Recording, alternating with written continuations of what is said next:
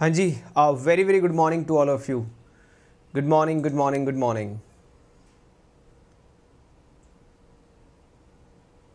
Hanji.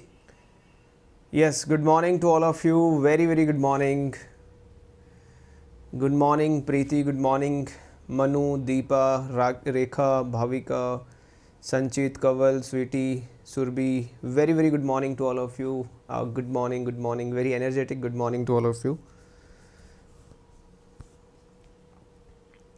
Recorded एक दिन के बाद मिलेगा आज रिकॉर्डेड नहीं मिलेगा ठीक है काफ़ी लंबी क्लास होने वाली तो एक दिन के बाद मिलेगा गुड मॉर्निंग सभी गुड मॉर्निंग अम्मा good morning Iti good morning Sakshi good morning Ekta Sharda Iqbal Deepika very very good morning to all of you good morning Animesh Kumar Deepika good morning Iqbal good morning Rajwanti good morning Anita good morning Animesh good morning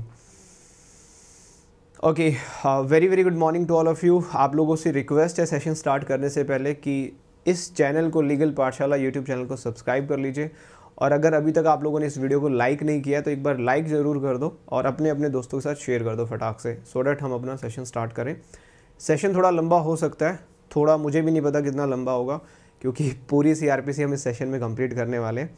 आप सबको good morning एक बार से फटाक से like कर दीजिए, जितने student class में, आप सब तो एटलीस्ट लाइक कर ही दीजिए इस सेशन को। और अगर आप इस चैनल पे नए हो ठीक है? या फिर आप इस वीडियो को रिकॉर्डेड देखोगे तो एक रिक्वेस्ट है कि चैनल को ज़रूर सब्सक्राइब करके जाना अगर ये वीडियो आपको किसी भी प्रकार से बेनिफिट प्रोवाइड करें। तो चलिए स्टार्ट करते हैं।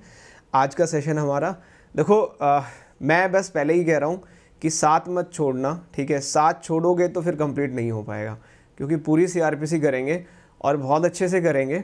मान के चलना कि आज के सेशन के बाद आपकी जो सीआरपीसी है सिक्सटी टू सेवेंटी परसेंट जो क्वेश्चन है सीआरपीसी के वो सारे के सारे आज इस सेशन में कवर अप हो जाएँगे, ठीक है? बाकी जो थर्टी परसेंट रह गया, वो थोड़ा सा इन डिटेल या कोई केस लो आ गया, कोई घुमा के क्वेश्चन आ गया, वहाँ से आएँगे। तो sixty to seventy percent of CRP से हम यहाँ पे कवर अप करेंगे आज, ठीक है? पूरा दिन आपके नाम है। हाँ तो चलिए स्टार्ट करते हैं। आज का हमारा सेशन हम कर रहे हैं complete code of criminal procedure 1973 section one से स्टार्ट करेंगे। सेक्शन 484 तक जाएँगे, ठीक है? क्विक रिवीजन काइंड ऑफ़ रहेगा। प्री और मेंस के लिए भी इंपॉर्टेंट सेक्शंस में हाईलाइट कराता चलूँगा। ये सेशन आप किसी भी स्टेट के लिए प्रिपेयर कर रहे हैं, ठीक है? किसी भी जुडिशरी एग्ज़ाम के लिए प्रिपेयर कर रहे हैं, आपके लिए ये सेशन बहुत इंपॉर्टेंट है, ठीक है? अगर आप इस सेशन को देख रहे हो, अभी लाइव देख रहे हो या रिकॉर्डेड देख रहे हो तो चैनल को सब्सक्राइब करना ना भूलें। अगर आप चाहते हो तो ऐसे ऐसे सेशन मैं सीपीसी के एविडेंस के आईपीसी के कॉन्स्टिट्यूशन के भी लेके आऊँ। तो जितने व्यूज़ हों एटलीस्ट उतने स्टूडेंट्स तो इस वीडियो को लाइक करें और सब्सक्राइब ज़रूर करें चैनल को। रिक्वेस्ट यही है कि चैनल को सब्सक्राइब कर लेना। चलिए हाउस द जोश राइट नाउ कैसे आप सबका जोश मेरा बहुत हाई है। हाँ जी एडीए के लिए भी इंपॉर्टेंट है, ठीक है? हर एक एग्ज़ाम के लिए इंपॉर्टेंट है जहाँ सी आती है। एक बार ज़ोर से बता दीजिए हाउस द जोश पूरे कमेंट भर जाने चाहिए जोश के साथ।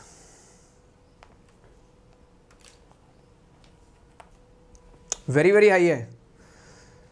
सो so, मतलब are you excited for today session कर लोगे मेरे साथ? देखो मैं हिम्मत नहीं हारने वाला हूँ। तुम्हारे ऊपर है तुम्हारा जोश कितना है? देखते हैं अभी तो कह रहे हो बहुत हाई है क्योंकि सुबह सुबह का टाइम है। ठीक है?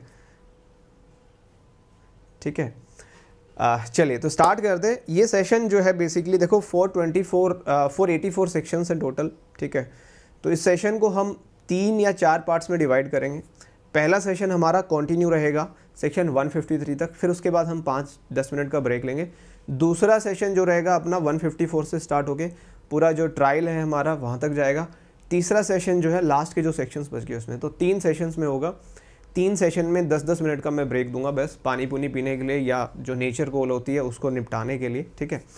तो चलिए, मैं, देखो ये video pre point of view से मेंस पॉइंट ऑफ़ व्यू से, ठीक है? आप हरियाणा ईडी के लिए कर रहे हो राजस्थान जेल के लिए कर रहे हो, आप यूपी के लिए कर रहे हो बिहार के लिए कर रहे हो उत्तराखंड के लिए, किसी भी जुडिशरी एग्ज़ाम के लिए कर रहे हो, ये सेशन आपके लिए बहुत ज़्यादा इंपॉर्टेंट रहने वाला है आई प्रॉमिस यू इस वीडियो को पूरी को कंप्लीट करने के बाद आपका 70 परसेंट सीआरपीसी के जो क्वेश्चन है, सारे यहाँ से आते हैं, जो मैं आज आप लोगों को बताने जा रहा हूँ, ठीक है?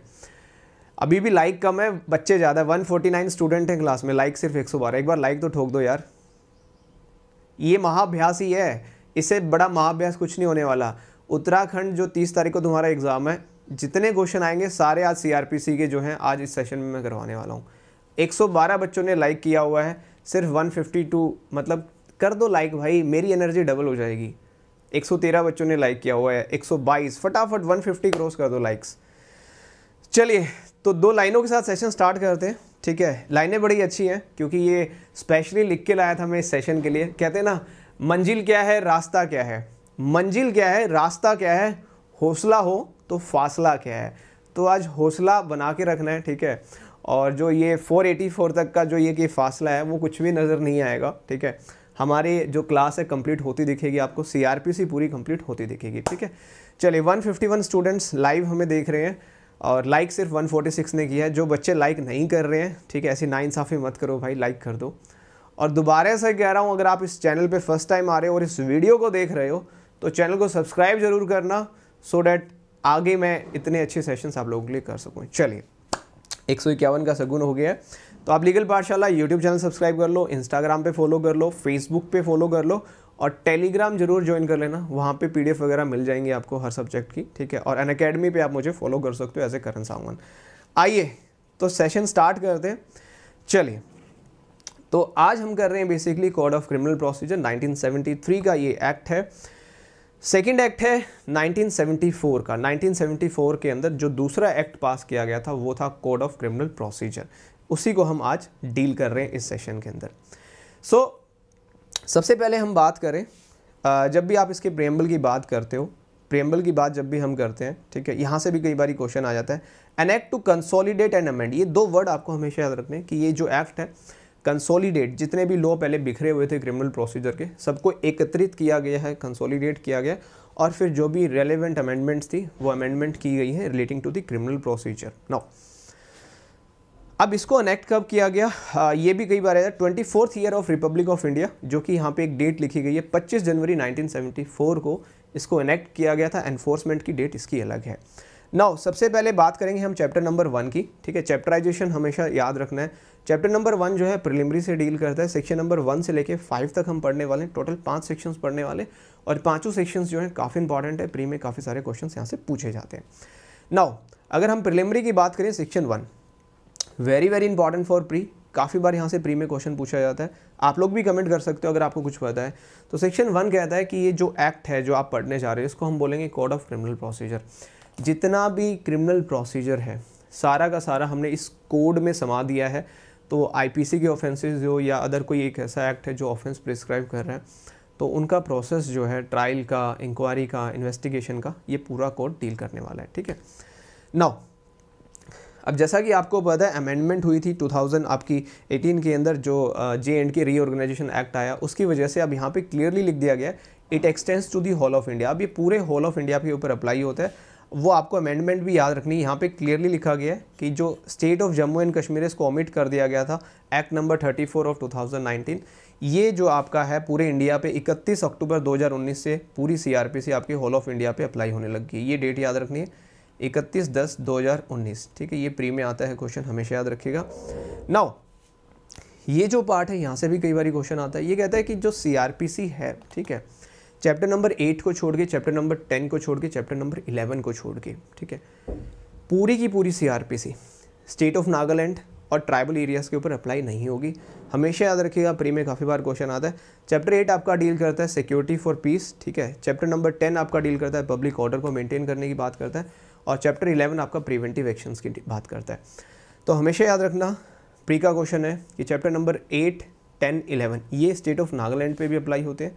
ट्राइबल एरियाज़ पे भी अप्लाई होते हैं।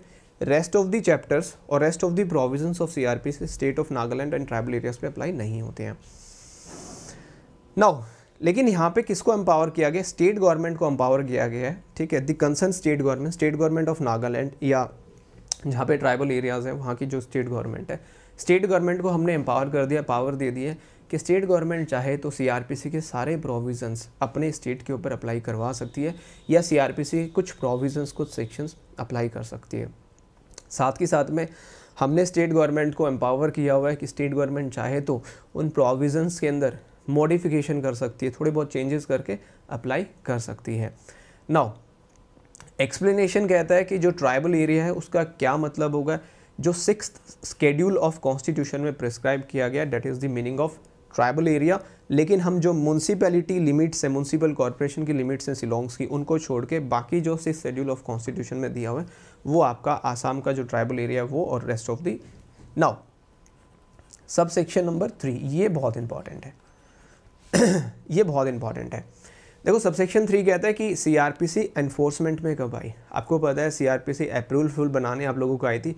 फ़र्स्ट अप्रैल 1974 को ये सीआरपीसी आपकी एनफोर्समेंट में आई और ये क्वेश्चन प्री में काफ़ी बार पूछा जाता है। नाउ स्टेट अमेंडमेंट हम नहीं पढ़ेंगे इस सेशन में, ठीक है? बात करते हैं next section number two definitions बहुत इंपॉर्टेंट है, काफ़ी बार एग्ज़ाम्स में यहाँ से क्वेश्चन आता है डेफिनेशन से। देखिए डेफिनेशंस क्या कहती है? सेक्शन नंबर टू देखिए सेक्शन नंबर टू के अंदर कुछ रेलेवेंट डेफिनेशन जैसे टू ए बेलेबल ऑफेंसेस क्या होंगे? बड़ा सिंपल सा इन्होंने बताया कि, कि बेलेबल ऑफेंस वो ऑफेंसेज हैं जो आपकी सीआरपीसी के फ़र्स्ट स्केड्यूल में दिए हैं।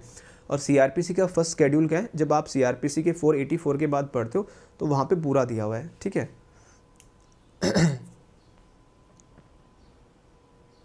नाउ बेलेबल को भी टू ए ने डिफाइन किया है और नॉन बेलेबल ऑफेंस को भी टू ए ने डिफाइन किया है। नंबर ऑफ़ टाइम डायरेक्टली आ जाता है कि नॉन बेलेबल ऑफेंस कहाँ डिफाइन है और हम भूल जाते हैं कि यार बेलेबल तो टू ए में है नॉन बेलेबल टू ए में है और ये कहता है कि जो फ़र्स्ट स्केड्यूल ऑफ़ सीआरपीसी में जिन ऑफेंसेज को बेलेबल बनाए वो सारे के सारे बेलेबल हैं, उनको छोड़ के बाकी सारे नॉन बेलेबल हैं। Now two B two B जो है ये चार्ज के बारे में नहीं बताता है कि चार्ज कि डेफिनेशन नहीं देता है। ये बेसिकली कहता है कि चार्ज के अंदर इंक्लूड क्या हो सकता है। जब हम सेक्शन नंबर 211 से लेकर 224 तक पढ़ेंगे इन डिटेल चार्ज होते क्या हैं कंटेंट ऑफ़ चार्ज क्या होगा, ठीक है, क्या चार्जेस के अंदर अल्ट्रेशन हो सकता है या नहीं हो सकता। तो टू बी आपको सिर्फ़ ये बताता है चार्ज के अंदर जो नंबर ऑफ़ हेड हेड्स हैं फॉर एग्ज़ाम्पल किसी ने मर्डर भी कर दिया रेप भी कर दिया रोबरी भी की है तो वो जो नंबर ऑफ़ हेड्स हैं, ठीक है एनी हेड ऑफ़ चार्ज जो मतलब एक से ज़्यादा है, ठीक है, वो भी चार्ज की डेफिनेशन में ही आएँगे। चार्ज का बेसिक मतलब क्या होता है? सिर्फ़ सामने वाले व्यक्ति को नोटिस देना कि भाई आपके अगेंस्ट ये ये आरोप लगे हैं so that he can prepare his better defence now two C C बड़ा सिंपल सा है कॉग्निजेबल टू सी मतलब सी से कॉग्निजेबल ऑफेंस होता है। अब इन्होंने कह दिया कि कॉग्निजेबल ऑफेंस क्या होगा? देखो, बड़ा सिंपल सा है यहाँ पे। कॉग्निजेबल ऑफेंस पे दो चीज़ें याद रखनी है। पहला, कि कॉग्निजेबल ऑफेंस जो फ़र्स्ट स्केड्यूल में दिया हुआ है सीआरपीसी के, जहाँ पे पुलिस ऑफिसर बिना अरेस्ट वारंट के अरेस्ट कर सकता है। ये वर्ड हमेशा याद रखिएगा। कॉग्निजेबल ऑफेंस कौन सा ऑफेंस है? जो फ़र्स्ट स्केड्यूल में दिया हुआ है या किसी अदर लॉ ने उसको कॉग्निजेबल बनाया हुआ है। कॉग्निजेबल की सबसे खासियत क्या होती है कि वहाँ पे मैजिस्ट्रेट्स आपको वारंट लेने की ज़रूरत नहीं पड़ती है अरेस्ट करने के लिए। तो cognizable offence is basically an offence in which police officer is not required to get the warrant from the magistrate to arrest the person so आप कर सकते हैं arrest without warrant in cognizable offences now two D complaint बहुत important है। काफ़ी बार pre में आता है, कई बार मेंस में भी आ जाता है टू डी से क्वेश्चन कंप्लेंट मेंस के लिए भी इंपॉर्टेंट है प्री के लिए भी इंपॉर्टेंट है। कंप्लेंट होती क्या है? कंप्लेंट देखो इसके कुछ एसेंशियल इंग्रेडिएंट्स है जो आपको हमेशा पता होने चाहिए प्री के लिए भी मेंस के लिए भी। ये कहता है एनी एलिगेशंस एलिगेशन बहुत ज़रूरी है, ठीक है? बिना एलिगेशन के बात नहीं बनेगी। एलिगेशन औरल भी हो सकते हैं और राइटिंग में भी हो सकते हैं। और हमेशा किसको दी जाएगी? मैजिस्ट्रेट को दी जाएगी। पुलिस ऑफिसर को नहीं दी जाएगी, ठीक है? कई बार आ जाता है कि पुलिस ऑफिसर को, नहीं पुलिस ऑफिसर को नहीं जाएगी। हमेशा मैजिस्ट्रेट को एलिगेशंस होंगे औरल भी हो सकते हैं राइटिंग में भी हो सकते हैं। और सबसे मोस्ट इंपॉर्टेंट चीज़ क्या है with a view to take action वो कहते हैं ना, इनके खिलाफ सख्त से सख्त कार्रवाई की जाए। उस कंप्लेंट के अंदर आप अगर ये नहीं लिखोगे कि भाई इनके खिलाफ सख्त से सख्त कार्रवाई की जाए या इनके खिलाफ एक्शन लिया जाए तो वो कंप्लेंट नहीं मानी जाएगी। ये नॉन और अननोन पर्सन के अगेंस्ट हो सकती है, लेकिन सबसे इंपॉर्टेंट चीज़ क्या है, ये हमेशा एक ऑफेंस के रिगार्डिंग होगी कि एक ऑफेंस कमिट होना बहुत ज़रूरी है। अगर ऑफेंस कमिट नहीं हुआ तो आप एलिगेशंस लगा रहे हो तो वो कंप्लेंट नहीं है। जैसे आप सेक्शन 125 ऑफ़ सीआरपीसी पढ़ते हो, जहाँ पे हम मेंटेनेंस की बात करते हैं 125 सीआरपीसी की जो है कंप्लेंट नहीं फ़ाइल होती है क्योंकि वो ऑफेंस नहीं है, ठीक है? ऑफेंस नहीं है तो वहाँ पे कंप्लेंट फ़ाइल नहीं होगी, ठीक है? तो हमेशा याद रखें 125 की कंप्लेंट नहीं होती है, एप्लीकेशन होती है या पिटिशन हम उसको बोलते हैं। कंप्लेंट जनरली वहाँ होती है जहाँ कोई एक ऑफेंस कमिट होता है। एलिगेशंस आप लगा रहे हो ऑरली हो सकता है रिटर्न फॉर्म में हो सकता है नॉन अननोन पर्सन के अगेंस्ट हो सकता है और मैजिस्ट्रेट्स आपको आप दे रहे हो for the taking action against those person ठीक है? नाउ अब इन्होंने लास्ट में कह दिया, ये पुलिस रिपोर्ट को इंक्लूड नहीं करेगी। पुलिस रिपोर्ट जो आप सेक्शन 173 में पढ़ते हो, ठीक है? जो इन्वेस्टिगेशन के बाद जो अभी टू आर में हम पढ़ेंगे 173 सब सेक्शन टू में आप सबमिट करते हो, जिसको आप चार्जशीट बोलते हो, चालान बोलते हो, ठीक है? पुलिस रिपोर्ट जो है, वो कंप्लेंट की कैटेगरी में नहीं आएगी। लेकिन एक्सप्लेनेशन ने कह दिया है कि पुलिस रिपोर्ट को भी हम कंप्लेंट मान सकते हैं deemed to be a complaint मान सकते हैं। देखिए कब। जहाँ पे जो रिपोर्ट सबमिट की गई है पुलिस ऑफिसर के द्वारा, ठीक है और वो रिपोर्ट क्या डिस्क्लोज कर रही है इन्वेस्टिगेशन होने के बाद कि कॉग्निजेबल ऑफेंस कमिट नहीं हुआ है नॉन कॉग्निजेबल ऑफेंस कमिट हुआ है। तो इन ए केस जहाँ पुलिस इन्वेस्टिगेट कर रही है और इन्वेस्टिगेशन के बाद पुलिस को ये पता लग रहा है कि भैया कॉग्निजेबल ना होके नॉन कॉग्निजेबल ऑफेंस कमिट हुआ है ठीक है? नॉन कॉग्निजेबल ऑफेंस कमिट हुआ है। आ, उस केस के अंदर जो है जो पुलिस रिपोर्ट है, उसको हम deemed to be a complaint मान लेंगे। डीम्ड वर्ड का मतलब होता है कि एक लीगल फिक्शन क्रिएट किया गया है स्टैट्यूट के द्वारा, लेजिस्लेचर के द्वारा, कि हम उसको डीम्ड कंप्लेंट मान लेंगे। एक्चुअल में कंप्लेंट नहीं है, लेकिन मान लिया जाएगा कि भाई, इन्वेस्टिगेशन के बाद ये पता लगा है कि नॉन कॉग्निजेबल ऑफेंस कमिट हुआ है, इसलिए हम उसको अब कंप्लेंट मान लेंगे। और जो पुलिस ऑफिसर है, ठीक है, वो आपका अब कंप्लेनेंट की कैटेगरी में फॉल कर जाएगा। So this is section number two D बहुत इंपॉर्टेंट है प्री मेन्स के लिए। नाउ अब बात करते हैं ई e की। देखो, जो ये टू ई e है, ये सिर्फ़ प्री के लिए आपको पढ़ना है। इसकी हेडिंग हेडिंग पढ़नी है, हमें इसका अंदर का कभी भी मत पढ़ना, ठीक है? रेलेवेंट नहीं है, कभी भी प्री एग्ज़ाम में नहीं आता इंटरनल ना ही मेन्स में आता है तो हमेशा याद रखिए हाईकोर्ट कहाँ दिया हुआ है? टू ई e में हाईकोर्ट को डिफाइन किया गया है। Two F again heading heading पढ़नी है हमें। इंडिया का मतलब क्या होता है? जहाँ पे पूरी C R P C apply हो रही है, वो इंडिया है, ठीक है? Two G and two H ये दोनों बहुत इंपॉर्टेंट है। देखो टू जी क्या कहता है? टू जी कह रहा है कि भैया जी फॉर जाँच होती है, ठीक है? और जाँच को इंग्लिश में हम बोलते हैं इंक्वायरी इंक्वायरी का मतलब क्या होता है? ट्रायल को छोड़ के, ठीक है? जो भी जाँच करवाई जा रही है, किसके द्वारा? मैजिस्ट्रेट के द्वारा या कोर्ट के द्वारा? So inquiry is always conducted by the magistrate और the court under the code of criminal procedure other than trial trial को छोड़ दीजिए आप, ठीक है? जो आप ट्रायल पढ़ेंगे। ट्रायल को छोड़ के जितनी भी जाँच करवाई जाए, वो सारी इंक्वायरी की प्रस्पेक्टिव में आ जाएँगी, क्योंकि इंक्वायरी हमेशा मैजिस्ट्रेट करता है या कोर्ट करती है पुलिस नहीं करती है इंक्वायरी ठीक है? नाउ इन्वेस्टिगेशन टू एच बहुत बार यहाँ से क्वेश्चन पूछा जाता है टू एच से। इन्वेस्टिगेशन क्या है? देखो, सबसे पहला क्वेश्चन कई बार ये आ जाता है ब्री में कि पर्पज़ क्या है, क्या ऑब्जेक्ट है इन्वेस्टिगेशन का। हमेशा याद रखिएगा इन्वेस्टिगेशन का ऑब्जेक्ट क्या है? For the collection of evidence हमेशा इन्वेस्टिगेशन जो है पुलिस ऑफिसर के द्वारा कंडक्ट की जाती है। क्या कोई प्राइवेट पर्सन इन्वेस्टिगेशन कर सकता है? बोला हाँ बिल्कुल प्राइवेट पर्सन भी इन्वेस्टिगेशन कंडक्ट कर सकता है। अगर उसको मैजिस्ट्रेट साहब ऑथराइज़ कर दें। अब कई बार क्वेश्चन आ जाता है, क्या कोर्ट इन्वेस्टिगेशन कर सकती है? क्या मैजिस्ट्रेट इन्वेस्टिगेशन कर सकता है? नहीं। कोर्ट और मैजिस्ट्रेट कभी भी इन्वेस्टिगेशन नहीं करेंगे। हाँ वो ऑथराइज़ कर सकते हैं किसी प्राइवेट पर्सन को। कि आप इन्वेस्टिगेशन करें। Investigation is always generally conducted by the police officers ठीक है? और क्यों की जाती है? For the purpose of collection of evidence हमेशा याद रखिएगा टू एच बहुत इंपॉर्टेंट है ठीक है? बहुत ज़्यादा इंपॉर्टेंट है। और जैसे हम पढ़ेंगे ना आगे सेक्शन 155, 156, 157 वहाँ पे ये चीज़ें कनेक्ट हो जाएँगी चैप्टर ट्वेल्व के अंदर। Now two I judicial proceeding आपने इंडियन एविडेंस एक्ट पे भी पढ़ा होगा जुडिशियल प्रोसीडिंग्स ठीक है? सो जुडिशियल प्रोसीडिंग्स का बेसिक मतलब क्या होता है? ये कह रहे हैं judicial proceeding are those proceedings जहाँ पे आप एविडेंसेस लीगली ले रहे हो ऑन ऑथ ठीक है?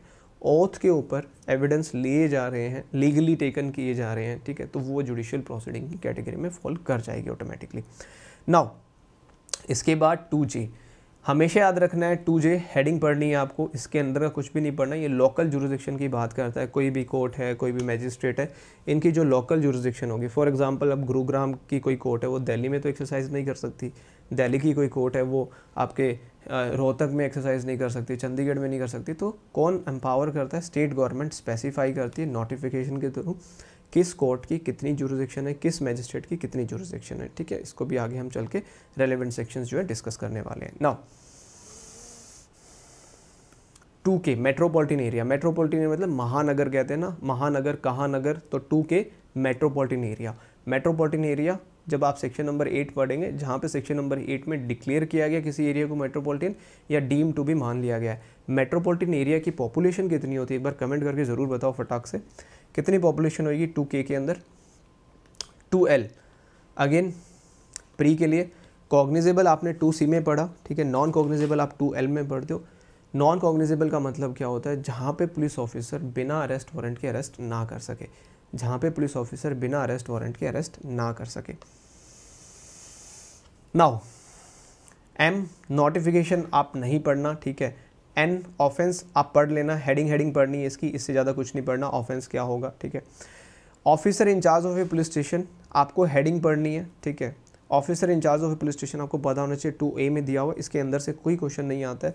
टू पी प्लेस की भी हेडिंग पता होनी चाहिए टू पी में प्लेस दिया हुआ है। टू क्यू प्लीडर की भी हेडिंग पता होनी चाहिए, इसके अंदर से कोई क्वेश्चन नहीं आता है। टू आर पुलिस रिपोर्ट बहुत अच्छा है।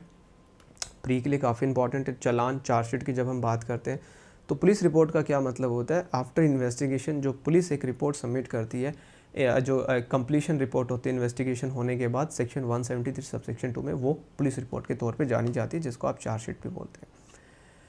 टू एस हेडिंग पढ़नी है एस से स्टेशन पुलिस स्टेशन हाँ 173 में हम पढ़ेंगे उसको। टी हेडिंग पढ़नी है प्रिस्क्राइब्ड यू हेडिंग पढ़नी है public prosecutor sub division heading पढ़नी है। Now two W and W A and X and Y ये चारों बहुत इंपॉर्टेंट है। टू डब्ल्यू देखिए समन केसेस हम समन केसेस का जो है ट्रायल भी पढ़ने वाले हैं चैप्टर नंबर ट्वेंटी के अंदर टू फिफ्टी नाइन से लेकर two fifty nine two fifty one से लेकर टू फिफ्टी नाइन तक। समन केसेस क्या होते हैं? ये इन्होंने साफ़ कहा कि समन केस वो केस होगा जो वारंट केस नहीं है, ठीक है? इसके बाद, सम्मन के बाद हम वारंट पढ़ते हैं। वारंट केस कौन से होते हैं? ये प्री में क्वेश्चन आता है। मे भी आपके जो अपकमिंग जुडिशरी एग्ज़ाम्स हैं, उनमें भी आ सकता है।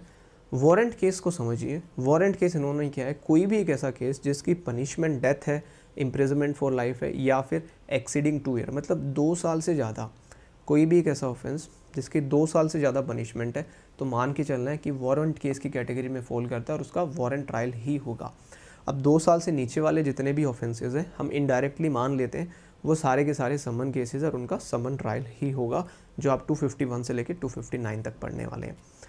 नाउ इसके बाद पढ़ते हैं section number two W A two W A victim जिसको 2009 के अंदर 2009 के अंदर इंसर्ट किया गया, एक मेजर अमेंडमेंट की गई सीआरपीसी के अंदर और काफ़ी सारे जो हैं प्रोविजंस को अमेंड किया गया और इनकॉर्पोरेट किया गया कि विक्टिम कहाँ कहाँ हो सकता है। तो विक्टिम कौन होता है? ये काफ़ी बार क्वेश्चन जुडिशरी एग्ज़ाम से पूछा गया है। तो विक्टिम इन्होंने साफ़ साफ़ कहा है, कोई भी एक ऐसा व्यक्ति जिसको कोई लॉस हो रहा है या जिसको कोई इंजरी हो रही है किसी एक्ट और ओमिशन की वजह से। ऑफेंस वर्ड यूज़ नहीं किया। एक्ट और ओमिशन ये चीज़ याद रखें एक्ट और ओमिशन की वजह से किसी को कोई इंजरी हुई है, किसी को नुकसान हुआ है, ठीक है? वो जो है, वो व्यक्ति कौन है? वो विक्टिम है और विक्टिम के इंक्लूड कौन कौन होगा? विक्टिम के अंदर कौन कौन इंक्लूड होगा? उसके गार्जियन एंड लीगल हायर ठीक है? ये विक्टिम की कैटेगरी के अंदर भी इनको इंक्लूड किया गया। लीगल रिप्रेजेंटेटिव को विक्टिम नहीं माना गया सिर्फ़ से और सिर्फ़ गार्जियन को और लीगल हायर्स को जो है विक्टिम माना गया है। तो हमेशा याद रखिएगा ये प्री में क्वेश्चन यहाँ से पूछा जाता है। नाउ, आजकल एक बड़ा ट्रेंड चल रहा है कि टू वाई से भी क्वेश्चन आ रहा है प्री के अंदर। कहते हैं, जितने भी वर्ड्स एंड एक्सप्रेशन आप सीआरपीसी में पढ़ने वाले हो, कोई भी एक ऐसा वर्ड है जिसका मीनिंग जो है सेक्शन टू ने डिफाइन नहीं किया तो उसका मीनिंग कहाँ से आप उठाने वाले हो? कह रहा है फिर आप आईपीसी से उसका मीनिंग जो है रेफ़र करेंगे। जैसे रीज़न टू बिलीव है, ठीक है? आप सीआरपीसी में पढ़ेंगे, कहीं रीज़न टू बिलीव लिखा मिल जाएगा आपको, ठीक है? तो रीज़न टू बिलीव को यहाँ डिफाइन नहीं किया गया गुड फेथ को यहाँ डिफाइन नहीं किया गया। वो सारे के सारे मीनिंग्स आप आईपीसी से उठा लेंगे। So this is your section number two now section number three पे चलते हैं। देखो section number three generally pre में आता है, सिर्फ़ हेडिंग बेस्ड आपको याद रखना है। इसके अंदर का कुछ भी नहीं पढ़ना है। सेक्शन नंबर थ्री जो है बेसिकली एक सेपरेशन जो आप लोगों ने पढ़ा है separation of judiciary from executive उसके बारे में बात करता है। तो सेक्शन थ्री को आप स्किप कर सकते हो, ठीक है? पढ़ना चाहो, पढ़ सकते हो। इन्होंने ये बोला है, बस मेट्रोपॉलिटन एरिया से बाहर जो होगा जुडिशियल मैजिस्ट्रेट होगा मेट्रोपॉलिटन एरिया के अंदर जो होगा, वो मेट्रोपॉलिटन मैजिस्ट्रेट होगा, ठीक है? एग्जीक्यूटिव मैजिस्ट्रेट ये पावर एक्सरसाइज करेगा। जुडिशियल मैजिस्ट्रेट ये पावर एक्सरसाइज करेगा। So section three is basically a kind of a provision which separates executive from judiciary ये एक सेपरेशन करता है एग्जीक्यूटिव का और जुडिशरी का। एग्जीक्यूटिव मैजिस्ट्रेट के बारे में बताता है कि वो कहाँ कहाँ पावर एक्सरसाइज कर सकते हैं। जुडिशियल मैजिस्ट्रेट के बारे में बताता है। Now come to next section section number four very important काफ़ी बार आजकल ये प्री में क्वेश्चन पूछा जा रहा है। काफ़ी बार पूछा जा रहा है। देखो सेक्शन नंबर फोर क्या कहता है? जितने भी ऑफेंसेस हैं, जो आईपीसी में कमिट किए जा रहे हैं, ठीक है? अगर आईपीसी ने आप लोगों ने पढ़ी है तो there are number of offences murder है कल्पेबल होमिसाइड है थेफ्ट है रोवरी है, डकोती है एक्सटोर्शन है. उसके अलावा भी काफ़ी सारे एक्ट्स हैं, जैसे पॉक्सो एक्ट हो गया एस सी एक्ट हो गया एनडीपीएस एक्ट हो गया. There are number of act ठीक है, जहाँ पे ऑफेंसेज को कैटेगराइज किया गया है. तो सेक्शन फोर कहता है कि जितने भी ऑफेंसेज हैं आईपीसी में, उनकी इन्वेस्टिगेशन उनकी इंक्वायरी उनका ट्रायल या उनके रिगार्डिंग कोई भी अगर आपको प्रोसीजर अडॉप्ट करना है तो जो सीआरपीसी में प्रिस्क्राइब किया हुआ है हेर इन आफ्टर उस प्रोसीजर को आप अडॉप्ट करने वाले हैं। इसका सबसेक्शन टू कहता है कि बाकी जितने ऑफेंसेस हैं under any other law other than IPC IPC के अलावा भी काफ़ी सारे लॉज हैं, जो ऑफेंसेस प्रिस्क्राइब करते हैं डेफिनेटली है, ठीक है? एनडीपीएस एक्ट है एससी एसटी एक्ट है पॉक्सो एक्ट है डोमेस्टिक वायलेंस एक्ट है, बहुत सारे एक्ट हैं, जो ये कहते हैं कि ये वाला भी एक ऑफेंस है अदर देन आईपीसी तो उस केस के अंदर सेक्शन फोर कहता है कि जर्नली उसकी इन्वेस्टिगेशन इंक्वायरी ट्रायल वगैरह जो है सेम प्रोविज़न सीआरपीसी के अप्लाई होंगे, जो आईपीसी पे अप्लाई हो रहे थे।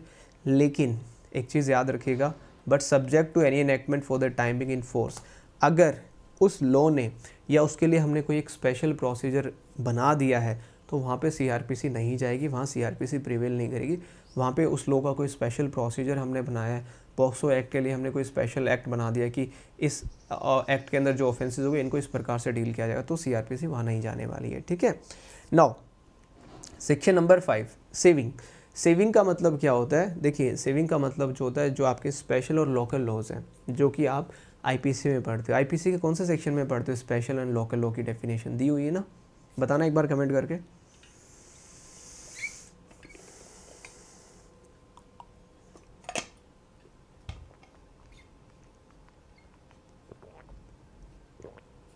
चलिए।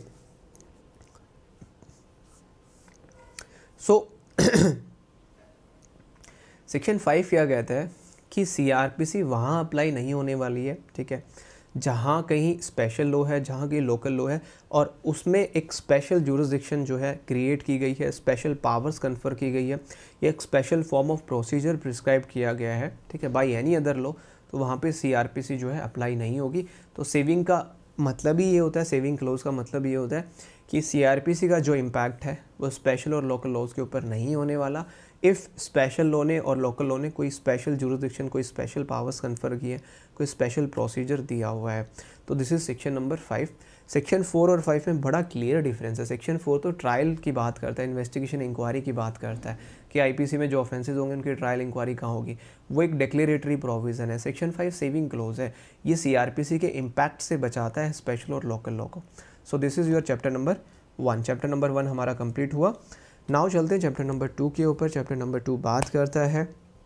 Constitution of criminal courts and officer अभी हमने चैप्टर नंबर वन के अंदर सेक्शन फाइव तक जनरली हमने पढ़ा कि सीआरपीसी के अंदर क्या क्या हो सकता है, ठीक है क्या क्या डेफिनेशंस होंगी ट्रायल कैसे चलेगा कौन सी आईपीसी के ऑफेंसेस का ट्रायल कहाँ चलने वाला है, ठीक है। नाउ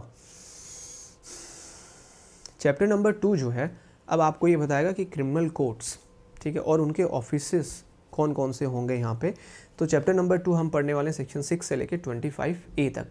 काफ़ी इंपॉर्टेंट चैप्टर है, एक सीक्वेंस में ही चल रहा है। सबसे पहला सेक्शन जो है सेक्शन नंबर सिक्स काफ़ी बार एग्ज़ाम में पूछा जाता है classes of criminal courts total criminal courts कितनी हैं as per C R P सी ना इन्होंने कहा है हाई कोर्ट को छोड़ दीजिए, ठीक है besides the high court high court के अलावा जो कोर्ट कॉन्स्टिट्यूट जा रही है बनाई जा रही है किसी भी लॉ के अंदर सीआरपीसी को छोड़ के, ठीक है, दो चीज़ों को छोड़ दो हाई कोर्ट को छोड़ दो और कोई अदर लॉ है जिसने कोर्ट कॉन्स्टिट्यूट के कोई स्पेशल एक्ट है, जिसने एक अलग से एक फास्ट ट्रैक कोर्ट कॉन्स्टिट्यूट कर दी, उसको छोड़ दो। बोला, इसके अलावा आपकी चार क्रिमिनल कोर्ट्स हैं सीआरपीसी में। सबसे पहले है कोर्ट ऑफ़ सेशन ठीक है? सेकेंड नंबर पर है जुडिशल मैजिस्ट्रेट फ़र्स्ट क्लास और उसके साथ में मेट्रोपोलिटन मैजिस्ट्रेट थर्ड नंबर पे जुडिशियल मैजिस्ट्रेट सेकंड क्लास और फोर्थ नंबर पे एग्जीक्यूटिव मैजिस्ट्रेट इनके अंदर से बाइफर्गेशन हो जाती है कोर्ट ऑफ़ सेशन में एडिशनल सेशन जज भी आ जाता है असिस्टेंट भी आ जाता है. जुडिशियल मैजिस्ट्रेट फ़र्स्ट क्लास में एडिशनल सी भी आ जाता है और चीफ जुडिशियल मैजिस्ट्रेट भी आ जाता है. सेकेंड क्लास एग्जीक्यूटिव में आपके डीएम वगैरह सब कुछ आ जाते हैं, ठीक है? So section six pre point of view से इंपॉर्टेंट है, काफ़ी और पूछा जाता है. नाउ सेक्शन सेवन की हेडिंग हेडिंग पढ़नी है आपको टेरिटोरियल डिवीज़न यहाँ से कभी भी क्वेश्चन नहीं आता इंटरनल क्वेश्चन कभी नहीं पूछा जाता, ठीक है? जितने भी सेशंस डिवीज़न है, हर एक डिस्ट्रिक्ट के अंदर एक एक सेशन डिवीज़न होगा। अगर जो स्टेट गवर्नमेंट है स्टेट गवर्नमेंट के पास पावर होती है कि स्टेट गवर्नमेंट जो है हाई कोर्ट से कंसल्ट करके अल्टर कर सकती है number of divisions and districts को बाइफरगेट कर सकती है। बस सेक्शन नंबर सेवन में आपको एक चीज़ याद रखनी है कि state government after the consultation with the high court जो सेशन डिवीजन्स उन्होंने बनाए, उनको चेंजेस वगैरह कर सकती है। Now metropolitan area. हमने अभी रिसेंटली अभी कुछ देर पहले पढ़ा है टू के। टू के अंदर हमने पढ़ा था महानगर, ठीक है? मेंस के लिए आएँगे तभी बताऊँगा, अभी मेंस के आई नहीं है बेटा। टेंशन मत लो, मैं सब बता दूँगा आपको, ठीक है? आप बस लगे रहो मेरे साथ मेंस वाले भी मैं बताऊँगा आपको। टू के में हमने पढ़ा मेट्रोपॉलिटन एरिया क्या होता है, उसने कहा सेक्शन एट में जो प्रिस्क्राइब किया हुआ है। तो सेक्शन एट जो है मेंस में शॉर्ट नोट में आ जाता है मेट्रोपॉलिटन एरिया क्या होता है? जनरली क्या होता है स्टेट गवर्नमेंट के पास पावर है। स्टेट गवर्नमेंट किसी भी एरिए को, किसी भी सिटी को नोटिफाई करके डिक्लेयर कर सकती है कि इस डेट से ये एरिया जो है मेट्रोपॉलिटन एरिया है, क्योंकि इसकी पॉपुलेशन जो है वो एक्सीड कर गई है वन मिलियन वन मिलियन इसकी पॉपुलेशन एक्सीड कर गई है, ठीक है? तो वहाँ पे हम उसको डिक्लेयर कर देंगे एज ए मेट्रोपॉलिटन एरिया अब यहाँ पे कुछ सिटीज़ हैं जिनको हमने डीम्ड मान लिया है कि ऑलरेडी मेट्रोपॉलिटन एरिया उनको डिक्लेरेशन की रिक्वायरमेंट नहीं है। जैसे presidency towns of Bombay Calcutta Madras and Ahmedabad B C M A ठीक है? तो ये चार सिटीज़ ऐसी हैं जिनको सी आर पी सी ने डीम्ड टू बी डिक्लेयर कर दिया कि ये भी आपके मेट्रोपॉलिटन एरियाज़ हैं, ये आपको याद रखना है प्री पॉइंट ऑफ़ व्यू से।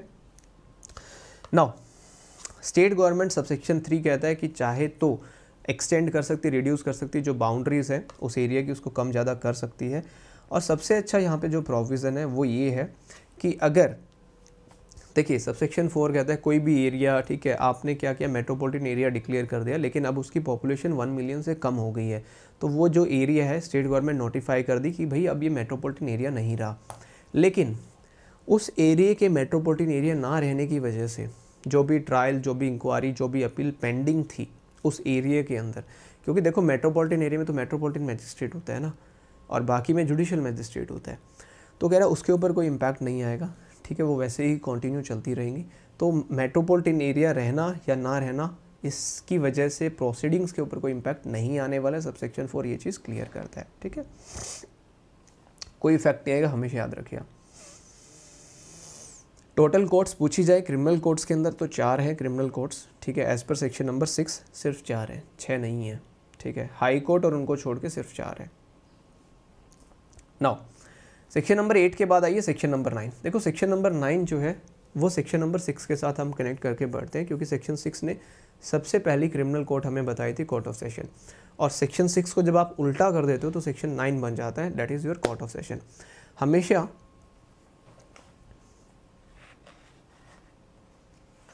दिल्ली मेट्रोपॉलिटन एरिया में ही आती है भाई वो, ठीक है?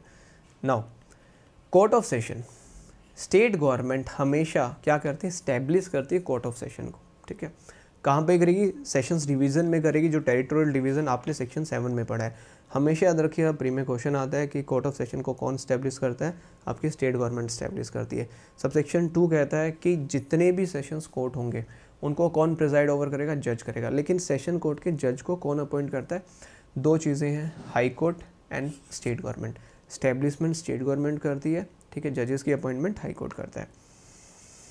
नाउ इसमें सबसेक्शन फाइव इंपॉर्टेंट है सबसेक्शन फोर हमारे लिए इंपॉर्टेंट नहीं है। सबसेक्शन फाइव कहता है, जब सेशन जज नहीं है अपनी कोर्ट में तो हाई कोर्ट चाहे तो अरेंजमेंट कर सकता है, कोई भी अर्जेंट अप्लीकेशन से उसको कौन डिस्पोज ऑफ़ करेगा, क्योंकि सेशन जज तो है नहीं।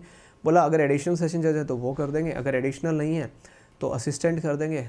अगर एडिशनल भी नहीं है असिस्टेंट भी नहीं है सेशन जज भी नहीं है।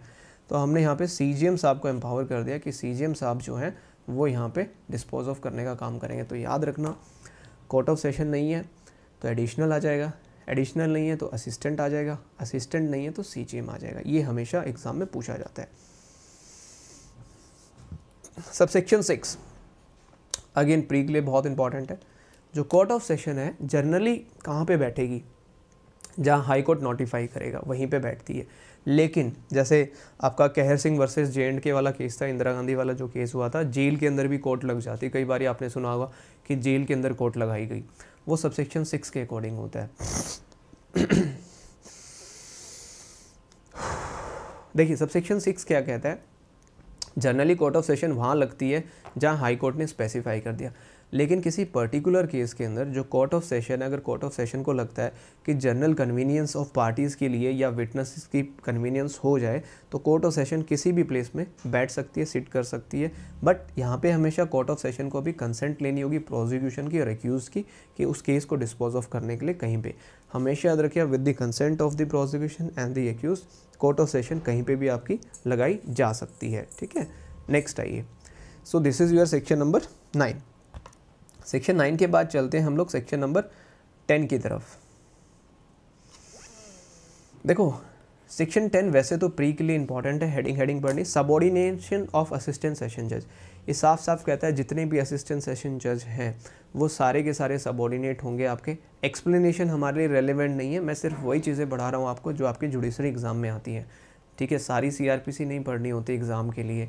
कुछ इंपॉर्टेंट एरिया होता है जो इंपॉर्टेंट होता है, बस। बाकी नहीं होता है इंपॉर्टेंट ठीक है? सारे सेक्शंस तो यूज़ भी नहीं होते सीआरपीसी के। नाउ सेक्शन टेन जो है सबोर्डिनेशन ऑफ़ असिस्टेंट सेशन जज, ये सिंपल सी बात कहता है कि जितने भी असिस्टेंट सेशन जज हैं, वो सारे के सारे सबोर्डिनेट होंगे कोर्ट ऑफ़ सेशन के।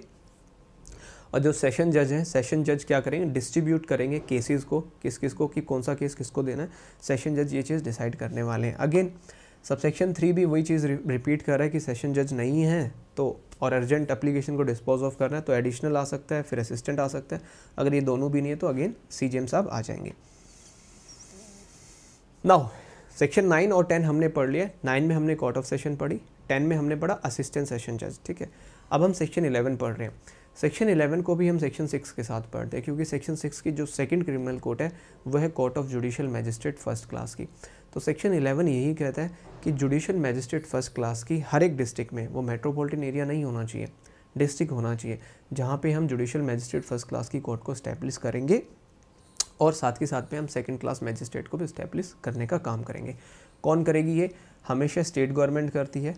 कंसल्ट करके हाई कोर्ट से। ये आपको याद रखना है state government after consultation with the high court now provided यहाँ पे इनकॉर्पोरेट किया गया, अगर आप देखेंगे प्रोवाइडेड को ऐड किया गया प्रोवाइडेड बात करते हैं स्पेशल कोर्ट्स की। अगर स्टेट गवर्नमेंट चाहे तो हाई कोर्ट से कंसल्ट करके किसी एक लोकल एरिया के लिए कोई स्पेशल कोर्ट जो है जुडिशियल मैजिस्ट्रेट फ़र्स्ट क्लास की या सेकंड क्लास की स्टेब्लिश कर सकती है। जैसे आपने कई बारी कोर्ट में आप कई बार जाते हो तो एनआई एक्ट की एक अलग से कोर्ट होती है। जितने भी चेक बाउंस के केसेस हैं, वो एक अलग ही कोर्ट बना दी हमने। वो सारे यही चीज़ डील करेगी। फैमिली कोर्ट एक अलग से हमने बना दिए।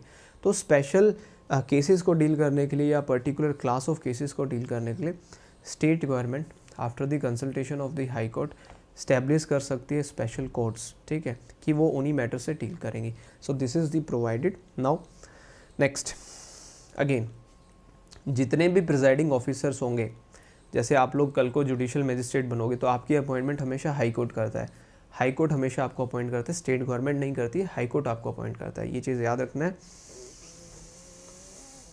नाउ सबसेक्शन थ्री क्या क्या कहता है? जो हाई कोर्ट है, अगर चाहे तो। अगर हाई कोर्ट को ऐसा लगता है कि भैया जो जुडिशल मैजिस्ट्रेट फ़र्स्ट क्लास और जुडिशल मैजिस्ट्रेट सेकंड क्लास के पास जो पावर्स हैं, जो मेंबर्स हैं, ठीक है?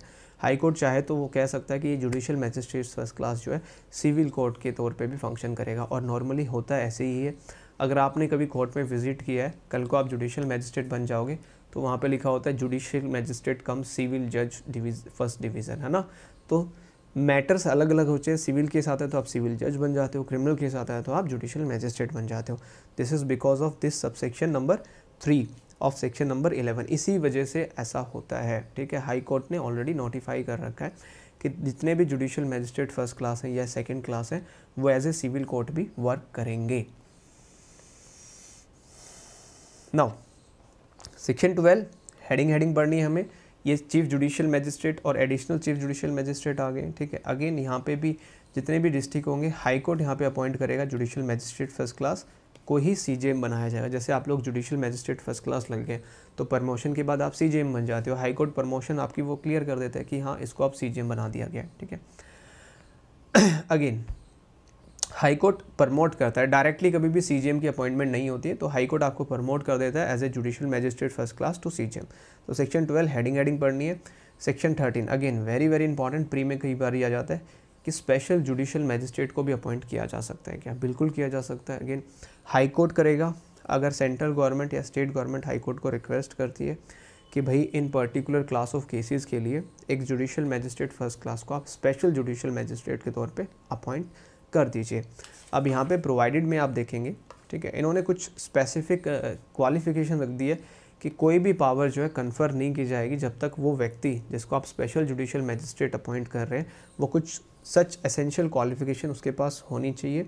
अब यहाँ पे आप देखेंगे कि जितने भी स्पेशल जुडिशियल मैजिस्ट्रेट हैं प्री में कई बार आता है, इनकी अपॉइंटमेंट कितने टाइम के लिए होगी? हमेशा एक साल के लिए आप इनको अपॉइंट कर सकते हैं। एक साल से ज़्यादा के लिए नहीं। उसके बाद हाई कोर्ट अलग से ऑर्डर वगैरह पास करके फर्दर एक्सटेंड कर सकता है। तो वन ईयर हमेशा याद रखना है प्री में आता है। सबसेक्शन थ्री कहता है कि अगर हाई कोर्ट चाहे तो एम्पावर कर सकते हैं स्पेशल जुडिशियल मैजिस्ट्रेट को कि आप मेट्रोपॉलिटन मैजिस्ट्रेट के तौर पे भी वर्क करें आउटसाइड द मेट्रोपॉलिटन एरिया आप कर सकते हैं। नाउ सेक्शन नंबर थर्टीन के बाद डायरेक्टली सेक्शन नंबर फोर्टीन आपको नहीं पढ़ना है। पढ़ना चाहो तो हेडिंग पढ़ सकते हो that is not relevant for your exam इतना रेलिवेंट नहीं है।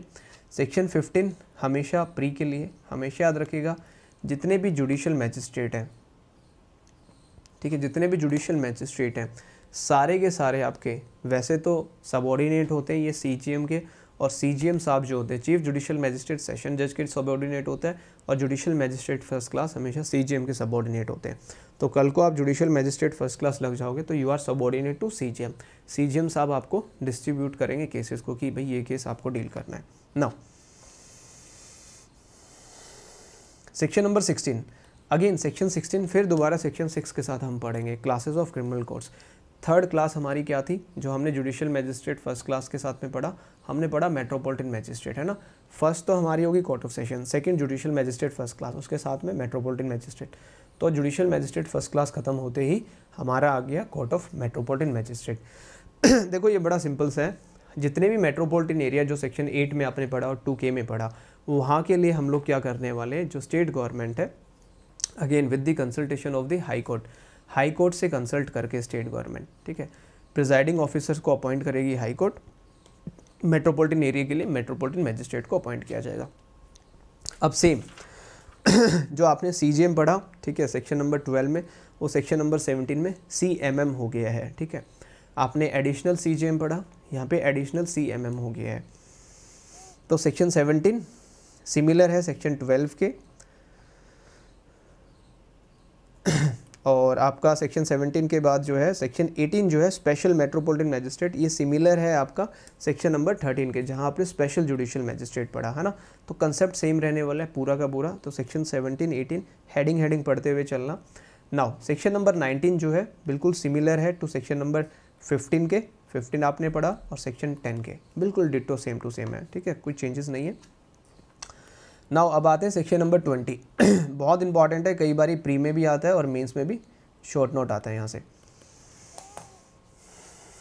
Executive magistrate last criminal court section six आपने पढ़ा था, उसकी लास्ट क्रिमिनल कोर्ट है एग्जीक्यूटिव मैजिस्ट्रेट अब एग्जीक्यूटिव मैजिस्ट्रेट की जब भी हम बात करते हैं तो हर एक डिस्ट्रिक्ट के अंदर, हर एक मेट्रोपॉलिटन एरिया के अंदर एग्जीक्यूटिव मैजिस्ट्रेट को अपॉइंट किया जाएगा बाय द स्टेट गवर्नमेंट तो हमेशा याद रखिएगा स्टेट गवर्नमेंट अपॉइंट करती है किसको? एग्जीक्यूटिव मैजिस्ट्रेट को और एग्जीक्यूटिव मैजिस्ट्रेट में से ही किसी एक को हम डीएम अपॉइंट कर देते हैं। आपने सुना होगा, आपके ज़िले में, आपके डिस्ट्रिक्ट में भी डीएम साहब होते हैं डिस्ट्रिक्ट मैजिस्ट्रेट होता है। तो एक डीएम के तौर पे उसको अपॉइंट कर दिया जाता है, ठीक है? नाउ अगेन स्टेट गवर्नमेंट चाहे तो किसी भी एग्जीक्यूटिव मैजिस्ट्रेट को एडिशनल डीएम बना सकती है कि आप एडिशनल डिस्ट्रिक्ट मैजिस्ट्रेट हैं, ठीक है? और उसको अलग से जो पावर्स हैं डीएम की, वो एक्सरसाइज करने के लिए दे सकती है। ना बस यहाँ पे सबसेक्शन वन से क्वेश्चन आता है कि एग्जीक्यूटिव मैजिस्ट्रेट को कौन अपॉइंट करता है? स्टेट गवर्नमेंट करती है। डीएम को कौन अपॉइंट करता है? स्टेट गवर्नमेंट करती है। डीएम साहब भी आपके एग्जीक्यूटिव मैजिस्ट्रेट ही होते हैं, ठीक है? ना अब डायरेक्टली आपको जो पढ़ना है यहाँ पे, वो पढ़ना है सबसेक्शन फोर सबसेक्शन फोर आपने कई बार पढ़ा होगा कि एस डी एम साहब आए हैं, है ना? मूवीज़ में भी देखा होगा एस डी एम आया है, भाई ये उस इलाके का एस डी एम है। तो सबसेक्शन फोर जो है एस डी एम की बात करता है। अगेन स्टेट गवर्नमेंट चाहे तो एग्जीक्यूटिव मैजिस्ट्रेट को सब डिवीज़न का इंचार्ज बना सकती है। डिवीज़न मतलब आपका डिस्ट्रिक्ट हो गया, उसके नीचे जो तहसील वगैरह होती है, ठीक है? वो होती है सब डिवीज़न जो भी आपके एग्जीक्यूटिव मैजिस्ट्रेट हैं, उनको स्टेट गवर्नमेंट कह सकती है कि भैया, आप सब डिवीज़न का इंचार्ज जो है, वो भी आप संभालें सब डिवीज़न को भी आप हैंडल करें।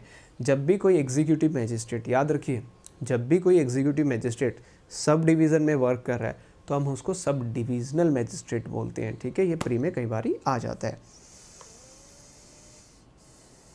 नौ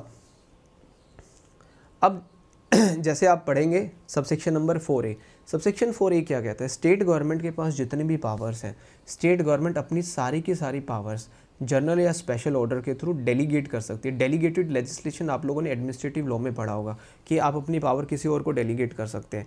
तो सबसेक्शन फोर यही कहता है स्टेट गवर्नमेंट अपनी पावर्स स्पेशल या जनरल ऑर्डर के थ्रू किसी भी डीएम साहब को दे सकती है और डीएम साहब अकॉर्डिंगली स्टेट गवर्नमेंट की पावर्स को एक्सरसाइज कर सकते हैं। Now subsection five very very important for pre pre में कई बार ही आ जाता है। इस सेक्शन के अंदर कोई भी ऐसी चीज़ नहीं लिखी हुई है जो स्टेट गवर्नमेंट को रोक सकती है। किस चीज़ के लिए? कि स्टेट गवर्नमेंट चाहे तो किसी भी लॉ के अंदर जो कमिश्नर ऑफ़ पुलिस होते हैं सीपी आप लोग पढ़ते हैं, गुड़गांव में है, हरियाणा में भी चार पाँच जगह पे हैं कमिश्नरेट बनाए जाते हैं कमिश्नर ऑफ़ पुलिस जो होते हैं, ठीक है? कमिश्नर ऑफ़ पुलिस को अगर स्टेट गवर्नमेंट चाहे तो सारी की सारी पावर्स दे सकती है किसकी? एग्जीक्यूटिव मजिस्ट्रेट की in relation to metropolitan area जैसे गुड़गांव में जाएँगे तो गुरुग्राम में जो है कमिश्नरेट ऑफ़ पुलिस होता है। तो state government commissioner of police को एम्पावर कर सकती है कि जो एग्जीक्यूटिव मजिस्ट्रेट के पास पावर है, वो सारी पावर्स आप एक्सरसाइज कर सकते हैं। So this is your section number twenty twenty one again heading heading पढ़नी है। ट्वेंटी वन हमेशा कहता है, जो आपने सेक्शन थर्टीन में पढ़ा special judicial magistrate section eighteen में पढ़ा स्पेशल मेट्रोपोलिटन मजिस्ट्रेट वैसा ही सेक्शन ट्वेंटी वन है। ये कहता है स्पेशल एग्जीक्यूटिव मजिस्ट्रेट की बात करता है। अगेन स्टेट गवर्नमेंट चाहे तो कुछ पर्टिकुलर फ़ंक्शंस के लिए, कुछ पर्टिकुलर काम करवाने के लिए स्पेशल एग्जीक्यूटिव मैजिस्ट्रेट को अपॉइंट कर सकती है। ट्वेंटी टू अगेन आप पढ़ना चाहो, पढ़ सकते हो। स्टेट गवर्नमेंट डिफाइन करती है कि लोकल लिमिट्स क्या होगी, एक एग्जीक्यूटिव मैजिस्ट्रेट की, जहाँ जहाँ वो अपनी पावर्स को एक्सरसाइज करने वाला है। Section twenty three subordination of executive magistrate देखिए, ये क्या कहता है? जितने भी एग्जीक्यूटिव मैजिस्ट्रेट होंगे, ठीक है एडिशनल डीएम साहब को छोड़ के सारे के सारे डीएम के सबॉर्डिनेट होने वाले हैं ये। सारे के सारे डीएम के सबॉर्डिनेट रहेंगे, ठीक है? तो 23 ओनली प्री के लिए इतना ही पढ़ना है। नाउ 24 पीपी साहब की बात करते हैं, ठीक है? ये बड़ा अच्छा है। पीपी देखिए पीपी क्या कहता है?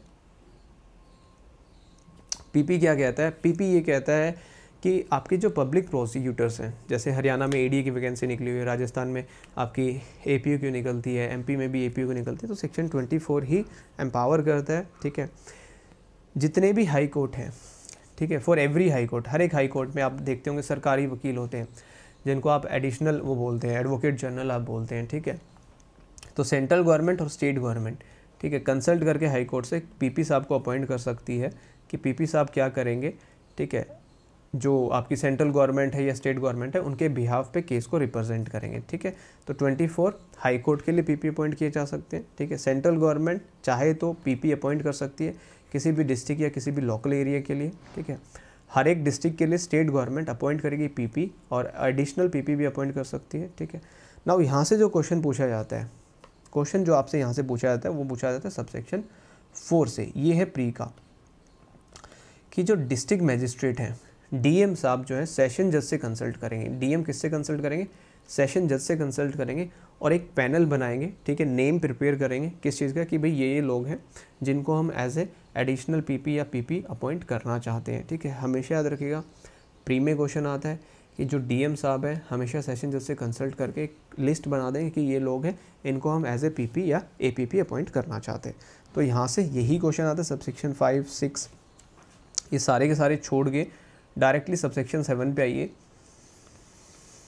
सबसेक्शन सेवन, अगेन, बहुत इंपॉर्टेंट है। ये बड़ा क्लियरली कहते हैं कि पीपी और एपीपी के लिए कितना एक्सपीरियंस आपको चाहिए एज एन एडवोकेट एक बार कमेंट करके बता दो कि पीपी लगने के लिए और एपीपी लगने के लिए कितना एक्सपीरियंस चाहिए आपको एज एन एडवोकेट कितने साल की आपकी वकालत या प्रैक्टिस होनी चाहिए। साथ के साथ में स्पेशल पीपी लगने के लिए कितने टाइम तक क्या आपको एडवोकेट का प्रैक्टिस का वो चाहिए सर्टिफिकेट एक्सपीरियंस तो हमेशा याद रखिए पीपी और एपीपी के लिए सेवन ईयर्स तक की आपकी प्रैक्टिस होनी चाहिए। स्पेशल पीपी की हम बात करें स्पेशल जो पब्लिक प्रोसिक्यूटर अपॉइंट किए जाते हैं, उनके लिए आपका दस साल का एक्सपीरियंस होना चाहिए। दस साल से कम का नहीं होगा। नाउ अब ये जो प्रोवाइडेड है, ये बड़ा इंपॉर्टेंट है। नंबर ऑफ़ टाइम यहाँ से क्वेश्चन पूछा जाता है। ये आपका 2009 में जब विक्टिम के बारे में चीज़ों को इनकॉर्पोरेट किया गया तो 2009 के अंदर ही इस प्रोवाइडेड को भी डाला गया है यहाँ पे। देखो जनरली क्या होता है? ऑफेंस हमेशा स्टेट के खिलाफ होता है। तो स्टेट के खिलाफ होगा तो स्टेट को कौन रिप्रेजेंट कर रहा है? पीपी साहब रिप्रेजेंट कर रहे हैं। लेकिन विक्टिम तो है कोई। तो प्रोवाइडेड ये कहता है कोर्ट विक्टिम को परमिट कर सकती है कि वो अपना प्राइवेट एडवोकेट भी इंगेज कर सकता है अपनी चॉइस का। लेकिन वो जो प्राइवेट एडवोकेट होगा, वो सिर्फ़ असिस्ट करेगा। ठीक है? वो प्रोसिक्यूट नहीं करेगा, वो सिर्फ़ असिस्ट करेगा। ये चीज़ आपको हमेशा याद रखनी है। कि कोर्ट में, मे वर्ड यूज़ किया गया शेल नहीं है। कई बार प्री में आता है। कोर्ट चाहे तो परमिट कर सकती है only for the purpose of assistant not for the purpose of prosecution now subsection nine आपको नहीं पढ़ना है।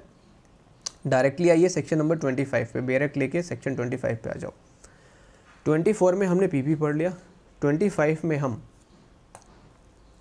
नहीं पीपी एंड एडीए डिफरेंट नहीं होते हैं। पीपी को अलग अलग नामों से जाना जाता है, ठीक है? इसमें लिखा भी हो, आप सेक्शन 24 पढ़ोगे ना पूरा का पूरा। रेलेवेंट नहीं था, इसलिए मैंने नहीं पढ़ाया आपको, ठीक है? जो सब सेक्शन नाइन पढ़ोगे आप सबसेक्शन नाइन में साफ़ साफ़ लिखा हुआ है।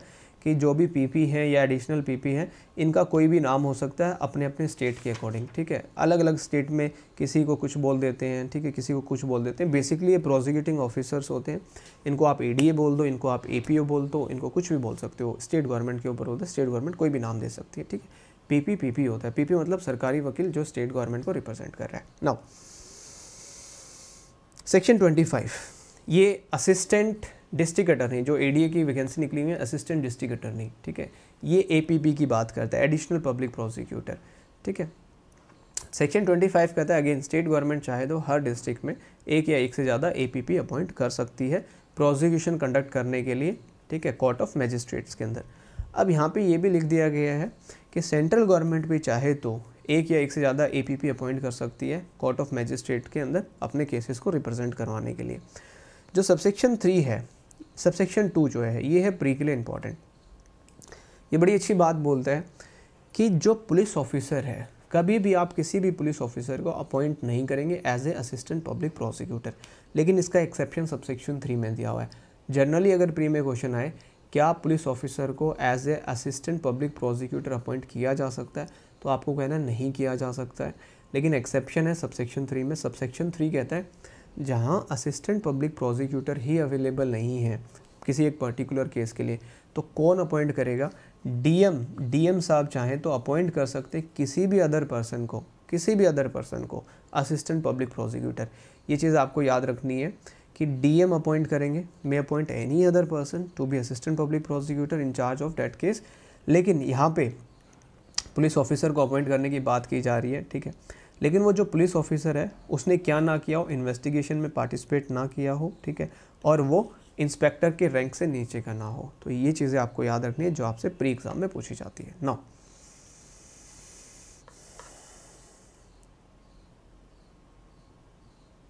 हाँ जी बेटा प्रोसिक्यूशन और प्रोसिक्यूटर में डिफरेंस होता है। प्रोसिक्यूशन का मतलब होता है किसी के रिगार्डिंग कोई केस इनिशिएट करना, ठीक है? प्रोसिक्यूटर करने वाला होता है, ठीक है? Directorate of prosecution. प्रोसिक्यूशन मतलब मुकदमा फ़ाइल करने वाला एक डिपार्टमेंट। तो 25 ए 2005 में इसको इनकॉर्पोरेट किया गया। कहता है डायरेक्टरेट ऑफ़ प्रोसिक्यूशन मतलब एक डिपार्टमेंट होगा। ठीक है? हाँ ए जो होता है वो आपका एडीए होता है असिस्टेंट डिस्ट्रिक्ट अटर्नी ठीक है? बेटा एडीए का जो है ना एडीए का जो है वो सेक्शन 25 में फॉलो होता है। ए का मतलब होता है assistant district attorney assistant public prosecutor public prosecutor DA DA की वैकेंसी आती है डिस्ट्रिक्ट अटर्नी की, और डिप्टी डीए की भी वैकेंसी आती है। डीए डीडीए की वैकेंसी आती है, अभी पंजाब में आई हुई थी, ठीक है? वो होते हैं पीपी और एपीपी एपीपी से नीचे होता है एएसपीपी असिस्टेंट पब्लिक प्रोसिक्यूटर तो एडीए जो होता है असिस्टेंट डिस्ट्रिक्ट अटर्नी होता है, जो सेक्शन 25 में फॉल करता है, जहाँ एक्सपीरियंस की रिक्वायरमेंट नहीं होती है, ठीक है? ठीक है? हरियाणा एडीए में कहाँ एक्सपीरियंस मांगा हुआ? नहीं मांगा हुआ। तुम लोग इरेलीवेंट चीज़ों पे मत जाओ, जो पढ़ा रहा हूँ वो पढ़ो, वही काम का है। नाउ सेक्शन 25 ए 25 ए कहता है कि एक हेड ऑफ़ डिपार्टमेंट कॉन्स्टिट्यूट किया जाएगा, जिसको हम बोलेंगे डायरेक्टर ऑफ़ प्रोसिक्यूशन इसको कौन स्थापित करेगा? स्टेट गवर्नमेंट स्टैब्लिश करने वाले एक डायरेक्टरेट ऑफ़ प्रोसिक्यूशन होगा, ठीक है? डायरेक्टर ऑफ़ प्रोसिक्यूशन के अंदर डिप्टी डायरेक्टर्स होंगे, ठीक है? एक डायरेक्टर ऑफ़ प्रोसिक्यूशन होगा, एक डिप्टी डायरेक्टर होंगे। दो लोग होंगे जो इसको लीड करने वाले हैं।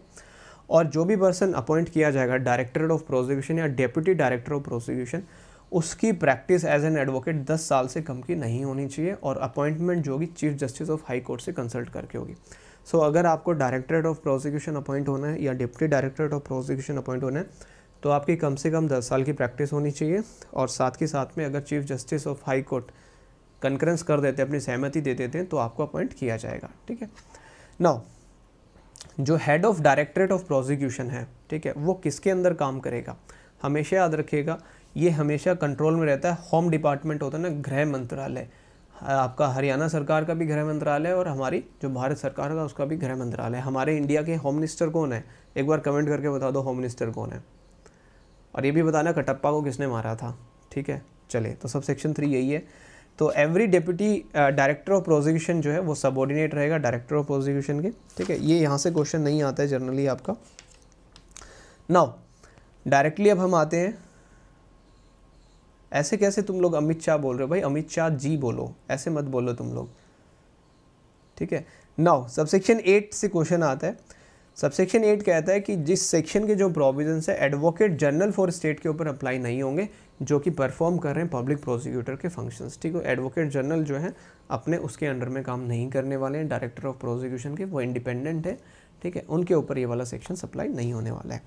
सो so, इसी के साथ हमने चैप्टर नंबर टू भी कंप्लीट कर लिया है।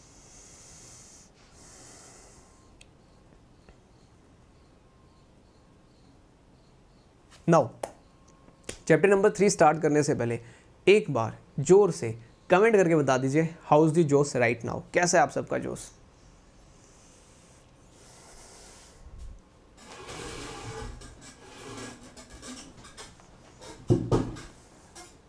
हाई है।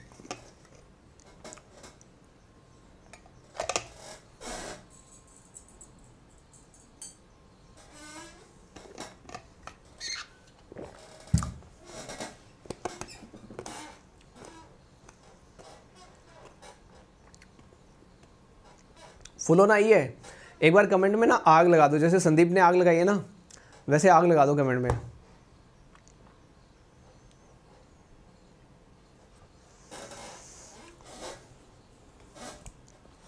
तनिष, यही करवा रहा हूँ बेटा, पूरी सीआरपीसी करवा रहा हूँ, जैसे एविडेंस एक्ट करवाया हुआ है।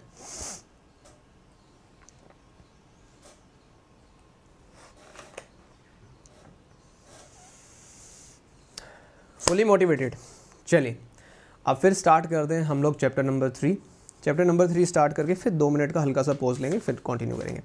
चैप्टर नंबर थ्री पे आइए. देखिए, अभी तक हमने चैप्टर नंबर वन पढ़ा, जहाँ पे हमने प्रिलिमिनरी पढ़ा कि जनरली होता है क्या सी में, फिर हमने चैप्टर नंबर टू पढ़ा.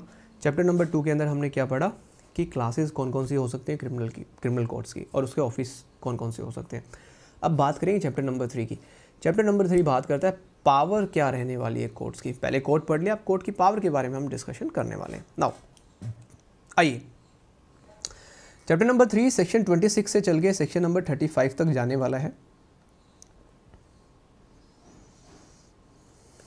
देखिए चैप्टर नंबर थ्री क्या कहता है powers of court section twenty six pre में कई बार आ जाता है कि court by which offences are triable कौन सी कोर्ट है जो ऑफेंसेस को ट्राई करने वाली है?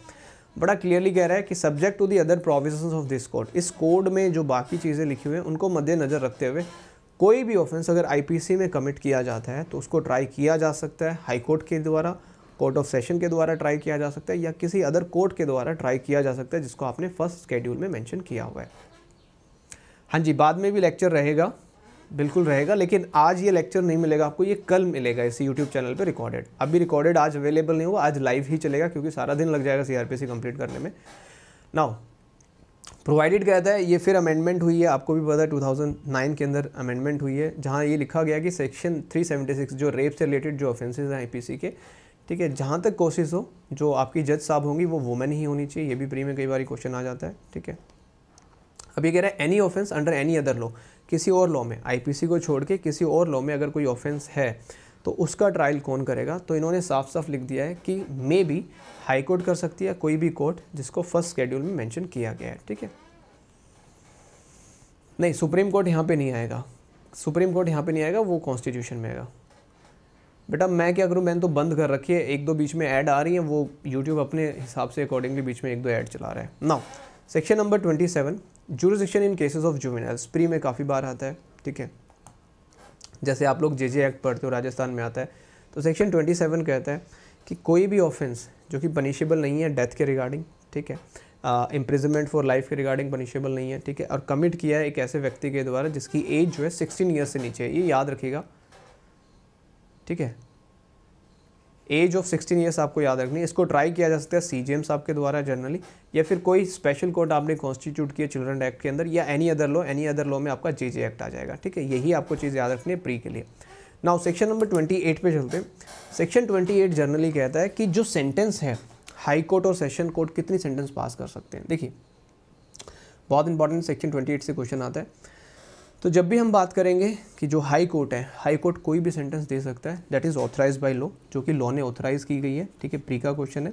साथ ही साथ में सेशन जज और एडिशनल सेशन जज कोई भी सेंटेंस पास कर सकते हैं that is authorise by law अगर ये डेथ सेंटेंस देते हैं सेशन जज डेथ सेंटेंस दे रहा है या एडिशनल सेशन जज डेथ सेंटेंस दे रहा है तो उस डेथ सेंटेंस की कन्फर्मेशन कौन करेगा? हाई कोर्ट करेगा। और कमेंट करके बताओ हाई कोर्ट कौन से सेक्शन में कन्फर्मेशन करता है? कौन से सेक्शन में कन्फर्मेशन करता है? 366 में कन्फर्मेशन करता है या 368 में कन्फर्मेशन करता है? तो कन्फर्मेशन हमेशा 368 में होती है सबमिशन हमेशा 366 में होती है। नाउ आजकल कई बार सबसेक्शन थ्री से क्वेश्चन पूछा जाता है कि असिस्टेंट सेशन जज जो है, ठीक है असिस्टेंट सेशन जज कितनी सेंटेंस दे सकते हैं? देखो असिस्टेंट सेशन जज जो होते हैं कोर्ट ऑफ़ सेशन और एडिशनल सेशन जज के इक्वेलेंट नहीं होते, उनसे एक स्टेप नीचे होते हैं। तो ये कहते हैं, कोई भी सेंटेंस पास कर सकते हैं, लेकिन ये डेथ सेंटेंस नहीं दे सकते लाइफ नहीं दे सकते और imprisonment for a term exceeding दस साल नहीं दे सकते। तो असिस्टेंट सेशन जज सिर्फ़ दस साल तक की सज़ा आपको दे सकते हैं। Now section 29 section 29 is basically for lower judiciary वो ऊपर हायर जुडिशरी के लिए था।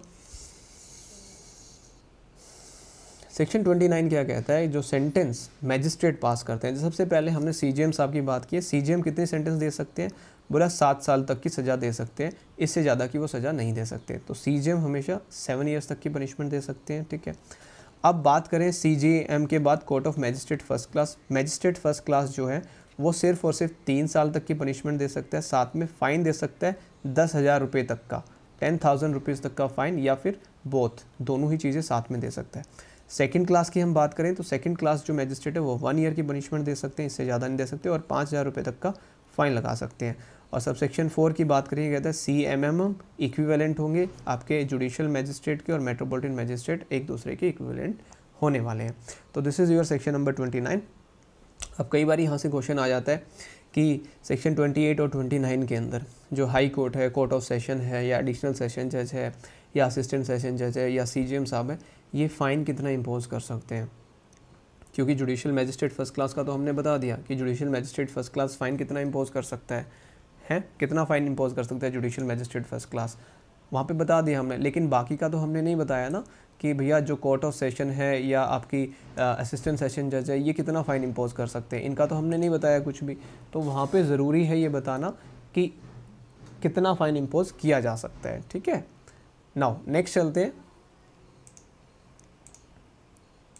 नेक्स्ट चलते हैं। ठीक है सेक्शन 29 के बाद section 30 very very important pre में काफ़ी बार क्वेश्चन आता है। सेक्शन 30 कहता है कि sentence of imprisonment in default of fine जो आपकी सेंटेंस है, आपने किसी को सेंटेंस दे दिया इम्प्रिजमेंट की, लेकिन वो अगर सेंटेंस नहीं काट रहा है, ठीक है फ़ाइन आपने लगाया तो उसको कितनी सज़ा आप दोगे? फॉर एग्जांपल मैंने आपके ऊपर पाँच सौ रुपये का फ़ाइन लगा दिया, आपने फ़ाइन पे नहीं किया है तो in default of payment of fine आपको कितनी पनिशमेंट दी जा सकती है? तो सेक्शन थर्टी साफ़ साफ़ कहता है कि कोई भी जो कोर्ट है, कोर्ट ऑफ़ मैजिस्ट्रेट, वो सेंटेंस दे सकती है अवॉर्ड कर सकती है, ठीक है imprisonment in default of payment of fine जो कि लॉ ने ऑथराइज़ की है। प्रोवाइडेड कहता है कि इन चीज़ों का ध्यान रखना, ये लिमिट है आपकी, कि आप, अगर आपको सेक्शन 29 ने ऑथराइज़ किया कि तीन साल तक की सज़ा दे सकते हो तो उससे ज़्यादा आप सज़ा नहीं दे सकते हो किसी भी व्यक्ति को।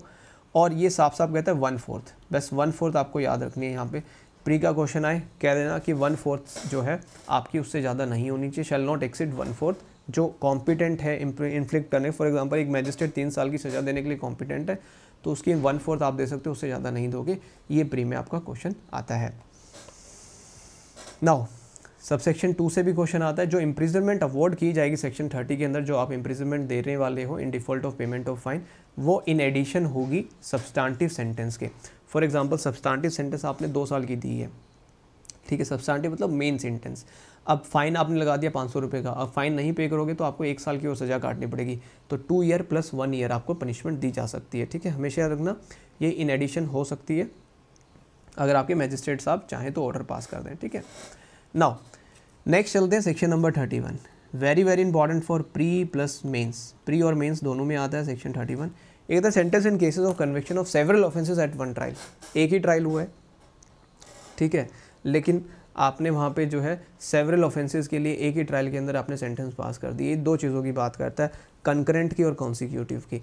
तो जनरली सेक्शन 31 के अंदर कैसे पनिशमेंट रन करेगी? कॉन्सिक्यूटिव चलेगी या कंकरेंट चलेगी? हाँ सांस तो चढ़ेंगी ना ऑब्वियसली नॉन स्टॉप चलेंगे, कोई बात नहीं, चलता रहेगा ऐसे। गाड़ी चलती रहेगी। अब एक बार कमेंट करके बताओ सेक्शन 31 के अकॉर्डिंग कॉन्सिक्यूटिव चलने वाली सेंटेंस जर्नली या कंकरेंट चलने वाली है?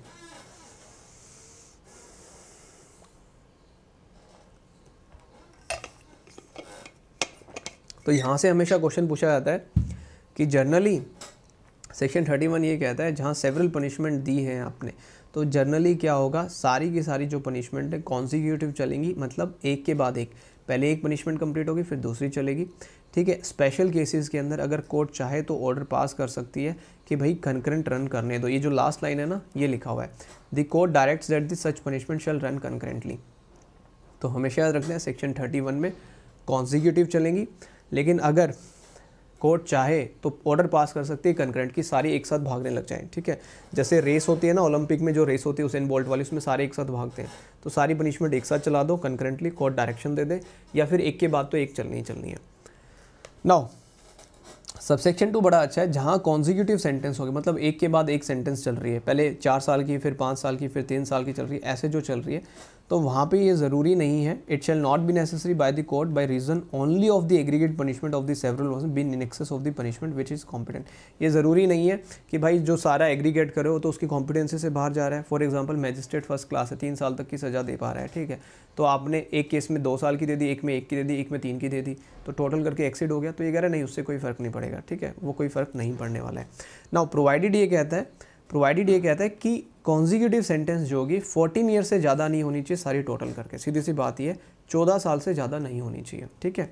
फॉर एग्ज़ाम्पल आपने दो, तीन केसेस में पनिशमेंट दे दी। एक में आपने दी तीन साल, एक में आपने दी चार साल, और एक में आपने दे दी पाँच साल। टोटल आप करोगे कितना हो गया? चार और पाँच, नौ, दस, ग्यारह, बारह। बारह साल होगी, चल जाएगी।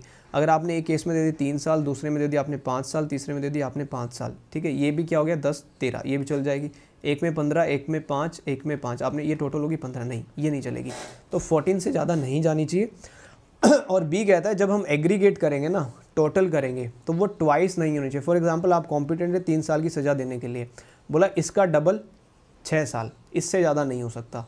तो मैक्सिमम ट्वाइस से ज़्यादा नहीं होगी। अगर आप थ्री ईयर की पनिशमेंट दे सकते हो, आप कॉम्पिटेंट है थ्री ईयर की पनिशमेंट देने के लिए, आप उसका डबल कर सकते हो। उससे ज़्यादा आप पनिशमेंट नहीं दे सकते हो। ठीक है? और ये कहता है, अगर अपील प्रेफर कर रहा है कन्विक्टेड पर्सन उस चीज़ के रिगार्डिंग तो जो एग्रीगेट कॉन्जिक्यूटिव सेंटेंस है, ठीक है, उसको सिंगल सेंटेंस माना गया है। फॉर एग्जांपल तीन केसेस थे, तीनों में सजा देगी एक में एक साल, एक में दो साल, एक में तीन साल। तो टोटल हमारी होगी छः साल। तो छः साल के अगेंस्ट आप जाएँगे, उसी को एक सिंगल सेंटेंस माना गया है सबसेक्शन थ्री के according so this is section number thirty one जो प्री में काफ़ी बार आता है मेन्स में भी काफ़ी बार आता है। नौ अब आगे चलते हैं हम लोग सेक्शन नंबर थर्टी टू के ऊपर।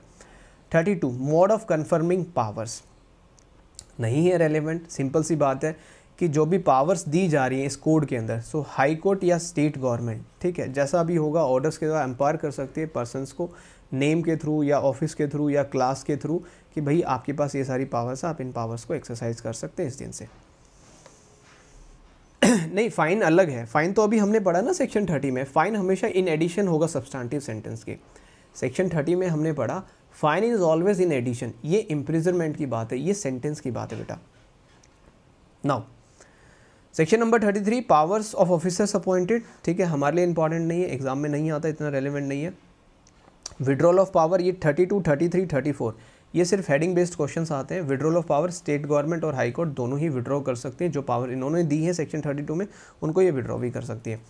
Now section number thirty five section number thirty five बहुत इंपॉर्टेंट है कि अगर एक व्यक्ति चला जाए मैं जज हूँ, मैं मजिस्ट्रेट हूँ, ठीक है? मैं अगर मेरी कोर्ट से चला गया, कहीं और ट्रांसफ़र हो गई है, या due to any of the reason मैं अपनी कोर्ट में नहीं हूँ, कोई और सक्सेसर आ रहा है तो वो सक्सेसर मेरी सेम पावर्स को एक्सरसाइज करेगा, है ना? ट्रांसफ़र होते रहते हैं। तो आज मैं हूँ, कल मैं नहीं रहूँगा इस कोर्ट में तो कोई और आएगा तो वो उस प्रकार से सक्सेसर इन ऑफ़िस बन जाएगा। तो सेक्शन थर्टी फाइव प्री के लिए आपको पढ़ना इससे ज़्यादा कुछ नहीं आएगा यहाँ से। Now come to chapter number four chapter number four हम पढ़ने जा रहे हैं। अभी हमने चैप्टर नंबर थ्री पढ़ा। चैप्टर नंबर थ्री में आपने पढ़ा पावर्स क्या क्या होंगी कोर्ट की, है ना? सबको क्लियर हो गया? सेक्शन ट्वेंटी सिक्स से थर्टी फाइव तक हमने पढ़ा पावर्स क्या क्या होंगी कोर्ट की। एक बार चैप्टर नंबर थ्री तक हमारा कंप्लीट हो गया। कमेंट करते जाओ चैप्टर नंबर वन किस चीज़ से डील करता था? कहाँ से कहाँ तक पढ़ा? जल्दी से रिवाइज कर लेते। अभी दूँगा ब्रेक एक मिनट का टेंशन मत लो। जल्दी से रिवाइज करो। चैप्टर नंबर वन प्रिलिमरी पढ़ा, कहाँ से कहाँ तक? सेक्शन वन से लेके सेक्शन फाइव तक। चैप्टर नंबर टू हमने पढ़ा। चैप्टर नंबर टू में हमने क्लासेस पढ़ी क्लासेस ऑफ़ क्रिमिनल कोर्ट कहाँ से कहाँ तक पढ़ी?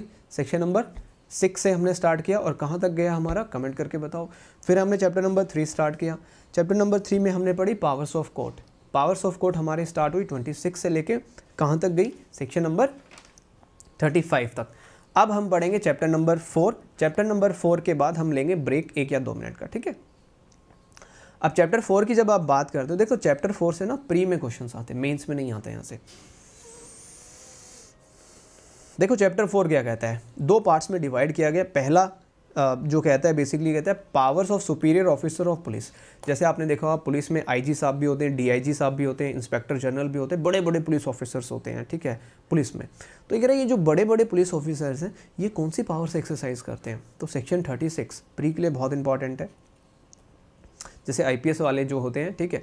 ये कहता है सेक्शन 36 कहता है कि जो पावर है सुपीरियर पुलिस ऑफिसर्स की, वो सेम पावर एक्सरसाइज करते हैं जो एक आपके officer in charge of a police station के पास होती है, जो एस एच साहब के पास जो पावर होती है, वही इनके पास होती है। अब आपसे कोई क्वेश्चन पूछ ले, क्या डीआईजी ऑफ़ पुलिस क्या I of police FIR register कर सकता है? बिल्कुल कर सकता है एज पर सेक्शन थर्टी है ना? तो हमेशा याद रखिएगा, जो पुलिस ऑफिसर है superior rank to an officer in charge of a police station same power exercise करेंगे। जो भी उनका लोकल एरिया होगा उसमें ठीक है? नाउ बी वाला पार्ट कहता है मैजिस्ट्रेट की मदद करना और पुलिस की मदद करना। एड मतलब हेल्प करना। मैजिस्ट्रेट को और पुलिस को कब आप हेल्प करने वाले हैं? As a general public section 37 pre में बहुत आता है यहाँ से क्वेश्चन ये कहता है पब्लिक कब असिस्ट करेगी? मैजिस्ट्रेट को एंड पुलिस को। सो so, हमेशा याद रखिएगा every person is bound to assist किसको? मैजिस्ट्रेट को और पुलिस को। कब? जब वो डिमांड करेंगे। मैजिस्ट्रेट आपको बोलेगा मदद करो। पुलिस वाला कहेगा कि भाई मेरी हेल्प करो। किस चीज़ में? तीन चीज़ें याद रखनी है। कहाँ पे कोई भाग रहा है, ठीक है, कोई ऑफेंडर भाग रहा है एनी पर्सन कोई भी भाग रहा है, जो मैजिस्ट्रेट और पुलिस जो है ऑथराइज उसको अरेस्ट करने के लिए, उसको पकड़ने में। दूसरा कहता है, कोई भी प्रिवेंशन या suppression of breach of peace breach of peace होने वाला है, उसको रोकने के लिए अगर आपकी मदद मांगी जा रही तो आप मदद करेंगे। सी कहता है कि कोई भी इंजरी कोज करना चाह रहा है, किसको रेलवे को कैनाल को, या टेलीग्राफ को, या पब्लिक प्रॉपर्टी को तो सी हमेशा याद रखिएगा, अगर कोई पब्लिक प्रॉपर्टी को डैमेज करना चाह रहा है तो आप यहाँ पे मैजिस्ट्रेट की या पुलिस की हेल्प करेंगे उस चीज़ को प्रोटेक्ट करने के लिए, ठीक है? पब्लिक प्रॉपर्टी प्राइवेट प्रॉपर्टी आ जाए तो गड़बड़ हो जाएगा, ठीक है? हाँ no private property section thirty eight very very important for pre देखो सेक्शन थर्टी एट क्या कहता है? Aid to person other than police officer executing warrant जब हम वारंट पढ़ेंगे तो वहाँ पे हम ये पढ़ेंगे कि वारंट जो है पुलिस ऑफिसर के अलावा एक प्राइवेट पर्सन भी एग्जीक्यूट करवा सकता है। सेक्शन थर्टी एट उसी के बारे में बात करता है। सेक्शन 38 कहता है कि जो वारंट है, वो डायरेक्ट किया जाएगा, ठीक है? अगर किसी प्राइवेट पर्सन को दिया जा रहा है और वो प्राइवेट पर्सन किसी अदर पर्सन की हेल्प मांग रहा है तो वो दूसरा व्यक्ति जो है उसकी हेल्प करेगा उस वारंट को एग्जीक्यूट करवाने के लिए। नाउ सेक्शन 39 सेक्शन 39 से आजकल क्वेश्चन पूछे जाने लग गए हैं प्री में। Public to give information of certain offences यहाँ पे जो ऑफेंसेज की लिस्ट है ये आपको बतानी पड़ेगी, याद करनी पड़ेगी। जितने भी पर्सनस हैं जिनको ये पता है, ठीक है, या उनको ये पता है किसी व्यक्ति की इंटेंशन है कि वो कोई भी ऑफेंस कमिट कर सकता है जो आईपीसी में दिए हुए हैं। ये सारे के सारे सेक्शंस ठीक है, ये आपको पता होनी चाहिए कि इन इन सेक्शंस की आपको क्या है इन्फॉर्मेशन देनी है, ठीक है। तो section thirty nine pre point of view से रट्टा मारना पड़ेगा सेक्शन थर्टी नाइन का exactly section forty again pre के लिए इंपॉर्टेंट है, ठीक है हेडिंग बेस्ड यहाँ से क्वेश्चन आता है। ये बात कर रहा है उन लोगों की ड्यूटी के बारे में जो विलेज के कामों से आपके कनेक्टेड हैं, जैसे सरपंच हो गए, पंच हो गए हैं, ठीक है।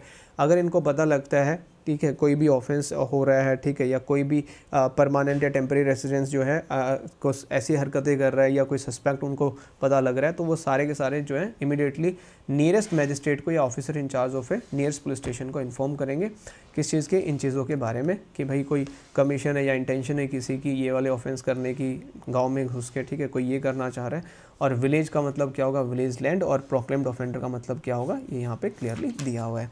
सो इसी के साथ हमारा चैप्टर नंबर फोर भी कंप्लीट हो गया, है ना? सो चैप्टर नंबर फोर भी कंप्लीट हो गया। अब एक बार ज़ोर से बता दो हाउ इज़ द जोश राइट नाउ कैसा है आप सबका जोश चैप्टर नंबर फोर तक हम कंप्लीट कर चुके हैं।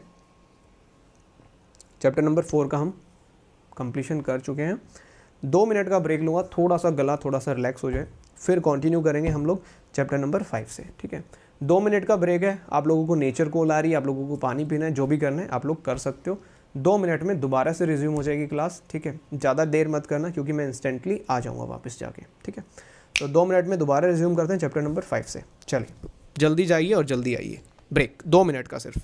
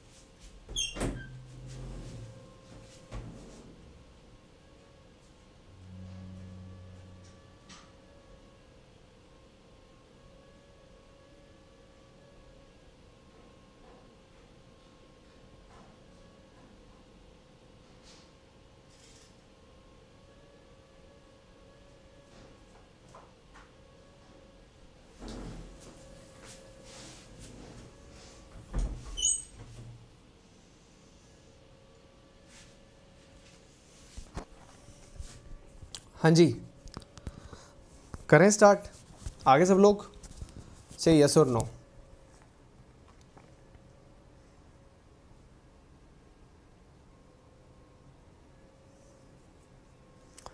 चलिए सो अगेन एक ही रिक्वेस्ट करूँगा। प्लीज़ सेशन को लाइक कर देना शेयर कर देना और चैनल को सब्सक्राइब ज़रूर कर लेना। अगर आप लोग चैनल को सब्सक्राइब नहीं करोगे तो ये जो मेहनत है, ये शायद मैं नेक्स्ट टाइम ना कर पाऊँ इतनी, ठीक है? लेकिन आज पूरी सी आर पी सी में करवाऊँगा। अगर आप लोगों का रिस्पॉन्स अच्छा रहा और चैनल पे सब्सक्राइब हुए, जो भी वीडियो देख रहा है इसको सब्सक्राइब ज़रूर करना। बस यार, इतनी ही हेल्प चाहता हूँ। पूनम बिश्नोई बिल्कुल कोशिश करूँगा, हिंदी में भी मैं आपको थोड़ा सा बता पाऊँ। वीडियो को लाइक कर दो और चैनल को सब्सक्राइब कर दो। चलिए तो स्टार्ट करते हैं चैप्टर नंबर फाइव से। सीपीसी भी करवा दूँगा डेफिनेटली करवा दूँगा। लेकिन बस एक प्रॉमिस करो कि इस वीडियो को शेयर लाइक और सब्सक्राइब ज़रूर करवाओगे चैनल को। लीगल पाठशाला यूट्यूब चैनल जो है, सब्सक्राइब करवा देना। हाँ हाँ कंप्लीट मैं करवाऊँगा। मैंने कह दिया तो मैंने कह दिया, मैं कंप्लीट करवाऊँगा सी चाहे रात के ग्यारह बज जाए, मैं करवाऊँगा आज। ठीक है, चैनल सब्सक्राइब होना चाहिए। ठीक है, मैं पूरी C R P C complete कराऊँगा चलिए चैप्टर नंबर फाइव की बात करते हैं। चैप्टर नंबर फाइव जो है चैप्टर नंबर फाइव हम पढ़ेंगे सेक्शन नंबर फोर्टी वन से लेकर सिक्सटी ए तक। काफ़ी चैप्टर इंपॉर्टेंट है ये। काफ़ी सारे क्वेश्चन प्री और मेन्स में पूछे जाते हैं।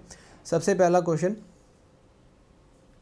section number forty one ठीक है section number forty one forty one pre plus mains दोनों में आता है। हमेशा याद रखिएगा when police may arrest without warrant हमने पढ़ा था, अगर आपको याद हो सेक्शन टू पढ़ा था। कॉग्निजेबल ऑफेंसेस में पुलिस वाला बिना वारंट के अरेस्ट कर सकते हैं। तो section 41 is always read with section number two C two C के साथ आप इसको पढ़ेंगे। प्री में भी आता है मेन्स में भी आता है। कोई भी पुलिस ऑफिसर बिना अरेस्ट वारंट के अरेस्ट कर सकता है किसी भी व्यक्ति को। अगर उस पर्सन ने उसके सामने कोई एक कॉग्निजेबल ऑफेंस कमिट किया है, या कोई रीजनेबल कंप्लेंट मिली है उसको, या फिर सबसे इंपॉर्टेंट जो है, वो ये है कि पुलिस ऑफिसर अरेस्ट क्यों कर रहा है? पुलिस ऑफिसर चाहता है कि कोई फर्दर ऑफेंस कमिट ना करे प्रॉपर इन्वेस्टिगेशन हो सके एविडेंसेस को डिसअपेयर ना किया जाए। So these are the basic object of arrest हम कह सकते हैं ये ऑब्जेक्ट हैं अरेस्ट के, कि इन इन कारणों की वजह से अरेस्ट किया जा सकता है, कि उसको रोका जाए, किसी विटनेस को धम, डराए ना, धमकाए ना, ठीक है? या फिर ई e पॉइंट कहता है, अगर हमने उसको अरेस्ट नहीं किया तो उसकी प्रेजेंस जो है हम कोर्ट में मार्क नहीं करवा पाएँगे कोर्ट में हम उसको लेके नहीं आ पाएँगे। So section 41 pre plus mains के लिए इंपॉर्टेंट है। जो पुलिस ऑफिसर है रिकॉर्ड करेगा रीज़न अपने राइटिंग में, ठीक है? हाँ धमकी ना दे। नाउ इसका प्रोवाइडेड ये कहता है कि कोई भी पुलिस ऑफिसर, ठीक है, जहाँ अरेस्ट नहीं कर रहा, ठीक है, उसको लगता है कि इसको अरेस्ट नहीं किया जाएगा तो अपने रीजंस रिकॉर्ड कर देगा कि मैंने अरेस्ट क्यों नहीं किया नाउ बी पॉइंट कहता है, ये कुछ पॉइंट्स हैं जहाँ जहाँ अरेस्ट कर सकते हो। बी कहता है, किसी व्यक्ति के रिगार्डिंग क्रेडिबल इन्फॉर्मेशन मिली है कि इसने कॉग्निजेबल ऑफेंस कमिट किया देखो, एक जनरल सी बात बताता हूँ। सेक्शन 41 कहता है कि जहाँ जहाँ कॉग्निजेबल ऑफेंस कमिट हो रहा है, वहाँ वहाँ पुलिस ऑफिसर जो है बिना अरेस्ट वारंट के अरेस्ट कर सकता है। सी पॉइंट कहता है प्रोक्लेम्ड एज एन ऑफेंडर मतलब स्टेट गवर्नमेंट ने या सीआरपीसी में उसको पीओ डिक्लेयर कर रखा है प्रोक्लेम्ड ऑफेंडर डिक्लेयर कर रखा है तो उस सिचुएशन में भी पुलिस वाला बिना वारंट के अरेस्ट कर सकता है। डी कहता है, अगर उसके पोजीशन में कोई चोरी की वस्तु, चोरी की प्रॉपर्टी पाई जाती है तो इन सिचुएशन में भी पुलिस वाला उसको अरेस्ट कर सकता है बिना वारंट के। ई e कहता है अगर वो पुलिस को ऑब्स्ट्रक्ट कर रहा है, उसकी पुलिस वाला ड्यूटी कर रहा है, ठीक है, उसके बाधा डाल रहा है तो इन डेट सिचुएशन पुलिस वह उसको अरेस्ट कर सकता है, ठीक है? नाउ एफ़ बड़ा इंपॉर्टेंट है। एफ़ कहता है डेजर्टर डेजर्शन आपने पढ़ा हुआ डेजर्टर का मतलब था भगोड़ा, भागा हुआ इंसान कहाँ से? आर्म फोर्सेज जो यूनियन की तीन ही आर्म फोर्सेज हैं एयर आपकी मिलिट्री होगी, ठीक है आर्मी होगी एयर होगी नेवल होगी। इन तीनों फोर्सेस में कोई भी भागा हुआ अगर मेंबर है आर्म फोर्सेज का तो उसको भी अरेस्ट किया जा सकता है बिना किसी अरेस्ट वारंट के। नाउ जी कहता है एक्स्ट्राडिशन के बारे में बात करता है। विजय माल्या की हम बात करें, ठीक है? जो व्यक्ति जो ऑफेंस करके इंडिया से बाहर चले गए हैं, ठीक है? उनको कस्टडी में लेने के लिए, उनको लेके अप्रियड करने के लिए, ठीक है? आप पकड़ सकते हो बिना किसी अरेस्ट वारंट के। विजय माल्या वाला एग्ज़ाम्पल अच्छा है। एच कहता है रिलीज़ कन्विक्ट है, जिसको कन्विक्शन मिली थी बट उसको अब रिलीज़ कर दिया गया है और रिलीज़ करने की वजह से सेक्शन 356 पढ़ेंगे, उससे बॉन्ड वगैरह भरवाते हैं कि भाई अपना एड्रेस आप टाइम टू टाइम अपडेट करते रहना। अगर वो सेक्शन 356 सब सेक्शन फाइव की ब्रीच करता है तो इन डेट सिचुएशन आप अरेस्ट करेंगे विदाउट वारंट की। और आई पॉइंट कहता है कि अगर किसी और पुलिस वाले ने आपसे रिक्वेस्ट की है, इसको अरेस्ट करो, उसको अरेस्ट करने के लिए तो आप फिर उसको अरेस्ट कर लेंगे। औरल भी हो सकती है रिटर्न रिक्वेस्ट भी हो सकती है। बस आप उसमें बता देंगे। रिक्वेजिशन आई है किसी और पुलिस वाले से कि इस व्यक्ति को अरेस्ट करना है तो आप अरेस्ट करेंगे बिना किसी वारंट के। नाउ सबसेक्शन टू कहता है कि किसी भी व्यक्ति को अरेस्ट नहीं किया जाएगा अगर उसने नॉन कॉग्निजेबल ऑफेंस कमिट किया है। ठीक है सेक्शन 41 में आप अरेस्ट नहीं करेंगे। आप 42 में अरेस्ट करेंगे। ठीक है विदाउट वारंट आप किसी भी नॉन कॉग्निजेबल ऑफेंस वाले व्यक्ति को अरेस्ट नहीं कर सकते सेक्शन 41 में। उसको आप सेक्शन 42 में ही अरेस्ट करने का काम करेंगे। नेक्स्ट चलते हैं हम लोग। नेक्स्ट आइए। 42 पे चलते हैं अब 42 क्या कहता है? आइए।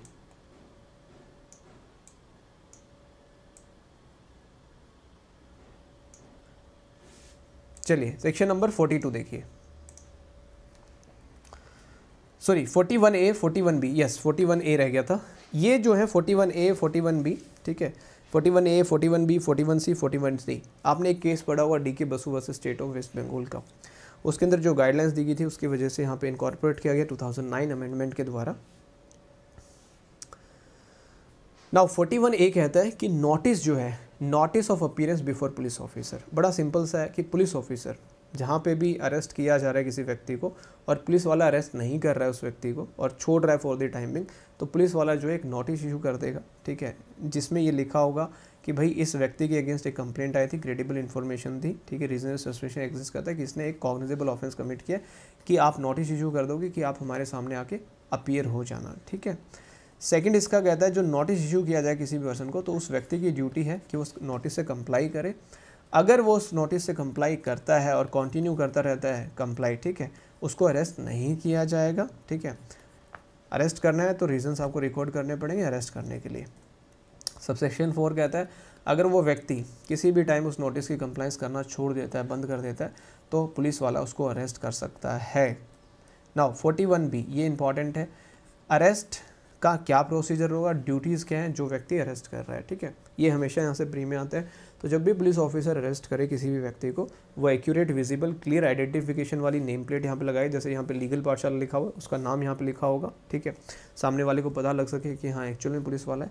वो एक मेमो ऑफ़ अरेस्ट बनाएगा और मेमो ऑफ़ अरेस्ट से क्वेश्चन आता है और मेमो ऑफ़ अरेस्ट के ऊपर एटलीस्ट एक विटनेस जो होगा, उसके क्या होंगे? साइन होंगे। वो विटनेस फैमिली मेंबर भी हो सकता है उसका, या कोई रिस्पेक्टेबल मेंबर हो सकता है उस एरिया का, उस लोकेलिटी का। ये आपका प्री का क्वेश्चन है। सी कह, थर्ड कहता है काउंटर साइन किया जाएगा पर्सन अरेस्टेड के द्वारा। ठीक है, कोई भी पर्सन अरेस्ट किया गया है, उस खुद को वो भी साइन करेगा मेमो ऑफ़ अरेस्ट के ऊपर। हमेशा याद रखिए, दो चीज़ें मेमो ऑफ़ अरेस्ट के ऊपर होंगी, एक विटनेस के साइन होंगे, दूसरा जिस व्यक्ति को अरेस्ट किया गया, वो उस पर साइन करने वाला है। ठीक है सी कहता है इन्फॉर्म किया जाएगा अरेस्टेड पर्सन को कि उसके ग्राउंड से ठीक है he has right to have relative अपने फ्रेंड को इन्फॉर्म कर सकता है कि भाई मुझे अरेस्ट कर लिया गया। ठीक है ऐड का क्या करें? बीच बीच में अब आ रही, मैंने तो बंद भी कर रखी है, लेकिन फिर भी आ रही है तो क्या कर सकते हैं? थोड़ी बहुत ऐड आ रही है सह लो थोड़ा सा, क्या करें? Now forty one C pre में आता है सी फॉर कंट्रोल रूम तो हर एक डिस्ट्रिक्ट के अंदर कंट्रोल रूम स्टैब्लिश किए जाएँगे, जिसको पीसीआर आप कहते हो ना कि पीसीआर आ गई है, पुलिस वाली, पुलिस कंट्रोल रूम पीसीआर आ गई है, ठीक है? चलती फिरती मोबिलिटी पीसीआर होती है वो। तो पुलिस कंट्रोल रूम जो है हर एक डिस्ट्रिक्ट में, हर एक स्टेट लेवल पे आपके कॉन्स्टिट्यूट किए जाएँगे। मुझे तो नहीं आ रही है। चलो अच्छा जिसको नहीं आ रही, उसको अच्छा जिसको आ रही है, सह लो थोड़ा सा स्टेट गवर्नमेंट क्योंकि थोड़ा बहुत फ्री का कंटेंट है, थोड़ा बहुत उसमें ऐड आ गई तो क्या दिक्कत है है ना? चलिए, देखिए तो स्टेट गवर्नमेंट आपको अलाउ करेगी कि आप डिस्प्ले करें, ठीक है? जो एक बोर्ड लगाओ कंट्रोल रूम के बाहर नेम एंड एड्रेस उन व्यक्तियों का जिनको आपने अरेस्ट कर रखा उनका नाम डेजिग्नेशन किसने अरेस्ट किया? ठीक है, जितने भी कंट्रोल रूम होंगे, ठीक है at the police headquarter of state level वो कलेक्ट करेंगे टाइम टू टाइम डिटेल्स किन किन को अरेस्ट किया गया, किन किन ऑफेंसेज में किया गया सो एक डाटा जो है तैयार कर सके। फोर्टी वन डी सबका favourite question right of arrested person कि अपने एडवोकेट से मिलने का उसके पास राइट है ड्यूरिंग इंटरोगेशन यहाँ से क्वेश्चन पूछा जाता है कि कोई भी व्यक्ति अरेस्ट किया गया है, उसके पास राइट है कि वो अपनी चॉइस के एडवोकेट से मिल सकता है लेकिन ड्यूरिंग इंटेरोगेशन इंटेरोगेशन के दौरान दाओ नॉट थ्रू इंटेरोगेशन ये बड़ा इंपॉर्टेंट है। ठीक है, पूरी इंटेरोगेशन के दौरान नहीं बीच बीच में आप इंटेरोगेशन के दौरान मिल सकते हो। ये मतलब नहीं है कि आप सारे चौबीस घंटे मिलते रहोगे, नहीं, ऐसा नहीं होगा।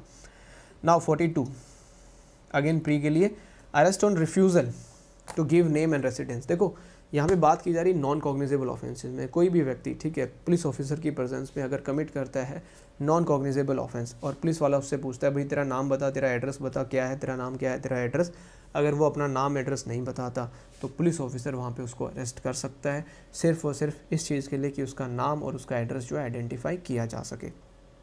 नाउ सबसेक्शन टू कहता है, जब भी आपको उसका नाम और एड्रेस पता लग जाएगा, आप उसको रिलीज़ कर देंगे।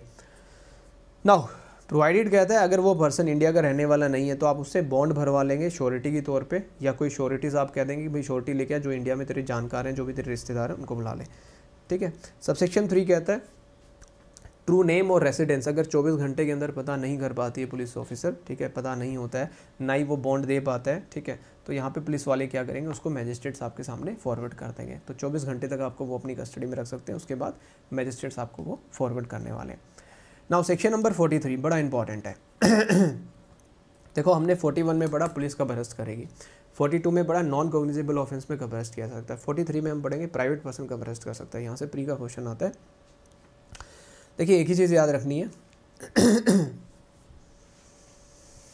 देखो, एक ही चीज़ याद रखनी है कि कोई भी प्राइवेट पर्सन है अरेस्ट कर सकता है, ठीक है? अगर उसकी प्रेजेंस में क्या हुआ, एक non bailable plus cognizable offence एक चीज़ याद रखिए non bailable plus cognizable offence commit हुआ है, या फिर कोई प्रोक्लेम्ड ऑफेंडर है। दो सिचुएशंस ऐसी हैं जहाँ प्राइवेट पर्सन जो है अरेस्ट कर सकता है किसी भी व्यक्ति को, जहाँ पे non bailable plus cognizable offence commit हुआ है या फिर प्रोक्लेम्ड ऑफेंडर है। ठीक है?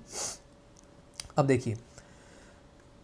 If there is reason to believe that such person comes अगर ऐसा लगता है कि वो जो व्यक्ति जिसको प्राइवेट पर्सन ने अरेस्ट किया, वो तो सेक्शन 41 में फॉल कर रहा है तो पुलिस वाला जो है उसको दोबारा से री अरेस्ट कर लेगा। ठीक है? अगर ऐसा लगता है कि भाई उसने तो नॉन कॉग्निजेबल ऑफेंस कमिट किया और पुलिस ने जब उससे पूछा, नाम पता क्या है, उसका उसने नहीं बताया तो आप सेक्शन 42 के अकॉर्डिंग उसको अरेस्ट कर लेंगे। अगर उसने नाम पता बता दिया तो आप उसको रिलीज़ कर देंगे।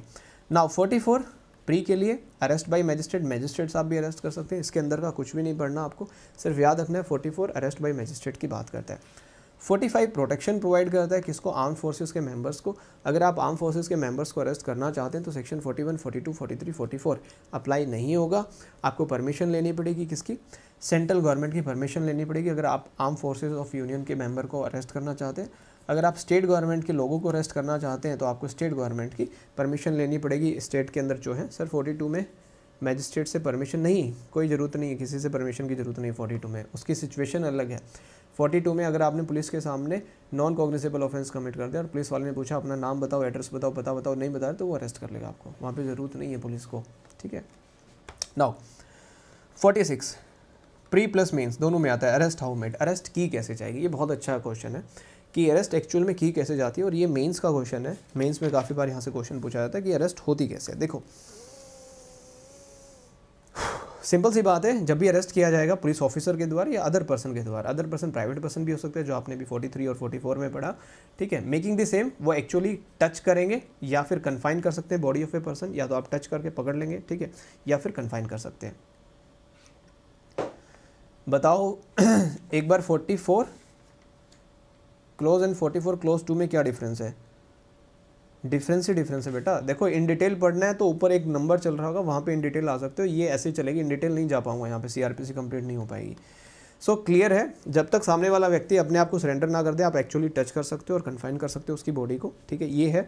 अब प्रोवाइडेड कहता है कि अगर किसी महिला को अरेस्ट करना आप देखो किसी महिला को आप ऐसे टच तो करने वाले नहीं हो ठीक है? आप अरेस्ट तो नहीं करने वाले हो क्योंकि आपको उनकी डिसेंसी का ध्यान रखना है।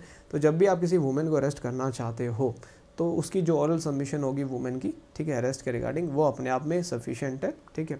अगर फिर भी नहीं मान रही है तो कोई पुलिस ऑफिसर जो फीमेल पुलिस ऑफिसर है, वो उसको अरेस्ट कर सकती है। अदर पुलिस ऑफिसर उसको टच नहीं करेगा महिला को, ठीक है। नाउ अब ये बड़ा अच्छा सबसेक्शन टू अगर कोई भी व्यक्ति रिसिस्ट कर रहा है, ठीक है अरेस्ट नहीं होना चाह रहा, ठीक है, या भाग रहा है तो पुलिस ऑफिसर जो है या अदर पर्सन जो हैं, ठीक है, वो यूज़ कर सकते हैं all necessary means to effect arrest उसको अरेस्ट करने के लिए किसी भी चीज़ का उपयोग किया जा सकता है। अब सबसेक्शन टू थ्री जो है, बड़ा अच्छा है। ये इनडायरेक्टली एनकाउंटर की बात करता है। सबसेक्शन थ्री कहता है कि भैया, जो सबसेक्शन टू में आपको बताया गया कि आप कोई भी नेसेसरी मीन्स यूज़ कर सकते हो। सबसेक्शन थ्री कहता है कि भैया, आपको section number forty six arrest करने के लिए कोई राइट नहीं देता कि आप सामने वाले की डेथ कोज कर दो। लेकिन किस केस के अंदर? ये कहता है a right to cause death of a person who is not accused of an offence punishable with death imprisonment for life कहने का मतलब क्या है? अगर सामने वाले व्यक्ति ने कोई एक ऐसा ऑफेंस कमिट किया जिसकी पनिशमेंट डेथ है या लाइफ है तो इनडायरेक्टली आप वहाँ पे एनकाउंटर कर सकते हो। अगर लाइफ और डेथ नहीं है तो आप उसकी डेथ कोज नहीं कर सकते हो, ठीक है? तो सबसेक्शन थ्री बड़ा इंपॉर्टेंट है। सबसेक्शन फोर अगेन प्री में आता है। अगर किसी को आप सूर्य उदय होने से पहले और सूर्य अस्त होने के बाद अगर आप किसी को अरेस्ट करना चाहते हो तो एक बार कमेंट करके बताओ किसकी परमिशन लेनी पड़ेगी। जल्दी से बता दो कमेंट करके किसकी परमिशन लेनी पड़ेगी। अगर आप किसी को सूर्य अस्त होने के बाद और सूर्य उदय होने से पहले अरेस्ट करना चाहते हो तो आपको किसकी परमिशन लेनी पड़ेगी? फटाक से मुझे कमेंट करके बता दीजिए। जल्दी से बता दीजिए किसकी परमिशन आपको लेनी पड़ेगी। डन बिल्कुल ठीक है। नेक्स्ट चलते हैं। जुडिशियल मैजिस्ट्रेट फ़र्स्ट क्लास की यही आपका प्री में क्वेश्चन आता है। Now section number forty seven section number 47 section number 47 कहता है search of place entered by person sought to be arrested for example हमने अभी 46 में पढ़ा कि कैसे आप अरेस्ट करोगे। किसी व्यक्ति को आप अरेस्ट करना चाहते हो भाग के किसी घर में घुस गया है, ठीक है? भाग के किसी घर में घुस गया तो अब आप उसको कैसे अरेस्ट करने वाले तो सेक्शन फोर्टी कहता है, दया दरवाज़ा तोड़ो। आपने देखा है ए सी वाला सीबीआई आता था, दया दरवाज़ा तोड़ो। तो सेक्शन फोर्टी आपको अलाउ करता है, आप उस व्यक्ति का पीछा कर सकते हैं, जिस घर में वो घुसा है, आप उस घर में घुस सकते हैं। उस घर में घुस के आप उस व्यक्ति को अरेस्ट कर सकते हैं। और यहाँ पे एक फीमेल महिला का बात करता है कि अगर वो घर जो है किसी महिला के ऑक्यूपेंसी में तो आप उसको थोड़ा सा एक टाइम देंगे कि वो महिला वहाँ से निकल जाए और कोई भी ऑफिसर जो है दरवाज़ा तोड़ के अंदर घुस के उसको अरेस्ट कर सकता है। फोर्टी सेवन सिंपल से। Forty eight again forty eight pre के लिए है, ठीक है? अगर जो ऑफेंडर है वो किसी अदर जुरिडिक्शन में चला जाए तो जो पुलिस ऑफिसर है अरेस्ट करने के लिए बिना वारंट के उस पर्सन को परसू कर सकता है into any place in India पूरे भारत में आप कहीं पे भी परसू कर सकते हो। फोर्टी नाइन कहता है कि अगर आप किसी व्यक्ति को अरेस्ट करना चाहते हो ठीक है? आप उसको ज़्यादा रिस्ट्रेन नहीं करेंगे। रिस्ट्रेन मतलब आप बेल नहीं बांधेंगे, जकड़ेंगे नहीं उसको, ठीक है? तो जितना ज़रूरी है, जैसे हाथ में हाथ डाल के आप उसको ले आएँगे, ठीक है? अननेसेसरी रिस्ट्रेन नहीं होना चाहिए कि पूरे ऐसे बेलों से नहीं बांधना है, रस्सियों से नहीं बांधना है उसको, ठीक है? हैंड कफिंग नहीं करनी उसको रिक्वायरमेंट नहीं है तो। नाउ सेक्शन फिफ्टी बड़ा अच्छा है। सेक्शन फिफ्टी कहता है कि पुलिस वाला भी बेल आपको दे सकता है। देखिए सेक्शन फिफ्टी के बारे में क्या करते हैं। सेक्शन 50 कहता है person arrested to be informed of grounds of arrest and of right to bail देखो सेक्शन 50 कहता है कि जो भी पर्सन अरेस्ट किया जाएगा, ठीक है? आप उसको ग्राउंड बताएँगे कि भैया आपको किन ग्राउंड पे अरेस्ट किया गया और आपका राइट लेने बेल लेने का अधिकार है। देखिए, कोई भी पुलिस ऑफिसर या कोई भी पर्सन है जो अरेस्ट कर रहा है किसी भी व्यक्ति को बिना वारंट के, ठीक है? आप इमीडिएटली उसको बताएँगे कि भैया इन इन वजह से आपको अरेस्ट किया जा रहा है और आपके जो ग्राउंड्स ऑफ़ अरेस्ट हैं, ये हैं। सबसेक्शन टू कहता है, जहाँ पुलिस ऑफिसर अरेस्ट कर रहा है बिना वारंट के, किसी भी पर्सन को other than a person of accused of non bailable offence please underline this word अगर आपने किसी एक व्यक्ति को अरेस्ट किया है, जिसने ऑफेंस कमिट किया है, और वो ऑफेंस कैसा है? बेलेबल ऑफेंस है. तो उस केस में क्या होगा? बेलेबल ऑफेंस के केस में पुलिस वाला उस पर्सन अरेस्टेड को इन्फॉर्म करेगा कि भैया, आपके पास राइट है, आप बेल पे रिलीज़ हो सकते हो. आपने अपनी श्योरिटीज़ लिया, मैं आपको यहीं पे छोड़ दूँगा बेल पे. तो bail by police is provided under section 50 clause two 50 A obligation of person making arrest to inform about the arrest etcetera to be nominated person बड़ा अच्छा है कि कोई भी पुलिस ऑफिसर या कोई भी अदर पर्सन अगर अरेस्ट कर रहा है सीआरपीसी के अंदर तो इमीडिएटली वो बताएगा कि अरेस्ट करके आपको कहाँ लेके जाया जा रहा है किसको बताएगा उसके फ्रेंड्स को रिलेटिव्स को या कोई भी पर्सन जिसको उसने नॉमिनेट किया उनको बताएगा और पुलिस ऑफिसर इन्फॉर्म करेंगे अरेस्टेड पर्सन को उसके राइट्स क्या हैं जैसे उसको पुलिस स्टेशन में लाया जाएगा ठीक है सबसेक्शन थ्री कहता है, जो भी एंट्री है, पूरी की पूरी लिखी जाएगी, जो भी एक फैक्ट वगैरह है कि भाई कैसे अरेस्ट किया गया, एक बुक है जो कि पुलिस स्टेशन में होती है, उसमें आप मेंशन करेंगे। नाउ अब आइए 53 51 sorry 51 search of arrested person आपने किसी व्यक्ति को अरेस्ट कर लिया है 46 के अकॉर्डिंग अब आप उसको सर्च करने वाले हैं, ठीक है? ये कहता है, जब कभी भी कोई भी पर्सन अरेस्ट किया जाएगा, पुलिस के द्वारा 51 सिर्फ़ और सिर्फ़ पुलिस ऑफिसर की बात करता है, और किसी की बात नहीं करता। सिर्फ़ पुलिस ऑफिसर की ठीक है? जब कभी भी कोई भी पुलिस वाला जो है अरेस्ट करेगा 51 के अंदर ठीक है? यहाँ पे कहता है अंडर ए वारंट मतलब वारंट के साथ which does not provide for taking bail मतलब नॉन बेलेबल वारंट एनबीडब्ल्यू की बात की जा रही है। नॉन बेलेबल वारंट है पुलिस वाले के पास आपको अरेस्ट कर लिया पुलिस वाले ने ठीक है? और या फिर कोई एक ऐसा वारंट है जो बेल के बारे में बात करता है मतलब बेलेबल वारंट तो non bailable plus bailable warrant दोनों की बात करता है सेक्शन 51 सो so, जो भी पर्सन अरेस्ट किया गया है ठीक है? उस केस में क्या होगा? Where person arrested without warrant बिना वारंट के किया गया है। और by a private person under a warrant private person ने किया वारंट के तहत किया। Cannot be legally admitted to bail और is unable to furnish bail तो यहाँ पे क्लियरली लिखा गया है कि जो ऑफिसर अरेस्ट कर रहा है, जब भी अरेस्ट किया जाएगा प्राइवेट पर्सन के द्वारा, ठीक है, वहाँ पे क्या होगा? सर्च करेंगे आप उस पर्सन को। और जो भी सामान होगा, जो भी आर्टिकल्स होंगे, उसके कपड़ों छोड़ देना, जो कपड़े पहन रखे वो मत निकालना भाई उसके। बाकी जो भी सामान उसके पास मिलेगा, आप उसको सीज़ करके एक रिसिप्ट बना के आर्टिकल्स की, वो वहाँ पे आप जमा कर लेंगे। और जहाँ पे भी ज़रूरत पड़ेगी फ़ीमेल को सर्च करने की तो आप कोशिश करेंगे कि अदर फीमेल जो ऑफिसर है, वही उसको सर्च करें। Now fifty two power to seize offensive weapon कोई भी ऑफिसर या अदर पर्सन जो अरेस्ट कर रहा है सीआरपीसी के अंदर, ठीक है? जितने भी पर्सन अरेस्टेड के पास कोई भी ऑफेंसिव वेपन मिलेगा, आपको लगता है कि ऑफेंसिव वेपन है, ठीक है, आप उसको सीज कर सकते हैं और डिलीवर कर सकते हैं ऑफेंसिव वेपन को कोर्ट में या किसी ऑफिसर को, ठीक है, जिसके सामने आपने उसको प्रोड्यूस किया। तो fifty two generally heading heading है। फिफ्टी थ्री प्री के लिए बहुत important examination of accused by medical practitioner at the request office accused का एग्जामिनेशन कोई भी एक्यूज है, किसी भी ऑफेंस के रिगार्डिंग उसका एग्जामिनेशन किसके द्वारा करवाया जा रहा है? मेडिकल प्रैक्टिसनर के द्वारा करवाया जा रहा है on the request of officer not below the rank of sub inspector ये आपको याद रखना है कि सब इंस्पेक्टर से नीचे वाला पुलिस ऑफिसर नहीं होना चाहिए, उसकी रिक्वेस्ट के ऊपर, ठीक है? उसकी रिक्वेस्ट के ऊपर मेडिकल एग्जामिनेशन करवाया जाएगा, ठीक है? यही आपको यहाँ पे याद रखना है। रजिस्टर्ड मेडिकल प्रैक्टिस होगा। किसकी रिक्वेस्ट पे? पुलिस ऑफिसर की who is not below the rank of sub inspector ठीक है? और ये क्यों किया जा रहा है ताकि हम एविडेंसेस कलेक्ट कर सकें, ठीक है? अब ये कह रहा है किसी भी महिला को एग्जामिन करना है तो महिला जो फीमेल रजिस्टर्ड मेडिकल प्रैक्टिस होगी, उसी की आप देख रेख में एग्जामिन करेंगे। अब यहाँ पे एक्सप्लेनेशन में सारे एग्जामिनेशन इन्होंने दिए हुए हैं कि आप ब्लड का स्टेन का सीमन का डीएनए प्रोफाइलिंग सब कुछ आप करवा सकते हो यहाँ पे, ठीक है? सारे के सारे एग्जामिनेशन अलाउड है सेक्शन 53 के अकॉर्डिंग नाउ 53 ए ये बात करता है एक्यूज ऑफ़ रेप देखो 53 नॉर्मल एक्यूज की बात करता है 53 ए कहता है एक्यूज ऑफ़ रेप अगर कोई एक्यूज ऑफ़ रेप है तो यहाँ पे एक चीज़ याद रखनी है सिक्सटीन किलोमीटर का रेडियस आपको याद रखना है, ठीक है?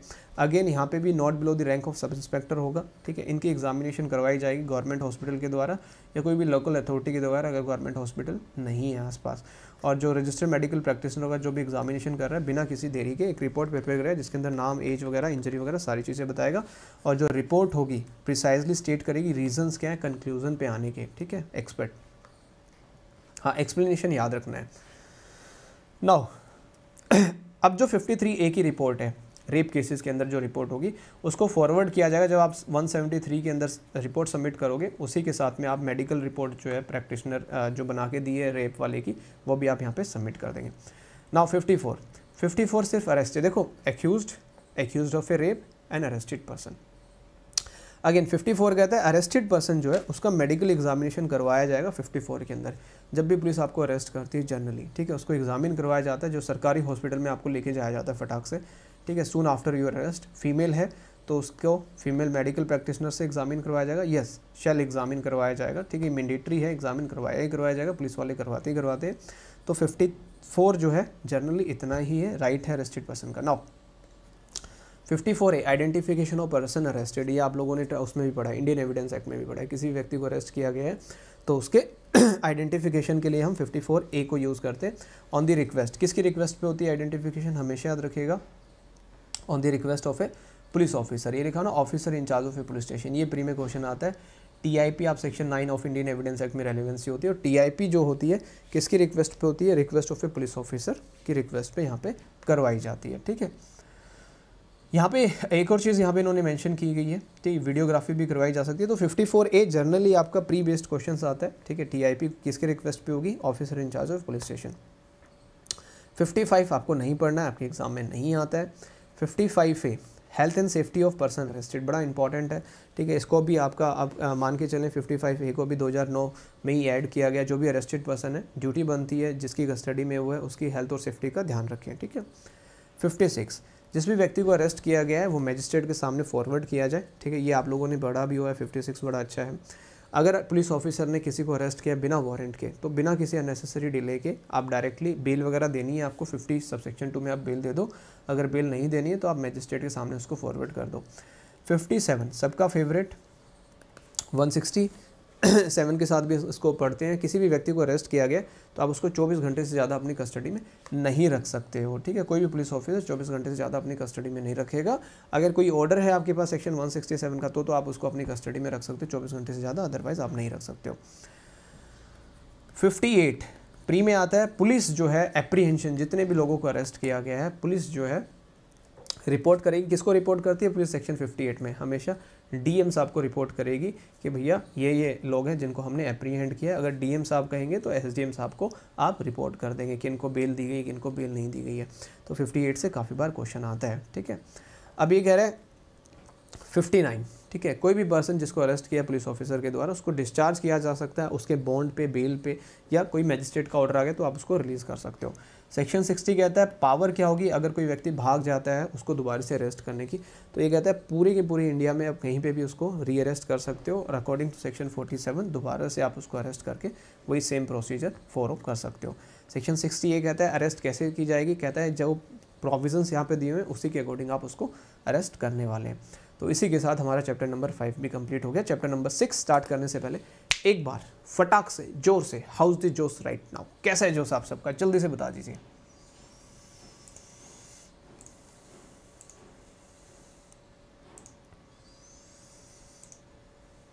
आज मैं पूरी सीआरपीसी करवाऊँगा, चाहे रात के दो बज जाए, मुझे उससे कोई फ़र्क नहीं पड़ता। अब अब ठान लिया तो ठान लिया, अब तो मतलब सिस्टम करना है तो करना है ना?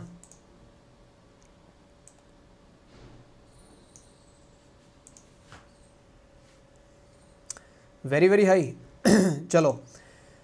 हमने टोटल कर लिए हैं अपने चार, पाँच चैप्टर कंप्लीट अब पाँच चैप्टर एक बार क्विक रिवाइज करते हैं। चैप्टर नंबर वन कहाँ से कहाँ तक पढ़ा? कमेंट करके बता दो फटाक से।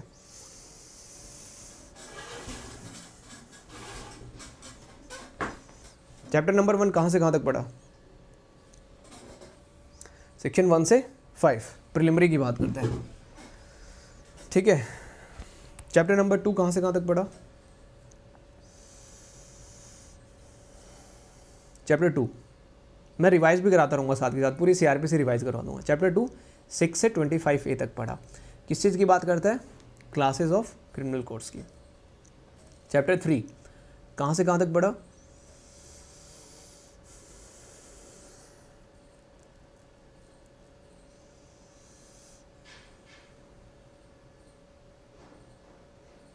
चैप्टर थ्री हमने पढ़ा ट्वेंटी सिक्स से लेके thirty five classes of criminal courts होगी, फिर हमने पढ़ी पावर्स ऑफ़ कोर्ट ठीक है? फिर चैप्टर थ्री के बाद हमने पढ़ा chapter number four chapter four किस चीज़ के बारे में पढ़ा? जल्दी से बताओ चैप्टर फोर किस चीज़ के बारे में पढ़ा? पावर्स होगी पावर्स के बाद हमने चैप्टर फोर किस चीज़ के बारे में पढ़ा है?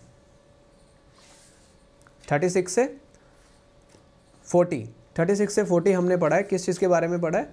Aid to police and magistrate ठीक है? चैप्टर नंबर हो गया? Aid to police and magistrate, chapter number four हो गया, और फिर हमने पढ़ा चैप्टर नंबर फाइव, जो अभी हमने ख़त्म किया है। चैप्टर नंबर फाइव हमने पढ़ा है, सेक्शन नंबर फोर्टी वन से लेके, फोर्टी वन से लेके सिक्सटी ए तक। अरेस्ट के रिगार्डिंग, ठीक है? अरेस्ट कैसे की जाएगी, कौन कर सकता है, कब कर सकता है? नाउ,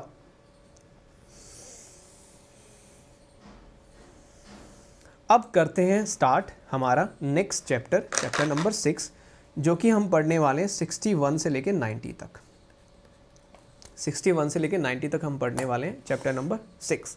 मैं दोबारा से कह रहा हूँ, अगर आप इस वीडियो को रिकॉर्डेड भी देख रहे हैं, लाइव भी देख रहे हैं और चैनल सब्सक्राइब नहीं किया तो भाई प्लीज़ रिक्वेस्ट कर रहा हूँ, चैनल सब्सक्राइब कर लो। पूरी जी जान लगा दी मैंने आज आप लोगों के लिए, ठीक है? और अभी लगाता ही जाऊँगा तो चैनल सब्सक्राइब ज़रूर कर लेना, ठीक है?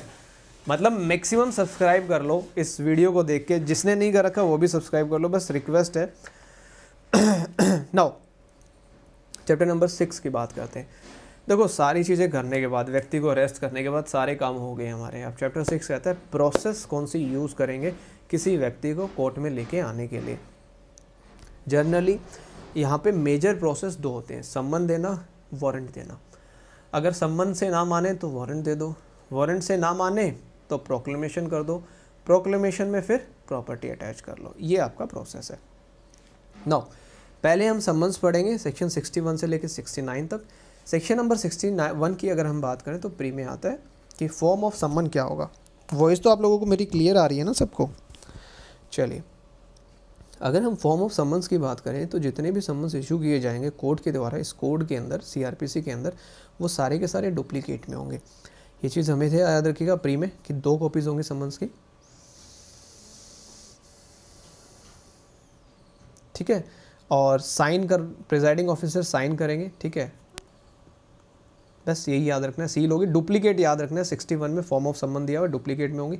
सम्मन कैसे सर्व किए जाएँगे? जनरली जितने भी सम्मन्स होते हैं पुलिस ऑफिसर के द्वारा सर्व किए जाते हैं। अनलेस अनटिल कोई भी स्टेट गवर्नमेंट जो है, कोई अलग से रूल बना दे तो जो ऑफिसर है कोर्ट इशू कर रहा है सम्मन्स को, या अदर पब्लिक सर्वेंट है, वो भी सम्मन जो है सर्व कर सकता है। जो समन होंगे प्रैक्टिकली हमेशा याद रखिए पर्सनली दिए जाएँगे, जिस व्यक्ति को आप बुलाना चाहते हो, उसको दे दो डुप्लीकेट्स में से एक भी। ठीक है? हर एक व्यक्ति जिसको सम्मन सर्व किए जाएँगे, अगर सर्विंग ऑफिसर कह रहा है कि भी साइन कर दे, इसके बैक पे रिसिप्ट करके तो आप साइन कर देंगे। 63 प्री के लिए हेडिंग हेडिंग पढ़नी है कि अगर कॉर्पोरेट बॉडीज़ या सोसाइटीज़ को सम्मन देना चाहते हो तो जो उनके चीफ ऑफिसर होंगे कॉरपोरेशन ऑफ़ इंडिया के, उनको आप सम्मन पहुँचा दो, वो अपने आप कर देंगे। नाउ सेक्शन 64 अगेन प्री में आता है service when person summon cannot be found कोई व्यक्ति मिल ही नहीं रहा है तो हम उसकी सर्विस कैसे करवाएँ समन्स की? बड़ा सिंपल सा ये कहता है, आप एक काम करो, उसका जो मेल मेंबर है उसकी फैमिली का मेल मेंबर यहाँ पे रखना है, ठीक है? Adult male member adult male member को दे दो और उससे रिसिप्ट के ऊपर साइन करवा लाओ, ठीक है? सीपीसी में किसी को भी दे सकते हो सीआरपीसी में सिर्फ़ अडल्ट मेल मेंबर को दे सकते हो, ठीक है? और सर्वेंट जो है मेंबर नहीं है फैमिली का, ये चीज़ याद रखिएगा। सेक्शन 65 की हम बात करें अगेन प्री के लिए इंपॉर्टेंट है। सेक्शन 65 कहता है कि भाई 62 के अकॉर्डिंग 63 के अकॉर्डिंग या 64 के अकॉर्डिंग अगर सर्विस नहीं हो पाती है समन्स की तो हम सर्विस कैसे करवाएँगे? ये ये कहता है basically substituted service of summons ये कहता है आप एक काम करो, जो समन्स है वो चिपका दो। कहाँ पे चिपका दो? उसके घर के आसपास चिपका दो, ठीक है? जहाँ वो रहता है, वहाँ चिपका दो, ठीक है? वो सारी जगह पे चिपका के समन्स वो कर दो। और कोर्ट को ऐसा लगता है कि भाई समन्स सर्व नहीं हो पाए तो कोर्ट या तो डिक्लेयर कर देगा समन्स रीडूली सर्विस होगी, या कोर्ट दोबारा से फ्रेश समन्स इशू कर देगा। सिक्सटी सिक्स कहता है कि अगर आप गवर्नमेंट सर्वेंट को समन देना चाहते हैं, जो एक्टिव सर्विस में, जो अभी सरकार में काम कर रहा है तो जो भी कोर्ट समन सर्व इशू कर रही है, वो क्या करेगी? जो हेड ऑफ़िस है, उसका डिपार्टमेंट का उसमें भेज देगी तो हेड ऑफ़िस वाले उसको सम्मन की सर्विस करवा देंगे, ठीक है?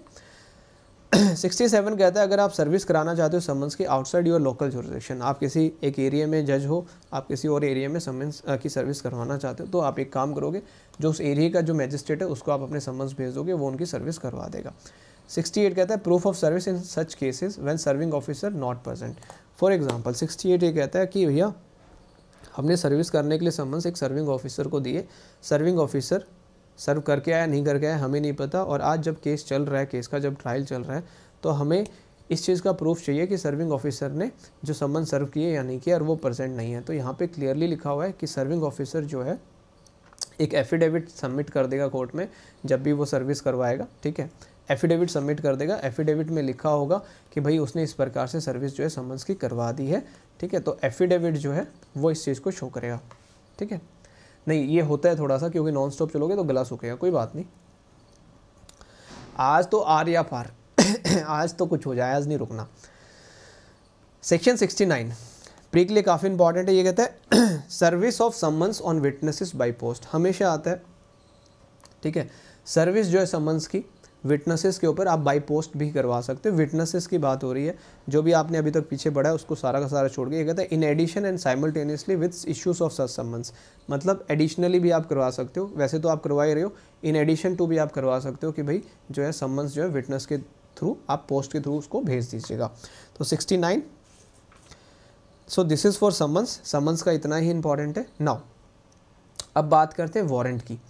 देखो समन से काम चल जाता है, बंदा आ जाता है, बात ठीक है। अगर बंदा नहीं आता समन्स के थ्रू तो वारंट हम यूज़ करते हैं, जो कि हम सेक्शन 70 से लेके 81 तक पढ़ने वाले हैं। समन्स हमेशा डुप्लीकेट में होते हैं वारंट हमेशा सिंगल में होता है। तो सेक्शन 70 आपको यही बताता है फॉर्म क्या होगी वारंट की अरेस्ट करने के लिए। ठीक है? और ड्यूरेशन क्या होगा। नाउ ये कहता है, जितने भी वारंट इशू किए जाएँगे सीआरपीसी के अंदर, वो हमेशा रिटर्न में होंगे प्रिजाइडिंग ऑफिसर साइन करेंगे और उनके ऊपर सील होगी। अब इसका सबसेक्शन टू जो है, यहाँ से हमेशा प्री में क्वेश्चन आता है कि वारंट जो है कब तक एनफोर्समेंट में रहेगा। मतलब मैंने आज वारंट इशू कर दिया तो उसकी वैलिडिटी क्या है? तो सबसेक्शन टू कहता है, या तो कैंसिल कर दिया जाए, या फिर वो एग्जीक्यूट हो जाए, दो चीज़ें हमेशा याद रखनी है। वारंट की वैलिडिटी क्या है? या तो वो कैंसिल हो जाए, या एग्जीक्यूट हो जाए। ये प्री में क्वेश्चन आता है। अब 71 कहता है कि जब भी आप वारंट इशू करोगे, देखो पूरी सीआरपीसी कनेक्टेड है, सारी ऐसे समझा दूँगा, तुम मौज करना। सेवेंटी वन कहता है कि जब भी आप वारंट इशू करोगे, आप उसके अंदर एक चीज़ मेंशन कर दोगे कि अगर वो व्यक्ति डायरेक्ट सिक्योरिटी वगैरह फिल कर देता है तो आप उसको अरेस्ट ना करें। बढ़िया लिखा हुआ है कि अगर कोई भी पर्सन बॉन्ड एग्जीक्यूट कर देता है श्योरिटी दे देता है और ये कह देता है कि भाई मैं कोर्ट में आ जाऊँगा, ठीक है, मुझे बता दो कब आना है, मुझे अरेस्ट मत करो। तो पुलिस वाला उससे श्योरिटी वगैरह लेके उसको अरेस्ट नहीं करेगा। अब जो एंडोर्समेंट होगी, उसमें ये भी आप लिखोगे कि कितने नंबर ऑफ़ श्योरिटीज़ चाहिए, कितने पैसे के आप बॉन्ड उससे भरवाएँगे, किस टाइम पे आपको कोर्ट में आना है, वो सारी चीज़ें आप उसमें मेंशन कर देंगे, ठीक है?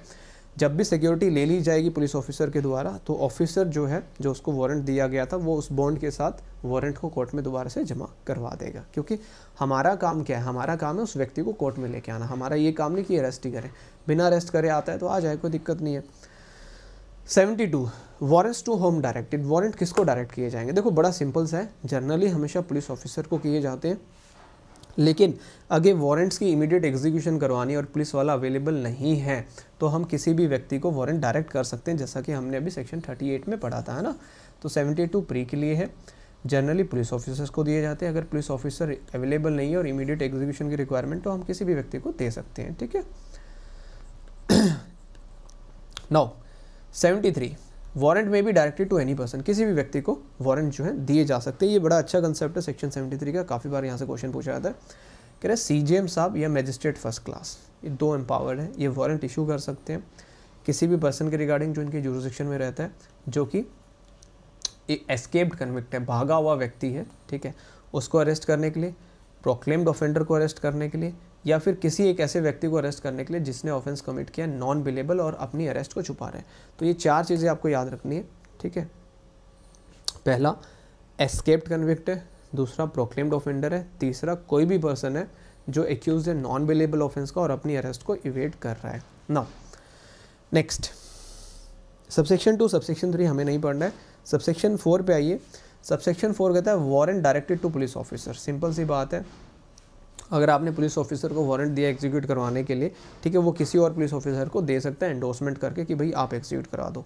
Seventy five notification of substance warrant में क्या क्या चीज़ें लिखी हुई हैं, वो आप नोटिफाई करेंगे, ठीक है? ज़रूरत पड़े तो आप वारंट भी शो कर सकते हो सामने वाले व्यक्ति को।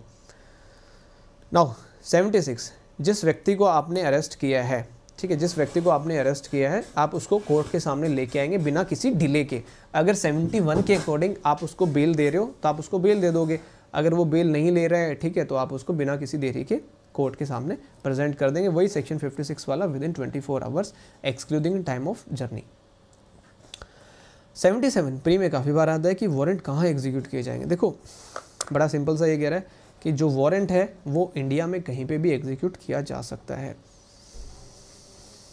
78 warrant forwarded for execution outside jurisdiction ये बड़ा अच्छा कंसेप्ट है कि आप किसी, जैसे आपने सम्मन पढ़ा, आप अपनी लोकल जुरिस्डिक्शन से बाहर वारंट को एग्जीक्यूट करवाना चाहते हैं तो कहते हैं when a warrant is to be executed outside the local jurisdiction of the court issuing it तो आप क्या करेंगे? वारंट पुलिस ऑफिसर को देने के बजाय आप डायरेक्टली एक काम करना पोस्ट के थ्रू या अदरवाइज़ वहाँ के एग्जीक्यूटिव मजिस्ट्रेट को, या डीएसपी साहब को, या कमिश्नर ऑफ़ पुलिस तीन लोगों की बात की जा रही है कि पुलिस को मत दो रिक्वायरमेंट नहीं है, आप वहाँ के एग्जीक्यूटिव मजिस्ट्रेट को, वहाँ के डीएम को, या वहाँ के कमिश्नर ऑफ़ पुलिस को भेज दीजिए, पोस्ट के थ्रू, वो अपने आप एग्जीक्यूट कर देंगे। अब 79 कहता है कि अगर आपने पुलिस ऑफिसर को दे दिया वारंट ठीक है, ऊपर वाले 78 ने कहा कि पुलिस को देने की ज़रूरत नहीं है, आप डायरेक्टली पोस्ट के थ्रू भेज दो। 79 कहता है, अगर आपने पुलिस को दे दिया, ठीक है, अपनी लोकल जुडिक्शन से बाहर एग्जीक्यूट करवाने के लिए तो कहता है when a warrant directed to police officer is to be executive beyond local jurisdiction of the court simple, वो जाएगा वहाँ पे एंडोर्समेंट करवाएगा, किससे? Endorsement executive magistrate police officer not below the rank of S H O उससे endorsement करवा के वहाँ पे वो एग्जीक्यूट कर देगा।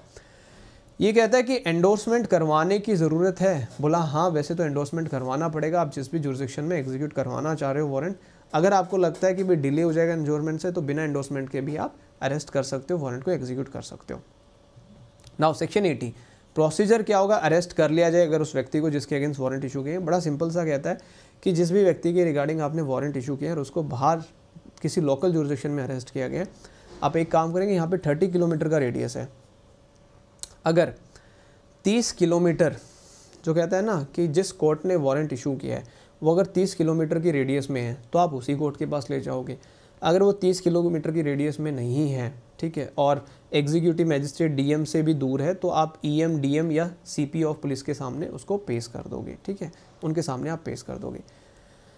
81 कहता है प्रोसीजर क्या होगा जब आप पर्सन अरेस्टेड को उनके सामने पेश करोगे? ईएम के सामने डी डीएसपी के सामने या सीपी के सामने? सिंपल सी बात कहता है ठीक है, ये क्या करेंगे, उसको भेज देंगे उसी कोर्ट के पास जिस कोर्ट ने इनके वारंट इशू किए थे। साफ़ साफ़ कहता है, अगर बेलेबल ऑफेंस है और वो बिल देने के लिए तैयार है तो ये बिल दे देंगे। ये कहता है नॉन बेलेबल ऑफेंस है तो ये क्या करेंगे सी साहब को भेज देंगे। सी साहब या सेशन जज जैसा भी वो ऑर्डर पास करेंगे कि भाई बिल देनी है, नहीं देनी है तो अकॉर्डिंगली वहाँ पर बिल मिल जाएगी, ठीक है। नाउ समन हो गया वारंट हो गया, अब बात करेंगे प्रोक्लेमेशन की थर्ड स्टेप है। समन से भी नहीं माना वारंट से भी ना अब प्रोक्लेमेशन कर दो। 82 प्री के लिए बहुत इंपॉर्टेंट है मीन्स में भी आता है। देखो सेक्शन 82 में प्रोक्लेमेशन कब होती है? जब पहले एक वारंट इशू हो चुका हो और वारंट की आप कंप्लाइंस नहीं कर रहे हो। बड़ा क्लियरली लिखा हुआ है, अगर कोई भी कोर्ट किसी भी कोर्ट को एक रीज़न टू बिलीव है कि एविडेंस लेने के बाद या एविडेंस लेने से पहले जिस व्यक्ति के हमने वारंट इशू किए हैं, वो भाग रहा है या अपने आप को छुपा रहा है और वारंट को एग्जीक्यूट नहीं होने दे रहा तो उस केस में कोर्ट क्या करेगी? रिटर्न प्रोक्लेमेशन पब्लिश कर देगी, उसके बारे में जगह जगह चिपका देगी कि भाई आपको बुलाया गया है थर्टी डेज़ का टाइम पीरियड आपको दे दिया जाएगा। तीस दिन का टाइम पीरियड याद रखना, ये प्री में आता है। थर्टी डेज़ का टाइम पीरियड आपको दे दिया जाएगा from the date of the publication of such proclamation कि आप आइए और ये प्रोक्लेमेशन कैसे कैसे पढ़ के सुना दिया जाएगा हर जगह पे और जो स्टेटमेंट होगी, ये सिर्फ़ रेलिवेंट यहाँ पे 82 में प्रोक्लेमेशन किया जाएगा, तीस दिन का टाइम दिया जाएगा। Now directly subsection four subsection four में कुछ ऐसे सेक्शंस लिखे गए हैं। अगर इसमें प्रोक्लेमेशन की जाती है तो आपको प्रोक्लेम्ड ऑफेंडर डिक्लेयर कर दिया जाएगा। ठीक है प्रोक्लेम्ड ऑफेंडर डिक्लेयर कर दिया जाएगा। नाउ 83 कहता है कि अटैचमेंट ऑफ़ प्रॉपर्टी भी हम कर सकते हैं, जो पर्सन भाग रहा है, बोला डेफिनेटली आप उसकी प्रॉपर्टी को भी अटैच कर सकते हो। जिस कोर्ट ने प्रोक्लेमेशन इशू की है सेक्शन 82 में, अगर उसको लगता है रिटर्न में ऑर्डर लिख के वो अपना, जब प्रोक्लेमेशन इशू कर रही है, उसी के साथ में अटैचमेंट के ऑर्डर भी पास कर सकती है, चाहे उसकी मूवेबल प्रॉपर्टी चाहे उसकी इमोल प्रॉपर्टी हो, दोनों को अटैचमेंट करने के लिए ऑर्डर पास किए जा सकते हैं। प्रोवाइडेड ये साफ़ साफ़ कहता है कि किस सिचुएशन में, जहाँ कोर्ट को ऐसा लगता है कि वो अपनी प्रॉपर्टी को डिस्पोज ऑफ़ कर रहा है या अपनी प्रॉपर्टी को रिमूव कर रहा है तो साइमल्टेनियस अटैचमेंट के ऑर्डर भी पास किए जा सकते हैं। याद रखिएगा साइमल्टेनियस ऑर्डर भी पास किए जा सकते हैं। साइमल्टेनियस का मतलब होता है एक के साथ एक। जब प्रोक्लेमेशन इशू कर रहे हो, उसी के साथ में आप अटैचमेंट के ऑर्डर भी पास कर सकते हो, ठीक है? उसी के साथ आप अटैचमेंट के ऑर्डर भी पास कर सकते हो, ठीक है ना? ये चीज़ आपको याद रखनी है। चलिए नेक्स्ट चलते हैं। इसके बाद आगे क्या कहता है, देखिए। नेक्स्ट कहता है, जो ऑर्डर यहाँ पे आपने पास किया है, अगर वो ऑर्डर ऐसा है कि उसकी जो प्रॉपर्टी आपके डिस्ट्रिक्ट में नहीं है, किसी और की डिस्ट्रिक्ट में उसकी प्रॉपर्टी है तो आप क्या करेंगे, वहाँ के जो डीएम साहब हैं, उनसे एंडोसमेंट करा लेंगे और वहाँ के डीएम साहब उसको अटैच कर लेंगे। याद रखना, अगर प्रॉपर्टी आपके एरिया में नहीं है और किसी और, किसी कोर्ट के एरिया में तो आपके वहाँ पे जो डीएम है कंसर्न डीएम वही उसकी प्रॉपर्टी को अटैच कर सकते हैं, आप नहीं कर सकते हो। कैसे की जाएगी? सीज़ करके रिसीवर को अपॉइंट करके, उसकी डिलीवरी प्रोहिबिट करके या किसी भी मोड के थ्रू आप उसकी सीज़ कर सकते हो मूवेबल प्रॉपर्टी को। इमूवेबल की बात करें तो क्लियरली लिखा गया इमूवेबल प्रॉपर्टी को कैसे करेंगे? पोजीशन ले लो रिसीवर अपॉइंट कर दो राइटिंग में प्रोहिबिट कर दो कि भाई जो भी रेंट वगैरह इसको ना दी जाए या कोई भी मोड आप यूज़ कर सकते हो। नाउ जो भी रिसीवर यहाँ पे अपॉइंट किया जाएगा, उसकी राइट्स एंड लाइबिलिटीज़ वही होंगी जो सीपीसी में होते हैं। सीपीसी में कौन सा प्रोविज़न जो रिसीवर की बात करता है कमेंट कर दो, जब तक मैं सांस ले लूँ थोड़ा सा। सीपीसी में कौन सा प्रोविज़न है?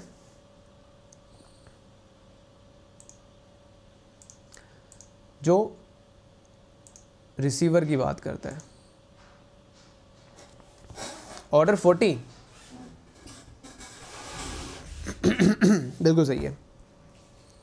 नौ अब सेक्शन 84 से कई बार क्वेश्चन आता है। सेक्शन 84 कहता है कि जिसकी आपने 83 में प्रॉपर्टी अटैच की है, ठीक है? जैसे आपने प्रोक्लेम्ड पर्सन की प्रॉपर्टी अटैच कर ली। सेक्शन 84 ये कहता है कि भाई प्रोक्लेम्ड पर्सन के अलावा मतलब proclaimed person claim objection file नहीं कर सकता है, क्योंकि उसकी तो प्रॉपर्टी हम अटैच करना चाहते थे। तो 84 कहता है कि आपने गलती से किसी और की प्रॉपर्टी अटैच कर ली है तो कोई भी व्यक्ति क्लेम या ऑब्जेक्शन फ़ाइल कर सकता है उस प्रॉपर्टी के अटैचमेंट के रिगार्डिंग कितने टाइम पीरियड में? छः महीने के अंदर अंदर आप क्लेम्स एंड ऑब्जेक्शंस फ़ाइल कर सकते हो, ये याद रखेगा। लेकिन यहाँ पे प्रोक्लेम्ड ऑफेंडर नहीं फ़ाइल कर सकता है, ठीक है? प्रोक्लेम्ड ऑफेंडर नहीं फ़ाइल कर सकता है। नाउ बड़ा सिंपल सा है कोर्ट क्या करेगी क्लेम्स एंड ऑब्जेक्शन के ऊपर इंक्वायरी करेगी, या तो उनको अलाउ कर देगी या उनको डिसअलाउ कर देगी। नेक्स्ट कहता है कि अगर कोई ऐसी कोर्ट है, ठीक है, जैसे आपकी जुरिस्डिक्शन में उसकी प्रॉपर्टी नहीं थी, दूसरी कोर्ट ने उसकी प्रॉपर्टी को अटैच किया डीएम साहब की कोर्ट ने उसकी प्रॉपर्टी को अटैच किया। तो ये कह रहा है कि वहाँ पे क्लेम एंड ऑब्जेक्शन किसकी कोर्ट में फ़ाइल करेंगे? ये भी याद रखना है कि सीजीएम साहब की कोर्ट में आप क्लेम्स एंड ऑब्जेक्शन फ़ाइल करेंगे इन ए केस जहाँ पे प्रॉपर्टी आपकी जुरिस्डिक्शन में नहीं थी, किसी और कोर्ट की जुरिस्डिक्शन में थी और डीएम साहब ने अटैच की है। तो सीजीएम साहब की कोर्ट में आप जो है क्लेम्स एंड ऑब्जेक्शन फ़ाइल करेंगे। अब ये कहता है, भैया, सीधी सी बात है, अगर आपके क्लेम्स एंड ऑब्जेक्शन डिसअलाउ हो जाते हैं तो आप एक साल के अंदर अंदर कब from the date of such order जिस ऑर्डर से आपके क्लेम एंड ऑब्जेक्शन डिसअलाउ किया, एक साल के अंदर अंदर आप अब सूट इंस्टीट्यूट कर सकते हो। दो चीज़ें। पहला सिक्स मंथ्स के अंदर क्लेम्स एंड ऑब्जेक्शन फ़ाइल कर सकते हो। दूसरा क्लेम्स एंड ऑब्जेक्शन अगर आपके डिसअलाउ हो जाएँ डिसमिस हो जाएँ तो एक साल के अंदर अंदर आप सूट इंस्टीट्यूट कर सकते हो। नौ 85 बड़ा अच्छा है। प्री में आता है।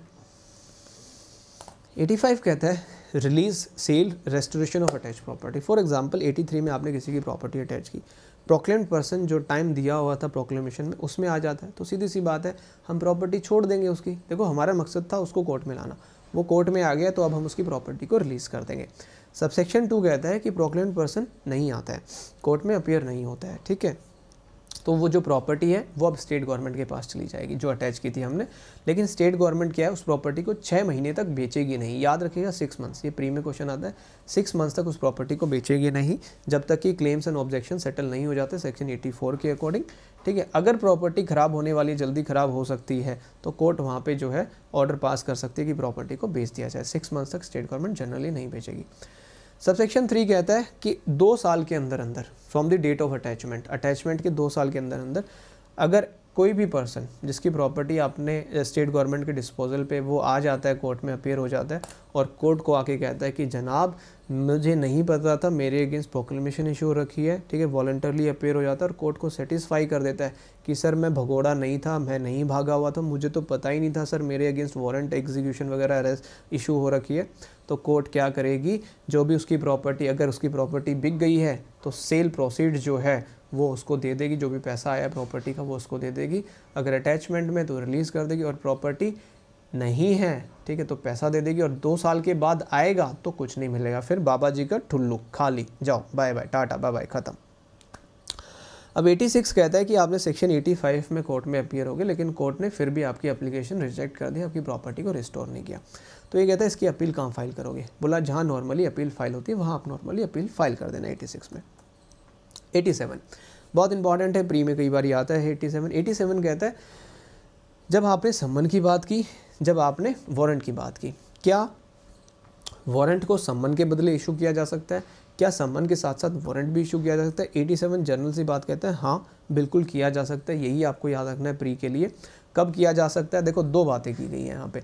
जब आप सम्मन इशू करने के बाद आपको लगे कि भाई वो तो सम्मन की कंप्लाइंस ही नहीं कर रहा है, ठीक है ओबे ही नहीं कर रहा है, या जब आप सम्मन इशू करें उसी टाइम पे आपको लगे कि ये भगोड़ा हो सकता है, कोई रीजनेबल एक्सक्यूज़ नहीं तो दोनों केसेस में जहाँ पे भी कोर्ट को ठीक लगे कोर्ट कर सकती है, ठीक है?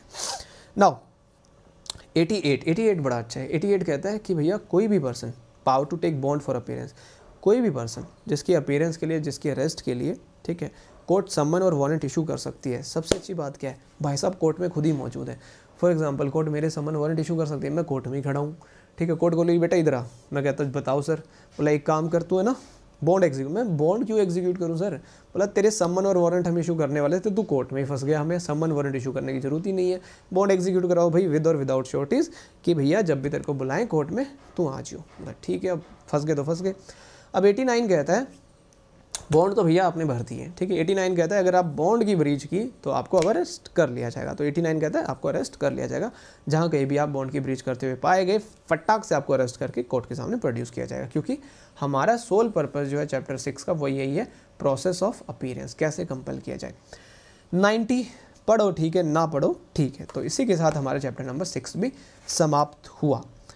नाउ अब बात करेंगे चैप्टर नंबर सेवन की। चैप्टर नंबर सेवन जो है, हम सेक्शन नंबर नाइन्टी वन से लेके वन ज़ीरो फाइव तक पढ़ने वाले हैं। इसके लिए थोड़ा सा एक बार पोज ले लेते हैं। आप लोग एक बार रिकॉल कर लो जो हमने पढ़ा है नाइन्टी तक।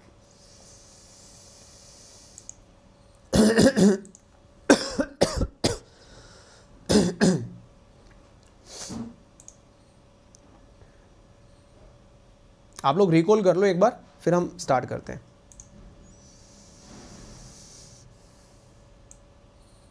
मज़ा आ रहा है? कितना मज़ा आ रहा है? मज़ा आ रहा है? अब यू बताओ, कितना मज़ा आ रहा है? मज़ा तो डेफिनेटली आ रहा होगा मतलब इतने अच्छे से सी होती जा रही है। बहुत। ब्रेक तो नहीं दूँगा। यहीं पे बैठे हैं, पानी पी लो बैठ के।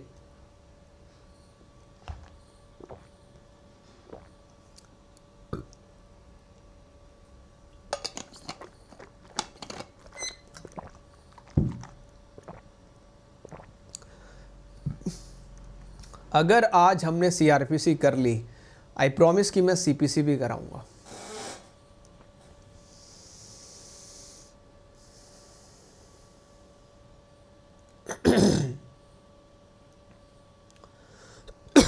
अगर आज सीआरपीसी कर लेना, पक्का सीपीसी करवाऊँगा। बस रिक्वेस्ट यही है, जो भी इसको रिकॉर्डेड देख रहे हैं ना, भाई चैनल को सब्सक्राइब करके ज़रूर जाना। सच्ची कह रहा हूँ, अगर तुम चैनल सब्सक्राइब करोगे ना, तुम्हारा जुडिशरी एग्ज़ाम वैसे ही क्लियर हो जाएगा। देख लो, दुआएँ लगेंगी मेरी। चैनल को सब्सक्राइब नहीं किया और वीडियो को देख के चले गए तो मेरी बदुआएँ लगेंगी भाई। देखो, मैं तो रिक्वेस्ट कर रहा हूँ, चैनल को सब्सक्राइब ज़रूर कर देना। काफ़ी टाइम से सब्सक्राइबर बढ़ ही नहीं रहे हैं यार तो बढ़ा दो। जितने हो सकते हैं उतने सब्सक्राइबर करवा दो, ठीक है? आओ। अब स्टार्ट करते हैं chapter number seven. Chapter number seven बहुत अच्छी बात करता है। देखो, अभी तक हम किसी व्यक्ति को कोर्ट में लाने की बात कर रहे थे। अब हम व्यक्ति को नहीं लेके आ रहे हम किसी थिंग को लेके आ रहे हैं, किसी भी चीज़ को, ठीक है? माता रानी का पाप लगेगा। नहीं, मैं बेल आइकन की ज़रूरत नहीं है, मैं बस सब्सक्राइब सब्सक्राइब कर दो घंटी मैं बजा लूँगा अपनी, ठीक है? जिन्होंने सब्सक्राइब नहीं किया, वो सब्सक्राइब कर देना।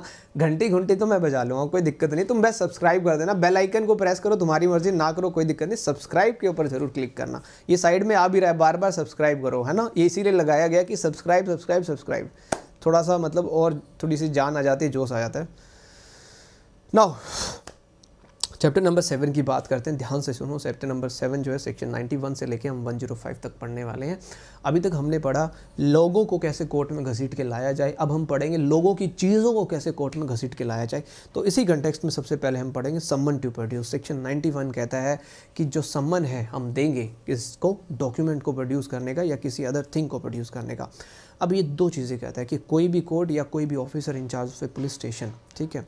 अगर वो किसी डॉक्यूमेंट की प्रोडक्शन चाहते हैं या किसी थिंग की प्रोडक्शन चाहते हैं, किस लिए चाहते हैं? इन्वेस्टिगेशन के लिए इंक्वायरी के लिए ट्रायल के लिए या किसी और पर्पज़ के लिए तो कोर्ट तो हमेशा सम्मन इशू करेगी ऑफिसर जो होंगे वो रिटर्न ऑर्डर इशू करेंगे। तो ये है कि भैया कब प्रोड्यूस करना है, किस टाइम पे करना है, किस जगह पे करना है।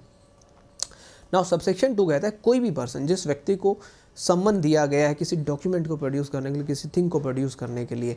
ठीक है, ज़रूरी नहीं है वो खुद कोर्ट में आके प्रोड्यूस करे, वो किसी और के थ्रू भी वो चीज़ भेज देगा तो भी ये मान लेंगे कि उसने सम्मन्स की कंप्लाइंस कर ली है।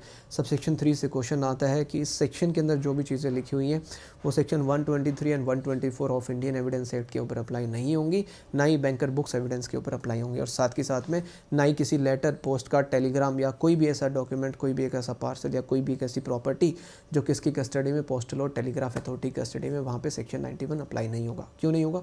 क्योंकि नाइन्टी में उसका प्रोसीजर दिया हुआ अलग से। भाई, कैसे अप्लाई होगा? 92 कहता है कि भैया लेटर्स एंड टेलीग्राम्स जो अभी हमने पढ़ा 91 अप्लाई नहीं होगा। ये कह रहा है, कोई भी डॉक्यूमेंट कोई भी पार्सल कोई भी थिंग किसकी कस्टडी में है? पोस्टल की।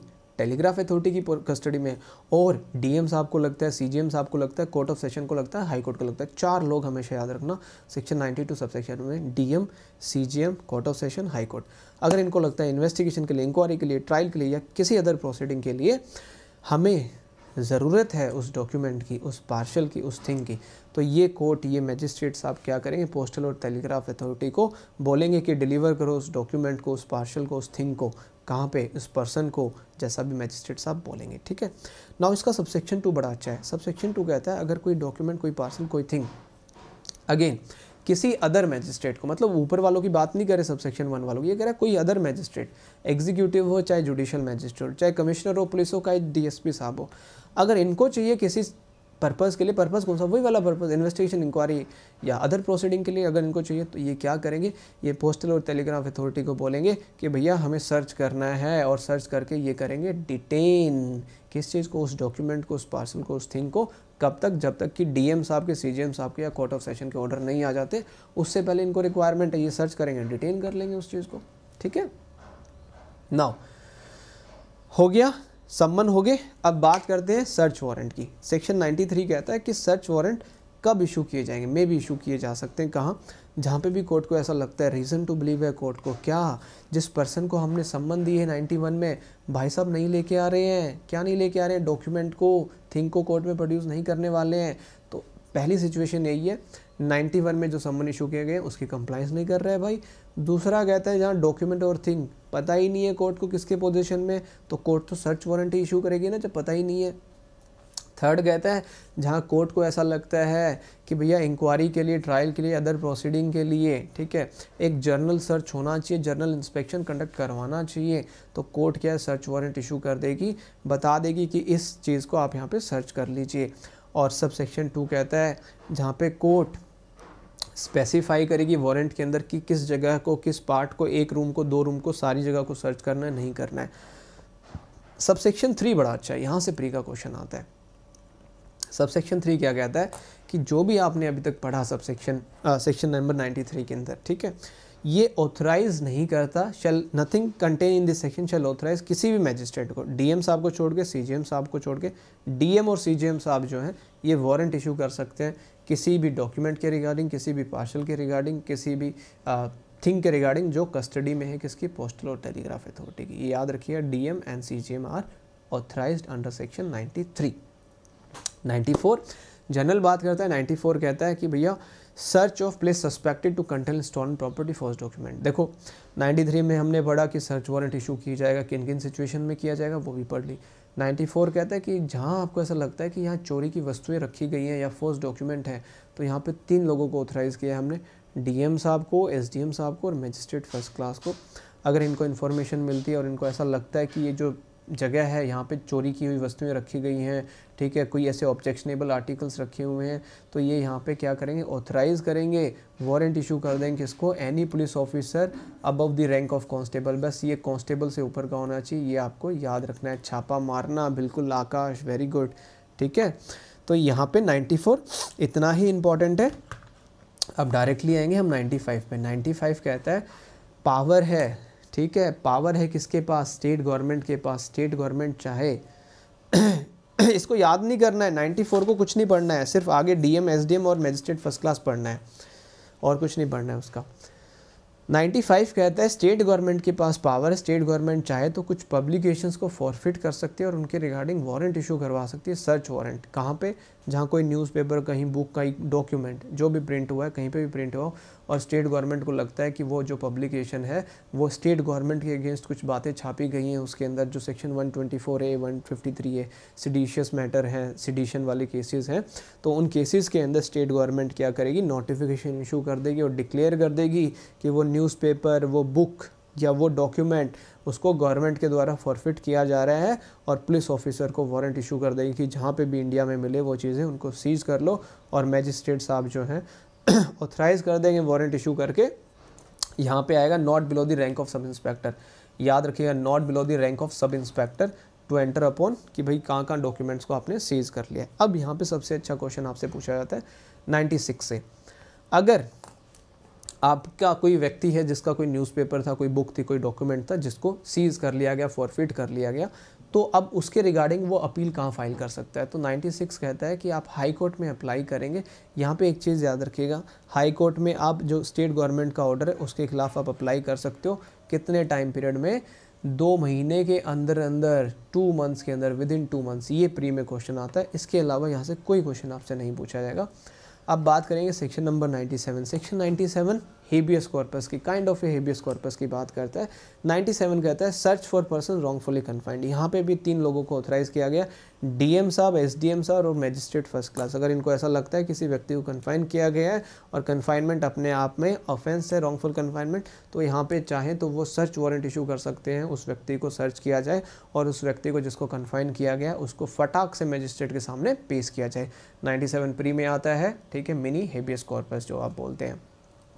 98 किसी महिला को अबडक्ट कर लिया गया है, ठीक है? ये कहता है, यहाँ पे कंप्लेंट आनी चाहिए टू डी वाली।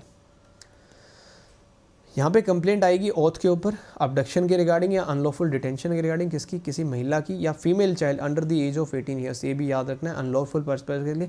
सेम डीएम एसडीएम और मजिस्ट्रेट फ़र्स्ट क्लास जो है, ये हमेशा एक ऑर्डर पास करेंगे। उस महिला का इमीडिएट रेस्टोरेशन करवाया जाए, उसको छोड़ा जाए। अगर फीमेल चाइल्ड है तो उसके पेरेंट्स या हस्बैंड जो भी हैं, उनको उसको सौंपा जाए। और यहाँ पे 98 में डीएम एसडीएम और मजिस्ट्रेट फ़र्स्ट क्लास इस ऑर्डर को कंपेल करवाने के लिए नेसेसरी फोर्स भी यूज़ कर सकते हैं। नाउ 99 कहता है जनरल डायरेक्शंस ठीक है आप पढ़ो तो ठीक है 99 हमारे लिए इंपॉर्टेंट नहीं है। 100 हमारे लिए इंपॉर्टेंट है डायरेक्ट सेक्शन बेस्ड क्वेश्चन आता है। Person in charge of close place to allow search simple सी बात है जहाँ हमने अभी सर्च वारंट इशू किए हैं ठीक है जो भी क्लोज uh, प्लेस का जो भी इंचार्ज फॉर एग्ज़ाम्पल मेरी बिल्डिंग मेरे पास है तो मैं हमेशा अलाउ करूँगा सर्च करने के लिए। यहाँ से सबसे अच्छा क्वेश्चन आता है सबसेक्शन फोर से। सबसेक्शन फोर में हमेशा याद रखना है कोई भी सर्च करेगा इस चैप्टर के अंदर ऑफिसर या अदर पर्सन ठीक है? वो वहाँ पे दो या दो से ज़्यादा independent and respectable inhabitant of locality को बुलाएगा एज ए विटनेस हमेशा याद रखिएगा, ठीक है? दो या दो से ज़्यादा विटनेस के तौर पे आप उनको अपने साथ लेके चलोगे जब भी आप सर्च कर रहे होगे, ठीक है? Now come to one zero one one zero one की हेडिंग पढ़ लेना, इससे ज़्यादा कोई यहाँ से आपसे क्वेश्चन नहीं पूछने वाला। मिसलेनियस पे आते हैं section one zero two important है। देखो, ये सिंपल सी बात कहता है कि भैया, जो भी पुलिस ऑफिसर है, जो भी आपकी प्रॉपर्टी को सीज कर रहा है, ठीक है? जो भी आपकी प्रॉपर्टी को सीज कर रहा है सरव भाटी 50 परसेंट डाटा चला गया, आप सोचो सेक्शन 100 तक सीआरपीसी आपने पढ़ ली है 100 तक सीआरपीसी आपने पढ़ ली है 50 परसेंट इंटरनेट डाटा में, डाटा कितना सस्ता मिलता है आजकल? हैं, जो सीआरपीसी मतलब कई हज़ारों रुपए में मिलती है, आप तो सेकंडों में पढ़ रहे हो, ठीक है? तो 102 कहता है कि भैया, जो भी प्रॉपर्टी आपकी सीज़ की गई है, ठीक है, उस प्रॉपर्टी को पुलिस ऑफिसर जो है सीज़ कर सकते हैं, अगर उनको लगता है स्टोलन है या मतलब ऐसे सर्कमस्टांसेस में पाई गई है, ठीक है? तो यहाँ पे बड़ा अच्छा कंसेप्ट है 19 वाला, डाल लो, बिल्कुल। तो 102 प्री पॉइंट ऑफ़ व्यू से आपको याद रखना है। यहाँ पे जो प्रोवाइडेड है प्रोवाइडेड से क्वेश्चन आपसे पूछा जाता है। प्रोवाइडेड कहता है जहाँ प्रॉपर्टी सीज की गई अंडर सबसेक्शन वन के अंदर, अगर वो स्पीडी या नेचुरल डेके है, जल्दी ख़राब हो सकती है तो आप उसको बेच देंगे। अदरवाइज़ देखो फाइव हंड्रेड की वैल्यू याद रखनी है। ठीक है ऑप्शन करवाया जाएगा on the orders of SP साहब। ऑर्डर पास कर देंगे ऑप्शन करवा दो सर ठीक है? नाउ 103 अगेन बहुत इंपॉर्टेंट है प्री में आता है। मैजिस्ट्रेट साहब चाहें तो अपनी प्रेजेंस में भी सर्च करवा सकते हैं। 104 अगेन पावर है इम्पाउंड करने की डॉक्यूमेंट्स को या थिंग को अगर मैजिस्ट्रेट साहब चाहें जो उनके सामने जैसे अभी हमने इस चैप्टर में प्रोड्यूस ही तो की है कोई भी चीज़ अगर उनके सामने प्रोड्यूस की है तो मैजिस्ट्रेट साहब चाहें तो उसको इम्पाउंड कर लेंगे भाई छोड़ यहीं पे इम्पाउंड कर रहा हूँ मैं ठीक है? सो so, 105 आपको नहीं पढ़ना है तो इसी के साथ आपका चैप्टर नंबर सेवन भी कंप्लीट हो गया है। अब एक बार ज़ोर से बता दीजिए हाउस दी जोश राइट नाउ कैसा है आप सबका जोश? फटाक से कमेंट करके बता दो। कैसा है जोश? चक दे फट्टे। आज चक लैंड दे, है ना?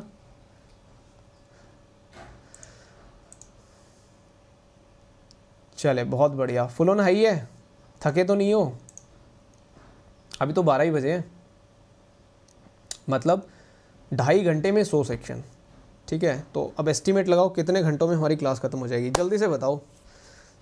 फिर नेक्स्ट चैप्टर स्टार्ट करते हैं। बैकग्राउंड में बजा दूँ कॉपीराइट आ जाता है फिर यार।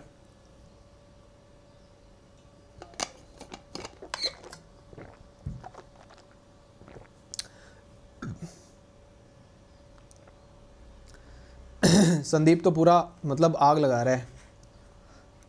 जमा मज़ा आ गया ये है हरियाणा का छोरा क्या जमा लठ गाड़ दिए सर आज तो हैं। अभी तो और गाड़ेंगे, टेंशन मत लो।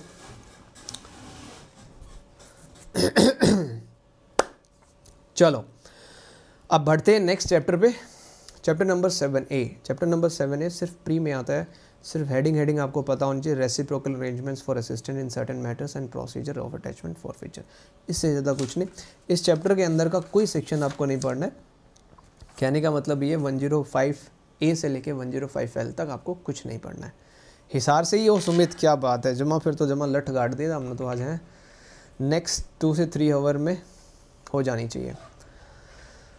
हरियाणा से हैं, हरियाणा के हैं, क्या बात है। चलिए। सो नेक्स्ट चलते हैं चैप्टर नंबर एट के ऊपर। और अगर आपको याद हो तो मैंने आज सुबह ही आपको बताया था कि चैप्टर नंबर एट एक ऐसा चैप्टर है जो स्टेट ऑफ़ नागालैंड और ट्राइबल एरियाज़ के ऊपर भी अप्लाई होता है। भूलना नहीं है पूरी सी आर पी सी याद रखनी है ठीक है? चलिए सो so, बात करते हैं चैप्टर नंबर एट की। Chapter number eight one zero six से स्टार्ट हो गया वन ट्वेंटी फोर तक जाता है। यहाँ पे चार पाँच सेक्शन ऐसे हैं जहाँ से क्वेश्चन आपसे पूछा जाता है। पूरा चैप्टर मेंस के लिए इंपॉर्टेंट है डायरेक्टली मेंस में एक क्वेश्चन आता है लंबा चौड़ा। आइए chapter number one zero six की बात करते हैं।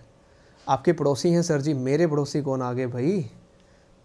मोस्टली हरियाणा से ही हैं आई थिंक नहीं, हरियाणा के बाहर से अच्छा एक बार सेक्शन 106 स्टार्ट करने से पहले एक बार कमेंट कर दो आप कहाँ कहाँ से हो। स्टेट स्टेट कमेंट कर दो। कौन से स्टेट से आप सब वीडियो देख रहे हो अभी? स्टेट स्टेट मेंशन कर दो।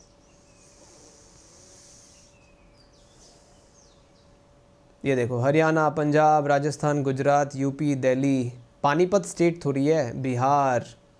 हिसार स्टेट थोड़ी है। महाराष्ट्र, उड़ीसा, देखो उड़ीसा से भी देख रहे हैं लोग। यूपी, गुजरात, हरियाणा, मध्य प्रदेश से भी हैं, वाह जी वाह। दिल्ली, बिहार, चंडीगढ़, पंजाब, उड़ीसा, जय महाराष्ट्र, क्या बात है। पंजाब, यूपी एमपी मतलब झारखंड से भी हैं, क्या बात है। काफ़ी जगह से बच्चे देख रहे हैं यूके से भी, उत्तराखंड से, उड़ीसा, हिमाचल से भी हैं, पंजाब से, राजस्थान से। मतलब पूरे इंडिया से हैं तो हमारा जो वारंट है ऑल ओवर इंडिया एग्जीक्यूट किया जा सकता है तो हमारी क्लास भी पूरे इंडिया से ही देख रहे हैं। चलो चलो चलो चलो। वन ज़ीरो सिक्स पे चलते हैं। One zero six one zero six कहता है security for keeping the peace on conviction अगर कोई व्यक्ति कन्विक्ट हो जाता है, जैसे कई बार आपने देखा है बड़े बड़े बाबा होते हैं जिनको कन्विक्ट करने के बाद उनके जो अनुयायी होते हैं, वो भड़क उठते हैं। कोई बहुत बड़ा मंत्री, कोई बहुत बड़ी सेलिब्रिटी को आपने कन्विक्ट कर दिया तो वो थोड़े से गुस्से में हो जाएँगे, ठीक है? तो 106 कहता है कि अगर किसी को आपने कन्विक्ट किया है कन्विक्शन के बाद जो मतलब एक पीस डिस्टर्ब होने वाला है, उसके लिए आप क्या कर सकते हो? सिक्योरिटी भरवा सकते हो। यहाँ पे हमने कोर्ट ऑफ़ सेशन और मैजिस्ट्रेट फ़र्स्ट क्लास को ऑथराइज़ किया है कि कोर्ट ऑफ़ सेशन और मैजिस्ट्रेट फ़र्स्ट क्लास अगर चाहें तो जिस व्यक्ति को उन्होंने कन्विक्ट किया है, उससे वो क्या करवा सकते हैं? उससे बॉन्ड भरवा सकते हैं विदाउट विदाउट शॉर्टिज हमेशा याद रखिए बॉन्ड जो होगा, तीन साल तक का होगा, उससे ज़्यादा का नहीं होगा। अब ये कहता है कौन कौन से ऑफेंसेस की हम बात करें? मेजरली इन ऑफेंसेस की बात करें, एक सौ तिरपन ए, एक सौ तिरपन बी, एक सौ तिरपन बी, ठीक है? इनके असोल्ट क्रिमिनल फोर्स के रिगार्डिंग हो सकते हैं क्रिमिनल इंटीमिडेशन हो सकता है, या कोई भी ऑफेंस जो ब्रीच ऑफ़ पीस के लिए हो। अब ये कहता है सबसेक्शन थ्री अगर कन्विक्शन को सेटिसाइड कर दिया गया अपील में तो जो बॉन्ड आपने भरे वो वॉइड हो जाएँगे। सबसेक्शन फोर से फिर क्वेश्चन आता है, ठीक है? सबसेक्शन फोर से फिर क्वेश्चन आता है। सबसेक्शन फोर ये कहता है कि अगर अपीलेट कोर्ट करना चाहे तो अपीलेट कोर्ट भी ये ऑर्डर पास कर सकती है और रिविजनल कोर्ट भी ऑर्डर पास कर सकती है। तो court of session magistrate first class appellate court and revisional court ये ऑर्डर पास कर सकते हैं। One zero six conviction one zero seven कहता है कि अदर केसेस में अगर आपको चाहिए सिक्योरिटी पीस को मेंटेन करने के लिए। तो 107 में हमने एग्जीक्यूटिव मजिस्ट्रेट साहब को ऑथराइज़ किया है।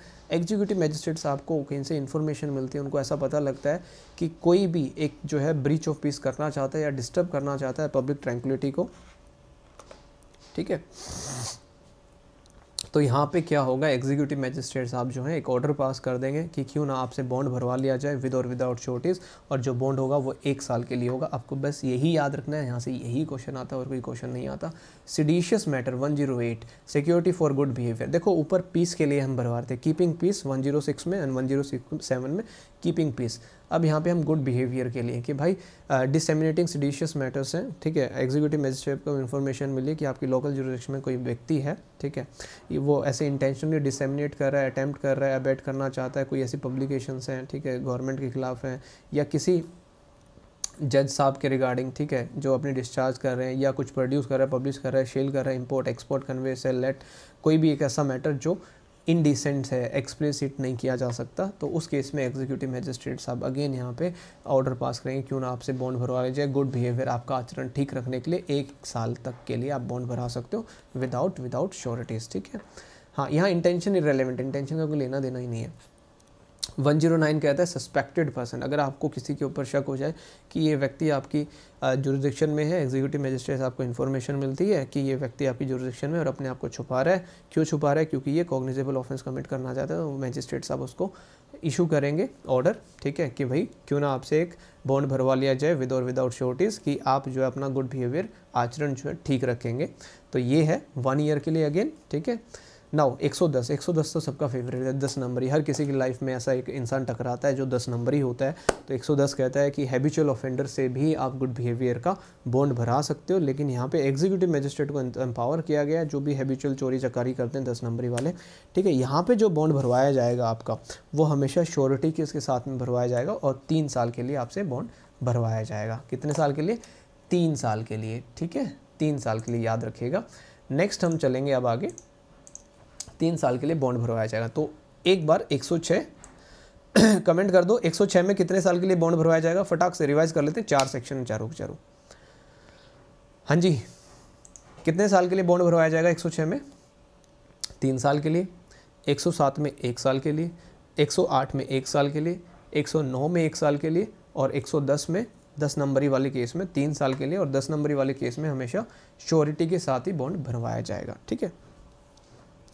अब 111 112 113 111 112 113 ये मेयर प्रोसीजर है, इसमें हमें नहीं पढ़ना है, हमारे एग्ज़ाम में नहीं आता यहाँ से क्वेश्चन अब जो क्वेश्चन आ रहा है डायरेक्टली मैं उसके ऊपर आपको लेके चल रहा हूँ। 114 नहीं आता है। 115 हेडिंग हेडिंग हमें पढ़नी है। Power to dispense with personal attendance ठीक है? 116 हमें पढ़ना, ये बड़ा इंपॉर्टेंट है। देखो, हमने पढ़ा 106 7 में 8 में 9 में 10 में हमने पढ़ा, जहाँ हमारे पास इन्फॉर्मेशन आ रही थी कि भैया, ये व्यक्ति ऐसे ऐसे कर सकता है तो उस इन्फॉर्मेशन की ट्रूथ के रिगार्डिंग सच है या गलत है, आप इंक्वायरी करेंगे 116 में। और 116 में एक क्वेश्चन आपसे पूछा जाता है कि जो इंक्वायरी करवाई जाएगी 116 में, उस इंक्वायरी के दौरान आप कौन सा प्रोसीजर फॉलो करने वाले तो ये साफ़ साफ़ कहता है जो समन केसेस में एविडेंस रिकॉर्ड करने का प्रोसीजर होता है, उसको आप फॉलो करेंगे। ठीक है? समन केसेस 251 से लेकर 259 तक, ये प्री का क्वेश्चन है। इसके अलावा यहाँ से कोई क्वेश्चन आपसे नहीं पूछा जाएगा। नेक्स्ट क्वेश्चन जो आएगा, वो सबसेक्शन सिक्स से आपसे पूछा जाता है। सेक्शन वन सिक्सटीन के सबसेक्शन सिक्स से ये कह रहा है, जो इंक्वायरी आप कर रहे हैं सेक्शन एक सौ सोलह में इन्फॉर्मेशन की सच्चाई के रिगार्डिंग अगर वो इंक्वायरी आपकी सिक्स मंथ्स के अंदर कंप्लीट नहीं होती है तो हम ये मान लेंगे कि वो कंप्लीट हो गई है। उसको मान लिया जाएगा। अगर छः महीने के अंदर कंप्लीट नहीं होती तो ऑटोमेटिकली टर्मिनेट हो जाएगी। और सिक्स मंथ से ज़्यादा आप अगर एक्सटेंड करते हो तो उसके रिगार्डिंग भी आप कहाँ पे अप्लाई कर सकते हो? कोर्ट ऑफ़ सेशन के पास आप जा सकते हो कि भैया उन्होंने सिक्स मंथ से ज़्यादा के लिए उसको आगे एक, एक्सटेंड कर दिया इंक्वायरी को तो आप कोर्ट ऑफ़ सेशन में अप्लाई कर सकते हो उस चीज़ के रिगार्डिंग ना 117, 118, 119, 120, 121, 122, 123, 124 हमारे प्री में नहीं आते मोस्ट ऑफ़ द केसेस में यहाँ से क्वेश्चन नहीं आता है। तो आप ये पूरा का पूरा पोर्शन स्किप कर सकते हो but mains point of view से यहाँ से क्वेश्चन आता है। नाउ डायरेक्टली ये चैप्टर नंबर एट भी हमारा समाप्त हो गया। अब हम आगे बढ़ रहे हैं ठीक है? चैप्टर नंबर नाइन की तरफ़। चैप्टर नंबर नाइन बात करता है मेंटेनेंस की। चैप्टर नंबर नाइन में सिर्फ़ और सिर्फ़ 125 से लेकर 128 तक। 25, 26, 27, 28 चार सेक्शन मान के चलो। तो चारों के चारों सेक्शन बहुत इंपॉर्टेंट है प्री के लिए। देखो चैप्टर नंबर नाइन क्या कहता है? मेंटेनेंस की बात करता है। सेक्शन 125 से काफ़ी बार क्वेश्चन आता है कि maintenance regarding wife's children and parent कोई भी पर्सन जिसके पास सफिशेंट मीन्स है, फिर भी नेगलेक्ट कर रहा है रिफ्यूज़ कर रहा है, क्या? बोला मैं अपनी पत्नी को मेंटेन नहीं करूँगा, लेकिन पत्नी ऐसी होनी चाहिए जो खुद मेंटेन नहीं कर पा रही है अपने आप को। अगर पत्नी खुद मेंटेन कर पा रही है तो ज़रूरत नहीं है। लेजिटिमेट और इलेजिटिमेट माइनर चाइल्ड चाहे मैरिड है या नहीं है, अगर वो खुद मेंटेन नहीं कर पा रहे हैं तो आप मेंटेनेंस प्रोवाइड करेंगे। लेजिटिमेट है इलेजिटिमेट चाइल्ड है, लेकिन मैरिड डॉटर नहीं होनी चाहिए, जिसने मेजोरिटी अटेंड कर ली हो। ठीक है? वो बच्चा लेजिटिमेट है या इलेजिटिमेट चाइल्ड है? ड्यू टू फ़िज़िकल और मेंटल एबनॉर्मलिटी या कोई इंजरी है, अपने आप को मेंटेन नहीं कर पा रहा और माँ बाप तो है ही हमेशा। तो यहाँ पे जो क्वेश्चन आता है magistrate first class maintenance allow करेंगे। कितना मेंटेनेंस अमाउंट अलाउ करेंगे, ये इन्होंने रेट नहीं लिखा हुआ है। पहले था, जो भी मैजिस्ट्रेट्स आपको ठीक लगता होगा, उतना वो अलाउ कर सकते हैं। नाउ नेक्स्ट क्वेश्चन यहाँ से जो पूछा जाता है, क्या इंटरी मेंटेनेंस भी प्रोवाइड किया जा सकता है? डेफिनेटली किया जा सकता है। इंटरी मेंटेनेंस भी। हाँ इधर वुमेन और मैन दोनों ही लाइबल होते हैं यहाँ पे पेरेंट्स को। जो है अपने को मेंटेनेंस प्रोवाइड करने के लिए। नाउ इंटरिम मेंटेनेंस दिया जा सकता है, ठीक है एक्सपेंसेस और प्रोसीडिंग भी प्रोवाइड किए जा सकते हैं। अब यहाँ पे जो नेक्स्ट क्वेश्चन आपसे पूछा जाएगा कि जो मंथली अलाउंस है इंटरिम मेंटेनेंस का और एक्सपेंसेस का, ठीक है, उसकी जो प्रोसीडिंग्स हैं, वो विद इन सिक्सटी डेज़ के अंदर, साठ दिन, कब से service of notice of application ये चीज़ याद रखनी है, साठ दिन के अंदर आप उसको डिसाइड करने का काम करेंगे। माइनर कौन होगा? मेजोरिटी इंडियन मेजोरिटी एक्ट के अंदर वाइफ मतलब कोई भी वो एक पत्नी जिसने डिवोर्स नहीं लिया है, ठीक है सॉरी डाइवोर्स्ड है, या डाइवोर्स मिला है या दे दिया गया हस्बैंड से और जिसने शादी नहीं की, हमेशा याद रखना जिसने अभी तक शादी नहीं की है। नाउ सबसेक्शन टू से बड़ा अच्छा क्वेश्चन पूछा जाता है कि जो भी मेंटेनेंस आप यहाँ पे प्रोवाइड करें, वो किस डेट से मिलेगा? जनरली क्या होता है, जो मेंटेनेंस दिया जाता है, वो हमेशा डेट ऑफ़ ऑर्डर से होता है, ठीक है? हमेशा याद रखना प्री में क्वेश्चन आता है कि मेंटेनेंस जनरली हमेशा डेट ऑफ़ ऑर्डर से होता है, जिस दिन ऑर्डर पास किया गया। लेकिन अगर कोर्ट अपने ऑर्डर में स्पेसिफिकली मेंशन कर दे कि ये जो मेंटेनेंस है from the date of application मिलना चाहिए, ठीक है? तो उस दिन से मिलेगा। फॉर एग्ज़ाम्पल आज ऑर्डर आया तो जर्नली तो आज से ही मिलना चाहिए। लेकिन अगर कोर्ट लिख दे नहीं, उस दिन से मिलना चाहिए, जिस दिन अप्लीकेशन लगाई तो उसी दिन से मिलेगा आपको, ठीक है? ये सबसेक्शन टू है, ये आपको याद रखना है। सबसेक्शन थ्री बड़ा अच्छा है। सबसेक्शन थ्री कहता है, जिस व्यक्ति के अगेंस्ट हमने मेंटेनेंस का ऑर्डर पास किया है एक सेकेंड।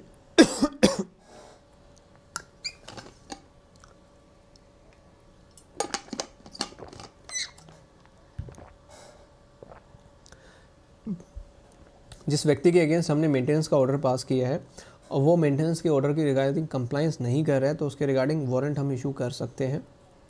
उस अमाउंट को जो ड्यू अमाउंट है, उसको रिकवर करने के लिए। लेकिन हमेशा याद रखिएगा, जो वारंट इशू किया जाएगा, ठीक है ये कह रहा है अगर आपने उसकी भी कंप्लाइंस नहीं की ठीक है आपने फिर भी पे नहीं किया एग्जीक्यूशन ऑफ़ वारंट तो आपको जेल दे सकते हैं हम इम्प्रिजमेंट दे सकते हैं वन मंथ की जब तक आप पे नहीं कर देते। अब ये कह रहा है कोई भी वारंट इशू नहीं किया जाएगा जब तक उस अमाउंट को रिकवर करने के लिए जो ड्यू है कब तक नहीं किया जाएगा जब तक कि आप अप्लीकेशन ना लगाएँ विद इन वन ईयर एक साल के अंदर अंदर आपको अप्लीकेशन लगानी पड़ेगी। फॉर एग्ज़ाम्पल आज आपके फेवर में ऑर्डर आया था ठीक है आ, सामने वाले भाई साहब आपको पैसे नहीं दे रहे हैं तो एक साल के अंदर अंदर आप अप्लीकेशन लगा दीजिए कोर्ट में कि सर ये पैसे नहीं दे रहे तो कोर्ट वहाँ पे उसके अगेंस्ट एक वारंट इशू कर देगी, या तो पैसे देते या जेल की हवा खा लें। एक साल के अंदर अप्लीकेशन लगा लिए एक महीने तक की जेल हो सकती है, इससे ज़्यादा कुछ भी नहीं, ठीक है? अभी कह रहा है कि अगर वो पर्सन जो मेंटेन करना चाह रहा है, ठीक है, अपनी वाइफ को मेंटेन करना चाह रहा है, ठीक है, जो अब उसके साथ रह रही है बट वो मना कर देती है कि मैं तो नहीं रहना चाहती है तो मैजिस्ट्रेट साहब जो है इस चीज़ को कंसिडर करेंगे और मैजिस्ट्रेट साहब अकॉर्डिंगली जो भी ऑर्डर होगा उसको मेंटेन करने की कोशिश करेंगे, ठीक है? नाउ एक्सप्लेनेशन से क्वेश्चन आता है। एक्सप्लेनेशन कहती है कि जो हस्बैंड मैरिज कॉन्ट्रैक्ट कर रहा है, किसी अदर वाइफ से या मिस्ट्रेस रख रहा है, ये एक ग्राउंड हो सकता है महिला का, उसके साथ ना रहने का। सबसेक्शन फोर कहता है, कोई भी वाइफ एंटाइटल नहीं होगी, ये बड़ा इंपॉर्टेंट है प्री में आता है।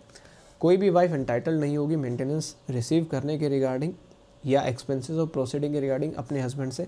अगर वो अडल्ट्री में रह रही है, पहला ऑप्शन दूसरा, बिना सफिशिएंट रीज़न से वो मना कर रही है कि मैं तेरे साथ नहीं रहूँगी। या फिर वो तीनों के तीनों, दोनों के दोनों सेपरेटली अलग अलग रह रहे हैं। तो ये प्री का क्वेश्चन है। प्री में भी आता है, तीन ग्राउंड से मेंस में भी आता है। तीन ग्राउंड है अडल्ट्री में रह रही है, बिना किसी सफिशियंट रीज़न से मना कर रही है, या फिर सेपरेटली रह रही है बाई म्यूचुअल कंसेंट ठीक है? नाउ सबसेक्शन फाइव ये कहता है कि अगर कोर्ट को पता लगता है कि कोई भी वाइफ जो है, ठीक है अडल्ट्री में रह रही है, बिना सफिशियंट रीज़न की मना कर रही है, या म्यूचुअल कंसेंट से अलग अलग रह रही है तो कोर्ट जो है ऑर्डर को कैंसिल कर देगा। ना 125 के बाद 126 126 से भी प्री में क्वेश्चन आता है. तीन ग्राउंड है वहाँ पे प्री में. 126 कहता है जो प्रोसीडिंग्स अंडर सेक्शन 125 ठीक है, वो कहाँ पे की जाएँगी? वेयर ही इज़ जहाँ वो लड़का रहता है, या वो या उसकी वाइफ जहाँ रहते हैं, या जो लास्ट में रहे थे ये लोग, ठीक है, ये तीनों चीज़ें याद रखनी है. जितनी भी एविडेंसेस लिए जाएँगे इन प्रोसीडिंग्स के अंदर सेम प्रोसीजर सम्मन केसेस का अडॉप्ट किया जाएगा. हमेशा याद रखना जहाँ पे कोई प्रोसीजर प्रिस्क्राइब नहीं तो सम्मन केसेस का प्रोसीजर हम उठा लेंगे, ठीक है? हमेशा सम्मन केसेस का प्रोसीजर हम उठा लेंगे।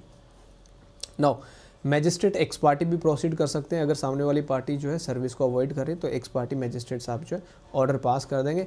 अगर आप एक्स पार्टी ऑर्डर को सेटिसाइड करवाना चाहते हो, ठीक है? तो आप तीन महीने के अंदर अंदर जो है कोर्ट के अंदर अप्लाई करेंगे विद इन थ्री मंथ्स आपको याद रखना है, तीन महीने के अंदर अंदर आप अप्लाई कर देंगे। 127 प्री के लिए आपको पढ़ना है अल्ट्रेशन एंड अलाउंस दोनों की सिचुएशन में अगर कोई चेंजेस होता है सर्कमस्टांसिस में कोई चेंजेस होता है तो जो अलाउंस हमने दिया उसके अंदर हम बदलाव कर सकते हैं चेंज कर सकते हैं। 128 आपको हेडिंग हेडिंग पढ़नी enforcement of order of maintenance सिर्फ़ हेडिंग हेडिंग पढ़नी यहाँ से कोई क्वेश्चन नहीं आने वाला। नाउ चैप्टर नंबर नाइन भी हमारा कंप्लीट हो गया। अब चैप्टर नंबर टेन की बात करते हैं। चैप्टर नंबर टेन भी एक ऐसा चैप्टर है जो नागालैंड और आपके स्टेट ऑफ़ ट्राइबल एरियाज़ पे अप्लाई होता है। 177 में कोई भी लगा सकता है एप्लीकेशन कोई ऐसा नहीं है कि एप्लीकेशन कौन लगाएगा, ठीक है? On proof of any change in circumstance any person can apply to the call ठीक है? नाउ चैप्टर नंबर टेन की बात करते हैं maintenance of public order and tranquillity यहाँ से वैसे जो जो क्वेश्चन आता है, मैं उसी पे जा रहा हूँ। 129 प्री में अक्सर नहीं आता है, ठीक है? अगर पढ़ना चाहो, पढ़ सकते हो। Dispersal of assembly by use of civil force executive magistrate office in charge के पास पावर है, ठीक है? रेस्ट नहीं है, ठीक है? 130 हेडिंग हेडिंग पढ़नी है आपको। Use of arm forces arm forces को यूज़ किया जा सकता है असेंबली को डिस्पर्स करने के लिए।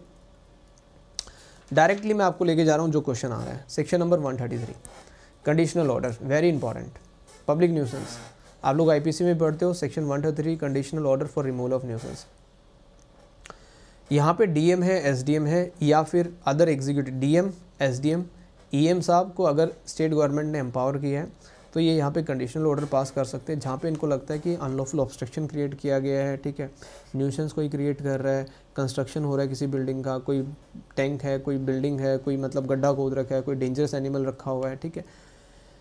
इनके रिगार्डिंग कंडीशनल ऑर्डर पास किया जा सकता है कि भाई आप इन चीज़ों को ठीक कर लो ठीक है? अगर आप ठीक नहीं करते हो, देखो, लिखा हुआ है रिमूव कर लो या ठीक कर लो या जो एनिमल है आपके पास उसको डिस्ट्रॉय कर लो या जो टैंक वगैरह खोद रखा है उसको आप फेंसिंग कर लो। अगर आप ये सारे काम नहीं करते हो तो आपके रिगार्डिंग जो ऑर्डर है कंडीशनल ऑर्डर उसको साफ़ साफ़ लिख दिया जाए। क्यों ना इस ऑर्डर को एब्सोल्यूट कर दिया जाए। ये लिखा why the order should not be absolute order absolute किया जा सकता है। 133 प्री में आता है।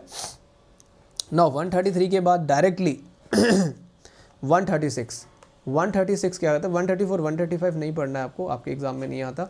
136 कहता है कि जो आपने कंडीशनल ऑर्डर पास किया है, आप उसको एब्सोल्यूट कर देंगे, ठीक है? और पेनल्टी जो सेक्शन 188 ऑफ़ आईपीसी में दी हुई है, वो आप वहाँ पे अकॉर्डिंगली उसके ऊपर लगा दी जाएगी, ठीक है? 137 अगेन नहीं आएगा 137 138 नहीं आने वाला 139 ठीक है? सेम नहीं आएगा 140 आपको नहीं पढ़ना है 141 आपको नहीं पढ़ना है, ठीक है? अब आपको डायरेक्टली पढ़ना है 142 142 पे आ जाइए। 142 पे आ जाइए। Injunction pending inquiry. Injunction pending inquiry. देखो मैजिस्ट्रेट साहब को लगता है कि जो सेक्शन 133 का ऑर्डर है, ठीक है, वो इमीडिएटली हमें पास करना पड़ेगा, ठीक है, क्योंकि इमीडिएट डेंजर है, बहुत एकदम से खतरा आ चुका है हमारे सामने और हमने इमीडिएटली पास नहीं किया। तो मैजिस्ट्रेट साहब क्या करेंगे? इशू कर देंगे, इंजेक्शन को इशू कर देंगे। इंजेक्शन आपको पता है, रोकने के लिए होती है किसी व्यक्ति को। कि भैया आपके अगेंस्ट ऑर्डर अभी नहीं आ रहा है, ठीक है, हम इंजंक्शन दे रहे हैं कि जब तक वो हम डिटरमाइनिंग कर लेते मैटर आप कोई भी काम नहीं करने वाले हो। अगर कोई व्यक्ति उस इंजंक्शन को ओबे नहीं करता है तो मैजिस्ट्रेट साहब हिमसेल्फ खुद, ठीक है, या किसी और से वो जो है, जो भी डेंजर है, उसको वहाँ से ऑबवेट करवा लेंगे, हटवा देंगे। और कोई भी सूट जो है मैजिस्ट्रेट के खिलाफ नहीं फ़ाइल किया जाएगा, ठीक है, अगर उन्होंने ये सारी चीज़ें गुड फेथ में की तो 142 प्री में आता है डायरेक्ट सेक्शन बेस्ड क्वेश्चन ना 143 कहता है मैजिस्ट्रेट जो है प्रोहिबिट कर सकते हैं रेपुटेशन और continuance of public nuisance DM साहब एसडीएम साहब और एग्जीक्यूटिव मैजिस्ट्रेट को अगर स्टेट गवर्नमेंट ने एम्पावर किया हुआ है तो ये ऑर्डर पास कर देंगे कि दोबारा से ये सारे काम नहीं करना आप, ठीक है? सो दिस इज़ 143 चलिए नेक्स्ट चलते हैं। 143 तक हो गया ना सबका? आइए।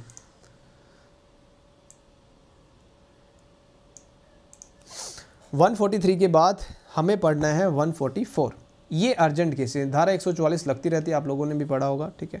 हमेशा प्री में आता है हेडिंग बेस्ड भी आता है और मेंस में भी आता है। Power to issue order in urgent cases of nuisance again DM SDM और ईएम साहब को अगर स्टेट गवर्नमेंट ने एम्पावर किया है तो ये सारे के सारे यस मधु लिम्बे वाला बहुत फ़ेमस केस है इसके ऊपर, ठीक है? 144 देखो 144 के अंदर एक क्वेश्चन आता है, क्या 144 का ऑर्डर एक्स पार्टी पास किया जा सकता है? डेफिनेटली पास किया जा सकता है, याद रखिएगा, यही प्री में आएगा।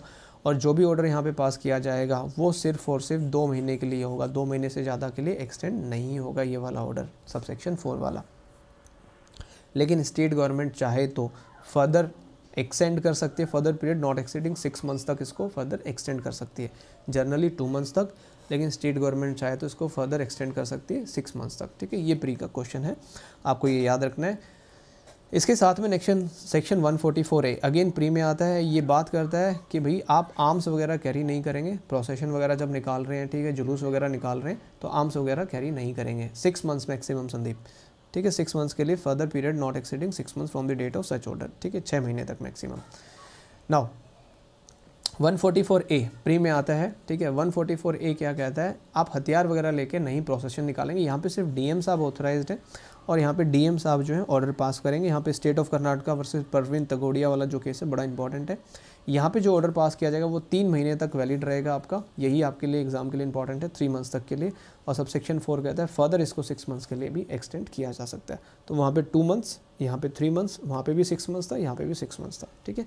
लेकिन ओनली डीएम ये चीज़ याद रखनी only D M now 144 heading heading हमें पढ़नी है, सिर्फ़ एग्जीक्यूटिव मैजिस्ट्रेट साहब यहाँ पे एम्पावर्ड हैं, ठीक है? ये ऑर्डर पास कर सकते हैं। 145 के अंदर आपको हेडिंग पढ़नी है, ठीक है? प्रोसीजर क्या रहेगा जहाँ डिस्प्यूट होता है लैंड वाटर को लेके?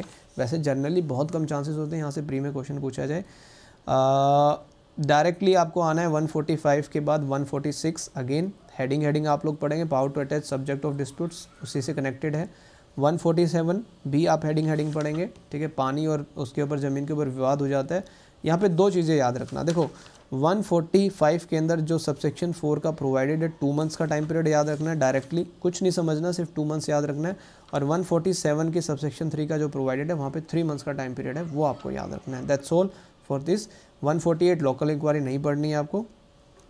Now come to chapter number 11 preventive action of the police chapter number 11 पे आइए।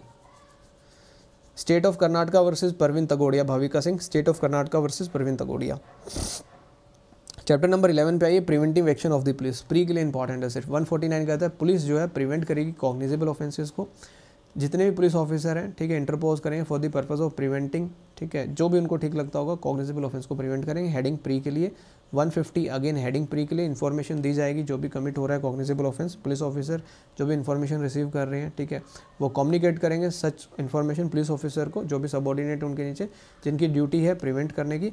और 151 अरेस्ट किया जा सकता है किसी व्यक्ति को कॉग्निजेबल ऑफेंस को रोकने के लिए, ठीक है?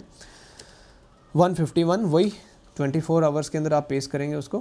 Prevention of injury to public property again 152 भी पुलिस ऑफिसर की ड्यूटी लगाता है कि वो रोकने की कोशिश करेंगे कि पब्लिक प्रॉपर्टी को कोई इंजरी ना हो। 153 कोई भी ऑफिसर इंचार्ज है पुलिस स्टेशन इनके पास पावर है बिना किसी वारंट के किसी भी प्लेस में घुस सकते हैं। जो वेट एंड मेजर्स नहीं होते जैसे पहले आप सामान वगैरह लेने जाते तो वो बाट होते थे बाट से तोलते वन के जी टू के जी को ऐसे वेट करके आपको देते थे सामान। तो 153 उसी चीज़ के बारे में बात करता है कि आप इंस्पेक्ट कर सकते हो वेट एंड मेजर को और इंस्ट्रूमेंट वगैरह जो भी है। सो so, इसी के साथ हमारा चैप्टर नंबर इलेवन भी कंप्लीट हुआ। और एक बार ज़ोर से बता दीजिए how's the josh right now ज़ोर से कमेंट करके बता दो हाउस दी जोश, तुम्हारा जोश आई होगा तो मेरा भी जोश आई होगा, क्योंकि अब इसके बाद जो है खतरनाक वाले हमारे जो चैप्टर स्टार्ट होने जा रहे हैं। जल्दी से कमेंट करके बता दीजिए हाउस दी जोश, साढ़े बारह हो गए हैं। साढ़े नौ, साढ़े दस, साढ़े ग्यारह, साढ़े बारह, तीन घंटे हो गए हैं हमें। ठीक है? अब एक बार रिपीट करते हैं चैप्टर नंबर इलेवन तक हम कर चुके हैं, फटाफट रिपीट करते हैं रिवीजन करते हैं। देखो चैप्टर नंबर वन में हमने क्या पढ़ा? चैप्टर नंबर वन में हमने पढ़ा प्रिलिमिनरी सेक्शन वन से लेके फाइव तक। साथ साथ में कमेंट करते चलना। चैप्टर नंबर वन में हमने प्रिलिमिनरी पढ़ा सेक्शन नंबर वन से लेकर फाइव तक। चैप्टर नंबर टू में हमने पढ़ा कॉन्स्टिट्यूशन ऑफ़ क्रिमिनल कोर्ट्स क्या होगा और उसके ऑफिसर्स कौन होंगे। Chapter number section number six से लेकर ट्वेंटी फाइव ए तक हमने पढ़ा। और चैप्टर नंबर थर्ड हमने पढ़ा पावर्स क्या होंगे कोर्ट की। सेक्शन नंबर ट्वेंटी सिक्स से स्टार्ट किया और थर्टी फाइव पे हमने खत्म किया। और फिर हमने पढ़ा chapter number four chapter number four में हमने बात की कि पावर क्या होंगी सुपीरियर ऑफिसर्स की, ठीक है? और एड क्या करनी मजिस्ट्रेट सेक्शन थर्टी सिक्स से लेकर फोर्टी तक हमने पढ़ा। और फिर हमने पढ़ा चैप्टर नंबर फाइव जिसमें हमने पढ़ा arrest of person section forty one से लेकर सिक्सटी ए तक हम वहाँ पे गए। अरेस्ट करने के बाद हमने चैप्टर नंबर सिक्स हमने पढ़ा। प्रोसेस क्या होगी? कंपेल करने की, जिसके अंदर हमने सम्मन पढ़े वारंट पढ़े प्रोक्लेमेशन पढ़ी और अदर रूल्स पढ़े। सिक्सटी वन से लेके हम डायरेक्टली नाइन्टी ए तक गए हैं। नाइन्टी तक गए हैं और चैप्टर नंबर सेवन में हमने पढ़ा कि भैया आदमी तो प्रोड्यूस कर लिया आदमी के जो सामान समून उसको प्रोड्यूस करने की बात करें तो चैप्टर सेवन कहता है production of things and documents जिसको हमने सेक्शन नंबर नाइन्टी वन से पढ़ के वन ज़ीरो फाइव तक समअप किया और चैप्टर नंबर सेवन ए हमने हेडिंग हेडिंग पढ़ी क्योंकि वन ज़ीरो फाइव ए से लेकर वन ज़ीरो फाइव एल तक हमारे एग्ज़ाम में नहीं आता है। उसके बाद हमने चैप्टर नंबर एट पढ़ा चैप्टर एट कहता है security for peace and security for good behaviour जो हमने 106 से लेके 124 तक पढ़ा। और चैप्टर नंबर नाइन हमने पढ़ा मेंटेनेंस का, जो 125 से लेके 128 तक की बात करता है।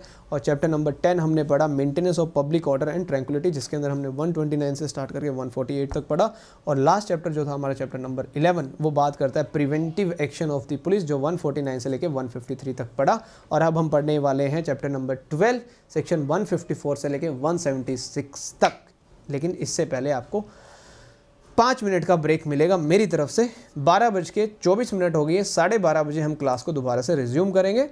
तो ब्रेक पे चलते हैं पाँच मिनट के, ठीक है? पाँच मिनट का ब्रेक, आप लोग भी पानी पी लो थोड़ा सा मैं भी थोड़ा सा पानी पी लेता हूँ, फिर हम कंटिन्यू आज C R P C complete होगी, वादा किया मैंने। वादा, तेरा वादा, है ना?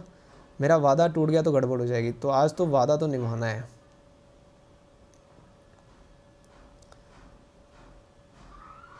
चलिए।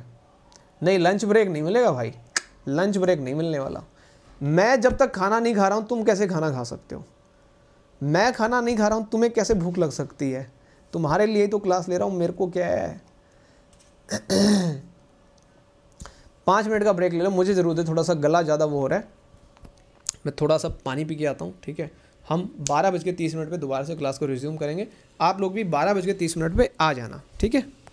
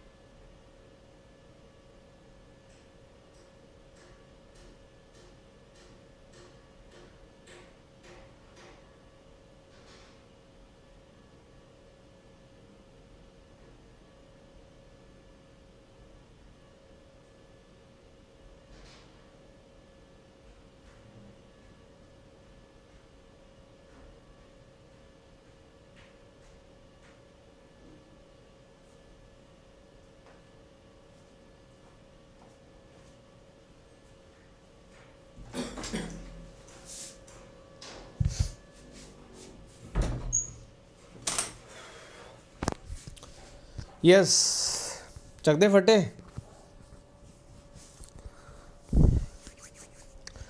चलिए, आ जाओ सब लोग। वी आर बैक क्या बात है? कहाँ चले गए बाकी सारे? आ जाओ छत्ती छत्ती आ जाओ। चलो। सो स्टार्ट करते हैं next chapter chapter number twelve आगे सब लोग। चलो, एक बार ज़ोर से करें। हाउस दी जोश एक बार ज़ोर से हाउस दी जोश। पूरे ज़ोर से बता दो एक बार। Very high very very high चलो। चैप्टर नंबर ट्वेल्व की बात करते हैं। काफ़ी इंपॉर्टेंट चैप्टर है। प्री में भी आता है मेंस में भी आता है, पूरी सीआरपीसी का सबसे इंपॉर्टेंट चैप्टर यही है। 154 से लेके 176 तक हम पढ़ने वाले हैं। चैप्टर नंबर 12 जो है, बात करते हैं इन्फॉर्मेशन टू द पुलिस और उनकी क्या पावर है इन्वेस्टिगेट करने की। सबसे पहला सेक्शन जो है सेक्शन 154 है। देखो 154 एफआईआर के नाम से आप लोग जानते हो। इन्फॉर्मेशन इन कॉग्निजेबल केसेस कोई भी इन्फॉर्मेशन अगर आप कॉग्निजेबल केसेस की दे रहे हो, जैसे कि अभी रिसेंट एग्जांपल मैं कर दूँ अभी जंतर मंतर के ऊपर ओलंपिक के जो गोल्ड मेडलिस्ट हैं, जितने भी आपके रेसलर्स वगैरह हैं विनेश फोगाट है बजरंग पुनिया ये सारे के सारे बैठे हुए हैं। एक ऐसे केस में जहाँ पे एफआईआर रजिस्टर हो जानी चाहिए थी बट नहीं हुई, क्योंकि ललिता कुमारी की गाइडेंस थी कि सेक्सुअल अगर सेक्सुअल ऑफेंस के अगर आपके ऊपर आरोप लगते हैं तो वहाँ पे एफआईआर होनी चाहिए विदाउट एनी इंक्वायरी ठीक है? तो 154 उसी की बात करता है कि कोई भी इन्फॉर्मेशन अगर as to the commission of cognizable offence आ रही है ठीक है? अगर वो ऑरली है ऑफिसर इंचार्ज को दी जा रही है तो वो राइटिंग में लिखेंगे, ठीक है? अगर वो रिटर्न में है तो कोई प्रॉब्लम नहीं है, ठीक है? तो यहाँ पे जो है, आप स्पेसिफाई करेंगे कि आप एफआईआर जो है मैंडेटरी है इन केसेस के अंदर नीचे लिखा भी हुआ है कि अगर आप इन्फॉर्मेशन दे रहे हो, ठीक है, कोई वुमेन के अगेंस्ट कोई ऑफेंस कमिट हुआ है three twenty six A B C D का, ठीक है तो वहाँ पे जो है आप डायरेक्टली जो है shall record information by the women police officer record करेगी इन्फॉर्मेशन को। साथ के साथ में प्रोवाइडेड ये कहता है कि अगर कोई भी ये वाले ऑफेंसेस कमिट हो रहे हैं बिल्कुल मैंडेटरी है, ठीक है?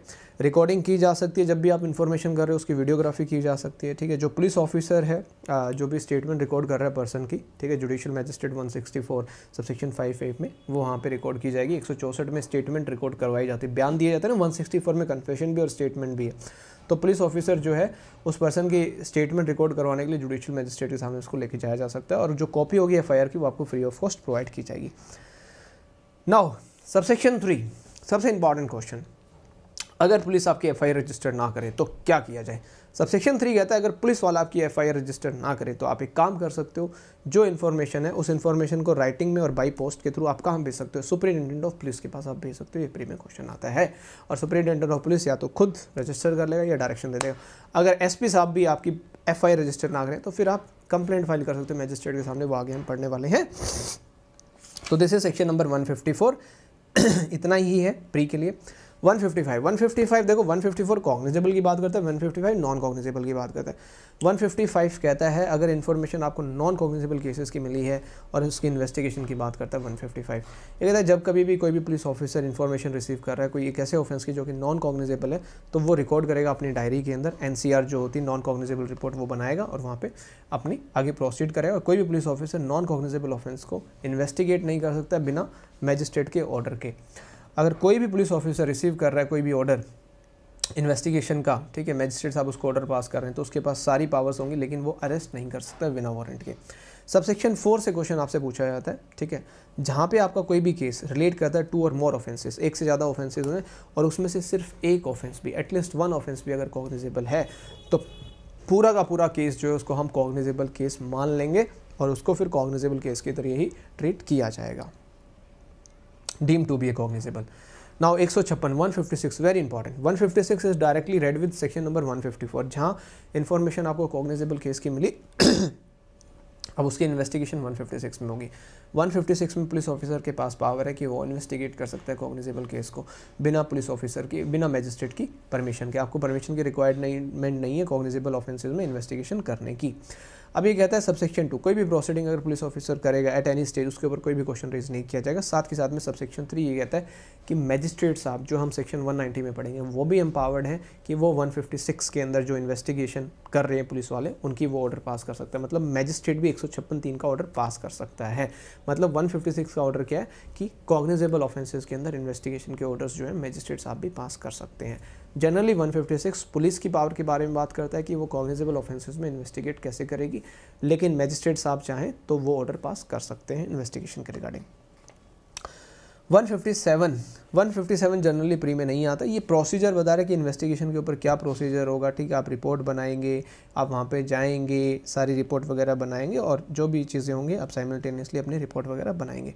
158 कहता है 157 में जो रिपोर्ट बन जाएगी, उसको आप कैसे सबमिट करेंगे? ये कह रहे जो भी रिपोर्ट आप मैजिस्ट्रेट 157 में आप बनाएँगे स्टेट गवर्नमेंट जैसे भी ऑथराइज करेगी, आप उस रिपोर्ट को सबमिट कर देंगे। 158 प्री में आता है हेडिंग बेस्ड क्वेश्चन 159 ये बड़ा अच्छा है। 159 कहता है कि जो है इन्वेस्टिगेशन को होल्ड करने की और प्रिलिमिनरी इंक्वायरी कंडक्ट करने की। मैजिस्ट्रेट साहब जो इसके पास में रिपोर्ट आ रही है 157 की, ठीक है? 157 एक एनेबलिंग प्रोविज़न है जो रिपोर्ट के बारे में बात करते हैं इन्वेस्टिगेशन की रिपोर्ट आप सबमिट करें अक्रेंस रिपोर्ट जिसको आप बोलते हैं, ठीक है?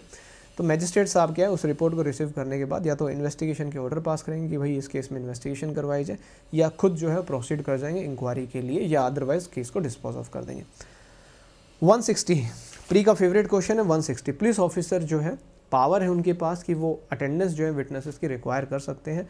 लेकिन यहाँ पे जो क्वेश्चन आता है, वो आपके प्रोवाइडेड से आता है। जनरली पुलिस ऑफिसर जो भी इन्वेस्टिगेशन कर रहा है, चाहे कॉग्निजेबल की कर रहा हो, चाहे नॉन कॉग्निजेबल की कर रहा हो राइटिंग में ऑर्डर पास करके किसी भी व्यक्ति को, कोई भी व्यक्ति जो है जिसके पास इन्फॉर्मेशन है और जो एक्वेंटेड है with the facts and circumstances of the case कह सकता है कि आप यहाँ पे आएँ और यहाँ पे अटेंड करें पुलिस स्टेशन को। बट प्रोवाइडेड ये कहता है, कोई भी मेल पर्सन जिसकी एज 15 ईयर्स से, ठीक है, या 15 ईयर्स से बिलो या 65 से ऊपर हो, या कोई वुमेन है या कोई मेंटली या फिजिकली डिसेबल्ड पर्सन है, आप उनको नहीं बुलाएँगे, आप डायरेक्टली खुद उनके घर पे जाएँगे। ये हमेशा याद रखना, ये प्री में आता है प्रोवाइडेड इनको आप कॉल नहीं कर सकते हो, अगर कोई एक पंद्रह साल से नीचे है और सिक्सटी फाइव से ऊपर है, या कोई महिला महिला किसी भी उम्र की हो सकती है, या कोई ऐसा पर्सन है जो मेंटली या फिजिकली डिस्प्लेबल है, ठीक है? नाउ सबसेक्शन टू नहीं है 161 पे ये एक के बयान, बहुत इंपॉर्टेंट है, एक की statement examination of witnesses by police बड़ा सिंपल सा कंसेप्ट है कि कोई भी पुलिस ऑफ़िस जो भी इन्वेस्टिगेशन कर रहा है, ठीक है, और कोई भी police officer not below such rank जो भी स्टेट गवर्नमेंट स्पेसिफाई करेगी, ठीक है, वो यहाँ पे क्या कर सकते हैं एग्जामिन कर सकते हैं ओरली किसी भी व्यक्ति को who is to be suppose to be acquainted with the fact and circum जिसको पता है कि भाई क्या क्या फैक्ट एंड सर्कमस्टांसेस हैं इस केस के, ठीक है?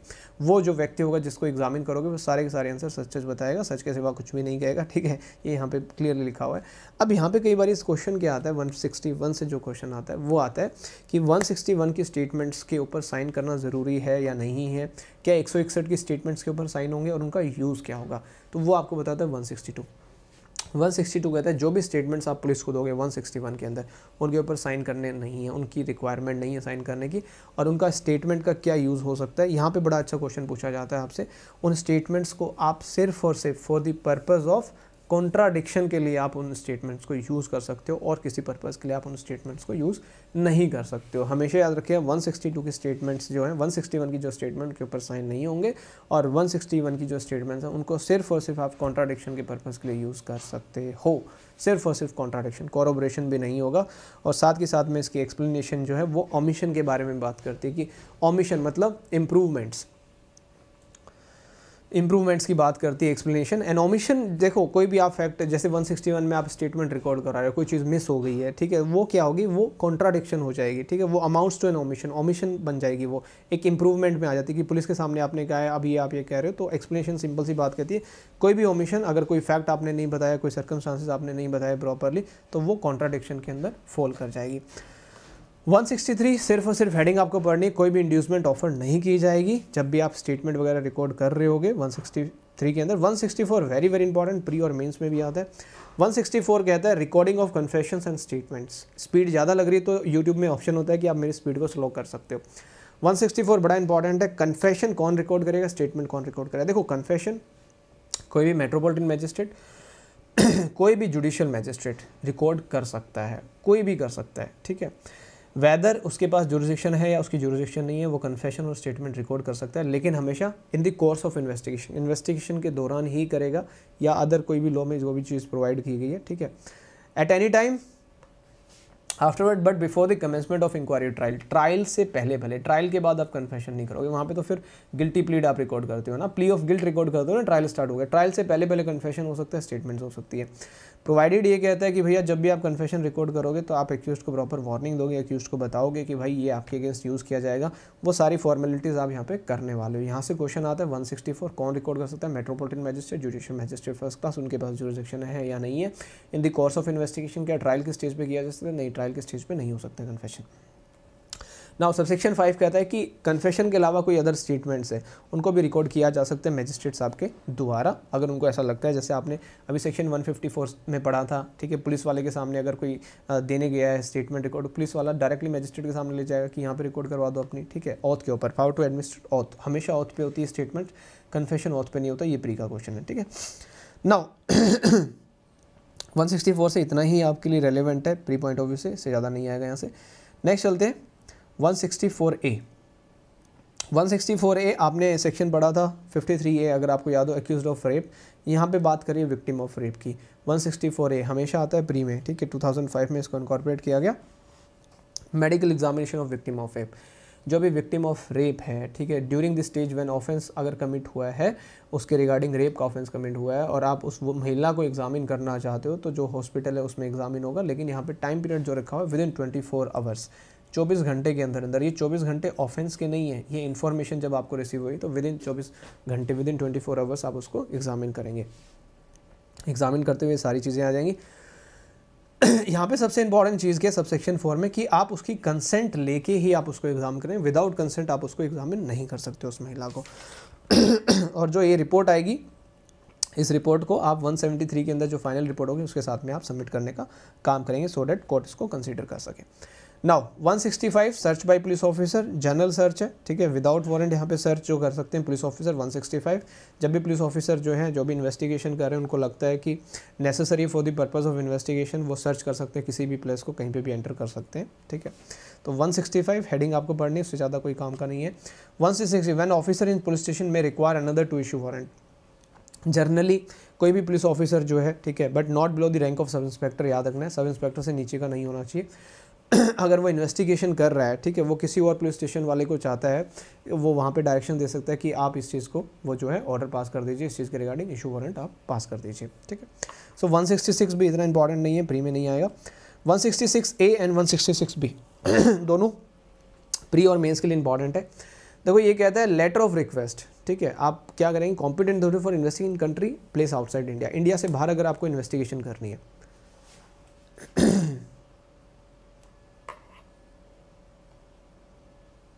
इंडिया से बाहर आपको अगर इन्वेस्टिगेशन करनी है तो उस केस में आप लेटर ऑफ़ रिक्वेस्ट इशू करेंगे। सेंट्रल गवर्नमेंट ने जो भी प्रोसेस बनाया है, उसके थ्रू 166 ए इंडिया से बाहर आपको इन्वेस्टिगेशन करनी है। 166 बी ये कहता है letter of request from country बाहर वाली कंट्री ने इंडिया में लेटर ऑफ़ रिक्वेस्ट भेजा तो accordingly 166 A and 166 B pre के लिए हेडिंग हेडिंग पढ़नी है। Now 167 very very important pre में भी आता है मेंस भी आता है। 167 कहता है प्रोसीजर क्या होगा अगर इन्वेस्टिगेशन 24 घंटे में कंप्लीट ना हो, जो आपने सेक्शन 57 में पढ़ा था। अगर 24 घंटे में इन्वेस्टिगेशन कंप्लीट नहीं होती है तो पुलिस ऑफिसर जो भी पर्सन रेस्टेड है and he is not below the rank of sub inspector वो नियरेस्ट जुडिशियल मजिस्ट्रेट के सामने उसको पेश करेंगे, जो भी उनके पास एंट्री है। पेश कर दिया है कि उसको मजिस्ट्रेट के सामने।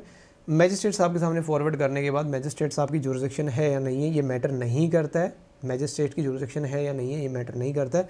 मैजिस्ट्रेट साहब चाहें तो उसकी डिटेंशन को ऑथराइज़ कर सकते हैं for a maximum period of fifteen days पंद्रह दिन के लिए पुलिस कस्टडी में वो दे सकते हैं उसको। पुलिस कस्टडी या जुडिशियल कस्टडी मिक्स होती है। पंद्रह दिन के लिए आप दे सकते हो। Sorry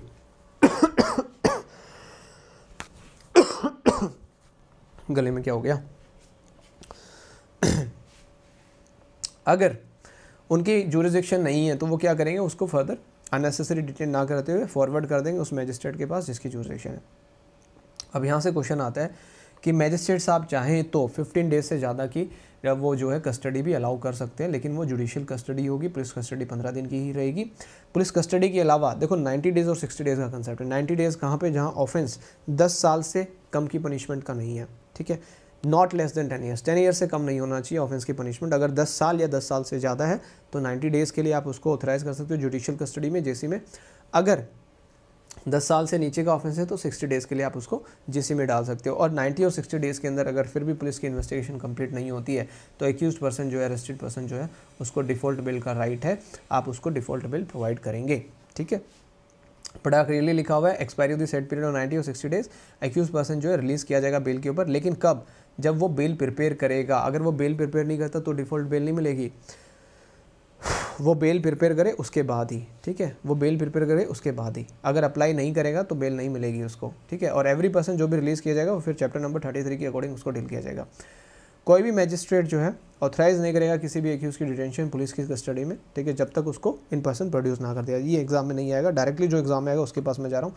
Explanation number one and explanation number two ये कहता है for the avoidance of doubt बड़ा क्लियरली लिखा हुआ है कि जो एक्सपायरी है, जो पीरियड सिक्सटी और नाइन्टी डेज़ का है the accused shall be detain in custody so long he does not जब तक अगर वो बेल फर्निश नहीं कर रहा है आप उसको 200 दिन 300 दिन 400 दिन, कितने दिन जेल में रख लो, उससे कोई फ़र्क नहीं पड़ता। ठीक है 90 और 60 डेज़ एक्सपायर होने के बाद आपको बेल देनी पड़ेगी, तभी आपको बेल मिलेगी अदरवाइज़ आपको बेल नहीं मिलेगी। This is the concept of default bail अगर आप नहीं करते हो बेल फर्निश तो आपको कितने सालों साल जेल में रखें, कोई मतलब नहीं उसका। हाँ बिल्कुल है। नेक्स्ट नेक्स्ट यहाँ पे जो सबसे इंपॉर्टेंट है, वो आता है अब एग्जीक्यूटिव मैजिस्ट्रेट साहब का। अगर जुडिशियल मजिस्ट्रेट नहीं है, ठीक है, आपने एग्जीक्यूटिव मैजिस्ट्रेट के सामने पेश कर दिया तो वहाँ पे सेवन डेज़ का कंसेप्ट है। सात दिन के लिए जो है एग्जीक्यूटिव मैजिस्ट्रेट साहब जो है कस्टडी दे सकते हैं। सात दिन से ज़्यादा जो है एग्जीक्यूटिव मजिस्ट्रेट साहब कस्टडी नहीं दे सकते। ईएम के केस में सेवन डेज़ याद रखना है आपको, और उससे ज़्यादा कुछ नहीं याद रखना है यहाँ पे। हो यहाँ पे डायरेक्टली आइए आप लोग सबसेक्शन फाइव पे। सबसेक्शन फाइव बड़ा इंपॉर्टेंट है। सुनिए सबसेक्शन फाइव कहता है इफ़ इन एनी केस जो कि ट्राइबल बाई मैजिस्ट्रेट है सम्मन केस की तरह उसको ट्राई किया जा रहा है और उसकी इन्वेस्टिगेशन अगर छः महीने में कंप्लीट नहीं होती सिक्स मंथ्स टाइम पीरियड याद रखना है, अगर सिक्स मंथ्स में इन्वेस्टिगेशन कंप्लीट नहीं होती, कोई एक ऐसा केस जिसका ट्रायल सम्मन केस की तरह किया जा रहा है तो मैजिस्ट्रेट साहब जो है ऑर्डर पास कर देंगे कि फर्दर इन्वेस्टिगेशन को रोका जाए, वहीं पर इन्वेस्टिगेशन बंद कर दी जाएगी, ठीक है? तो ये आपको याद रखना है सिक्स मंथ्स के अंदर इन्वेस्टिगेशन कंप्लीट हो जानी चाहिए। 167 के बाद नेक्स्ट चलते हैं 168 168 168 कहाँ गया? स्टेट अमेंडमेंट बहुत है इसमें। 168 pre clear report of investigation by subordinate police officer भी सबमिट कर सकता है, ठीक है?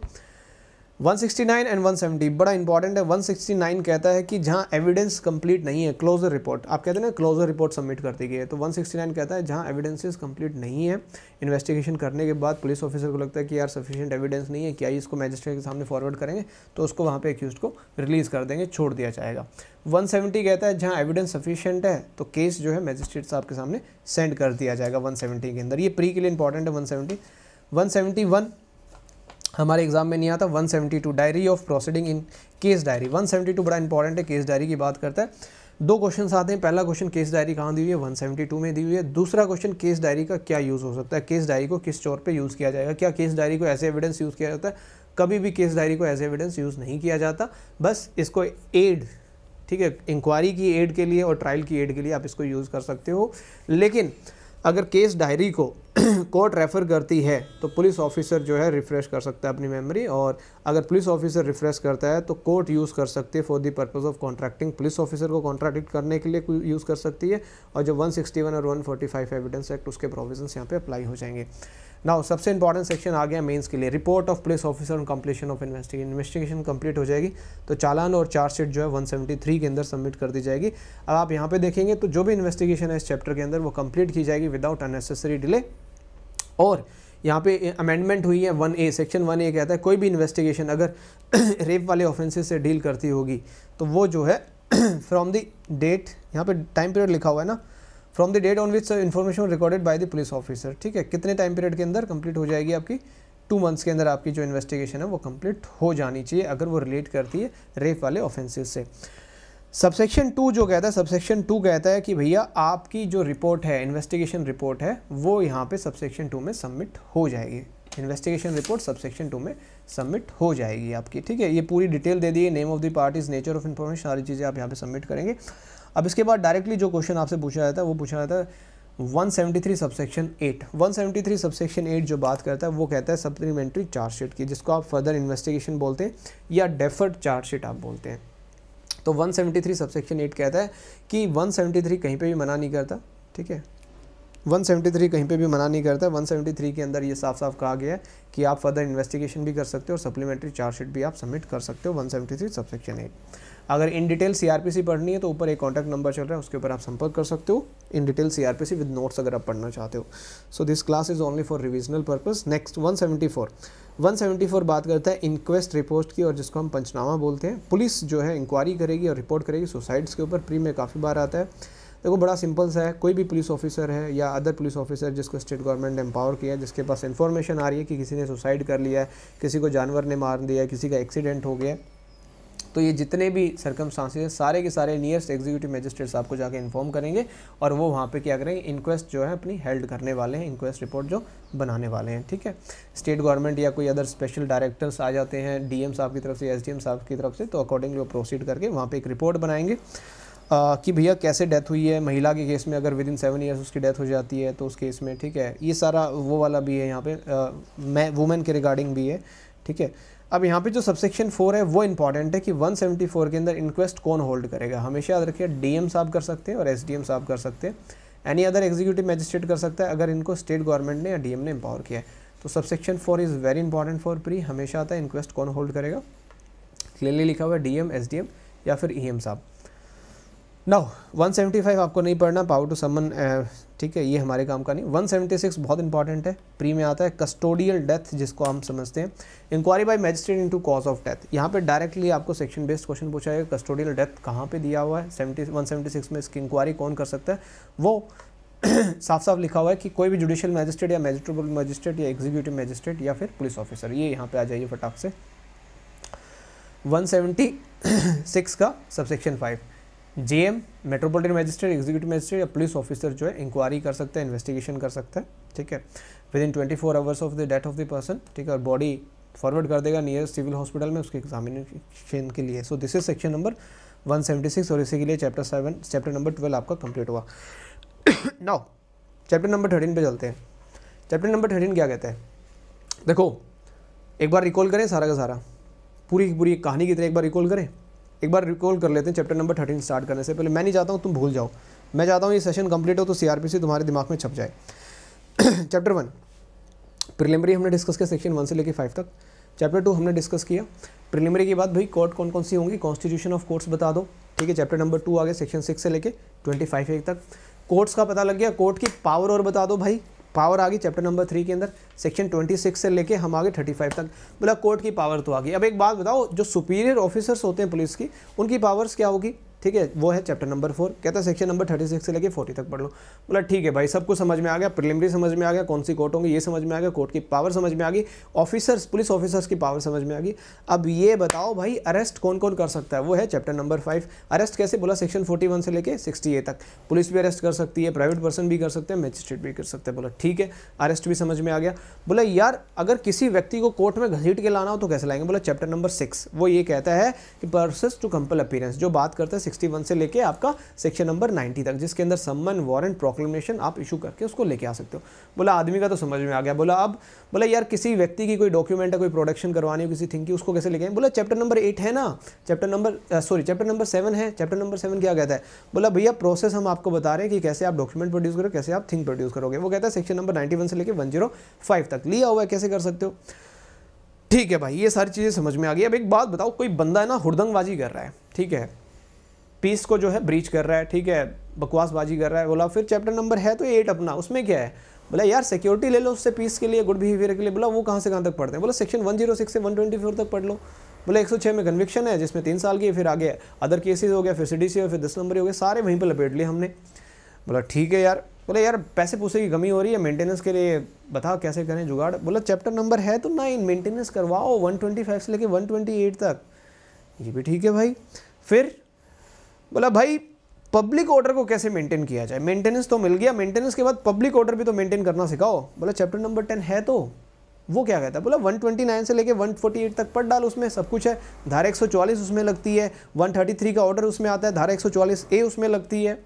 कोई भी व्यक्ति, सीधा सा याद रखना है, कोई भी व्यक्ति अगर उड़दंगबाजी कर रहा है, ठीक है, घर कैसे बना रहा है, गड्ढा खोद रहा है, कुछ कर रहा है कंडीशनल ऑर्डर 133 में। अच्छा बोला, एक जगह पे काफ़ी सारे लोग इकट्ठा हो रहे हैं। 144 का ऑर्डर अच्छा हथियारों के साथ अगर प्रोसेशन निकाल रहे हैं, लठ वगैरह ले रहे हैं, तलवार हाथ में ले रही है, फिर 144 ए का ऑर्डर डीएम साहब पास कर देंगे। अच्छा ये सारा का सारा चैप्टर नंबर टेन के अंदर हो जाएगा। बोला, ठीक है भाई। बोला, यार, ये सारे काम हमें ही करने पड़ेंगे। बोला, नहीं, तुम्हें नहीं करने पड़ेंगे। बोला, फिर? बोला, यार, पुलिस की ड्यूटी बनती है। पुलिस की कैसे बनती है? बोला चैप्टर इलेवन है। क्या preventive action of the police police prevent करेगी भाई? किस चीज़ को? बोला कॉग्निजेबल ऑफेंस होने से रोकेगी। अच्छा प्रॉपर्टी को डैमेज होने से रोकेगी। अच्छा उस व्यक्ति को अरेस्ट करेगी जो व्यक्ति कॉग्निजेबल ऑफेंस करना चाह रहा है। अच्छा बोला कोई घपला कर रहा है वज़न वज़न में बोला उसको, उसकी भी सर्च कर लेगी, जपत कर लेगी उसके भी। बोला, ठीक है। चल भाई, ये चीज़ें तो समझ में आ गई पुलिस की ड्यूटी भी है। बोला पुलिस की इन्वेस्टिगेट करने की पावर्स क्या है और कैसे इन्वेस्टिगेट करेगी? बोला चैप्टर नंबर ट्वेल्व है तो अपना। वो क्या कहता है? बोला, यार इन्फॉर्मेशन अगर पुलिस के पास चली गई कॉग्निजेबल की या नॉन कॉग्निजेबल दो ही जाएगी। बोला कॉग्निजेबल की जाएगी तो 154 में एफआईआर कर लेगी नॉन कॉग्निजेबल की जाएगी तो एनसीआर रिपोर्ट आ जाएगी। एक के साथ में एक सौ छप्पन की इन्वेस्टिगेशन की दी हुई और वन की इन्वेस्टिगेशन उसी में दी हुई है। बोला, ये समझ में आ गया। बोला अच्छा एक बात बता, क्या पुलिस किसी को एग्जामिन भी कर सकती है? बोला, बिल्कुल कर सकती है यार विटनेस को, जिसको पता है कि इसके बारे में। बोला, कहाँ करेगी? बोला 161 में दे रखा है। अच्छा 161 में एग्जामिन कर सकती है। हर किसी को बोला, ना। पंद्रह साल से नीचे वाले बच्चे को नहीं बुला सकती, पैंसठ से ऊपर वाले को नहीं बुला सकती अपने पास, ना किसी महिला को बुला सकती, ना किसी मानसिक और शारीरिक रूप से कोई व्यक्ति डिसेबल तो उसको भी नहीं बुला सकती। बोला, ठीक है, फिर उनका क्या करना है? बोला, उनके घर पर जाके एग्जामिन कर लो। अच्छा तो स्टेटमेंट के ऊपर साइन करने ज़रूरी है? बोला, नहीं करने भाई 162 मना करता है स्टेटमेंट पे साइन नहीं करने। फिर वो स्टेटमेंट क्या पर्पज़ हुआ उसका? बोला, वो स्टेटमेंट सिर्फ़ कॉन्ट्राडिक्शन के लिए यूज़ की जा सकती है और कोई पर्पज़ नहीं है उस स्टेटमेंट का। 162 तो हो गया भाई। बोला, फिर अगर किसी को कन्फेशन रिकॉर्ड करवाना हो तो? बोला, 164 है तो। बोला, किसको करवाएँ? बोला, किसी भी मेट्रोपॉलिटन मैजिस्ट्रेट को करवा दें। बोला जुडिशल को भी करा सकते हैं। हाँ जुडिशियल को भी करा सकते हैं। बोला जुरिस्डिक्शन होनी ज़रूरी नहीं भाई जुरिस्डिक्शन हो या ना हो, कोई फ़र्क नहीं पड़ता। रिकॉर्ड करवा दें। क्या कन्फेशन ऑथ पे करवाना पड़ेगा? नहीं कन्फेशन ऑथ पे करवाने की ज़रूरत ही नहीं है, उसमें मना कर रखा है। कोई रिक्वायरमेंट नहीं तो मैजिस्ट्रेट साहब वार्निंग देगा? हाँ वार्निंग देगा मैजिस्ट्रेट बोला कन्फेशन नहीं करवाना, कोई स्टेटमेंट करवानी है। भाई स्टेटमेंट तो फिर ऑथ पे करवानी पड़ेगी। 164 सबसेक्शन 5 में करवा दे। होगी 164 अब कन्फेशन हो गया स्टेटमेंट होगी। बोला, यार, मैंने ना एक, ये केस डायरी और सुनी है कि ये केस डायरी क्या होती है? भाई, जब पुलिस इन्वेस्टिगेट करती है ना तो सारी चीज़ें केस डायरी में लिखती है। सारी चीज़ें, सब कुछ डिटेल केस डायरी में लिखेगी कि भाई, कब गए, कहाँ गए, कैसे इन्वेस्टिगेट किया। बोला, कौन सा सेक्शन है? बोला 172 है। बोला केस डायरी को कैसे, क्या एविडेंस के तौर पे यूज़ नहीं एविडेंस के तौर पे यूज़ नहीं होगी केस डायरी पुलिस वाला अपनी मेमोरी को रिफ्रेश करने के लिए यूज़ कर सकता है और पुलिस वाला जब अपनी मेमोरी को रिफ्रेश करने के लिए यूज़ करेगा तो कोर्ट उससे कॉन्ट्राडिक्ट कर सकती है उसको बोला, ठीक है। वह भाई, सब कुछ समझ में आ गया। अब यूँ बता, जो पुलिस ने इन्वेस्टिगेशन की है, ठीक है, उसकी रिपोर्ट कहाँ सबमिट की? जिसको आप चालान कहते हैं चार्जशीट कहते हैं, बोला, मेरे भाई 173 है। 173 कहता है इन्वेस्टिगेशन हो गई आपकी तो आप वहाँ पे रिपोर्ट सबमिट कर दो। बोले, लेकिन इन्वेस्टिगेशन करने कितने टाइम में? ये भी तो कुछ होगा ना? हाँ 173 के साथ एक सेक्शन भी याद रखना आपको। बोला, कौन सा? बोला 167 बोला, वो क्या कहता है? कि कितने टाइम बोला, भाई, देख, दो चीज़ें हैं। अगर आपका केस उसकी सज़ा 10 साल से कम है, ठीक है तो तो आप मान के चलो कि आप 60 डेज़ के अंदर इन्वेस्टिगेशन कंप्लीट कर लो। बोला, दस साल से ऊपर है, बोला फिर, बोला नब्बे दिन के अंदर। और बोला, भाई, नब्बे और साठ दिन में ना हो तो क्या करें? बोला, भाई डिफ़ॉल्ट बेल मिल जाएगी। डिफ़ॉल्ट बेल मतलब तुम्हारी गलती की वजह से उस अक्यूज व्यक्ति को छोड़ दिया जाएगा। तो कैसे उसको बेल दे, भाई बेल देनी पड़ेगी? अगर बेल नहीं देगा तो? बोला, नब्बे दिन से कितने दिन जेल में रखो? साठ दिन से कितने दिन जेल में रखो? कोई चक्कर नहीं है। भाई सब कुछ समझ में आ गया 173 भी आ गया। यहाँ पे भी अच्छा एक बात बता इन्वेस्टिगेशन होगी रिपोर्ट सबमिट कर दी, लेकिन बाद में पता लगे कुछ एविडेंस और निकल के आ रहे हैं। अब क्या फर्दर इन्वेस्टिगेशन भी हो सकती है? बोला हाँ भाई 173 सबसेक्शन 8 में दिया हुआ है। क्या फर्दर इन्वेस्टिगेशन भी कर सकते हो? और बोला फर्दर इन्वेस्टिगेशन करूँगा तो रिपोर्ट कहाँ सबमिट करूँगा? बोला 173 सबसेक्शन टू में। तो उस रिपोर्ट को हम क्या बोलेंगे? उसको हम बोलेंगे सप्लीमेंट्री चार्जशीट ठीक है भाई वन भी समझ में आ गया। अब बात करते हैं भाई यार, ये जो लोग मर जाते हैं ना, बड़े दुखी आत्मा प्रकार के लोग होते हैं सुसाइड कर लेते हैं एक्सीडेंट हो जाता है इनका तो इसके ऊपर कौन कार्रवाई करता है? बोला, भाई, ये इंक्वेस्ट रिपोर्ट होती है। ये यार इंक्वेस्ट रिपोर्ट कौन करता है? बोला, 174 में दिया हुआ है। इंक्वेस्ट रिपोर्ट बनाई जाएगी। ठीक है डीएम साहब हैं एसडीएम साहब हैं, उनको एम्पावर किया गया। वो देखेंगे, भाई, कैसे मौत हुई है, कैसे नहीं बोला, ठीक है। बोला, यार, कई बार ये ना पुलिस अरेस्ट करके बहुत टॉर्चर करती है। टॉर्चर कैसे? बोला, यार, थाने में ले जाके पिटाई करते हैं। और उससे बंदा मर जाए तो फिर क्या होगा? बोला, भाई, वो कस्टोडियल डेथ होती है और वो 174 में दिया हुआ है। 175 में सॉरी 176 में दिया हुआ कस्टोडियल डेथ तो उसके ऊपर क्या, भाई, उसके ऊपर इंक्वायरी करेगा मैजिस्ट्रेट साहब, ठीक है?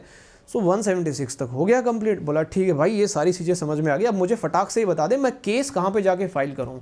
कौन सी कोर्ट है जिसकी जुरिस्डिक्शन बनेगी मेरे केस के रिगार्डिंग भाई, देख, उसके लिए चैप्टर नंबर थर्टीन पढ़ना पड़ेगा। और चैप्टर नंबर थर्टीन अभी अपन पढ़ेंगे। तो चैप्टर नंबर थर्टीन में अपन को पता लगेगा कौन सी क्रिमिनल कोर्ट क्योंकि क्लासेस ऑफ़ क्रिमिनल कोर्ट हमने सेक्शन सिक्स में पढ़ी थी। बोला, चार कोर्ट है यार, किस कोर्ट में जाऊँ, किसकी जोरिस्शन बनेगी? बोला चैप्टर नंबर थर्टीन पढ़ भाई, सब पता लग जाएगा किसकी जोरिस्शन बन रही, किसकी नहीं बन रही है, ठीक है? चलो चैप्टर नंबर थर्टीन पढ़ते हैं। चैप्टर नंबर थर्टीन बात करेगा 177 से लेकर 189 तक, सारी चीज़ें समअप होने के बाद ये कहता है किस कोर्ट की जुरिस्डिक्शन बनेगी। हाँ जी 167 में बताया राहुल मेहरा। आइए तो पहला सेक्शन कहता है 177 177 कहता है कि जर्नली प्लेस ऑफ़ इंक्वायरी और ट्रायल क्या होगा?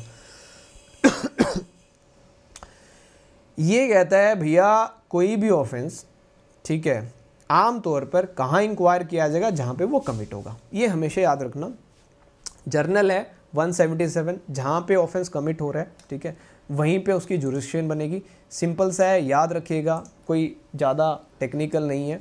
आम तौर पर जहाँ ऑफेंस कमिट हो रहा है, वहीं पे जुरिस्डिक्शन उसकी बन जाएगी। ठीक है?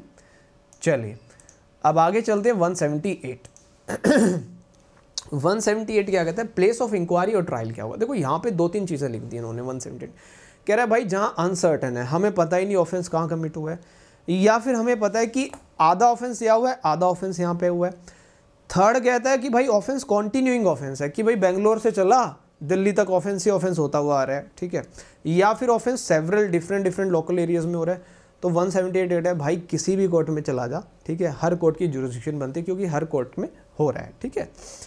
नाउ 179 179 कहता है कि ऑफेंस तूने यहाँ पे किया, ठीक है? सदमा किसी और को वहाँ पे लिखा, ठीक है? सीधी सी बात है ना ऑफेंस तूने यहाँ पे किया, सदमा किसी और को लग रहा है। मतलब तुम जज लग गए, तुम्हारे दूर के अंकल है, उनके हार्ट अटैक आ गया। भाई, ये जज कैसे लग गया? तो 179 line nine is like that कि आज तुमने यहाँ पे कोई कार्रवाई की है कॉन्सिक्वेंस कहीं हो रहा है। कल को तुम्हारा लिस्ट में नाम आ गया, उन अंकल को बेटा, हमारे तो जज लग गया है, उन अंकल के हो गया। भाई भाई, वो जज लग गया, हमारे वाला रह गया, ऐसा कैसा? तो 179 इज़ लाइक दैट तो जहाँ पे एक्ट हुआ है और जहाँ कॉन्सिक्वेंस हुआ है, दोनों कोर्ट की जुरिस्डिक्शन है। 180 जो है, आप पढ़ो तो ठीक है, ना पढ़ो तो ठीक है 180 से ज़्यादातर क्वेश्चन आता नहीं है। 181 पे आ जाओ। 181 बड़ा अच्छा है। 181 बहुत इंपॉर्टेंट है प्री में भी आता है। ठीक है, देखिए 181 क्या कहता है? Place of trial in cases of certain offences अलग अलग ऑफेंसेस की बात की गई अगर आपने थग है मर्डर कर दिया है डकोइती की है, या डकोइती विद मर्डर किया है तो कहाँ पे होगा? बोला सिंपल सी बात है, भाई, देख 170 181 आप पढ़ रहे हो तो 177 वाला तो रूल यहाँ पे आएगा ही आएगा। लेकिन जहाँ ऑफेंस कमिट हुआ है, उस कोर्ट की जुरिडिक्शन है और जहाँ पर्सन पकड़ा जाता है, वो भी, ठीक है? सेकेंड कहता है किडनैपिंग और अबडक्शन है। बोला किडनैपिंग एंड अबडक्शन है, पहली बात, जहाँ पे किडनैप हुआ है, देखो जहाँ ऑफेंस कमिट हुआ है, उसकी तो जुरेशन है। बोला, और जहाँ जहाँ लेके गया है, हर कोर्ट की जुरेशन बन जाएगी। थर्ड थेफ्ट एक्सट्रोशन रॉबरी के केस में। बोला, देख भाई, जहाँ थेफ्ट एक्सट्रोशन रॉबरी हो उस कोर्ट की तो जुरेशन है ही है। बोला, उसके अलावा बोला जहाँ प्रॉपर्टी पाई जाती है, ठीक है, जहाँ प्रॉपर्टी छुपाई जाती है, हर किसी की है, ठीक है। सबसेक्शन फोर बोला भाई criminal misappropriation criminal breach of trust में कहाँ पे होगी इंक्वायरी वगैरह, कहाँ जुरिस्डिक्शन बनेगी? बोला, यार, देख सुन, जहाँ ऑफेंस कमिट कमिट हुआ है, वहाँ तो है ही है। उसके अलावा जहाँ प्रॉपर्टी पाई जाती है, जहाँ रखी जाती है, वहाँ पे भी इंक्वायरी एंड जुरिस्डिक्शन कोर्ट की बनती है। सबसेक्शन फाइव कहता है कि कोई भी ऑफेंस जिसके अंदर आप क्या कर रहे हो? स्टोलन प्रॉपर्टी आप रिसीव कर रहे हो। पोजिशन ऑफ़ स्टोलन प्रॉपर्टी आपके पास पाया जाता है। उसकी इंक्वायरी अगेन जहाँ ऑफेंस कमिट हो वहाँ तो होगी होगी और जहाँ स्टोलन प्रॉपर्टी जिसके पोजिशन में पाई जाती है, वहाँ पे भी होगी। बड़ा सिंपल है 181 जहाँ ऑफेंस हो रहा है, वहाँ तो हो ही रही है जुरिस्डिक्शन जहाँ जहाँ व्यक्ति मिल रहा है, जहाँ जहाँ प्रॉपर्टी मिल रही है, जहाँ जहाँ व्यक्ति को कन्वे किया जा रहा है, हर कोर्ट की जुरिस्डिक्शन बनती जा रही है। कोई टेक्निकल नहीं, बड़ा सिंपल है प्री में आएगा 182 देखो 182 हाँ अभी प्रशांत वो आएगा, अभी ट्रेन वाला आएगा। 182 कहता है ऑफेंसेस कमिटेड बाय लेटर्स यहाँ से क्वेश्चन आता है। देखो भाई, कोई भी ऑफेंस है चिटिंग का है डिसेप्शन का है लेटर के थ्रू या आजकल व्हाट्सएप पे मैसेज आते हैं कि आपकी दो करोड़ की लॉटरी लग रही, तीन करोड़ की लॉटरी लग रही, कुछ नहीं लग रहा, झूठ बोलते हैं, ठीक है? तुम यकीन मत करना, मैं भी नहीं करता हूँ। अब ये कह रहा है, जहाँ से मैसेज लिखा गया और जहाँ डिलीवर हुआ है, दोनों ही कोर्ट की जुरिस्डिक्शन बनती है। सेंट और रिसीव्ड याद रखना है। दूसरे वाला जो सबसेक्शन टू ये बड़ा अच्छा है। ये भाई, जिन, जिनकी शादी हो रखी है, उनके लिए ज़रूरी है। 494 एंड 495 इंक्लूडिंग मी मैं भी कह रहा हूँ, मेरे को भी पता होना चाहिए सबसेक्शन टू का, क्योंकि मैं भी मैरिड हूँ, है ना?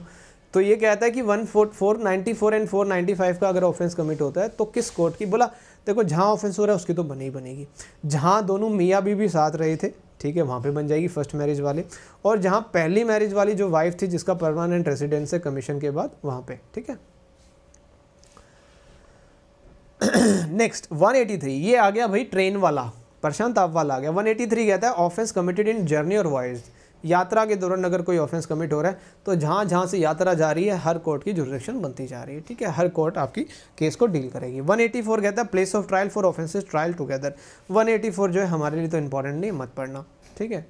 तो मैम सुन लेगी, मैम अपनी तो मैडम है, सुन लेंगी तो क्या बात होगी? अपनी मैडम अपनी मैडम से क्या डरना? किसी और से तो डरना पड़ता है ना। गर्लफ्रेंड, बॉयफ्रेंड होता तो डरना पड़ता है ना। अब तो खुद की घरवाली, उससे क्या डरना यार? घर वाली से डरना थोड़ी होता है भाई। घर वाली से और घर वाले से डरना थोड़ी होता है है ना? लाइफ पार्टनर है। कोई मतलब वो थोड़ी है, मेरा मतलब कोई ऐसे जानी दुश्मन थोड़ी है कह रहे मैडम सुन लेगी। चलो 185 बड़ा अच्छा है। 185 नहीं 184 एंड 185 नहीं पढ़ना। 186 पे आओ डायरेक्टली 184 185 स्किप करो एग्ज़ाम में नहीं आता है। 186 बड़ा अच्छा है। ये कह रहा है, यार आपने 177 से स्टार्ट किया और आप 182 तक आप पढ़ा गए। 183 भी आपने कह दिया कि जहाँ ऑफेंस कमिट हो रहा है उसकी भी जुरिस्डिक्शन बन रही है और जहाँ जहाँ लेके जा रहे हैं, उसकी भी बन रही है। यार, एक बात बताओ, अगर दोनों कोर्ट ने कॉग्निजेंस ले लिया, दोनों कोर्ट ने जुरिस्डिक्शन एक्सरसाइज कर ली, फिर क्या करें? बोला, फिर ये वन है तो है। बोला वन क्या कहता है? बोला, भाई, देख, अगर दोनों कोर्ट सेम हाई कोर्ट के सबॉर्डिनेट है तो हाई कोर्ट डिसाइड कर देगी कि कौन सी कोर्ट इस केस को डील करने वाली है। बोला, ठीक है, ये तो समझ में आ गया। अब ये बताओ अगर दोनों कोर्ट सेम हाई कोर्ट के सबॉर्डिनेट नहीं है, फिर क्या करेंगे? बता बता बता।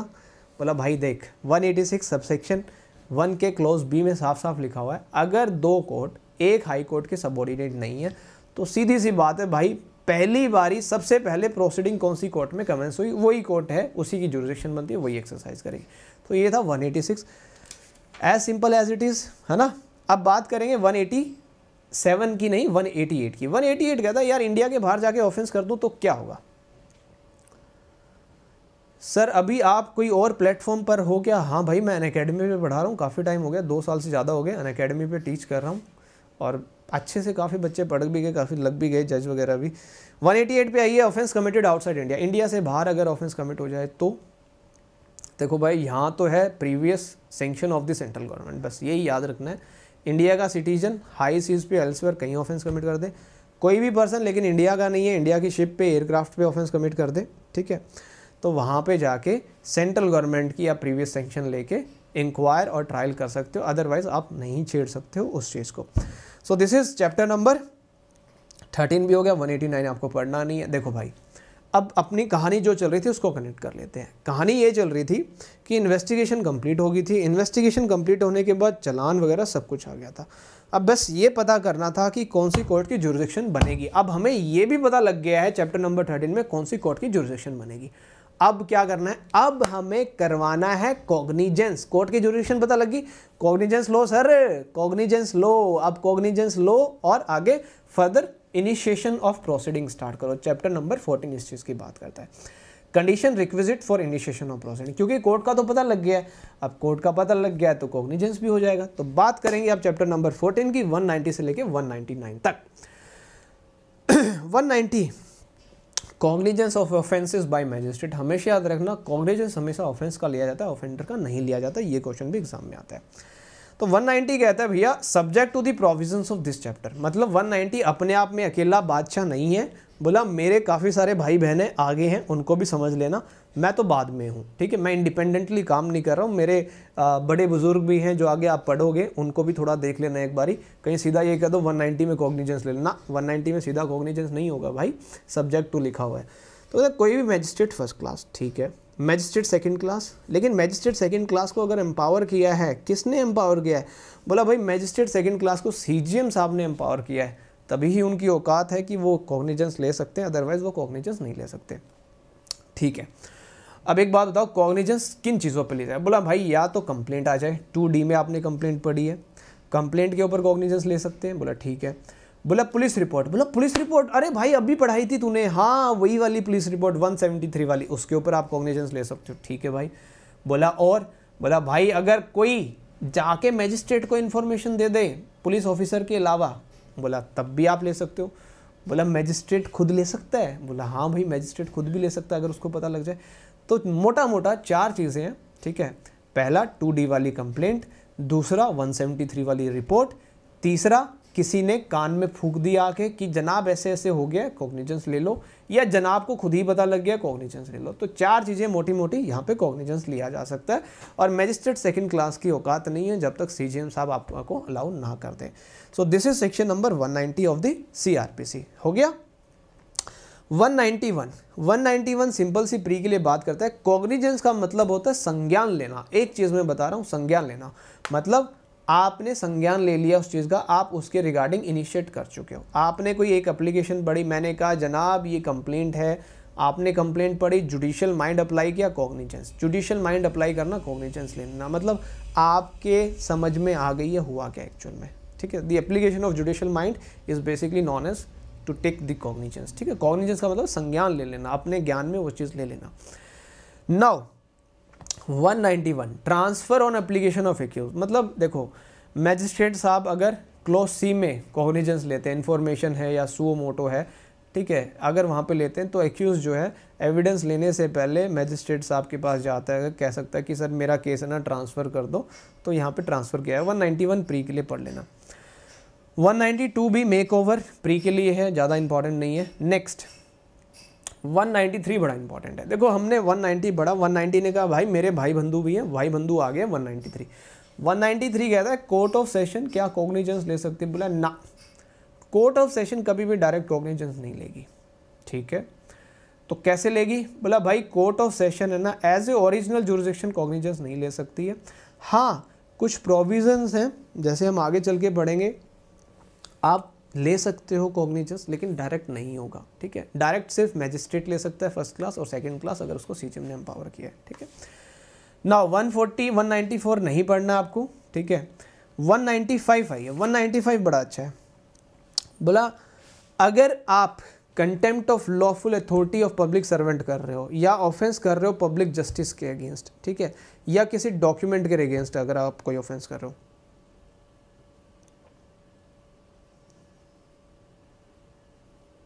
बेटा देखो, प्रशांत, ये सारी चीज़ें डिस्कस करने के लिए मेरी दूसरी क्लास जो है, जो डिटेल में चलती है, वहाँ पे आओ, यहाँ पे नहीं हो पाएगा ये सब कुछ सॉरी 195 कहता है कि भैया, देखो 195 में क्या लिखा? No court shall take cognizance 190 is always subject to 195 and other sections also कोई भी कोर्ट कॉग्निजेंस नहीं लेगी, अगर कोई ऑफेंस पनिशेबल है 172 से लेके 188 ऑफ़ आईपीसी ठीक है?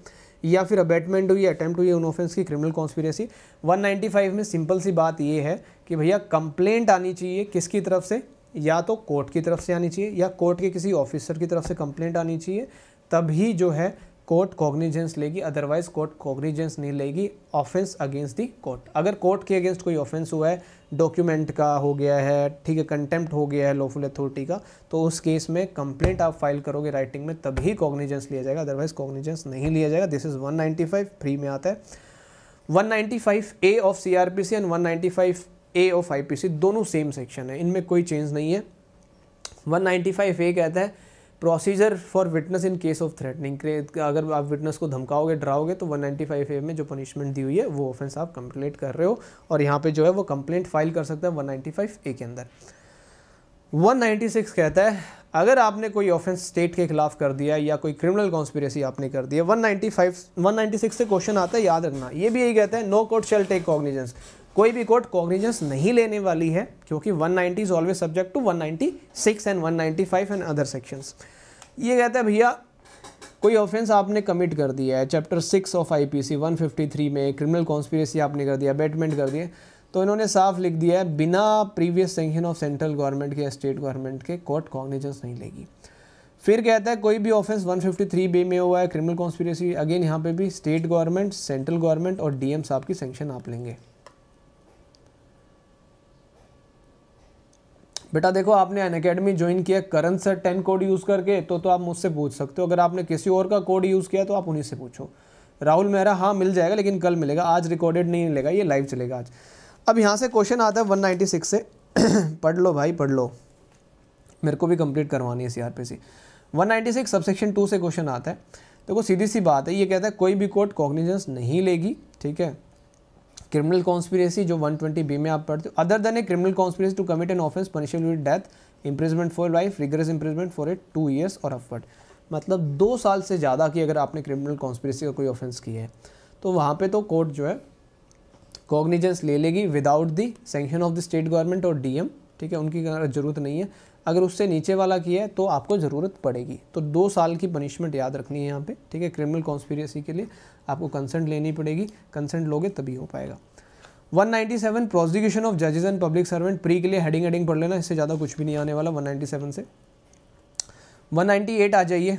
Prosecution for offence against marriage marriage के खिलाफ अगर कोई ऑफेंस कमिट कर रहे हो तो उसकी प्रोसिक्यूशन के रिगार्डिंग कंप्लेंट कौन देगा? देखो, ये सारी चीज़ें बता रखी है कि कोई भी ऑफेंस अगर मैरिज के रिगार्डिंग होगा तो कंप्लेंट आनी चाहिए एग्रीव्ड पर्सन की, जो भी एग्रीव्ड है। अब यहाँ पे इन्होंने बता दिया है कि भाई अगर कोई पर्सन है, ठीक है, अठारह साल से नीचे है तो कौन दे सकता है? ठीक है, यहाँ से जर्नली इतना डिटेल क्वेश्चन आता नहीं है। ठीक है तो हमेशा याद रखिएगा 198 में कंप्लेंट आएगी एग्रीव्ड पर्सन की, तभी आप कॉग्निजेंस लेंगे अदरवाइज़ आप कॉग्निजेंस नहीं लेने वाले हो। और 198 का सबसेक्शन सिक्स इंपॉर्टेंट है। सबसेक्शन सिक्स पे आइए। कोई भी कोर्ट कॉग्निजेंस नहीं लेगी। ऑफेंस अगर one three seventy six I P में हुआ है रेप का ऑफेंस कमिट हुआ है, ठीक है, और ऑफेंस जो है सेक्शुअल इंटरकोर्स है by a man with his own wife ठीक है the wife being under eighteen years of age अठारह साल से नीचे है और if more than one year एक साल से ज़्यादा का टाइम चला गया, ये एक साल याद रखना। एक साल से ज़्यादा का टाइम अगर रिलैप्स हो गया तो कोई भी कोर्ट कॉग्निजेंस नहीं लेने वाली है। 198 ए 198 ए की भी हेडिंग आप पढ़ेंगे, ज़्यादा नहीं पढ़ना है यहाँ पे, ठीक है? आपके बिहाफ पे कोई भी आपकी मदर फादर ब्रदर सिस्टर कोई भी कंप्लेंट फ़ाइल कर सकते हैं और कोर्ट उसके ऊपर कॉग्निजेंस ले सकती है, अगर ऑफेंस 498 ए का आपके अगेंस्ट कमिट हुआ है। 198 बी, ये कहता है, अगर 376 बी का अगर आपके अगेंस्ट ऑफेंस कमिट हुआ है मैरिशल रिलेशनशिप के अंदर तो वहाँ पे फिर कंप्लेंट फ़ाइल की जाएगी, ठीक है? उस कंप्लेंट के ऊपर ही कॉग्निजेंस लिया जाएगा। 199 very very important for pre plus mains prosecution for defamation Rahul Gandhi के ऊपर अभी डिफेमेशन का केस हुआ था, आपको पता हो तो। तो यहाँ पे भी डायरेक्ट कह दिया है कि डायरेक्ट कोर्ट कभी भी कॉग्निजेंस नहीं लेगी। राहुल गांधी वाले केस में उन्होंने, जो मोदी सरनेम वाले जो मंत्री, उन्होंने कंप्लेंट फ़ाइल की थी ना तो डिफेमेशन के केस में हमेशा आपको कंप्लेंट फ़ाइल करनी पड़ेगी और फिर 190 के अंदर कोर्ट जो कंप्लेंट के ऊपर ही कॉग्निजेंस लेगी। तो upon a complaint made by aggrieved person ठीक है? जो एग्रीव्ड है, उन्हीं के द्वारा कंप्लेंट की जाएगी तो ही कॉग्निजेंस लिया जाएगा। नाउ सबसेक्शन टू ये बड़े लोगों की बात करता है, राष्ट्रपति जी हो गए, उपराष्ट्रपति गवर्नर हो गए मिनिस्टर हो गए, उन सब की बातें करता है कि अगर इनके खिलाफ अगर कोई ऑफेंस कमिट हो जाए डिफेमेशन का तो ये कहता है कि कोर्ट फिर यहाँ पे डायरेक्ट कॉग्निजेंस नहीं लेगी, यहाँ पे कोर्ट ऑफ़ सेशन का रोल आ जाएगा। तो यहाँ पे जो कोर्ट ऑफ़ सेशन है, यहाँ पे कॉग्निजेंस ले लेगी, लेकिन कोर्ट ऑफ़ सेशन भी रिटर्न कंप्लेंट आएगी पब्लिक प्रोसिक्यूटर की तरफ़ से। पब्लिक प्रोसिक्यूटर पढ़ा था ना सेक्शन ट्वेंटी में स्टेट गवर्नमेंट और सेंट्रल गवर्नमेंट के लिए जो होता है। पीपी साहब राइटिंग में कंप्लेंट फ़ाइल करेंगे देन कोर्ट ऑफ़ सेशन यहाँ पे कॉग्निजेंस आपका ले लेगी।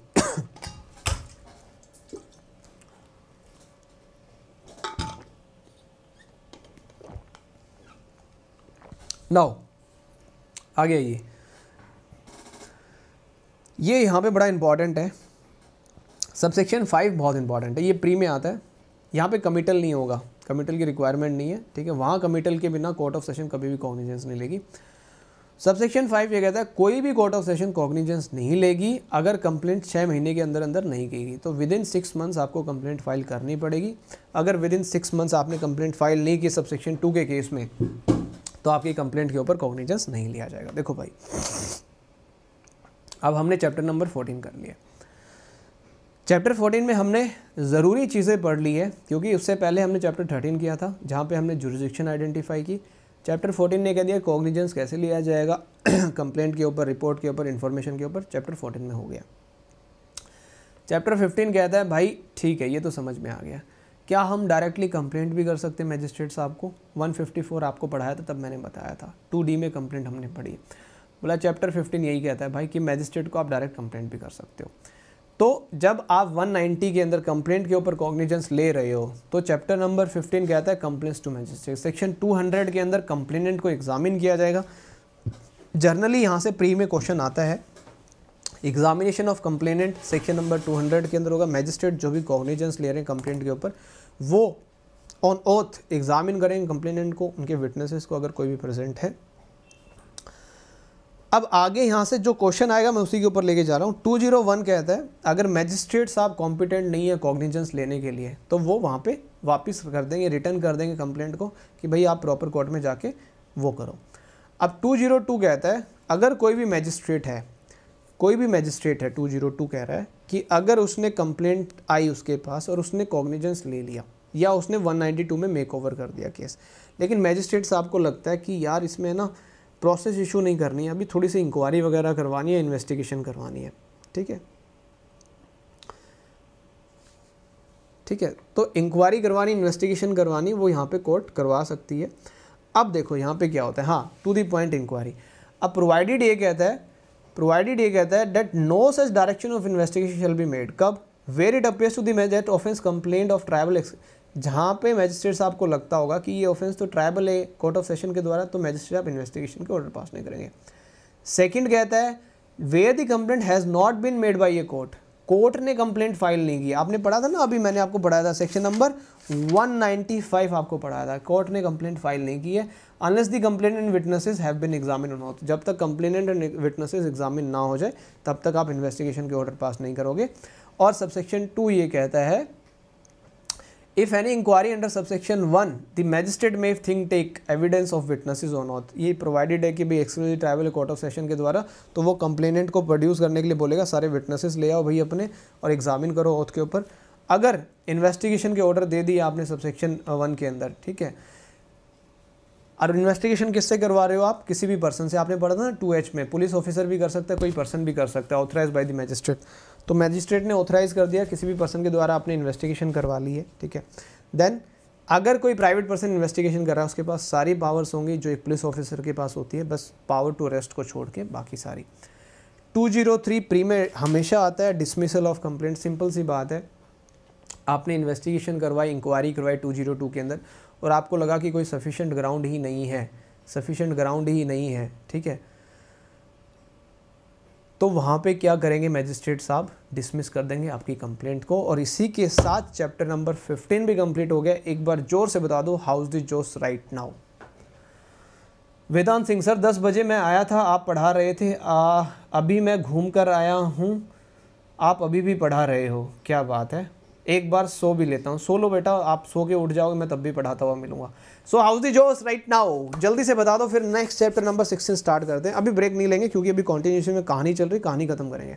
सो हाई सिद्धू मुसे आला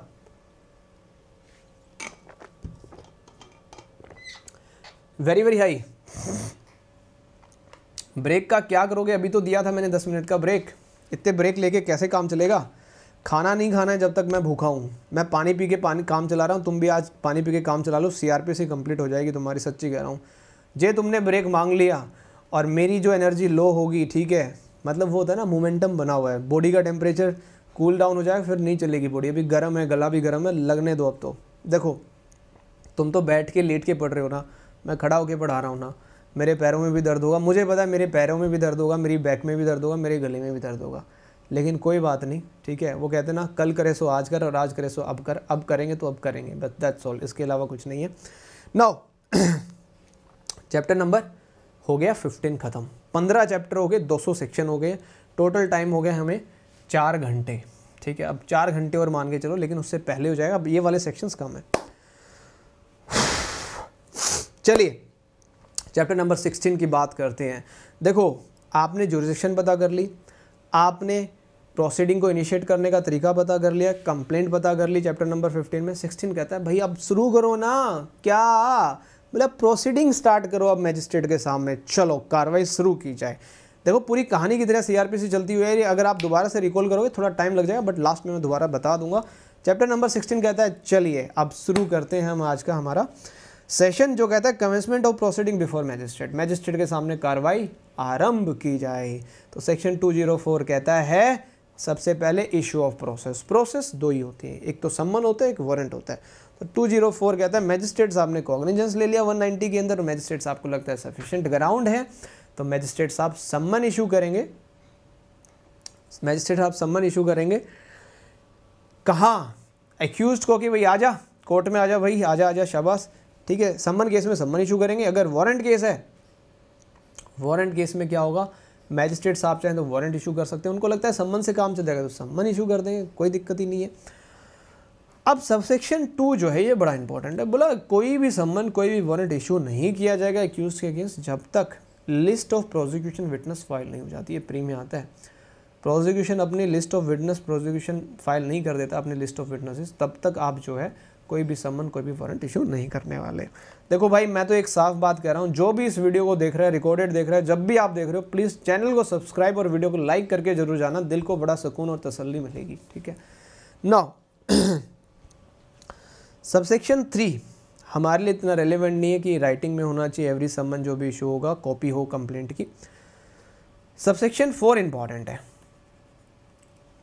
सबसेक्शन फोर क्या कहता है? When any law for the timing देखो प्रोसेस फ़ी होती है है ना? सम्मन इशू करोगे तो खर्चा तो लगेगा वारंट इशू करने में भी खर्चा लगेगा। बोला, कोर्ट तो अपने जेब से खर्चा नहीं देगी। बोला, फिर? बोला, जो कंप्लेनेंट है, ठीक है, वो जमा करवाएगा खर्चा। अगर वो जमा नहीं करवाएगा तो उसकी कंप्लेंट को डिसमिस कर दिया जाएगा। ये चीज़ भी याद रखना।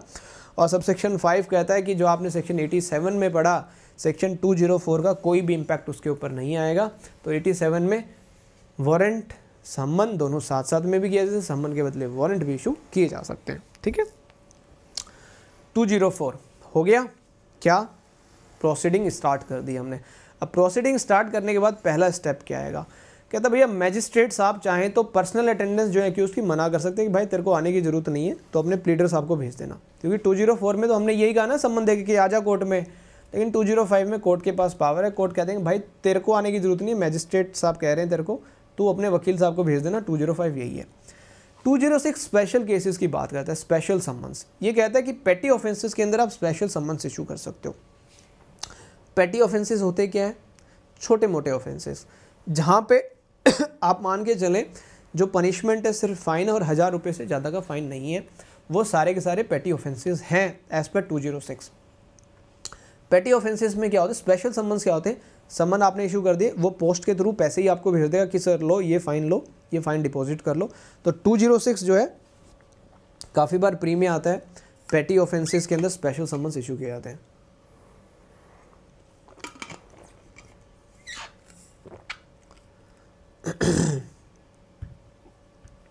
चलिए। सो पेटी ऑफेंसेस याद रखना है। और जो अमाउंट ऑफ़ फाइन होगा इन सम्मन्स के अंदर वो हज़ार रुपये से ज़्यादा का नहीं होगा, ये भी आपको याद रखना है। नाउ सबसेक्शन थ्री बड़ा इंपॉर्टेंट है इसका। सबसेक्शन थ्री कहता है स्टेट गवर्नमेंट नोटिफिकेशन के थ्रू एम्पावर कर सकती है किसी भी मजिस्ट्रेट साहब को, जो पावर सबसेक्शन वन में है, वो इशू कर सकते हैं थ्री ज़ीरो थ्री ट्वेंटी के अंदर जब ऑफेंस कंपाउंडेबल है तो वहाँ पे उस पावर को एक्सरसाइज कर सकते हैं। और कोई भी ऑफेंस जिसकी पनिशमेंट तीन महीने से ज़्यादा नहीं है उस केस में भी स्पेशल समन्स इशू किए जा सकते हैं विद फाइन और विदाउट फाइन ये भी याद रखना स्टेट गवर्नमेंट अगर एम्पावर करे तो ठीक है? तो यहाँ तक हो गया। अब बात करते हैं टू ज़ीरो सेवन कि। सर, आपने प्रोसेस तो इशू कर दी। आपने ये पता किया कि भाई उसके पास सारे डॉक्यूमेंट है या नहीं अक्यूज़ के पास? टू ज़ीरो सेवन ये कहता है कि अक्यूज़ को सारी कॉपी पुलिस रिपोर्ट की अदर डॉक्यूमेंट जो मैजिस्ट्रेट साहब हैं, दिलवाएँगे। क्योंकि मैजिस्ट्रेट के पास ही अब तो सारा का सारा। देखो अगर पुलिस रिपोर्ट के ऊपर केस इंस्टीट्यूट हुआ है मतलब 190 के अंदर जो पुलिस रिपोर्ट के ऊपर कॉग्निजेंस लिया है तो मैजिस्ट्रेट साहब बिना किसी देरी के free of cost police report की कॉपी एफआईआर की कॉपी 161 की स्टेटमेंट की कॉपी कन्फेशन अगर वो स्टेटमेंट आई है उनकी कॉपी 173 में मेडिकल एग्जामिनेशन की रिपोर्ट है, वो सारी की सारी चीज़ें एक्यूज को प्रोवाइड कराएँगी, ठीक है? प्रशांत प्रोक्लेमेशन ऑफ़ इशू इसमें क्यों आएगा बेटा? वो अलग चीज़ है, ये अलग, बाद में समझाऊँगा कभी। 208 पे आइए 208 कहता है कि जो केस आपका इंस्टीट्यूट हुआ, पुलिस रिपोर्ट पे नहीं हुआ है। वो या तो कंप्लेंट पे हुआ है या इन्फॉर्मेशन पे हुआ है। तो उस केस में बोला, आपने एग्जामिनेशन किया कंप्लेनेंट का? बोला हाँ 200 में। बोला, उसकी जो स्टेटमेंट है, वो सारी दे दो उसको। 202 के अंदर जो भी हुआ है, जिस दिन पर्सन को एग्जामिन किया, वो दे दो। 161 में कोई स्टेटमेंट है 164 की जो है, सारी की सारी प्रोवाइड कर दो। एक मिनट रुको यार, गले में कुछ ज़्यादा दर्द हो रहा है।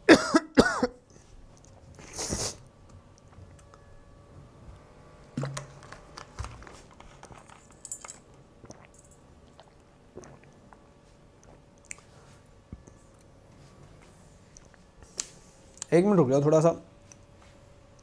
गले में ना थोड़ा ठहराव सा आ जाए।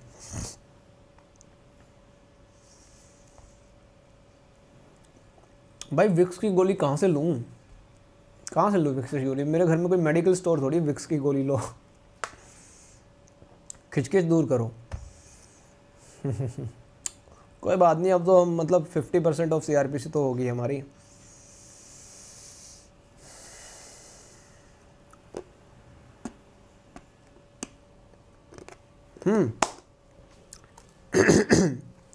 चलिए। टू ज़ीरो नाइन पे आते हैं। देखो सेक्शन टू ज़ीरो नाइन क्या कहता है। आपने वन नाइन्टी थ्री पढ़ा था। वन नाइन्टी थ्री आपने पढ़ा था। वन नाइन्टी थ्री कहता है कि भैया मैजिस्ट्रेट जो कोर्ट ऑफ़ सेशन है डायरेक्ट कॉग्निजेंस नहीं ले सकता। उनको केस कमिट करना पड़ेगा। तो टू ज़ीरो नाइन आगे है कमिटल की बात करने के लिए। टू ज़ीरो नाइन कहता है कि यार मैजिस्ट्रेट साहब जब इशू प्रोसेस करने लगे, ठीक है तो मैजिस्ट्रेट साहब को पता लगा कि ये केस तो ना कोर्ट ऑफ़ सेशन के द्वारा एक्सक्लूसिवली ट्राइबल है।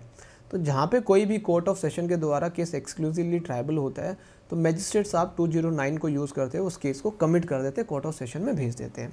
तो ये है 209 अब 209 के बाद है 210 210 कहता है कि यार एक बात बता कंप्लेंट केस भी हो गया और पुलिस रिपोर्ट के ऊपर भी इन्वेस्टिगेशन चल रही है पुलिस भी इन्वेस्टिगेट कर रही है, ठीक है?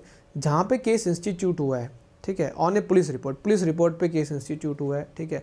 मैजिस्ट्रेट साहब को लगता है इन्वेस्टिगेशन के दौरान, ठीक है? इंक्वायरी के दौरान कि यार इसके ऊपर तो इन्वेस्टिगेशन भी चल रही है, ठीक है? दोनों चीज़ें साथ में चल रही है। तो मैजिस्ट्रेट साहब क्या करेंगे, उसको क्लब कर देंगे और मैजिस्ट्रेट साहब ये मान के चलेंगे कि ये जो केस है, ये पुलिस रिपोर्ट के ऊपर ही इंस्टीट्यूट हुआ याद रखिएगा कंप्लेंट केस और पुलिस केस होगा तो उनको मर्ज कर दिया जाएगा कपल कर दिया जाएगा साथ में और फर्दर प्रोसीड किया जाएगा as a case instituted a police report ठीक है? नहीं, मैं मिश्री का दाना खा रहा हूँ टेंशन मतलब मिश्री का दाना है मेरे पास। मैंने मुँह में ले रखा है मिश्री का दाना। नेक्स्ट तो इसी के, देखो चैप्टर नंबर अरे चैप्टर सिक्सटीन ख़त्म भी हो गया, पता भी नहीं लगा, है ना? नौ देखो, यहाँ तक कहानी पूरी समझ में आ गई। इन्वेस्टिगेशन से हमने स्टार्ट किया था, ठीक है? चैप्टर नंबर ट्वेल्व से स्टार्ट किया था इन्वेस्टिगेशन ठीक है? इन्वेस्टिगेशन कंप्लीट होने के बाद हमने आइडेंटिफाई किया कि कौन सी कोर्ट की जुरिस्डिक्शन बनती है चैप्टर नंबर थर्टीन में। जैसे ही हमें पता लगा इस कोर्ट की जुरिस्डिक्शन बन गई, हम पहुँच गए कोर्ट के पास। कि सर, बताओ, ठीक है? Chapter number fourteen one ninety cognizance वाला वन नाइन्टी से लेकर वन नाइन्टी नाइन तक। वहाँ पे हमने समझ लिया कि कॉग्निजेंस कैसे लिया जाएगा, कौन लेगा, ठीक है? फिर उसके बाद हमने पढ़ा चैप्टर नंबर फिफ्टीन अच्छा मैजिस्ट्रेट को डायरेक्ट कंप्लेंट भी दे सकते हैं। हाँ बिल्कुल दे सकते हैं, कोई दिक्कत ही नहीं है। चैप्टर फिफ्टीन पढ़ने के बाद सारी चीज़ें समअप हो गई अब मैजिस्ट्रेट साहब के पास आ गई बारी, सारी की सारी कार्रवाई करने की। चैप्टर नंबर सिक्सटीन मैजिस्ट्रेट साहब अब प्रोसीडिंग इनिशिएट करेंगे, जिसके अंदर इशू ऑफ़ प्रोसेस आपने पढ़ा 204 से लेकर 210 तक। अब जब इशू ऑफ़ प्रोसेस हो गया, अब बात आएगी चार्ज फ्रेमिंग की, है ना? चैप्टर नंबर 17 और 17 से आता है खतरा और खतरा कब आता है? जब आपके ऊपर चार्ज लग जाते हैं, आरोप लग जाते हैं और 17 अक्टूबर को मेरा बर्थडे भी आता है है ना? तो मतलब मैं भी काइंड ऑफ़ ए खतरा ही हूँ तो मुझसे भी बच के रहना आप लोग, ठीक है? और चार से भी बच के रहना। खतरा तो आपसे खतरा। चलिए सो चैप्टर नंबर सत्रह सत्रह से याद रखिए, खतरा और खतरा से आ जाता है चार्ज और चार्ज हम पढ़ेंगे 211 से लेकर 224 तक। चलिए तो शुरुआत करते हैं। देखो चार्ज होता है क्या है? चार्ज बेसिकली एक काइंड ऑफ़ नोटिस होता है। आप सामने वाले व्यक्ति को बता रहे होते हो कि आपके अगेंस्ट ये ये आरोप लगाए गए हैं तो भाई तेरा डिफेंस तैयार कर ले अदरवाइज़ खतरा ज़्यादा मंडरा रहा है तेरे ऊपर, ठीक है? नाउ 211 प्री में काफ़ी बार आता है कि कंटेंट ऑफ़ चार्जेस क्या हों। देखो कंटेंट ऑफ़ चार्ज मतलब चार्ज के अंदर बताया जाएगा कौन से ऑफेंस आपने कमिट किया है, कौन सा सेक्शन है, सारी चीज़ें आप मेंशन करेंगे और सबसे इंपॉर्टेंट चीज़ क्या है? जो चार्ज होगा वो हमेशा लैंग्वेज ऑफ़ कोर्ट में होगा। सबसेक्शन सेवन कहता है चार्ज के अंदर आप प्रीवियस कन्विक्शन का भी ज़िक्र कर सकते हैं for the purpose of enhancement of punishment तो 211 जो कहता है, वो कहता है कंटेंट ऑफ़ चार्ज ऐसे मत करो यार ब्रेक मत लो प्लीज़ भगवान तुम्हारा भला करेगा, दो बजने वाले ब्रेक मत लो। देखो, ऐसे मत करो। टी ब्रेक ज़्यादा लंबा हो जाएगा। एक काम करते हैं चार्ज पूरा कंप्लीट ट्रायल तक कर लेते हैं। ट्रायल कंप्लीट करा देता हूँ, दो मिनट लगनी है बस। दो मिनट में ट्रायल हो जाएगा, ऐसे मत करो तुम, ढीले मत पड़ो हाउस दी जोश हाउस दी जोश एक बार ज़ोर से। कैसा है जोश? जल्दी बताओ। हाउस दी जोश देखो, मैं तुम्हारे सामने खड़ा होकर पढ़ा रहा हूँ मैं तो बोल रहा हूँ, तुम तो सिर्फ़ सुन रहे हो। जोश आई है, चक दो फट्टे। नेक्स्ट चलते हैं 212 देखो 212 जो है 211 की एक्सटेंशन है। 212 कहता है कि particulars as to the time place and person आपको कुछ ऐसे केसेस होते हैं जहाँ पे आपको लिखना पड़ता है कि कैसे आपने ऑफेंस कमिट किया तो 212 यही आपको बताता है कि चार्ज ये भी बताएगा कि कैसे ऑफेंस कमिट किया है, किस टाइम हुआ है, किस जगह पे हुआ है, किस चीज़ के रिगार्डिंग हुआ है। तो 212 फर्दर 211 को जो है एक्सीड करने की बात करते हैं। और यहाँ पे ये कहा गया है कि जो प्रोवाइड आप करोगे, वो टाइम होना चाहिए फ़र्स्ट और लास्ट के बीच में, एक साल से ज़्यादा का टाइम नहीं होना चाहिए, जहाँ पे भी आपने क्रिमिनल ब्रीच ऑफ़ ट्रस्ट का ऑफेंस किया या dishonest misappropriation of property का वन ईयर के अंदर अंदर की चीज़ें आप मेंशन करेंगे। नाउ 213 बड़ा इंपॉर्टेंट है when manner of committing offence must be stated देखो, कई केसेस ऐसे होते हैं जहाँ आपको बताना पड़ता है कि आपने एक्चुअल में ऑफेंस कब कमिट किया है। देखो, ये कहता है? एग्ज़ाम्पल पढ़ लो, इसका सिंपल सा है कि अक्यूज है ए नामक व्यक्ति जिसने थेफ्ट किया सर्टन आर्टिकल की सर्टन टाइम पे सर्टन प्लेस पे। अब देखो, आपने सब कुछ बता दी कि करण सर ने चोरी की है किसके? शीतल के घर में जाके, ठीक है? चोरी की है, किस दिन की, इस दिन की है? ये चीज़ उठाई है, ठीक है? तो ये यहाँ पे मेरे लिए क्लियर है। ठीक है, मेरे को पता लग गया कि भाई मैंने उसके घर में चोरी की थी, इस टाइम पे की थी, इस दिन पे की थी तो यहाँ पे ज़रूरी नहीं है आपको मैनर बताना। अब दूसरा इलिस्ट्रेशन बढ़ोगे तो कहता है ए जो है एक्यूज है चिटिंग करने का बी को। ठीक है तो अब इस चीज़ में आपने ये तो बता दिया बी के साथ आपने चिटिंग की, उस दिन की, उस जगह पर की। लेकिन आपको यहाँ पर ये बताना पड़ेगा कि चिटिंग की कैसे भाई? चिटिंग करने के तो बहुत से तरीके होते हैं। तो यहाँ पे चार्ज के अंदर 213 ये कहता है कि आप मेंशन करें कि किस प्रकार से उसने चिटिंग की है। ठीक है? नेक्स्ट 212 आप ना पढ़े, नहीं है इंपॉर्टेंट 215 बड़ा इंपॉर्टेंट है. इफ़ेक्ट ऑफ़ चार्ज इसको 464 ऑफ़ सीआरपीसी के साथ हम पढ़ते हैं.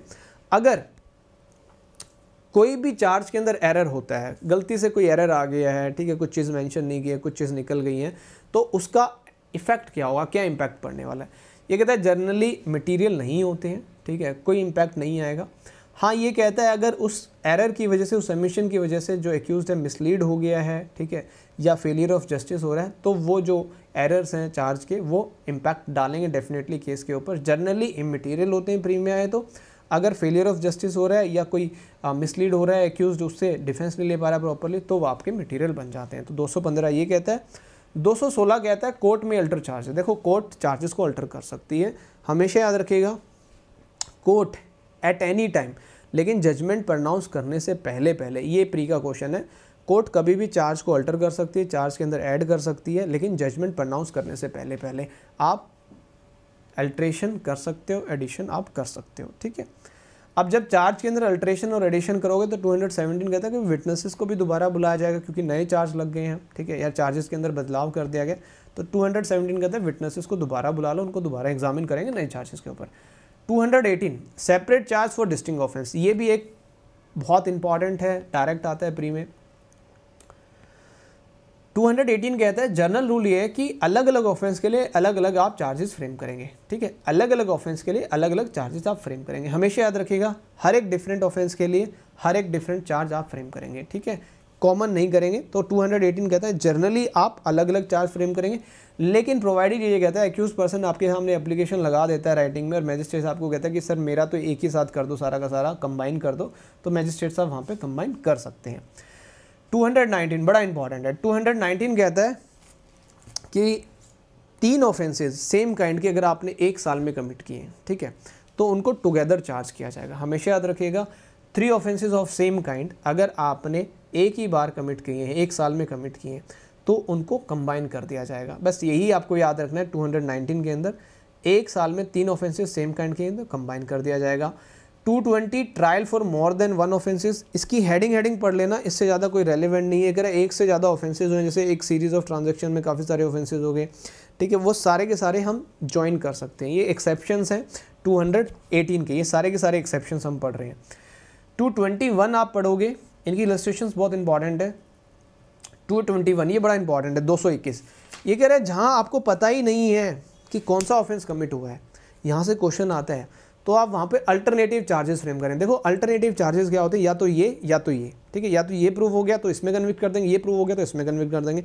अब कई भाई, टू हंड्रेड ट्वेंटी वन से एक क्वेश्चन ऐसा आता है कि अगर आपने चार्ज फ्रेम कर दिया थेफ्ट का, ठीक है, लेकिन वो प्रूव नहीं हुआ, कोई और प्रूव हो गया जो चार्ज फ्रेम ही नहीं गया तो क्या कन्विक्ट कर सकते? हैं एग्जैक्टली कर सकते हैं।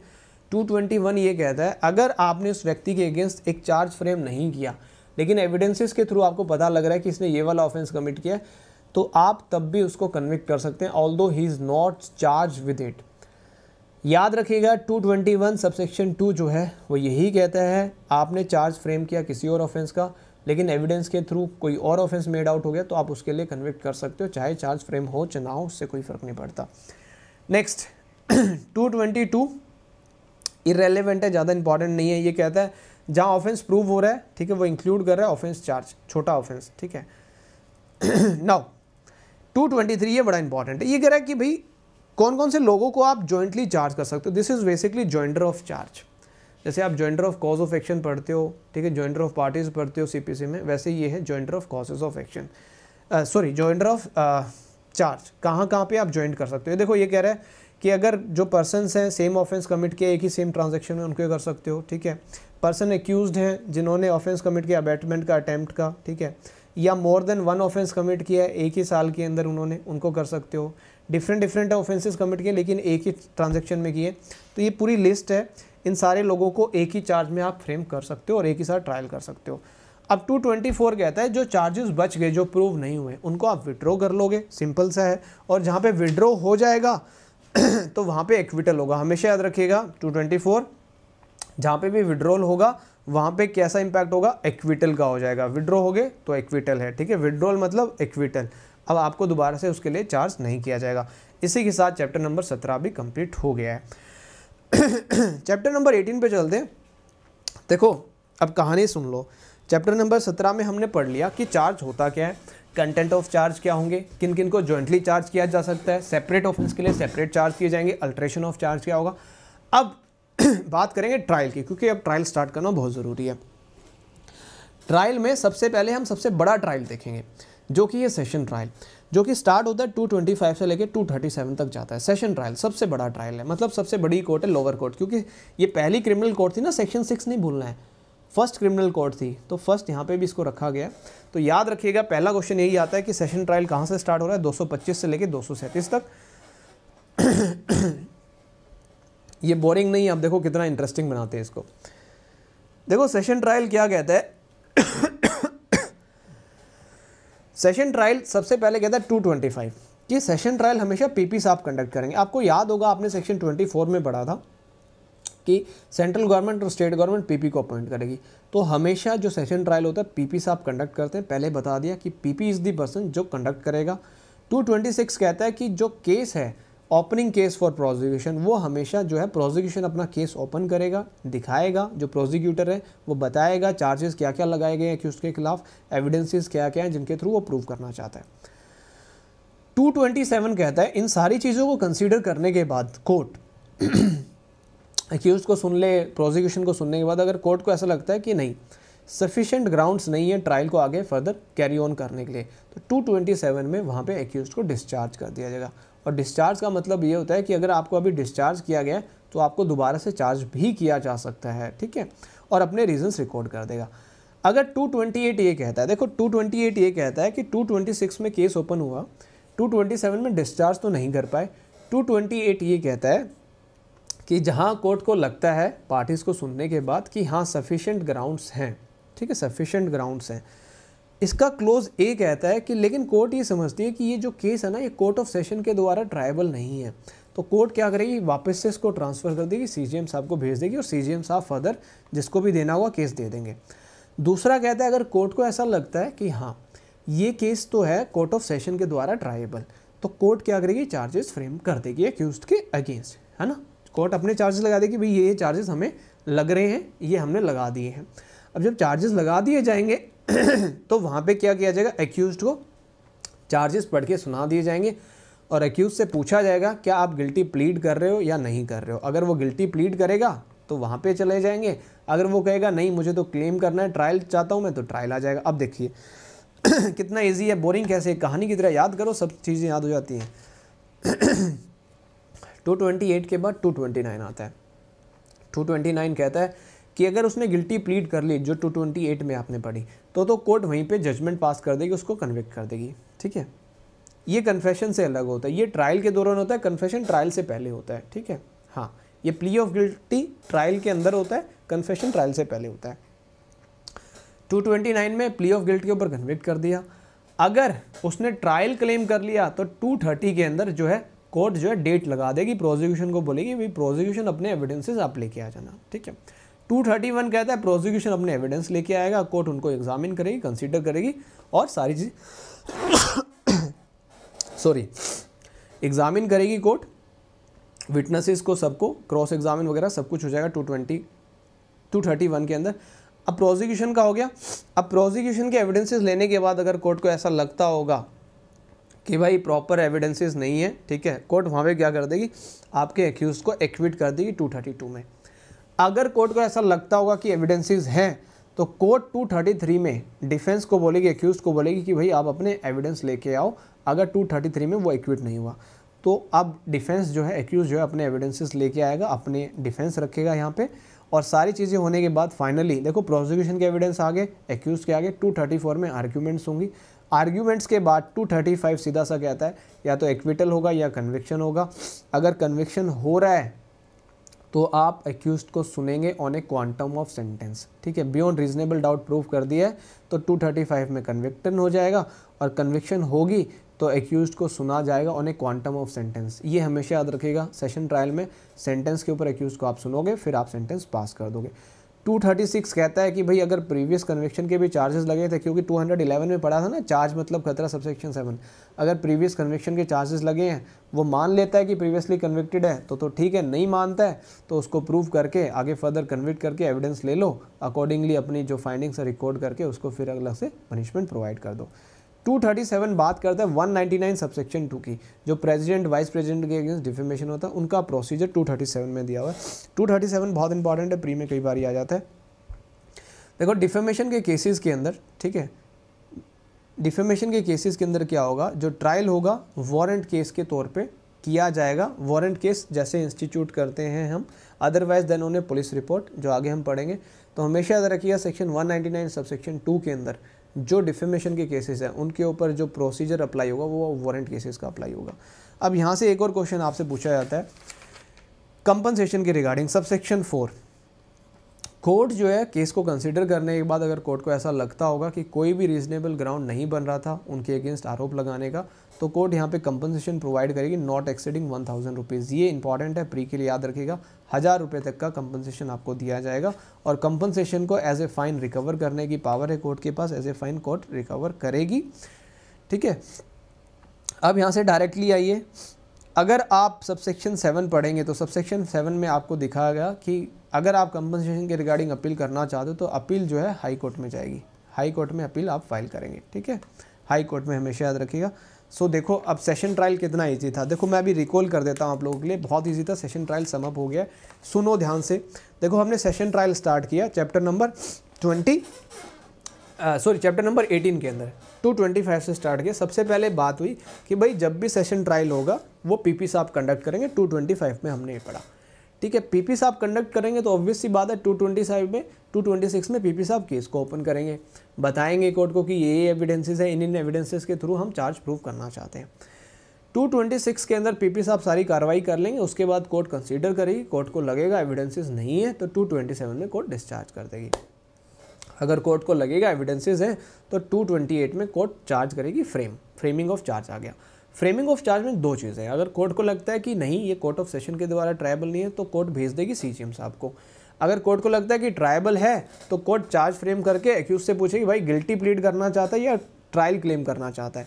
अगर वो गिल्टी प्लीड कर लेगा तो 227 में कोर्ट 229 में कोर्ट उसको कन्विक्ट कर देगी। गिल्टी प्लीड नहीं करेगा तो कोर्ट क्या करेगी? 230 में प्रोसिक्यूशन को डेट दे देगी, भाई, अपने एविडेंस लिया ना 230 231 में प्रोसिक्यूशन अपने एविडेंस ले आएगा। प्रोसिक्यूशन जब अपने एविडेंस लिया है कहानी की तरह है प्रोसिक्यूशन अपने एविडेंस लिया है कोर्ट ने सारे एविडेंस कंसीडर किए कोर्ट को लगा कि एविडेंस तो है ही नहीं बियॉन्ड रीजनेबल डाउट तो प्रूव ही नहीं हो रहा।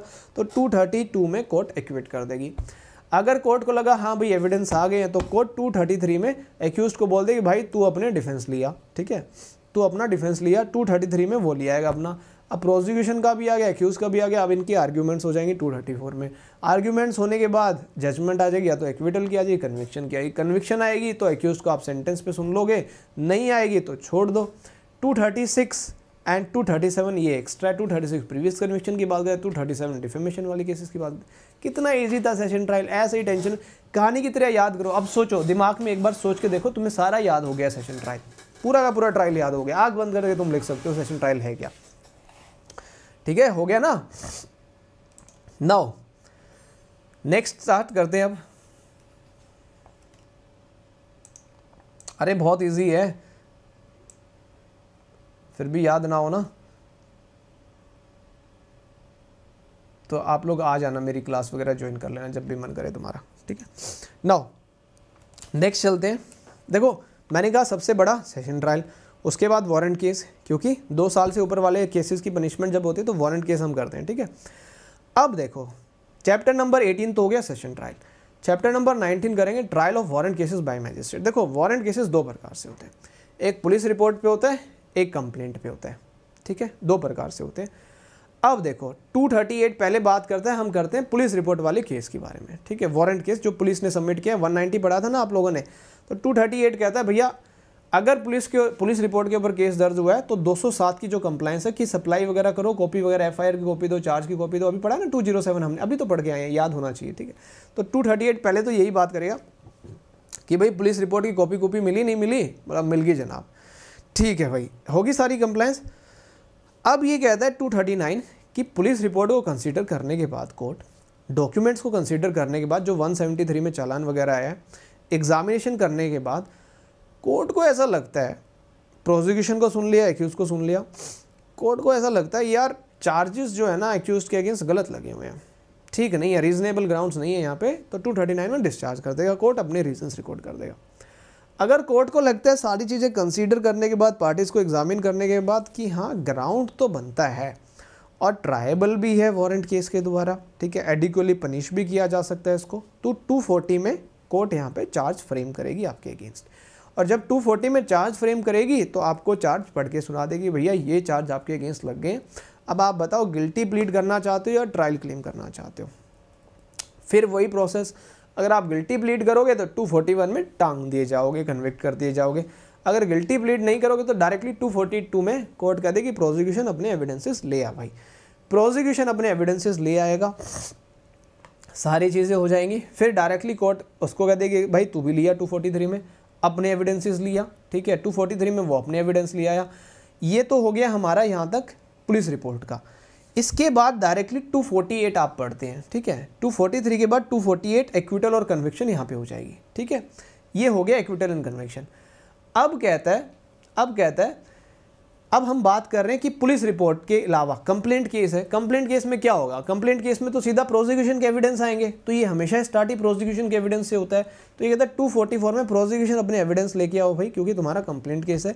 ठीक है, अपने ले आओ सारे के सारे किन किन विटनेसेस को बुलाना है, सब बता दो। ठीक है? अब 245 कहता है कि सारे एविडेंसेस देने के बाद कोर्ट कंसीडर करेगी रीजंस वगैरह देखेगी कि एक्यूज के खिलाफ बनता है, नहीं बनता। अगर कोर्ट को लगता है एक्यूज के खिलाफ तो कोई केस ही नहीं बन रहा है। तो 245 में डिस्चार्ज कर देगी। उसके बाद 246 में अगर एक्यूज के खिलाफ केस बन रहा होगा तो 246 में कोर्ट जो है चार्जेस फ्रेम करेगी एक्यूज को एक्सप्लेन कर देगी, उससे पूछ लेगी गिल्टी प्लीड कर रहा है, नहीं कर रहा।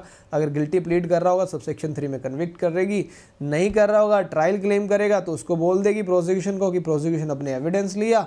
प्रोसिक्यूशन अपने एविडेंस लिया गया तो 247 में डिफेंस को बोल देगी, तू अपने एविडेंस लिया। और दोनों के एविडेंस आने के बाद 248 में या तो एक्विटल हो जाएगी या कन्विक्शन हो जाएगी। अगर एक्विटल होगी तो ठीक है, बाइज्जत बरी हो गया। कन्विक्शन आप करना चाहोगे तो अगेन यहाँ पे भी जो है सेंटेंस के ऊपर आप उसको सुन लोगे। कितनी सेंटेंस पास आप कर रहे हो, उसको सुन के कन्विक्ट कर दोगे। सब सेक्शन थ्री कहता है प्रीवियस कन्विक्शन के चार्जेस हैं तो सब सेक्शन थ्री आ जाएगा भाई। अगर एडमिट कर लेते तो कोई दिक्कत नहीं है। नहीं एडमिट करते तो एविडेंस ले लो प्रीवियस कन्विक्शन को प्रूव कर लो और उसके ऊपर फाइंडिंग रिकॉर्ड कर दो। और कोर्ट को पता लग जाता है कि प्रीवियसली कन्विक्टेड है तो फिर कोर्ट अकॉर्डिंगली उसको पनिशमेंट दे देगी। हो गया वॉरेंट ट्रायल कितना ईजी था। कहानी की तरह याद करो, समझो, बस कदम अब 249 249 बड़ा अच्छा है। बोला, यार कंप्लेंट केस था।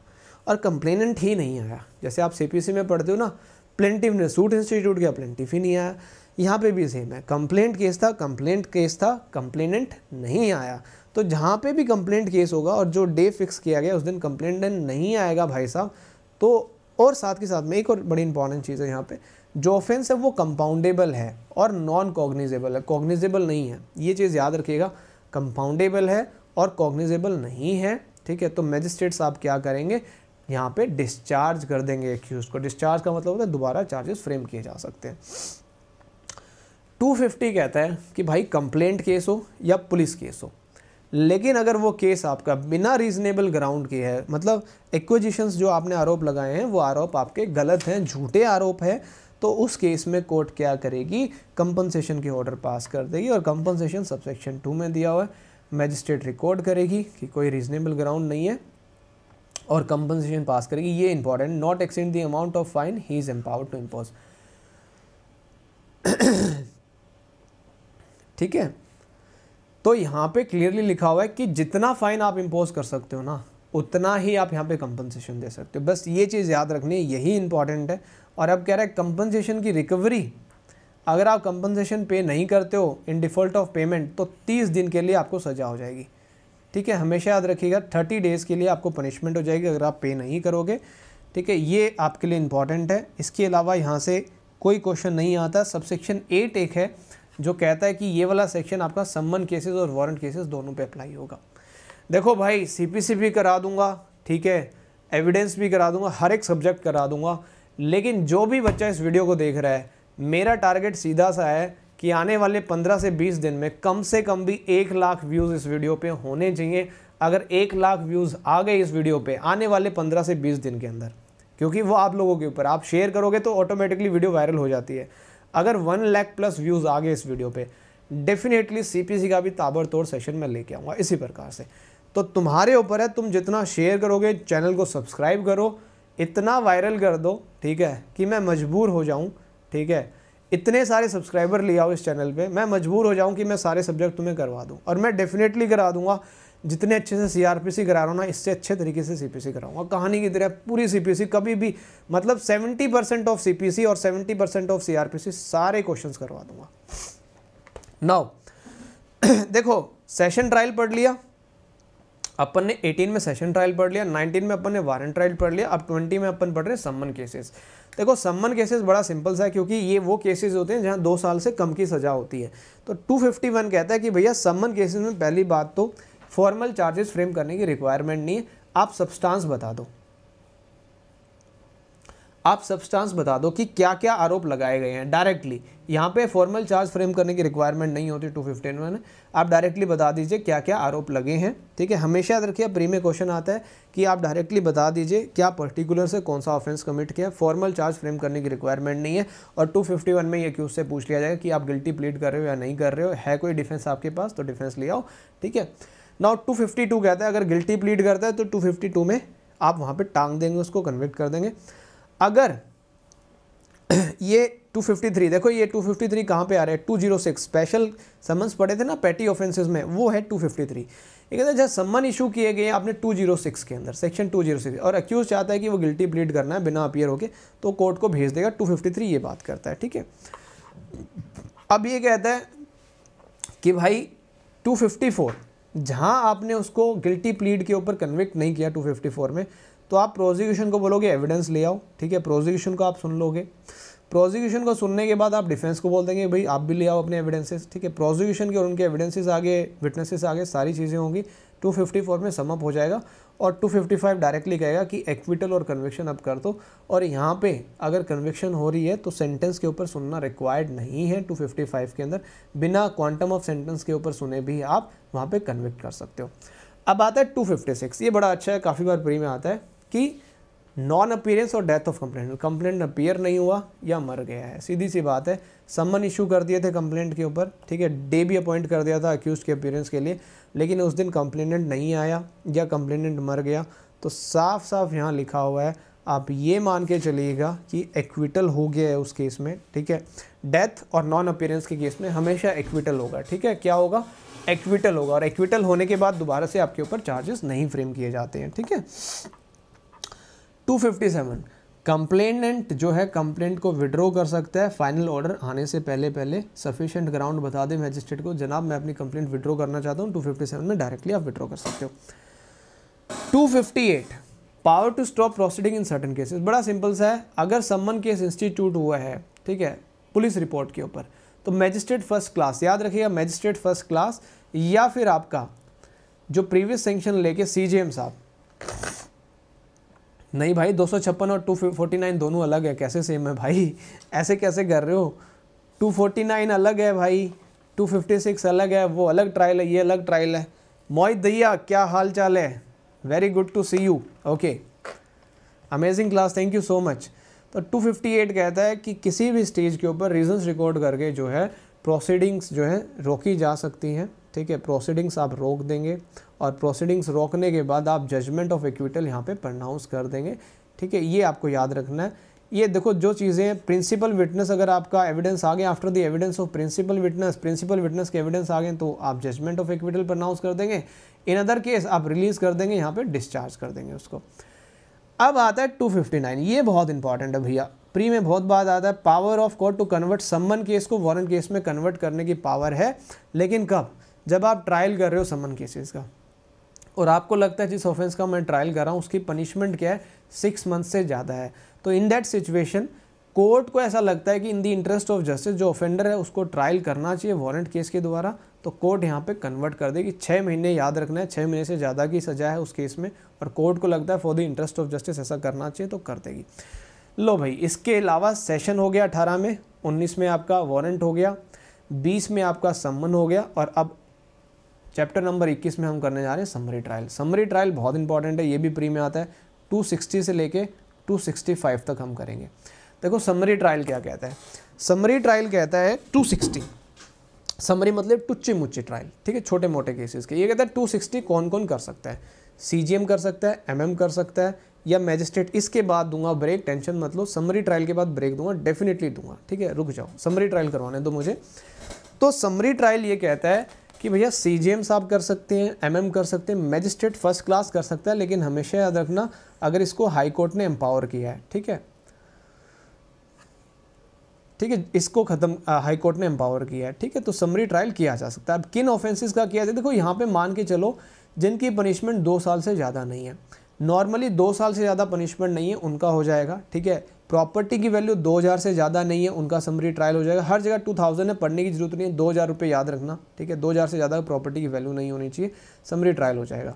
टू सिक्सटी वन कहता है कि आप मैजिस्ट्रेट सेकेंड क्लास भी कर सकते हैं समरी ट्रायल बोला, कर सकता है अगर हाई कोर्ट कन्फर कर दे उसको पावर्स लेकिन समरी ट्रायल जब भी करेगा मैजिस्ट्रेट सेकेंड क्लास ठीक है? जिस, किस ऑफेंस के लिए which is punishable only with fine या तो ऑफेंस पनिशेबल होना चाहिए फाइन के रिगार्डिंग या फिर उसकी पनिशमेंट छः महीने से ज़्यादा की नहीं होनी चाहिए, उन्हीं केसेस में magistrate second class summary trial कर सकता है, ठीक है?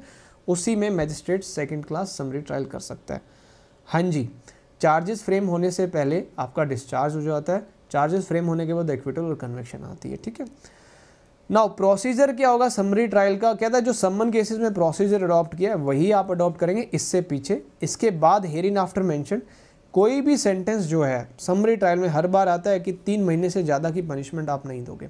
समरी ट्रायल में मैक्सिमम पनिशमेंट तीन महीने की होगी। ये हमेशा याद रखना 262 subsection two maximum three months की समरी ट्रायल में पनिशमेंट होगी। इससे ज़्यादा की नहीं होने वाली है। Record in summary trials summary trials के अंदर जो रिकॉर्ड है कैसे बनाया जाएगा ये अलग से यहाँ पे लिखा हुआ है। ये अपने लिए इंपॉर्टेंट नहीं टू सिक्सटी थ्री आप इसको स्किप कर सकते हो। जजमेंट कैसे आएगी ये भी हमारे लिए इंपॉर्टेंट नहीं है। 265 कहता है language and record of judgment कैसे होगी? तो समरी ट्रायल ने अपना बता दिया रिकॉर्ड कैसे बनेगा जजमेंट कैसे आएगी language of record and judgment कैसे होगा। सो so, इसी के साथ हमारा समरी ट्रायल भी हो गया और इसी के साथ हमारा चैप्टर नंबर ट्वेंटी भी हो गया। सो हाउस दी जोश राइट नाउ कैसा जोश है आप सबका? कैसा फील कर रहे हो आप लोग? All good good to go but काफ़ी सारे बच्चे मैदान छोड़ के भाग गए हैं। जीतेगा वही जो मैदान में डटा रहेगा, है ना? सो हाउस दी जोश हाई है। बहुत बढ़िया। ये लो इनको टेंशन हो रही है कि सर मैडम भी जॉब करते हैं तो मैडम की क्यों टेंशन ले रहे हो? सर की टेंशन लो ना। यूँ तो नहीं सोच रहे, सर, आपको साढ़े चार, पाँच घंटे हो गए पढ़ाते हुए, भूख नहीं लग रही क्या आपको? कह रहे, सर, मैडम भी जॉब करती हैं क्या? बताओ भाई सी से समझ में आ रही नहीं यार इनको तो मैडम की बड़ी चिंता हो रही है। मुझे चिंता नहीं है, मैडम की इनको ज़्यादा हो रही है। है ना? चलो। तो should we continue our session और आप लोग ब्रेक चाहते हो अभी? आप लोग ही बता दो कमेंट में, जैसा आप लोग कहोगे, वैसा ही करेंगे। ब्रेक चाहते हो या कंटिन्यू करें?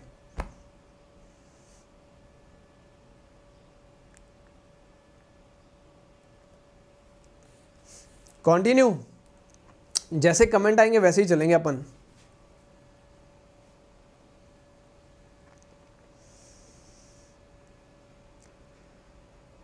चलो, कुछ पोल करवा लेते हैं। यार पोल कर लेते हैं। अपने पास तो पोल है यहाँ पे। लो लो पोल करते हैं पोल पोल आ रहा है पोल आ रहा है पोल आ रहा है। पोल आ रहा है आपकी स्क्रीन के ऊपर। यूट्यूब पे भी बोल आ रहा है। ब्रेक ठीक है पोल आ रहा है आपके सामने। ऑप्शन ए है ब्रेक, ऑप्शन बी है कंटिन्यू पोल आ रहा है आपकी स्क्रीन के ऊपर, सबके पास आएगा। लीजिए, बताइए, पोल आ गया है। पोल में जैसा रिस्पॉन्स आएगा, उसी के साथ चलेंगे। पाँच मिनट का ब्रेक मिलेगा मैक्सिमम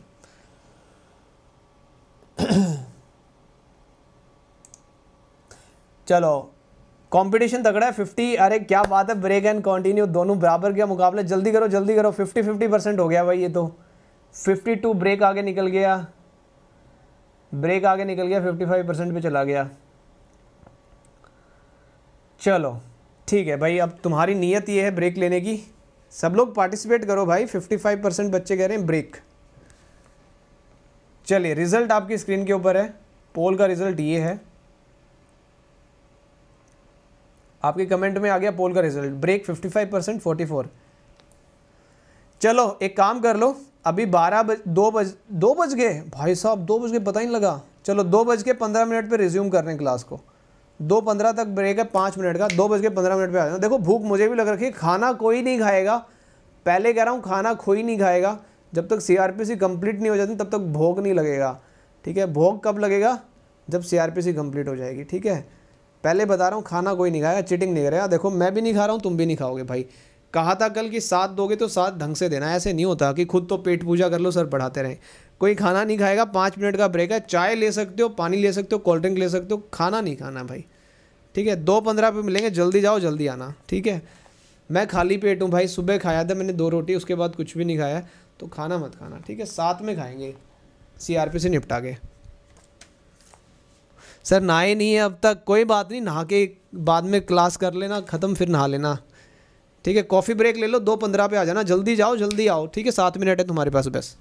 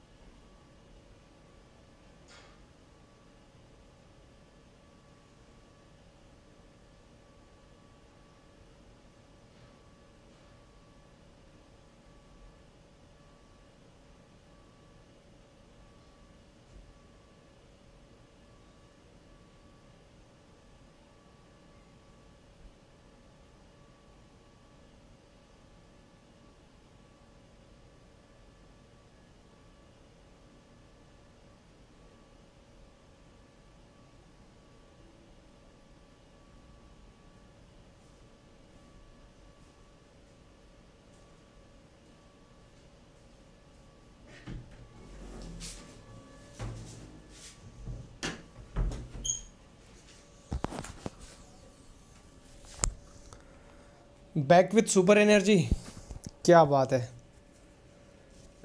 आ जाओ सब लोग, जल्दी से आ जाओ।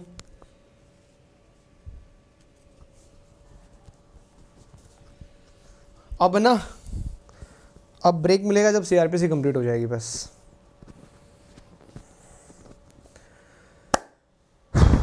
चलिए, आगे सब लोग। करें स्टार्ट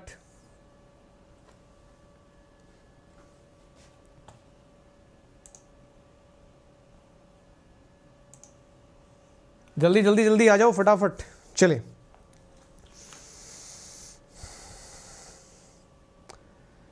सो हाउस दी जोश राइट नाउ कैसा है जोश आप सबका? मतलब तुमने कभी सोचा था कि तुम नॉन स्टॉप चार पाँच घंटे पढ़ सकते हो? वेरी वेरी हाई चलो। गुड टू सी चलिए संदीप ने तो आग ही लगा दी आज। चलो स्टार्ट करते हैं। Next chapter number twenty one A chapter number twenty one A की बात करेंगे प्ली बार्गेनिंग का कंसेप्ट है। 2006 में इसको इनकॉर्पोरेट किया गया इंडिया के अंदर। प्ली बार्गेनिंग का मतलब होता है pre trial negotiation between the accused and the prosecution आज तक इतना नहीं पढ़ा, क्या बात है।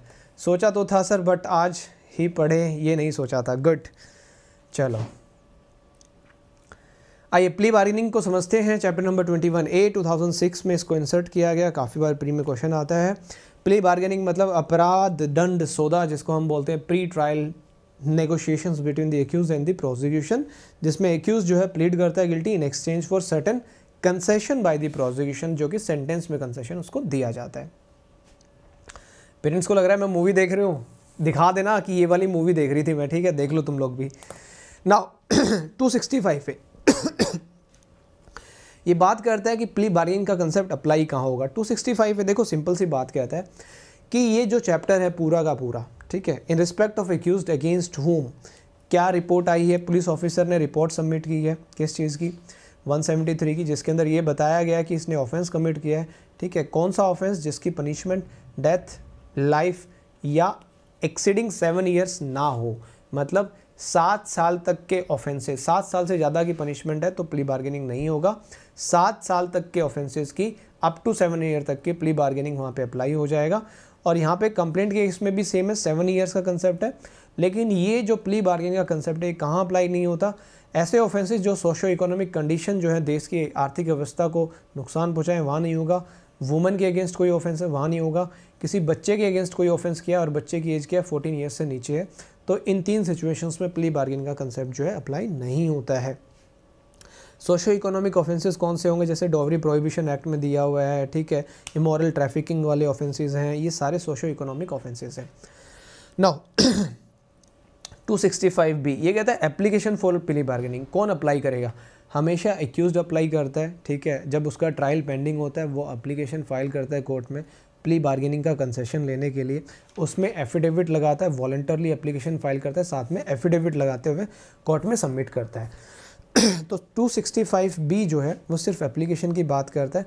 हमें जो पढ़ना है, वो पढ़ना है 265 सी 265 सी कई बार मेंस में भी आता है guidelines for mutually satisfactory disposition की जो एक एक्यूज है और जो एक विक्टिम है, उनके बीच में जो म्यूचुअली सेटिस्फैक्ट्री डिस्पोजिशन होगा, उसके रिगार्डिंग पूरी गाइडलाइंस दी गई हैं। तो प्री पॉइंट ऑफ़ व्यू से हेडिंग आती है मेंस में ये इंटरनल सारा का सारा आपसे पूछा जाता है कई बार। अब ये कह रहा है 265 डी कि जो म्यूचुअली सेटिस्फैक्ट्री डिस्पोजिशन हो, उसकी रिपोर्ट कोर्ट में आप सबमिट कर दोगे। 265 ई e से आपका प्री में भी क्वेश्चन आता है मेंस में भी आता है कि डिस्पोजल ऑफ़ केस फाइनली देखो, अगर म्यूचुअली सेटिस्फैक्ट्री डिस्पोजिशन हो गया तो यहाँ पे दो चीज़ें याद रखनी है। कोर्ट क्या कंपनसेशन अवार्ड कर देगी विक्टिम को 265 डी के अकॉर्डिंग जो भी उनकी डीलिंग हुई है सेटिंग हुई है। ठीक है? अब ये कहता है पार्टीज़ को सुनने के बाद क्लोज ए में, अगर कोर्ट को ऐसा लगता है कि भाई इसको अक्यूज़ को रिलीज़ कर देना चाहिए प्रोबेशन पे या किसी और में तो प्रोबेशन पे रिलीज़ कर देगी। आएगी आएगी, अभी बताऊँगा। सी वाला कहता है कि after hearing the parties court को ऐसा लगता है कि मिनिमम पनिशमेंट जो है प्रोवाइड की गई है एक ऐसे लॉ में जिसका इसने ऑफेंस कमिट किया है तो वहाँ पे it may sentence the accused half देखो, याद रखना, जहाँ मिनिमम सेंटेंस है, वहाँ पे उसको हाफ़ सेंटेंस मिलेगी, ठीक है? जहाँ पे ऑफेंस कमिट किया गया है और ये बताया गया है कि उस ऑफेंस की पनिशमेंट प्रोवाइडेड या एक्सटेंडेबल मतलब सात साल तक जा सकती है, दस साल तक जा सकती है तो उस केस में उसको वन फोर्थ मिलेगी। ये प्री का क्वेश्चन है, दोनों याद रखना। जहाँ मिनिमम है हाफ़ जहाँ प्रोवाइडेड या एक्सटेंडेबल है, वहाँ पे वन फोर्थ हो जाएगी, ठीक है? 265 एफ़ कहता है कि कोर्ट की जजमेंट आ जाएगी। अब 265 जी की बात करते हैं। कि प्ली बार्गेनिंग के ऊपर जो जजमेंट आएगी, वो अपने आप में फाइनल होगी। उस जजमेंट के रिगार्डिंग कोई भी अपील, किसी भी प्रकार की अपील लाई नहीं करेगी प्रशांत। चाहे वो अपील आपकी इंड्यूसमेंट में हो, किसी भी भी हो, कोई भी अपील लाई नहीं करेगी। आपके पास रेमेडी क्या है? आप सिर्फ़ S L P special petition article 136 में फ़ाइल कर सकते हो, या आप कॉन्स्टिट्यूशन में रिट पटिशन फ़ाइल कर सकते हो टू टू ट्वेंटी सिक्स या two twenty seven of the constitution और कोई कहीं पे भी कोई भी फ़ाइल नहीं की जाएगी। Now two sixty five H हमें नहीं पढ़ना है। पावर क्या है कोर्ट की प्ले बार्गेनिंग में? हमें डायरेक्टली अब पढ़ना है यहाँ पे two sixty five J two sixty five J कहता है कि अगर इस चैप्टर में कोई भी व्यक्ति प्ली बार्गेनिंग की एप्लीकेशन लगा रहा है तो जो भी चीज़ें वो बोल रहा है, वो उसके अगेंस्ट यूज़ नहीं की जाएँगी। बेसिकली 265 के भी इसी चीज़ के अंदर है। 265 कहता है, जो भी स्टेटमेंट है, जो भी स्टेटमेंट दी गई हैं, जो भी फैक्ट्स बताए गए हैं वह आप सिर्फ़ इसी चैप्टर में यूज़ करोगे और किसी चैप्टर में किसी भी पर्पज़ के लिए आप उसको यूज़ नहीं करने वाले हो. So this is the concept of plea bargaining पहला क्वेश्चन आता है प्ली बार्गेनिंग कौन से चैप्टर में है? दूसरा क्वेश्चन आता है प्ली बार्गेनिंग कब ऐड किया गया? तीसरा क्वेश्चन आता है प्ली बार्गेनिंग कहाँ से कहाँ तक दिया हुआ है? और चौथा क्वेश्चन आता है प्ली बार्गेनिंग में सेंटेंस कितनी जाएगी? मिनिमम है तो हाफ़ चली जाएगी एक्सटेंडेबल है तो वन फोर चली जाएगी। बस इतना ही कंसेप्ट है यहाँ पे, और कोई कंसेप्ट नहीं है। नौ chapter number twenty two chapter number twenty two के अंदर, अब यहाँ पे देखो कैसे सीआरपीसी तुम्हारी उड़ने वाली है। मतलब ऐसे टेक ऑफ़ करने वाला है अपना सीआरपीसी का एरोप्लेन 266 हमें नहीं पढ़ना है, ठीक है, नहीं आता है। चैप्टर नाम याद रखना है अटेंडेंस ऑफ़ पर्सन कन्फाइंड और डिटेन इन प्रिजन ये जनरल प्रोविज़न स्टार्ट हो गए हैं। प्रोसेस सारा कंप्लीट हो गया अपना सीआरपीसी का, ठीक है, अभी एक्स्ट्रा चीज़ें आ गई हैं। अब ये कहता है power to require attendance of prisoners 267 में सिर्फ़ एक ही चीज़ याद रखनी है यहाँ पे, जो officer in charge of a prison होगा, ठीक है, ये जो लिखा हुआ है यहाँ पे officer in charge of a prison बस यही आपको याद रखना है कि कोई भी व्यक्ति अगर प्रिजन में है जेल में है, ठीक है, उसको कोर्ट में लेके आना है तो ऑफिसर इंचार्ज को कोर्ट जो ऑर्डर पास कर देगी, वो उसको ले आएगा। 268 आपको नहीं पढ़ना है कभी भी, ठीक है, नहीं आता है प्री में। 269 नहीं पढ़ना है आपको कभी भी। 270 नहीं पढ़ना आपको और 271 आपको पढ़ना है। कमीशन आप लोग सीआरपीसी में भी पढ़ते हो, ठीक है, आगे पढ़ेंगे अभी और सीपीसी में भी पढ़े power to issue commission for examination of witness in prison अगर कोई जेल में विटनेस है तो 271 में आप वहाँ पे क्या कर सकते हो कमीशन इशू कर सकते हो उसके एग्जामिनेशन के लिए। नाउ चैप्टर नंबर 23 देखो 22 कंप्लीट 23 पे आ गए हम। चैप्टर 23 ये जर्नल चैप्टर है, ये बात करता है कि जो इंक्वायरी आप कर रहे हो, जो ट्रायल आप कर रहे हो, उसमें जब एविडेंस लिए जाएँगे, वो किस प्रकार से लिए जाएँगे। तो पहले ये बताता है mode of taking and recording evidence evidence कैसे लोगे? सबसे पहले 272 ये लैंग्वेज ऑफ़ कोर्ट के बारे में बात करता है प्री में हमेशा आता है कि स्टेट गवर्नमेंट जो है, वो हमेशा बताएगी कि कोर्ट की क्या लैंग्वेज होगी, सिर्फ़ हाई कोर्ट को छोड़ के, क्योंकि हाई कोर्ट की कॉन्स्टिट्यूशन में दी हुई है कॉन्स्टिट्यूशन के कौन से आर्टिकल में दी हुई है। जल्दी बता दीजिए, और चैनल को सब्सक्राइब कर लो, अगर सब्सक्राइब नहीं किया तो रिक्वेस्ट है भाई। ठीक है 272 language of court is always decided by the state government but high court की हमेशा कॉन्स्टिट्यूशन में प्रिस्क्राइब की गई कॉन्स्टिट्यूशन के अकॉर्डिंग ही होगी आर्टिकल 348 नाउ 273 प्री में आता है। एविडेंस जो है to be taken in presence of accused देखो, जितने भी एविडेंस लिए जाएँगे ट्रायल के दौरान प्रोसीडिंग के दौरान, सारे के सारे ऑलमोस्ट हमेशा आप एक्यूज़ की प्रेजेंस में ही लेंगे। एक्सेप्शन है 299 आगे पढ़ेंगे ठीक है? अगर उसकी पर्सनल अटेंडेंस डिस्पेंस विद की गई है तो प्लीडर की एब्सेंस में प्रेजेंट में लेंगे, ठीक है? अगर रेप का केसेस है, ठीक है? और वुमेन की एज जो है एटीन ईयर्स से बिलो है, ठीक है? रेप का ऑफेंस हुआ है तो कोर्ट जो कोशिश करेगा कि एक्यूज और जो महिला जिसके अगेंस्ट ऑफेंस कमिट हो वो आमने सामने ना आए, ठीक है? नेक्स्ट 274 देखो, अब यहाँ पे उल्टा लिखा हुआ है। पहले सम्मन केस है, फिर वारंट केस है और फिर सेशन ट्रायल है। यहाँ पे उल्टा कर दिया उन्होंने। 274 सम्मन केसेस और इंक्वायरीज में कैसे रिकॉर्ड किया? देखो, इसके अंदर क्या ना, कुछ मत पढ़ना, कभी नहीं आता एग्ज़ाम में प्री प्री आपको पढ़ना है, ठीक है? हेडिंग के लिए। वारंट केस की प्री प्री आपको पढ़ना है। हेडिंग के लिए 275 में रिकॉर्डिंग दे रखी है। कैसे रिकॉर्ड करेंगे एविडेंसेस और 276 में सेशन की दे रखी है। ठीक है? कैसे रिकॉर्ड किए जाएँगे? तो 276 सेशन ट्रायल के साथ लिख लेना। 275 वारंट ट्रायल के साथ लिख लेना। 274 समन ट्रायल के साथ लिखना। और अच्छा एक बात करो समरी ट्रायल का यहाँ पे क्यों नहीं दिया हुआ? समरी ट्रायल में कैसे रिकॉर्ड करेंगे? क्यों नहीं दिया हुआ? क्योंकि समरी ट्रायल का तो समरी ट्रायल ने खुद ने बता दिया था कि जजमेंट कैसे आएगी रिकॉर्ड कैसे होगा, है ना? इसलिए समरी ट्रायल का यहाँ पे नहीं दिया हो वो समरी ट्रायल ने वहीं पे स्पेसिफाई कर दिया था। नाउ 277 अपने को नहीं पढ़ना है। 278 अपने को नहीं पढ़ना है। अब देखो सीआरपीसी कैसे उड़ने वाली। मैंने कहा था ना 279 हेडिंग हेडिंग पढ़नी है।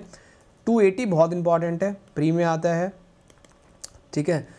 रिमार्क्स और respecting demeanour of witnesses CPC में भी आप लोग पढ़ते हो, कोई भी प्रिजाइडिंग जज है, कोई भी मैजिस्ट्रेट साहब है, ठीक है, वो एविडेंस रिकॉर्ड करा है किसी विटनेस के तो वो ऑब्ज़र्व कर सकता है इसका व्यवहार कैसा है बिहेवियर कैसा है, और वो वहाँ पे फर्दर रिकॉर्ड कर सकता है जो जुडिशल मैजिस्ट्रेट है, ठीक है। 281 recording of examination of accused हमारे लिए इंपॉर्टेंट नहीं है, ठीक है? यहाँ से ज़्यादा से क्वेश्चन बनता नहीं है। हेडिंग आप पढ़ेंगे कि कैसे जब आप एक्यूज को एग्जामिन करोगे तो कैसे आप रिकॉर्ड करोगे? यहाँ पे लिखा मेमोरेंडम आप बनाओगे, जो एक्यूज बोल रहा है, वो सारी चीज़ें आप नोट डाउन करोगे। लैंग्वेज ऑफ़ कोर्ट में करोगे, उसके पढ़ के सुनाओगे। ये जर्नल बातें टू में दी हुई हैं। इंटरप्रटेशन हमारे नहीं पढ़ना है। रिकॉर्ड इन हाई कोर्ट हमने नहीं पढ़ना है। नाउ अब बात करेंगे commission for examination of witness very very important बहुत इंपॉर्टेंट है टू एटी फोर देखो सिंपल सी बात है, जब कभी भी कोई भी विटनेस है, जिसकी अटेंडेंस को डिस्पेंस विद किया गया है कोर्ट ने तो वहाँ पे हम क्या करते हैं 284 में कमीशन इशू कर देते हैं कि भाई, आपको एग्जामिन करने आ रहे हैं। तो कोर्ट चाहे तो कमीशन इशू कर सकती है, ठीक है?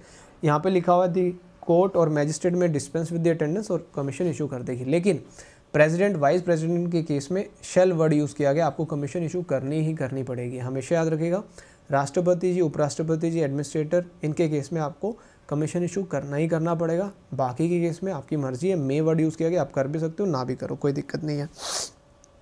नाउ 285 कहते हैं कमीशन किसको इशू की जाएगी? देखो, ये कहता है, अगर विटनेस आपकी सीआरपीसी जहाँ अप्लाई होती है, वहाँ रहता है तो आप सी एम एम साहब को कर सकते हो या सी जी एम साहब को कर सकते हो, जिसकी लोकल जुरिडिक्शन में वो रहता है। सी एम एम और सी जी एम आपको याद रखना है, ठीक है? जिसकी लोकल जुरिडिक्शन में वो रहता है, उनको आप दे सकते हो कमीशन और फर्दर उसको एग्जीक्यूट करवाने का काम करेंगे। Two eighty six two eighty seven two eighty eight two eighty nine two ninety नहीं पढ़ना है हमें। टू नाइन्टी वन आपको पढ़ना है डायरेक्टली टू नाइन्टी वन पे आ जाइए। टू नाइन्टी वन पे आ जाइए डायरेक्टली अरे भाई साहब लैपटॉप बहुत ज़्यादा गर्म हो गया आज तो। बस भगवान सीआरपीसी की क्लास ख़त्म करवा देना, है ना? बहुत ज़्यादा गर्म हो गया एकदम से। चलो होपफुली हो जाए हमारी सीआरपीसी बहुत ज़्यादा हीट हो गया। इसमें लिखा भी आ गया your laptop is too temperature is too high चलो, कोई बात नहीं। Two ninety one deposition of medical witness देखिए, आपने पहले पढ़ा मेडिकल एग्जामिनेशन होगा एक्यूज पर्सन का अरेस्टेड पर्सन का, ठीक है? एक्यूज ऑफ़ ए रेप का विक्टिम ऑफ़ ए रेप का सबका हमने मेडिकल एग्जामिनेशन किया। रेस्ट नहीं दूँगा मैं इसको। मुझे पता है ये रेस्ट मांग रहा है लेकिन मैं इसको रेस्ट नहीं दूँगा आज। सो so, ये कहता है डिपोजिशन जितने भी होंगे सिविल सर्जन के मेडिकल विटनेसेस के वो लिए जाएँगे मैजिस्ट्रेट के द्वारा और अटेस्ट किए जाएँगे in the presence of accused accused की प्रेजेंस में ही। ठीक है? या फिर आप कमीशन इशू कर सकते हो अंडर दिस चैप्टर ठीक है? तो अकॉर्डिंगली वैसे ले जाएँगे। तो डायरेक्टली टू प्री में आता है। टू ए ये बड़ा इंपॉर्टेंट है। आइडेंटिफिकेशन रिपोर्ट ऑफ़ मैजिस्ट्रेट ठीक है? आइडेंटिफिकेशन रिपोर्ट ऑफ़ मैजिस्ट्रेट 291 एक सेकंड एसी को और चेंज कर देते हैं।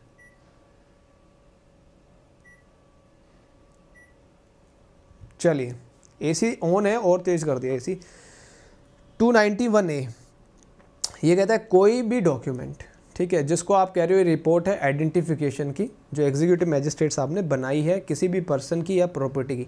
Section nine of the Indian Evidence Act ठीक है? उसको यूज़ किया जा सकता है एज ए एविडेंस इंक्वायरी में ट्रायल में, या अदर प्रोसीडिंग में। चाहे मैजिस्ट्रेट को आप एज ए विटनेस कॉल करो या ना करो, ये प्रिज्यूम करके चला जाता है कि जो मैजिस्ट्रेट ने बनाई है, उसको आप एज एविडेंस यूज़ कर सकते हो। नाउ 292 प्री के लिए आपको हेडिंग हेडिंग पढ़नी है। नेक्स्ट आइए। 293 से क्वेश्चन आता है। बहुत बार क्वेश्चन आता है स्पेशली राजस्थान वगैरह में काफ़ी सारे स्टेट्स में आता है। ये reports of certain government scientific experts यहाँ पे सिर्फ़ आपको जो पढ़ना है, वो है सबसेक्शन फोर आपको इन लोगों के नाम याद रखने हैं। This section applies to the following government scientific expert सिर्फ़ ये इन्हीं पे अप्लाई होता है ये सेक्शन और किसी पे सेक्शन ये अप्लाई नहीं होता है। तो आपको इनके नाम याद रखने और नाम याद करने पड़ेंगे एग्ज़ाम में ये क्वेश्चन आता है। ठीक है? नाउ नेक्स्ट आइए। डायरेक्टली आपको आना है 297 सेक्शन नंबर 297 बाकी नहीं पढ़ने हैं। 297 अथॉरिटीज बिफोर हुम एफिडेविट्स में भी सो ऑन आपने एफिडेविट्स बनवाए होंगे कोर्ट में जाके तो किसके सामने एफिडेविट्स आप बनवाते हो? यहाँ पे साफ़ साफ़ लिखा हुआ है एफिडेविट जो भी यूज़ किया जाएगा कोर्ट में, या तो वो जज जुडिशल हो या एग्जीक्यूटिव मजिस्ट्रेट हो या कमिश्नर जो कि ओथ के लिए अपॉइंट किया जाता है हाई कोर्ट के द्वारा कोर्ट ऑफ़ सेशन गया या फिर नोटरी साहब से आप जो है एफिडेविट्स अपने बनवाएँगे। Now 298 very very important for pre previous conviction और एक्विटल को कैसे प्रूव किया जाएगा? बहुत बार आता है ये क्वेश्चन ये कहता है किसी भी इंक्वायरी किसी भी ट्रायल में अगर आप प्रीवियस कन्विक्शन एक्विटल को प्रूव करना चाहते हैं in addition to any other mode जो भी लॉ में प्रिस्क्राइब है उसके अलावा आप सर्टिफाइड कॉपीज़ दे सकते हैं, ठीक है? जिस ऑफिसर ने उसको कस्टडी में रखा है, जेल में कन्विक्शन के केस में, या इक्विटल के केस में, जो कॉपी है सेंटेंस की ऑर्डर की, आप वो सबमिट कर सकते हैं। कन्विक्शन के केस में आप सर्टिफिकेट दे सकते हैं। साइन किया है किसने साइन किया सर्टिफिकेट बड़ा क्लियरली यहाँ पे लिखा हुआ है by officer in charge of the jail in which the punishment or any part thereof was undergone वो प्रोडक्शन ऑफ़ वारंट ये सारी चीज़ों से आप प्रूव कर सकते हो 298 में।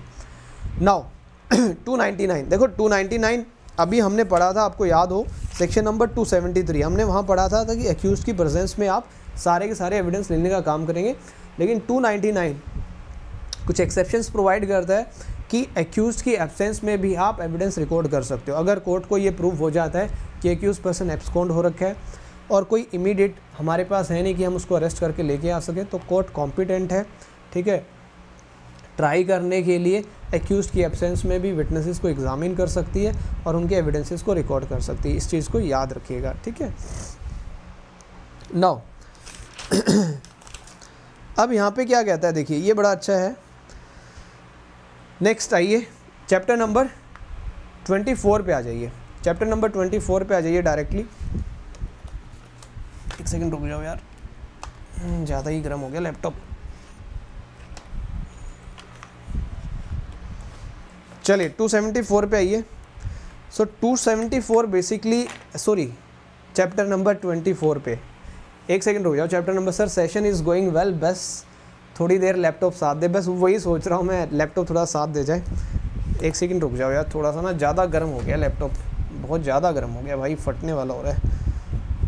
क्योंकि इसके अंदर ये सॉफ्टवेयर भी चल रहा है ना लाइव स्ट्रीमिंग वाला, इसलिए थोड़ा सा हीटअप हो जाता है ज़्यादा ये। बट कोई बात नहीं। अरे कूलर कूलर इसके सारे पंखे पुंखे सब ऑन कर रखे मैंने। ये नाइट्रो फाइव है एसर का नाइट्रो फाइव है। इसके अंदर तो वैसे ही कूलर है, बहुत ज़बरदस्त वाला। ये देखो। पूरे पंखे होने इसके।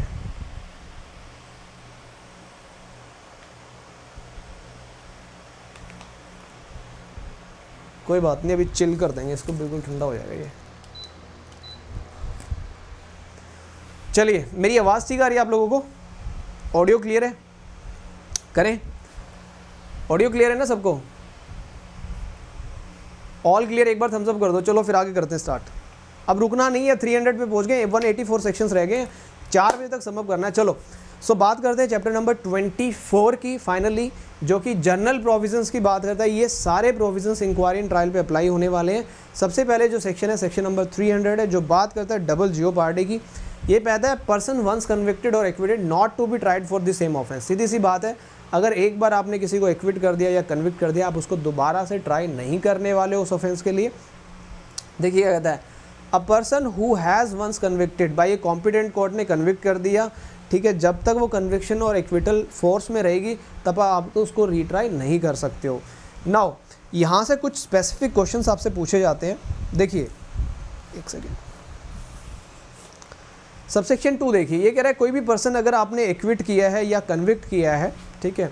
किसी भी ऑफेंस के रिगार्डिंग उसको दोबारा से ट्राई किया जा सकता है, लेकिन with the consent of the state government हमेशा याद रखिएगा स्टेट गवर्नमेंट की कंसेंट से आप उसको दोबारा से ट्राई कर सकते हो फॉर एनी डिस्टिंग ऑफेंस जिसके लिए सेपरेट चार्ज उसको किया जाना चाहिए था, लेकिन नहीं कर पाए हम due to any of the reason अब आप कर सकते हो।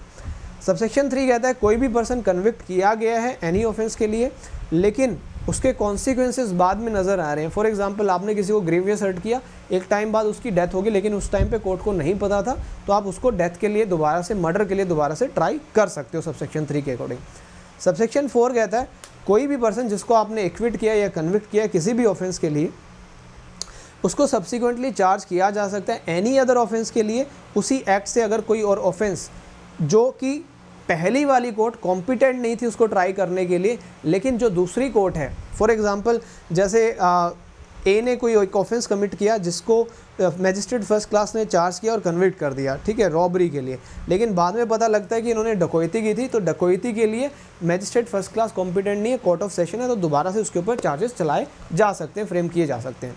सबसेक्शन फाइव कहता है कि 258 में आपने किसी को डिस्चार्ज कर दिया उसको दोबारा से ट्राई नहीं किया जाएगा।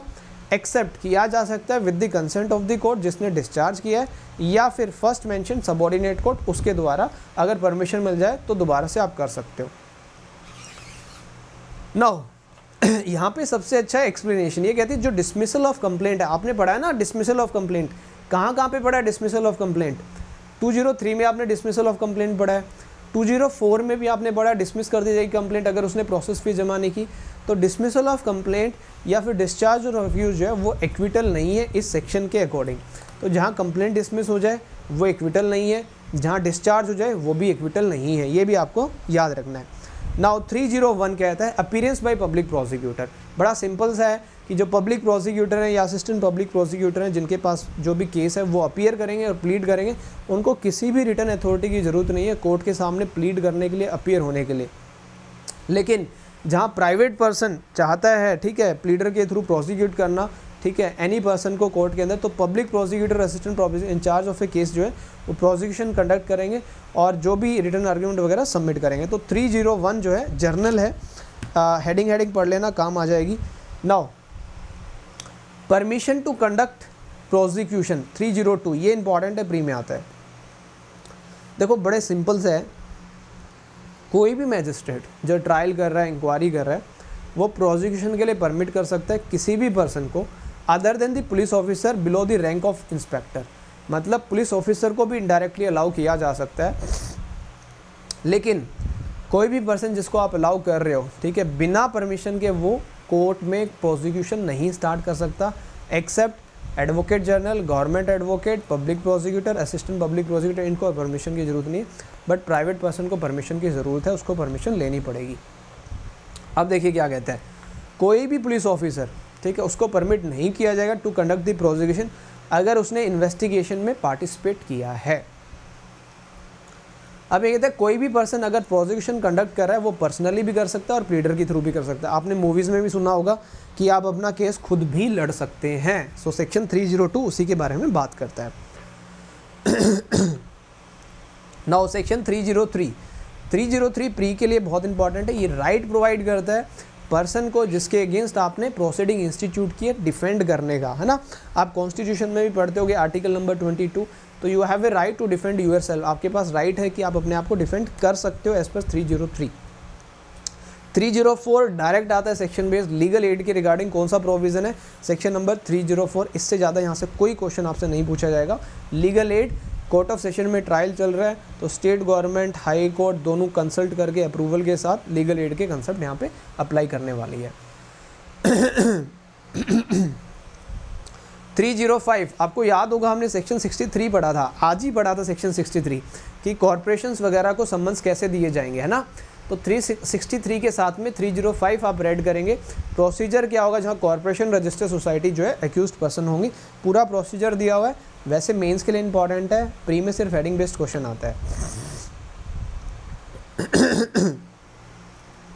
Three zero six, seven and eight ये टेंडर ऑफ़ पार्डन की बात करते हैं माफ़ी नामे की बात करते हैं अकम्पलिश को। Accomplice is a person who is partner in crime आपके साथ में जिसने क्राइम कमिट किया दैट इज़ एन अकम्पलिस आप लोग इंडियन एविडेंस एक्ट में भी पढ़ते होंगे अकम्पलिश के बारे में आप लोगों ने पढ़ा होगा section 133 of the Indian Evidence Act तो यहाँ पे एविडेंस ऑप्टेन करने के लिए, ठीक है, जिस भी व्यक्ति को पता है, जो भी ऑफेंस में पार्टिसिपेट कर रहा था सीजीएम साहब, ठीक है मेट्रोपॉलिटन मैजिस्ट्रेट इन्वेस्टिगेशन और इंक्वायरी के स्टेज पे या फिर ट्रायल के स्टेज पे या फिर मैजिस्ट्रेट फ़र्स्ट क्लास ट्रायल कर रहा है, ठीक है, या इन्वेस्ट इंक्वायरी या ट्रायल के स्टेज पे पार्डन टेंडर कर सकता है कुछ कंडीशंस के साथ कि आप पूरी की पूरी सच्चाई बताएँगे, जो भी है फुल डिस्क्लोज़र आप बताएँगे, ठीक है?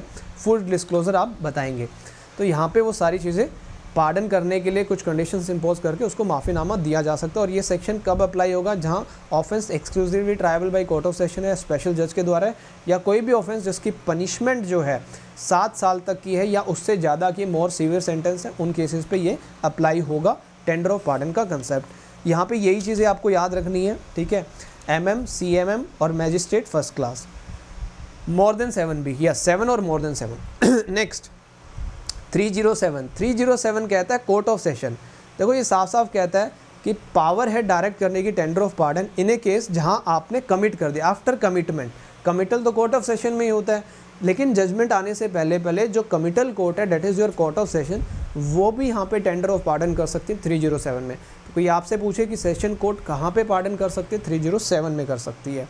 क्योंकि थ्री ज़ीरो सिक्स में तो सेशन कोर्ट का ज़िक्र ही नहीं है। वहाँ पे तो सी एम एम का है मेट्रोपोलिटन मैजिस्ट्रेट का है जुडिशल मैजिस्ट्रेट फ़र्स्ट क्लास का है।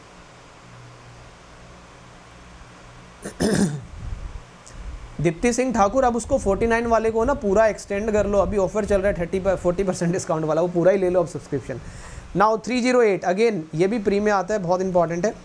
308 क्या गया था? देखो, अगर आपको हमने पार्डन दिया 306 में और 307 में, लेकिन आपने कंडीशन से कंप्लाई विद नहीं किया।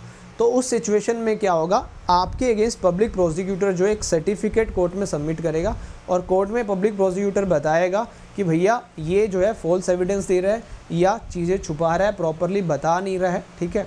फिर उसके बाद क्या होगा? उसके बाद आपका ट्रायल चलेगा उसी ऑफेंस के लिए, लेकिन आपका ट्रायल जो है जॉइंट ट्रायल नहीं चलेगा, आपको अलग से ट्राई किया जाएगा, ठीक है? अलग से ट्रायल किया जाएगा और साथ ही साथ आपको फॉल्स एविडेंस के लिए ट्राई किया जाएगा, लेकिन हाई कोर्ट की सेंक्शन के साथ। हाई कोर्ट की सेंक्शन लेके आपको फॉल्स एविडेंस के लिए भी ट्राई किया जाएगा। और जो भी स्टेटमेंट आपने दी है, ठीक है, जिसको हम as a tender of pardon करें वो रिकॉर्ड की जाएँगी मैजिस्ट्रेट के द्वारा सेम सिंपल यहाँ पे कोई ज़्यादा टेक्निकल नहीं है। बस ये चीज़ याद रखेगा हाई कोर्ट की सेंक्शन से ही आपको फॉल्स एविडेंस के लिए ट्राई किया जा सकता है अदरवाइज़ नहीं। 309 तारीख पे तारीख तारीख पे तारीख। सनी देवल वाली मूवी आपको याद होगी। इधर पावर टू पोस्टपोन और एडजेंट प्रोसीडिंग्स सिंपल सा है जर्नली क्या होगा, हर एक inquiry trial day to day चलेगी, लेकिन कोर्ट के पास पावर होती है कि वो कोर्ट जो है एक्सटेंड कर सकती है प्रोसीडिंग्स को एडजेंट कर सकती है। लेकिन प्रोवाइडेड ने क्लियर कर दिया है कि जहाँ पे भी रेप के ऑफेंसेस हैं, उन केसेस के अंदर आप टू मंथ्स के अंदर जो है, पूरी की पूरी ट्रायल इंक्वायरी को कंप्लीट करेंगे, ये याद रखना। दो महीने के अंदर in a case of rape cases के अंदर, ठीक है? नाउ अब यहाँ पे एक कंसेप्ट आता है, ये वाला 60 डेज़ वाला। देखिए, कोई भी कोर्ट कॉग्निजेंस लेने के बाद, ठीक है ट्रायल स्टार्ट होने के बाद कोर्ट को ऐसा लगता है कि ट्रायल को पोस्टपोन करना चाहिए तो वो रीज़न रिकॉर्ड करके ट्रायल को पोस्टपोन कर सकती है, ठीक है, और वारंट कर सकती है रिमांड अक्यूज का कस्टडी में, ठीक है। अब यहाँ पे जो कस्टडी है, वो अगेन 15 डेज़ से ज़्यादा की नहीं होगी। ठीक है 15 डेज़ से कुछ ज़्यादा की नहीं होगी कस्टडी याद रखिएगा। 15 डेज़ की कस्टडी हो सकती है मैक्सिमम, ठीक है? और यहाँ पे साफ़ साफ़ आ गया जो विटनेस इन अटेंडेंस है तो कोई एडजमेंट नहीं होगी, कोई पोस्टपोन नहीं मिलेगी। विटनेस जब हैं कोर्ट में, आप उनको एग्जामिन करें। अगर स्पेशल रीज़न है तो आप एडजेंट कर सकते हो, अदरवाइज़ नहीं करोगे। कोई भी एडजमेंट नहीं मिलेगी, सिर्फ़ और सिर्फ़ इस ग्राउंड पे कि एक्यूज पर्सन जो है, ठीक है, उसको सेंटेंस के रिगार्डिंग आप थोड़ा सा वो टाइम दें कि वो उसके ऊपर थोड़ा सा आर्ग्यू कर सके आपके सामने। ये कोई ग्राउंड नहीं है एडजमेंट का। नाउ अब ये यहाँ पे प्रोवाइडेड है ना, ये बड़ा इंपॉर्टेंट है। यहाँ पे चार पाँच चीज़ें लिखी हुई हैं कि एडजमेंट नहीं मिलेगी at the request of the party ठीक है? हाँ ठीक है बियॉन्ड कंट्रोल कोई सर्कमस्टांसिस हो जाते हैं, वहाँ एडजमेंट दी जा सकती है। ये कह रहा है, अगर प्लीडर साहब आपके वकील साहब दूसरी और कोर्ट में एंगेज है तो वहाँ एडजमेंट नहीं मिलेगी। अक्सर ऐसा ही होता है कोर्ट में कि जी, जनाब तो दूसरी कोर्ट में लगे हुए हैं। और जहाँ विटनेस प्रजेंट है, ठीक है पार्टी और प्लीडर प्रेजेंट नहीं है, लेकिन पार्टी और प्लीडर प्रेजेंट है, लेकिन विटनेस को एग्जामिन नहीं करना चाहते क्रॉस एग्जामिन नहीं करना चाहते तो कोर्ट वहाँ पे भी एडजमेंट प्रोवाइड नहीं करने वाली है।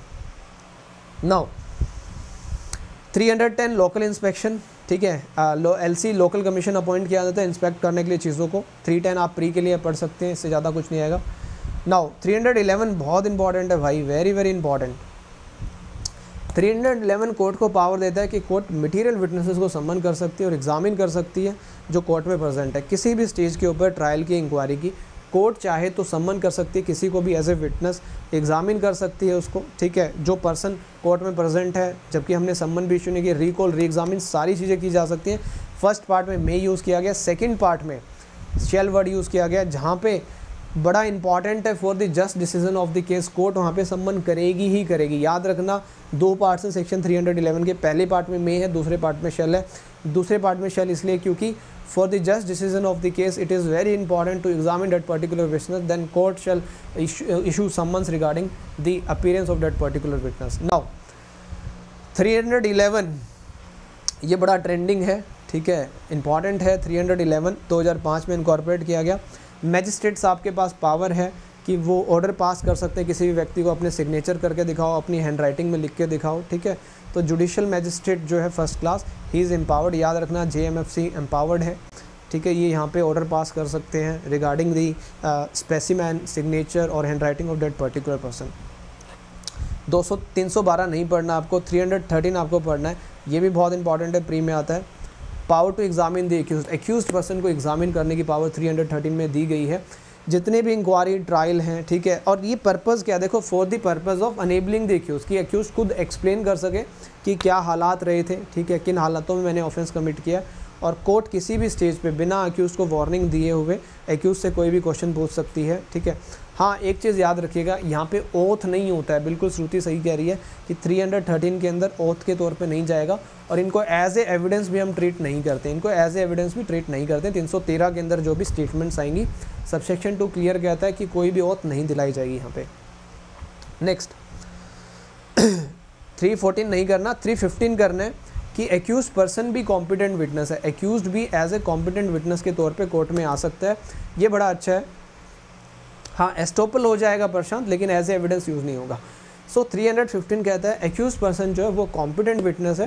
देखो सिंपल सी बात है कोई भी एक्यूज पर्सन ठीक है कोई भी ऑफेंस उसने कमिट किया क्रिमिनल कोर्ट के सामने वो कॉम्पिटेंट विटनेस है। अगर वो खुद कोर्ट में अप्लाई करता है वो गिव एविडेंस दे सकता है ओथ के ऊपर अपने एविडेंस दे सकता है ठीक है। यहाँ पे ओथ होगी 315 में 313 में ओथ नहीं होगी। नाउ क्लियरली लिखा हो गया है, उसको आप एज ए विटनेस कॉल नहीं करेंगे जब तक कि वो खुद रिटर्न में ना दे कि मैं आना चाहता हूँ एज ए विटनेस अगर वो कोई एविडेंस नहीं दे पाता है तो इसका मतलब ये नहीं कि आप उसके अगेंस्ट प्रिजम्पशन रेज कर लो कि हाँ इसी ने ऑफेंस कमिट किया होगा। नहीं, ऐसा कोई भी प्रिजम्पशन आपको उसके अगेंस्ट रेज नहीं करना है। दिस इज़ सेक्शन नंबर 315 316 आपको नहीं पढ़ना है। 317 provision for inquiries and trial being held in absence of accused person heading heading पढ़ लेना प्री में आता है, इससे ज़्यादा इन डिटेल नहीं आता यहाँ से। नाउ 318 अगर अंडरस्टैंड ना करें प्रोसीडिंग एक्यूज तो आप उसको ट्रांसलेट करके बता दो, समझा दोगे। ठीक है? 319 बहुत इंपॉर्टेंट है। Summoning additional accused very very important pre mains दोनों में आता है। Power to proceed against other person appearing to be guilty of offence याद रखिएगा अगर कोई व्यक्ति इनिशियली चार्ज नहीं किया गया है एफआईआर में भी नाम नहीं है, उसका चार्जशीट में भी नाम नहीं है, उसके बावजूद भी अगर कोर्ट को लगता है कोर्ट डायरेक्टली यहाँ पे एडिशनली सम्मन कर सकती है एडिशनली सम्मन कर सकती है आपको, ठीक है एज एन एडिशनल एक्यूज क्योंकि कोर्ट जब ट्रायल कर रही थी कोर्ट को रियलाइज़ हुआ कि भाई ये बंदा है जिसने ऑफेंस कमिट किया है तो इसको एज एन एक्यूज दोबारा से बुलाया जाए। देखिए तो हाँ बस इसको joinder of trial direct cognizance आप कह सकते हैं कोर्ट ऑफ़ सेशन को भी लग रहा है तो कोर्ट ऑफ़ सेशन फटाक से आपको डायरेक्टली यहाँ से direct cognizance by court of session exactly directly court of session आपको उठा लेगी 319 को यूज़ करते हुए. नाउ 320 कंपाउंडिंग ऑफ़ ऑफेंस बहुत अच्छा सेक्शन है. लिस्ट दे रखी है with or without the permission of the court आप ऑफेंसेस को कंपाउंड कर सकते हो. अगर वो कंपाउंडेबल है, ये पूरा टेबल आपके सामने है डायरेक्ट सेक्शन बेस्ड क्वेश्चन आता है थ्री ट्वेंटी से और नेक्स्ट जो क्वेश्चन आता है उसके ऊपर लेके चल रहा हूँ मैं आप लोगों को डायरेक्टली जो हमारे लिए इंपॉर्टेंट है। टेबल पूरी नहीं पढ़नी है, ठीक है? मोटी मोटी नज़र मार लेना इसमें। यहाँ पे आइए। डायरेक्टली आप लोग आइएगा। Subsection number subsection number six पे आइए। Subsection number six of section three twenty ये इंपॉर्टेंट है। हाई कोर्ट और कोर्ट ऑफ़ सेशन जो पावर एक्सरसाइज कर रहे हैं रिवीजन की वो भी कंपाउंड कर सकती हैं ऑफेंसेस को। नहीं, ये लिस्ट याद नहीं करनी है, याद नहीं करनी मोटी मोटी नज़र मार लेना। कोई भी ऑफेंस कंपाउंड नहीं किया जाएगा by reason of previous conviction अगर आप प्रीवियसली कन्विक्टेड हो तो कंपाउंडिंग नहीं होगी ऑफेंस के अंदर। और ये कहता है कि जो कंपोजिशन होगा ऑफेंस का, ठीक है, उसका क्या इफ़ेक्ट होगा? कंपाउंडिंग का इफ़ेक्ट हमेशा इक्विटल होता है, ये चीज़ याद रखिएगा। और कोई भी ऑफेंस कंपाउंड नहीं किया जाएगा, जो इस सेक्शन में मेंशन नहीं है। तो ये सेक्शन अपने आप में एग्जॉस्टिव है क्योंकि सब सेक्शन नाइन इसको एग्जॉस्टिव बनाता है। 320 is in itself exhaustive next 321 withdrawal from prosecution सीधी सी बात है पीपी साहब और एपीपी साहब विड्रॉ कर सकते हैं, लेकिन दो चीज़ें यहाँ पे याद रखिएगा। देखो, अगर विड्रॉल किया जा रहा है before a charge frame charge frame करने से पहले विड्रॉ किया जा रहा है तो एक्यूज़ को डिस्चार्ज कर दिया जाएगा। चार्ज फ्रेम करने के बाद विड्रॉ किया जा रहा है तो एक्यूज़ को एक्विट कर दिया जाएगा। बस ये दो चीज़ें याद रखनी है। चार्ज फ्रेम करने से पहले विड्रॉ किए जा रहे हैं केस को तो डिस्चार्ज हो जाएगा। चार्ज फ्रेम करने के बाद विड्रॉ किया जा रहा है तो आपका एक्विट हो जाएगा। विद द कंसेंट ही होगा हमेशा। ठीक है स्टेट गवर्नमेंट की कंसेंट आपको लेनी पड़ेगी या सेंट्रल गवर्नमेंट की कंसेंट आपको यहाँ पे लेनी पड़ेगी। विदाउट कंसेंट आप नहीं करोगे। Because you are representing government of India और स्टेट गवर्नमेंट नाउ हाँ प्ली बार्गेनिंग में कन्विक्ट माना जाता है।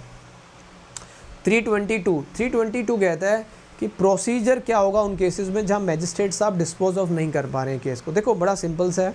जब भी आप इंक्वायरी कर रहे हो ट्रायल कर रहे हो, ठीक है एविडेंस आपके सामने है, ठीक है, वहाँ से आपको ऐसा लग रहा है कि यार मेरी जुरिडिक्शन नहीं बन रही है या फिर मुझे ये केस कमिट कर देना चाहिए, या फिर आपको लग रहा है कि यार ये ट्रायल जो है कोई अदर मैजिस्ट्रेट करे किसी डिस्ट्रिक्ट में, मैं नहीं कर सकता हूँ तो आप डायरेक्टली अपनी प्रोसीडिंग जो है सी जी साहब को सबमिट कर देंगे, ठीक है? सी जी साहब को सबमिट कर देंगे, वहाँ पे स्टे लग जाएगा और सारी की सारी ब्रीफ रिपोर्टिंग जो है एक्सप्लेन कर देंगे, आप सी को बता देंगे कि सर मेरे साथ नहीं होगा, मेरी सिचुएशन नहीं, मेरी जुरिडिक्शन नहीं, सारी चीज़ें आप कोर्ट को सी को बता देंगे फर्दर नाउ 323 ये भी बड़ा इंपॉर्टेंट है। आपने 209 पढ़ा था ना? Committal to court of session वो इनिशियल स्टेज पे कमिटल होता है, ये सब्सिक्वेंट स्टेज पे कमिटल होता है। अब 323 आप पढ़ेंगे तो ये कहता है after commencement of trial trial start हो गया। ट्रायल स्टार्ट होने के बाद मैजिस्ट्रेट साहब को लगा कि यार ये केस तो कोर्ट ऑफ़ सेशन को डील करना चाहिए था। तो मैजिस्ट्रेट साहब 323 को यूज़ करते हुए after the commencement of trial court को कमिट कर देंगे कोर्ट ऑफ़ सेशन में और फिर कोर्ट ऑफ़ सेशन इसको ट्रायल कर लेगी। नाउ 324 हेडिंग हेडिंग पढ़नी है, ठीक है? इससे ज़्यादा कुछ नहीं पढ़ना है आपको। 325 procedure when magistrate can not pass sufficiently ये बड़ा इंपॉर्टेंट है प्री में। सेम कंसेप्ट है यहाँ पे। अगर मैजिस्ट्रेट्स आपको लगता है कि भाई एविडेंस वगैरह प्रोसिक्यूशन के ले लिए, मैंने एक्यूज के ले लिए बट मैजिस्ट्रेट को लगता है कि एक्यूज गिल्टी तो है, लेकिन इसको पनिशमेंट दूसरी मिलनी चाहिए, ज़्यादा पनिशमेंट मिलनी चाहिए, और मैं एम्पावर्ड नहीं हूँ उस पनिशमेंट को देने के लिए। या फिर जैसे मैजिस्ट्रेट सेकंड क्लास को लगता है कि भाई 106 के इससे बॉन्ड भरवानी चाहिए सेक्शन 106 पढ़ा था ना हमने कन्विक्शन वाला। मैजिस्ट्रेट सेकंड क्लास को लगता है कि कन्विक्शन के बॉन्ड भरवाने चाहिए थे इसको तो 325 में जो है, वो सी साहब को अपनी प्रोसीडिंग्स जो है सबमिट कर देंगे। 322 और 325 में डिफरेंट क्या है? देखो 322 तो ये कहता है कि कोर्ट की जुरिस्डिक्शन ही नहीं है। यहाँ पे कहता है कि कोर्ट की जुरिस्डिक्शन है। कोर्ट ने एविडेंस भी ले ली है, लेकिन कोर्ट को लगता है पनिशमेंट इसको ज़्यादा मिलनी चाहिए। तो 325 इस चीज़ से डील करता है। 322 कर तो मेरी तो जुरिस्डिक्शन ही नहीं है, मैं तो ट्राई नहीं कर सकता हूँ। ये डिफरेंस है बेटा सुभाषिश मिश्रा, ठीक है? बाकी एक बार खुद पढ़ोगे तो और अच्छे से क्लियर हो जाएगा। तो 325 सीजीएम के पास आप सबमिट कर देंगे। बस आपको यही चीज़ याद रखनी प्री में आता है और सीजीएम साहब किसी और सबॉर्डिनेट मैजिस्ट्रेट को भेज देंगे और मैजिस्ट्रेट साहब आगे एविडेंसेस वगैरह जैसे लेने होंगे, ले लेंगे। 326 आपको याद होगा मैंने सेक्शन 35 पढ़ाया था। आज ही पढ़ाया था ना? आज से मतलब पाँच घंटे पहले मैंने आपको सेक्शन 35 पढ़ाया था सक्सेसर इन ऑफ़िस है ना? वही सिमिलर है 326 कह रहा है कन्विक्शन कमिटमेंट एविडेंस किसी एक ने रिकॉर्ड किए हैं, दूसरा मैजिस्ट्रेट आ गया ट्रांसफ़र हो गया तो 326 में कंटिन्यू हो जाएगा। लेकिन 326 से ना एक क्वेश्चन आता है सबसेक्शन थ्री से। ये सबसेक्शन थ्री याद रखना 326 का सबसेक्शन थ्री ये कहता है, ये जो सेक्शन है, ये अप्लाई नहीं करेगा समरी ट्रायल्स पर अप्लाई नहीं होगा, ना ही उन केसेस पे अप्लाई होगा जहाँ पे प्रोसीडिंग को स्टे कर दिया गया 322 में अभी हमने पढ़ा, ठीक है? ना ही ये अप्लाई होगा जहाँ प्रोसीडिंग को सबमिट किया गया है 325 में। तीन जगह पे सेक्शन नंबर 326 अप्लाई नहीं होगा। हमेशा याद रखना प्री में यही क्वेश्चन आता है।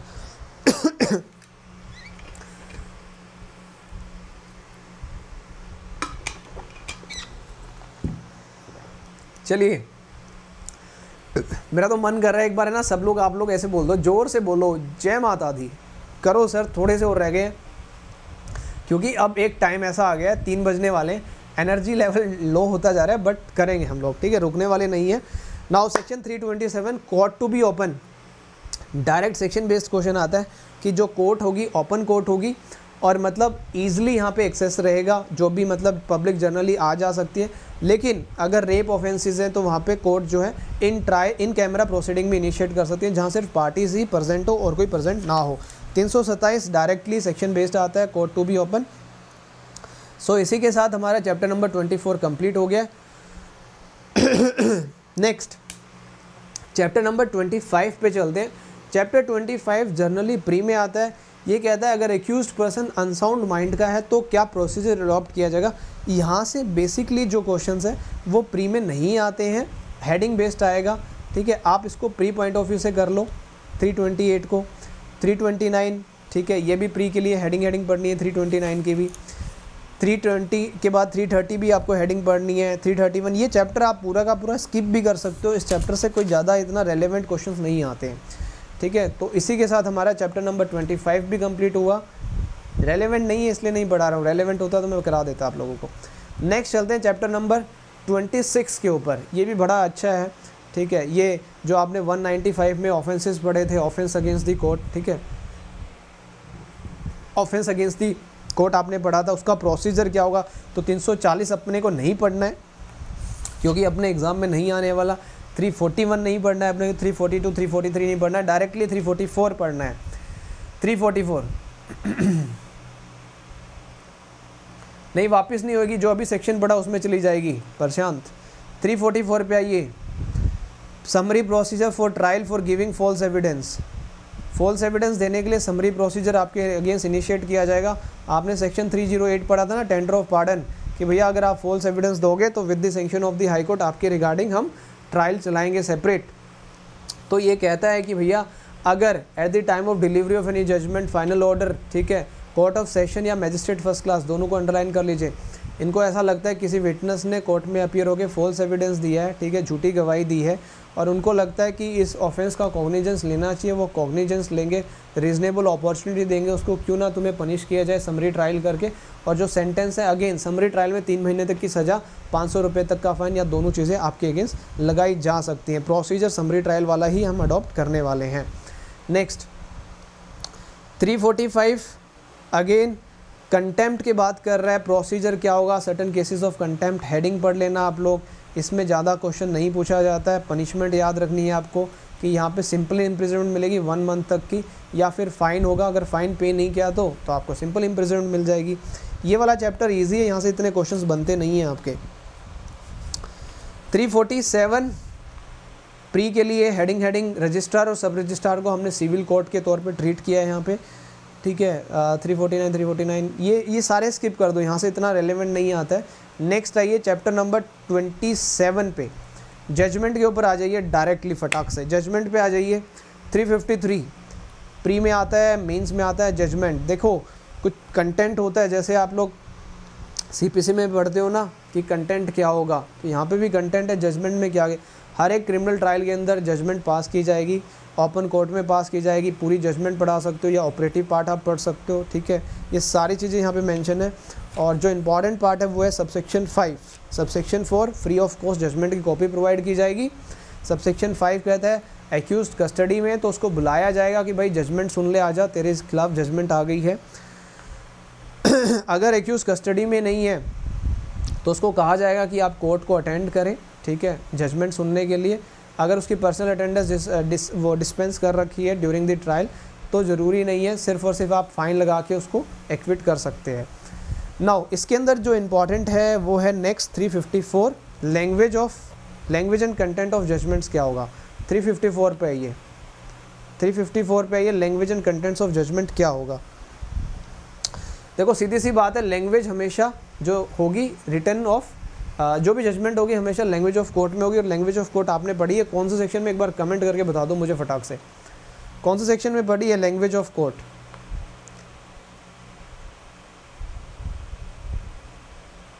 language of court section number hmm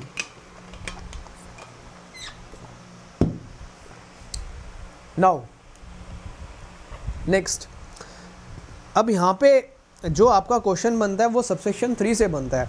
subsection three कहता है, जहाँ आप कन्विक्ट कर रहे हो उसको डेथ के लिए, या अल्टरनेटिवली आप उसको लाइफ इम्प्रिजनमेंट दे रहे हो, या फिर आप इम्प्रिजमेंट फॉर टर्म दे रहे हो तो जो जजमेंट है आपकी, वो रीजंस मेंशन करेगी कि आपने ये सेंटेंस क्यों अवॉर्ड की है, और डेथ सेंटेंस के केस में हमेशा याद रखिएगा, अगर आप किसी को डेथ सेंटेंस दे रहे हो then you have to record your special reasons आपको रिकॉर्ड करने पड़ेंगे।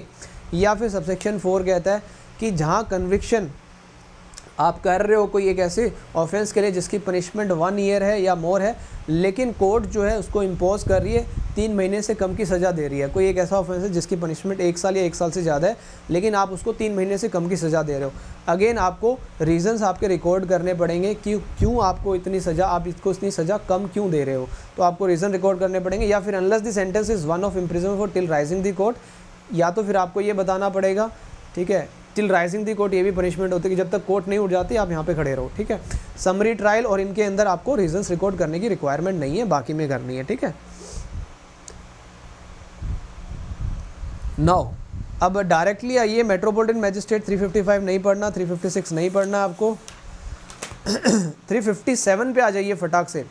Order to pay compensation direct section based question आता है। क्योंकि यहाँ पे कोई कंपनसेशन का अमाउंट नहीं दिया हुआ। सिर्फ़ और सिर्फ़ आपको याद रखना है 357 जो है प्री मेंस में भी आता है कि डायरेक्ट कर सकती है कोर्ट कंपनसेशन पे करने के लिए ठीक है? किस लिए? जो एक्सपेंसेस लगे हैं प्रोसिक्यूशन में या पेमेंट करने के लिए किसी की डेथ हुई है उसके लिए कंपनसेशन अवॉर्ड किया जाएगा 357 में। और 357 के अंदर जो ऑर्डर है appellate court high court court of session और आपकी आ, ये तीनों कोर्ट जो है ये ऑर्डर पास कर सकते हैं। कोई अमाउंट नहीं है एनी अमाउंट कोई भी अमाउंट हो सकता है। नाउ 357 के बाद 357 A victim compensation scheme VCH ये आपकी 2009 में इनकॉर्पोरेट की गई। आपको पता है विक्टिम कंपनसेशन स्कीम 357 ए बहुत इंपॉर्टेंट है। प्री में भी आता है और मेंस में भी आता है victim compensation scheme state government central government के साथ कोऑर्डिनेशन करते हुए प्रिपेयर करेगी एक स्कीम जिसका फंड जो है एलोकेट किया जाएगा for the compensation of victims जो भी विक्टिम्स हैं। यहाँ पे डिस्ट्रिक्ट लीगल सर्विस अथॉरिटी और स्टेट लीगल सर्विस अथॉरिटी की इंटेलिजेंस है पूरी की पूरी। यहाँ पे एक क्वेश्चन आता है सबसेक्शन फाइव से। सबसेक्शन फाइव से क्वेश्चन आता है। देखो, जब भी आप एप्लीकेशन फ़ाइल करेंगे कंपनसेशन के लिए तो इंक्वायरी करने के बाद कंपनसेशन अवॉर्ड किया जाएगा within two months two months का टाइम पीरियड आपको याद रखना है। दो महीने के अंदर आपको कंपनसेशन प्रोवाइड किया जाएगा। नाउ 357 बी ये कहता है, जो फाइन लगाया जा रहा है 326 ए और 376 डी में compensation in addition to fine यहाँ पे प्रोवाइड किया जाएगा। आईपीसी में जो फाइन है, उसके अलावा भी आपको कंपनसेशन मिलेगा। 357 सी कहता है treatment of victims private hospital central government hospital हर एक गवर्नमेंट हॉस्पिटल के अंदर या प्राइवेट हॉस्पिटल के अंदर आपको फ्री ऑफ़ कॉस्ट जो है विक्टिम का ट्रीटमेंट करना पड़ेगा। अगर विक्टिम सेक्श वाला है सेक्सुअल असोल्ट वाला विक्टिम है रेप वाला विक्टिम है, उनको आपको यहाँ पे कंपनसेशन वो ट्रीटमेंट करना पड़ेगा। 358 बहुत इंपॉर्टेंट है प्री के लिए। Compensation to person groundlessly arrested कोई भी व्यक्ति अगर ग्राउंडलेसली अरेस्ट किया गया है तो उसको कंपनसेशन दिलाया जाएगा और कंपनसेशन का अमाउंट जो है यहाँ पे वन थाउज़ेंड रुपीज़ है। बस यही आपको याद रखना है, हज़ार रुपये आपको कंपनसेशन का अमाउंट मिलेगा। अगर आप हज़ार रुपये पे नहीं कर पाते हो तो तीस दिन तक के लिए आपको जेल में डाला जा सकता है, थर्टी डेज़ के लिए आपको जेल में ठूस दिया जाएगा। नॉन कॉग्निजेबल ऑफेंसेस के अंदर भी कंपनसेशन कॉस्ट के ऑर्डर किए जा सकते हैं, ठीक है? यहाँ पे भी साफ़ साफ़ लिखा गया है कि in addition to the penalty आपको कंपनसेशन के ऑर्डर पास वो कॉस्ट के ऑर्डर पास किए जाएँगे। कोई अमाउंट नहीं लिखा हुआ है, लेकिन यहाँ पे थर्टी डेज़ की वही दोबारा से सज़ा दे दी गई है, अगर आप पे नहीं करेंगे, जो कॉस्ट आपके ऊपर इम्पोज की गई है, ठीक है? Same order appellate court high court और कोर्ट ऑफ़ सेशन भी पास कर सकती है। 360 प्रोबेशन के ऊपर आ जाते हैं और एडमोनिशन के ऊपर आ जाते हैं। देखो दो चीज़ें हैं 360 के अंदर। आपने जब ट्रायल पढ़ा था तो हर जगह लिखा था 360 में नहीं जा रहे हैं तो 360 में नहीं जा रहे हैं। तो अगर आप 360 में जा रहे हो, या तो आप प्रोबेशन ऑफ़ गुड कंडक्ट के ऊपर रिलीज़ कर सकते हो या एडमोनिशन एडमोनिशन का मतलब होता है वार्निंग देखे गुड कंडक्ट का मतलब होता है आपका आचरण अच्छा है तो छोड़ सकते हो। ये कह रहा है कोई भी पर्सन ठीक है not under twenty one years of age अगर उसको आपने कन्विक्ट कर दिया है, किस ऑफेंस के लिए? फ़ाइन ओनली के लिए। यहाँ पे बस हाँ probation of offender act apply हो जाएगा पूरा का पूरा। ठीक है, यहाँ पे आप उसको, उसमें भेज सकते हो, लेकिन यहाँ पे ऑफेंस जो है क्लियरली लिखा हुआ है, सात साल तक, सात साल तक के ऑफेंसेस के अंदर यहाँ पे हम कर सकते हैं। ठीक है, सात साल से ज़्यादा वालों के लिए नहीं कर सकते। ट्वेंटी वन ईयर्स से ऊपर आपकी एज है तो या वुमेन है कन्वर्ट की गई not punishable with death imprison for life सिर्फ़ सात साल और प्रीवियस कन्विक्शन नहीं होनी चाहिए। तो आपको हम यहाँ पे प्रोबेशन पे छोड़ देंगे बॉन्ड भरवा लेंगे आपसे, तीन साल तक के लिए, याद रखिएगा थ्री ईयर्स के लिए आपको बॉन्ड भरना पड़ेगा विद और विदाउट श्योरिटीज़ और उसके बाद हम आपको छोड़ देंगे।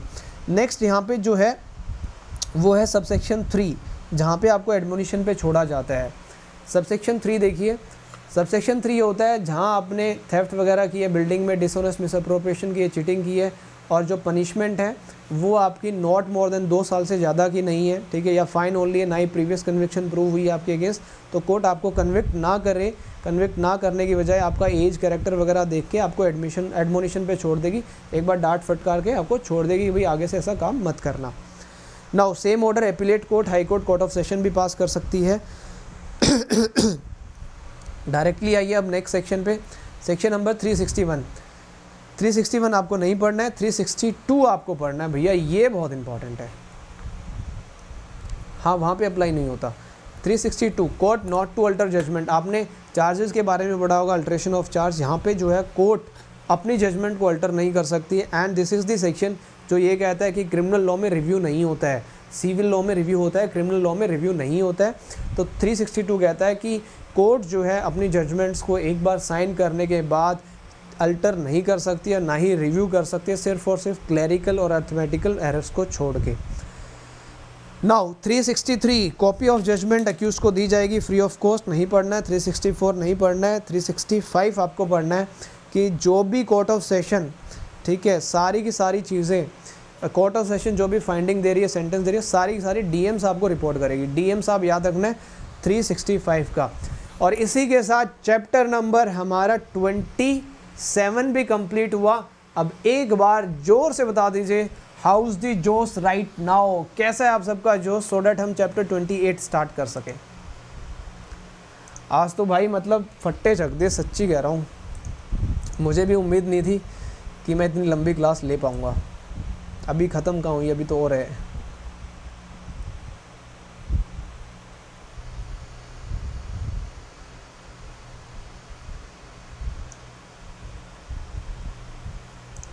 आज चक्कर लैंड लैपटॉप गर्म हो गया, सर। मेरा तो ठंडा हो गया भाई अब। सारे सेक्शन एक साथ नहीं पढ़े थे ना, आज आज देख लो, सारे पढ़ा दिए। और बेरेक्ट से पढ़ाए, ऐसे भी नहीं कि हाँ बोर्ड पे आया, अपनी मर्ज़ी से कुछ पढ़ा के चला गया। नहीं, पूरे बेरेक्ट से बताया, हर एक सेक्शन आपको याद रहेगा और अभी सेशन एंड होने के बाद ना लास्ट में पूरी सीआरपीसी एक दस मिनट में करेंगे।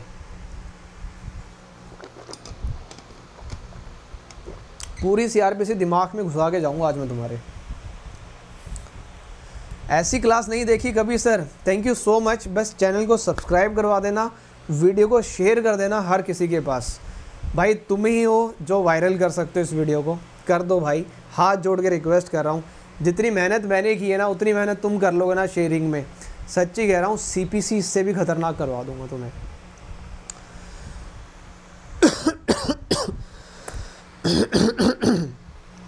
चलिए। वो कहते हैं ना, इंजन ऐसे खटखट खटखट करने लग गया गर्म हो हो के गाड़ी का इंजन। बट हम करेंगे, है ना? अभी ऐसे रुकने वाले नहीं है। सौ सेक्शन और रह गए फट्टे चक देंगे। जय माता दी। हाँ बता दूँगा। सेक्शन 300 भी बता दूँगा। अलग से वीडियो बना दूँगा। नाउ आइए। चैप्टर नंबर 28 स्टार्ट करते हैं, जो कि सेक्शन नंबर 366 से लेके 371 तक जाएगा और ये कहता है submission of death sentence for confirmation अगर आपको याद हो तो मैंने अभी आपको पाँच घंटे पहले सेक्शन नंबर 28 बढ़ाया था और मैंने वहाँ पे आपको बताया था कि हाई कोर्ट को सबमिट करनी पड़ेगी प्रोसीडिंग्स अगर कोर्ट ऑफ़ सेशन या एडिशनल सेशन जज डेथ सेंटेंस दे रहे हैं, है ना? भूले तो नहीं? याद है ना? ना ना ब्रेक नहीं लेंगे। सेक्शन 28 को रेड विद करेंगे थ्री सिक्स देखो 366 कहता है कि जहाँ पे भी डेथ सेंटेंस आप दे रहे हो कोर्ट ऑफ़ सेशन आप कंफर्मेशन के लिए सबमिट करेंगे डेथ सेंटेंस को हाई कोर्ट को आप कंफर्मेशन के लिए सबमिट करेंगे और जब तक प्रोसीडिंग फाइनल नहीं हो जाती कस्टडी में उस व्यक्ति को आप छोड़ देंगे। नाउ 367 कहता है कि जब आपने प्रोसीडिंग सबमिट कर दी हाई कोर्ट फर्दर इंक्वायरी करेगा एडिशनल एविडेंस लेगा, सारी चीज़ें करने के बाद डायरेक्टली सेक्शन 368 के अंदर कोर्ट क्या पास करेगा? सबमिट करेगा कोर्ट या तो कंफर्म कर देगा आपकी डेथ सेंटेंस या कोई अदर सेंटेंस पास कर देगा। या फिर आपकी कन्विक्शन को अनल करते हुए ज़ीरो करते हुए एक्यूज को कन्विक्ट कर देगा, ठीक है? किसी और ऑफेंस के लिए जो कोर्ट ऑफ़ सेशन को करना चाहिए या फिर न्यू ट्रायल के ऑर्डर पास कर देगा या चार्जेस को अमेंड कर देगा या फिर एक्विट कर देगा। चार पाँच काम है जो 368 में किए जा सकते हैं, ठीक है? तो याद रखिएगा सबमिशन 366 में होता है कन्फर्मेशन 368 में होता है, ठीक है? नौ 369 ये कह रहा है, अगर दो जजेस के द्वारा साइन किया जाएगा, जो कन्फर्मेशन होगा, जो भी सेंटेंस आएगी शेल वेन सच कोर्ट अगर दो जजेस हैं या दो से ज़्यादा हैं तो दो जजेस एटलीस्ट उसके ऊपर साइन करेंगे। ये हमेशा याद रखना, ये प्री में आता है, दो जजेस के मिनिमम साइन होने चाहिए। डिफरेंट ऑफ़ ओपिनियन आगे तो आप जो है 392 के अकॉर्डिंग प्रोसीडिंग करेंगे, आगे हम 392 पढ़ेंगे। 371 नहीं पढ़ना है अपने को। अब आइए चैप्टर नंबर क्या बात है? 28 भी खत्म हो गया 29 पे चलते हैं चैप्टर नंबर 29 क्या कहता है? अपील्स की बात कहता है। अपील्स में हमेशा याद रखेगा अपील जो है आपका कोई इनहेरेंट राइट नहीं है। This is a right which is created by the statute statutory right है। आप a matter of right claim नहीं कर सकते कि मैं तो अपील करूँगा, मैं तो अपील करूँगा। नहीं भाई, तू अपील नहीं कर सकता है। क्यों नहीं कर सकता है? क्योंकि स्टैट्यूट ने तुझे राइट नहीं दिया है। अगर स्टैट्यूट राइट दे रहा है तो ही आप अपील कर सकते हो अदरवाइज़ नहीं कर सकते हो।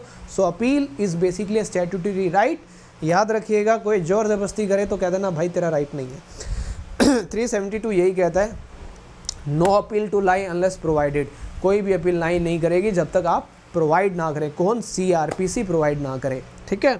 क्लियरली लिखा हुआ है, कोई भी अपील क्रिमिनल कोर्ट की अगेंस्ट नहीं जाएगी जब तक ये कोर्ट प्रोवाइड ना कर दे या कोई अदर लॉ प्रोवाइड ना कर दे। हिंदी में ही बोल रहा हूँ बेटा मैं तो।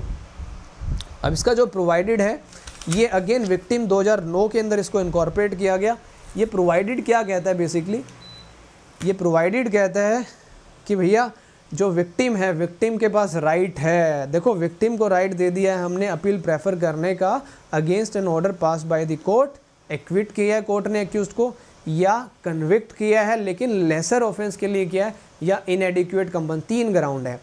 एक्विटल बाइज्जत बरी कर दिया कि उसको इस ग्राउंड के ऊपर कन्विक्ट कर दिया, लेकिन लेसर ऑफेंस के लिए किया और इम्पोज की है इनएडिक्यूट कंपनसेशन इन तीनों ग्राउंड के ऊपर विक्टिम जो है अपनी अपील प्रेफर कर सकता है और जो अपील है ऑर्डिनरली लाई करेगी, जहाँ करती है। 373 373 अगर आपको याद है तो अपन ने पढ़ा था सेक्शन 106 याद आ रहा है? 106 पढ़ा था अपन ने, है ना? जहाँ पे आप सिक्योरिटी ले रहे थे पीस के लिए और आप गुड बिहेवियर के लिए ले रहे थे ना, उनकी अपील कहाँ जाएगी? उनकी अपील जाएगी कोर्ट ऑफ़ सेशन में। बस, ये याद रखना है उस चैप्टर की अपील कोर्ट ऑफ़ सेशन में, ठीक है? कोर्ट ऑफ़ सेशन में अगर श्योरिटी वगैरह को रिजेक्ट कर रहे हैं सीधी सी कोर्ट ऑफ़ सेशन में आप अपील कर सकते हो। अब देखो 374 374 कहता है कन्विक्शन के अगेंस्ट अपील कहाँ जाएगी? 374 कन्विक्शन की बात करता है 378 378 जो कहता है, वो एक्विटल की बात करता है, ठीक है? एक्विटल की बात करता है।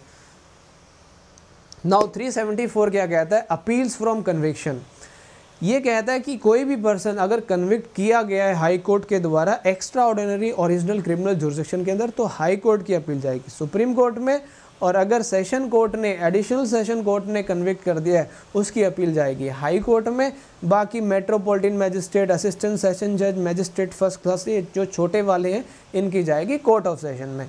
बस यही है यहाँ पे, और सबसेक्शन फोर बड़ा इंपॉर्टेंट है। ये अभी इनकॉर्पोरेट किया गया सबसेक्शन फोर 2013 में आपका इनकॉर्पोरेट किया 2018 अमेंडमेंट के थ्रू सबसेक्शन फोर इनकॉर्पोरेट किया गया। ये कह रहा है रेप केसेस के अंदर। विक्टिम तो करेगा ना बेटा, ऊपर पढ़ तो लिया इनएडिक्वेट उसके रिगार्डिंग लेसर आ तो गया acquitting the accused or convicting for lesser offence ऊपर वाले में आ गया था ना 372 में सुस्ती। नाउ ये कहता है, अगर अपील आप फ़ाइल कर रहे हो अगेंस्ट रेप ऑफेंसेस, ठीक है तो वो अपील जो है विद इन सिक्स मंथ्स के अंदर डिस्पोज ऑफ़ हो जानी चाहिए। प्री में आता है, याद रखना 2018 की अमेंडमेंट है, ये लेटेस्ट अमेंडमेंट जो है। 375 अगेन बहुत इंपॉर्टेंट है प्री के लिए। ये कहता है, कोई भी अपील फ़ाइल नहीं की जाएगी जहाँ पे एक्यूज ने गिल्टी प्लीड किया और अपन ने ट्रायल पढ़ा था ना तो वहाँ पे गिल्टी प्लीड कर रहा था एक्यूज बार बार बार बार। अबे भाई, तूने गिल्टी प्लीड कर ली है तो अपील किस चीज़ की? तूने ही तो गिल्टी प्लीड किया था, है ना? तो इस चीज़ को ध्यान रखिएगा। जहाँ एक्यूज भाई साहब गिल्टी प्लीड कर लें तो वहाँ पे जो है अपील लाई नहीं करेगी, ठीक है? अब देखो सिंपल सी बात है। If conviction is the high court if conviction court of session ने की है एमएम ने की है मैजिस्ट्रेट फ़र्स्ट क्लास ने की है सेकंड ने की है, सिर्फ़ और सिर्फ़ हो सकती है दो ग्राउंड्स के ऊपर, ठीक है? लीगलिटी और एक्सटेंड के ऊपर। ये दो ग्राउंड्स हैं जिनके ऊपर आप कर सकते हो अपील और कोई ग्राउंड नहीं है। अब 376 ये भी प्री में आता है, ये कहता है, कोई भी अपील जो है पैटी केसेस में नहीं जाएगी छोटे मोटे केसेस जो कहता है। देखो there shall be no appeal जहाँ पे व्यक्ति को कन्विक्ट किया गया। अगर हाई कोर्ट ने कन्विक्ट किया और हाई कोर्ट ने सेंटेंस दिया, सिर्फ़ और सिर्फ़ छः महीने की या सिर्फ़ हज़ार रुपये का फाइन लगाया तो इसकी अपील नहीं जाएगी। भाई, इतना टाइम नहीं है छोटी मोटी अपील डील करने का, हम बड़ी अपील डील करते हैं। Court of session metropolitan magistrate ने सेंटेंस पास की है, तीन महीने की या दो सौ का फाइन लगाया तो यहाँ पे भी कोई अपील नहीं होने वाली है। मैजिस्ट्रेट फ़र्स्ट क्लास ने सिर्फ़ और सिर्फ़ सौ रुपये का फाइन लगाया। सौ रुपये की फ़ाइन की अपील क्या ही करोगे? भाई मत करो। समरी ट्राई की है, ठीक है, जो मैजिस्ट्रेट एम्पावर्ड है 260 में, और उसने आपके ऊपर दो सौ रुपये का फ़ाइन लगा दिया तो उसकी भी अपील नहीं होगी, ठीक है? अगर आप अपील करना चाहते हो, देखो यहाँ पे ले गए provided appeal may be brought against such sentence if other sentence is combined अगर उनके साथ में और भी कोई सेंटेंस कंबाइन कर दिए तो आप कर सकते हो but such sentence shall not be appealable merely on सिर्फ़ इस ग्राउंड पे नहीं होंगी कि सिक्योरिटी के लिए आपको बोल दिया गया है, ये एडिशनल सेंटेंसेज नहीं होनी चाहिए, ठीक है? नेक्स्ट 377 अपील कर सकती स्टेट गवर्नमेंट ठीक है सेंटेंस के अगेंस्ट स्टेट गवर्नमेंट चाहे तो जहाँ कन्विक्शन हुई है, ठीक है, और कन्विक्शन किसने की, किसी कोर्ट ने की, लेकिन हाई कोर्ट ने की, नहीं की पीपी साहब को कह सकती है कि भैया, इसकी अपील फ़ाइल करो अपील किस ग्राउंड के ऊपर होगी? ग्राउंड ऑफ़ इनएडिक्वेसी की कम सेंटेंस दिए इनएडिक्वेसी के ग्राउंड के ऊपर। कोर्ट ऑफ़ सेशन अगर मैजिस्ट्रेट साहब ने दी है कन्विक्शन तो कोर्ट ऑफ़ सेशन में मैजिस्ट्रेट के अलावा किसी ने दी है तो हाई कोर्ट में अपील चली जाएगी, ठीक है। इसके अलावा आपको बाकी ये वाला नहीं पढ़ना है, दिल्ली वाला अपने काम का नहीं है, दिल्ली स्पेशल वाला। नाउ डायरेक्टली आइए 378 देखो 374 में हमने कन्विक्शन पढ़ा, ठीक है? 374 में चार ऐड कर दो 378 जो है, वो इक्विटल की बात करता है। सीधी सी बात करता है, भैया, appeal in case of acquittal अगर जहाँ इक्विटल हो जाएगा फॉर एग्ज़ाम्पल डीएम साहब जो है पीपी साहब को बोलेंगे कि आप अपील फ़ाइल करें कहाँ पे? कोर्ट ऑफ़ सेशन में फ्रॉम एन ऑर्डर इक्विटल का जिसने मैजिस्ट्रेट ने पास किया, किस केस में? Cognizable and non bailable case में अगर मैजिस्ट्रेट ने ऑर्डर पास कर दिया तो उसकी अपील जाएगी कोर्ट ऑफ़ सेशन में on the order of DM साहब पीपी साहब को डायरेक्ट करेंगे तो जाएगी। सेकंड कहता है स्टेट गवर्नमेंट डायरेक्ट कर सकती है पीपी साहब को कि आप अपील प्रेजेंट करें हाई कोर्ट में। क्यों? क्योंकि यहाँ पे सेशन कोर्ट ने ऑर्डर पास किया है। तो अगेन 378 प्री के लिए बहुत इंपॉर्टेंट है और 378 में ना दो सबसेक्शन फोर एंड फाइव भी बहुत इंपॉर्टेंट है। प्री का क्वेश्चन आता है सबसेक्शन फोर फाइव से। ये कह रहा है, कोई भी ऑर्डर एक्विटल का पास किया गया है। In any case instituted upon complaint ठीक है?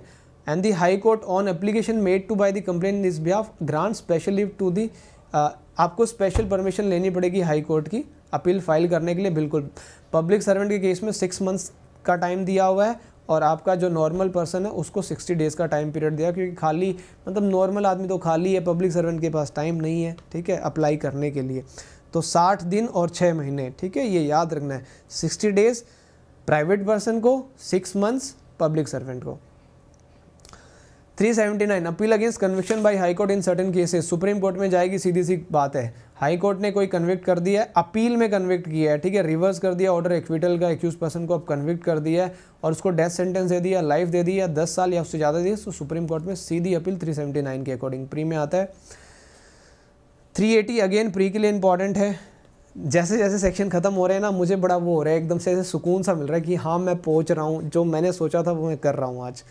ठीक है? वो कहते हैं ना मतलब इसलिए मैं कहता हूँ, अपने सपनों को हासिल करने के लिए ज़िद्दी होना पड़ता है। मेरा एक सपना था, ठीक है, कि मैं एक दिन पूरी सी आर पी सी बच्चों को यूट्यूब के ऊपर अपने चैनल पे। तो आज मेरा सपना पूरा हो जाएगा, क्योंकि मैं उसके लिए ज़िद्दी बना रहा। मेरा गला दर्द कर रहा है, सब कुछ दर्द कर रहा है बट मैं रुक नहीं रहा हूँ क्योंकि मुझे मेरा सपना पूरा करना है, ठीक है? तो तुम्हारे जो ड्रीम्स है, उसके लिए तुम जुनून रखोगे ना, जिद्दी बनोगे। डेफिनेटली जज बनना कोई बड़ी बात नहीं है। जब आप छः घंटे पढ़ सकते हो मेरे साथ, मैं छः घंटे नॉन स्टॉप बोल के तुम्हें पढ़ा सकता हूँ तो तुम कुछ भी कर सकते हो, है ना? हम इंसान है, इंसान कुछ भी कर सकते हैं। इंसान चाँद पे जा सकता है तो जुडिशरी तो बहुत छोटी चीज़ है यार, मेहनत के ऊपर है।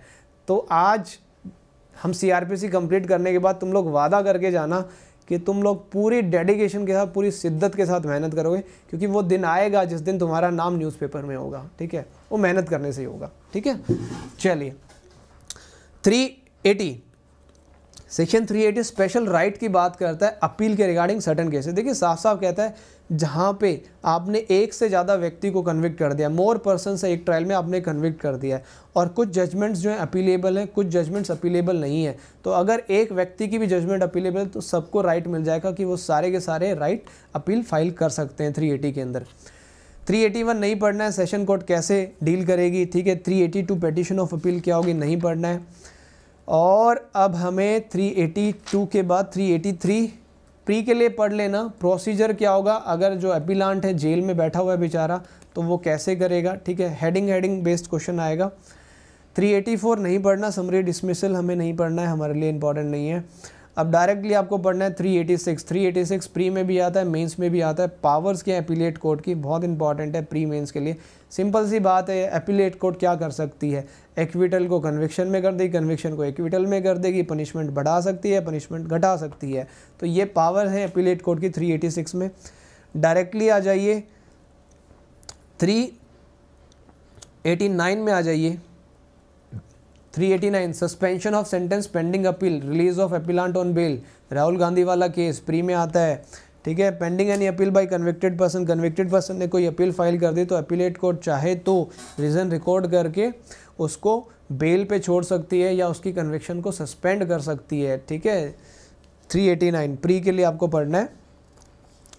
Now 390 arrest of accused in appeal for acquittal ठीक है? हेडिंग पढ़नी है 391 की भी हेडिंग पढ़नी है कि अपीलेट कोर्ट फर्दर एविडेंस ले सकती है, ठीक है? किसी और से भी लुवा सकती है, कोई प्रॉब्लम नहीं है।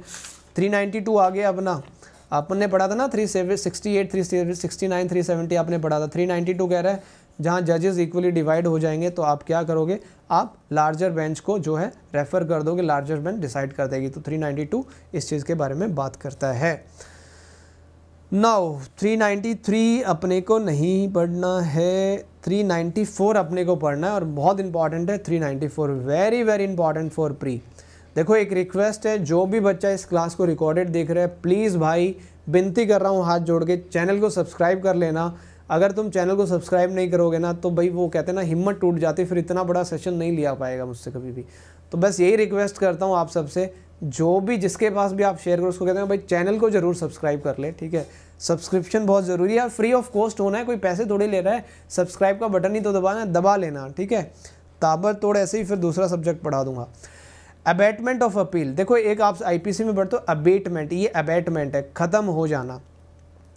ये क्या कहता है? Every other appeal under section 377 और 378 shall finally abate on the death देखो एक्यूज मर गया तो ख़त्म। ठीक है? एक्यूज मर गया तो ख़त्म। एक्यूज मर गया तो ख़त्म हो जाएगी सीधी सी बात है। ये कहता है एवरी अदर अपील ठीक है 377 और 378 वाले को छोड़ के every other appeal except an appeal from sentence of fine shall finally abate on the death appellant मर गया, जिसके अगेंस्ट आपने फाइन लगाया था तो खत्म हो जाएगी। ठीक है? और यहाँ पे कहता है provided that appeal is against conviction and sentence of death और इम्प्रिजनमेंट एंड अपीलेंट डाइज देखो कन्विक्शन के अगेंस्ट अपील थी अपीलाइट मर गया तो उसके नियर रिलेटिव जो हैं, उसको कैरी फॉरवर्ड कर सकते हैं, क्योंकि वही बात है ना कि हमारे घर वाले पड़ोसी के ऊपर आपने झूठे आरोप लगा दिए तो अपील तो हम लड़ेंगे फाइट करेंगे। तो वहाँ पे अबेट नहीं होगी, जहाँ कन्विक्शन का केस है, आप कोर्ट की परमिशन लेके उसको कैरी फॉरवर्ड कर सकते हो। नियर रिलेटिव में parents spouse lineal descendant brother sister सारे के सारे इंक्लूडेड है भाई। चलिए सो इसी के साथ chapter number twenty nine end हो गया है। नाउ स्टार्ट करते हैं चैप्टर नंबर थर्टी के साथ। उससे पहले एक बार ज़ोर से हाउस दी जोश राइट नाउ कैसा है आप सबका जोश चैप्टर नंबर थर्टी स्टार्ट करने जा रहे हैं हम लोग। बता दीजिए कमेंट करके सो डैट मैं आगे चैप्टर नंबर थर्टी को करवा सकूँ और ताबड़तोड़ धमाके के साथ। वेरी वेरी हाई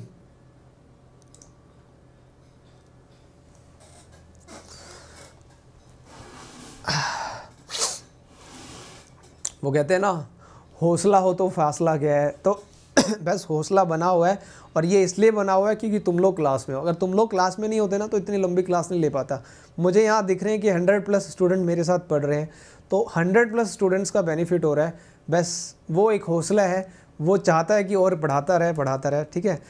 सी भी चाहिए तुम्हें तो सीपीसी चाहिए। इसके ऊपर शेयरिंग दबाओ दबा दबा के शेयर करो। डेफिनेटली सीपीसी भी कराऊँगा। वादा किया है तो कराऊँगा, ठीक है?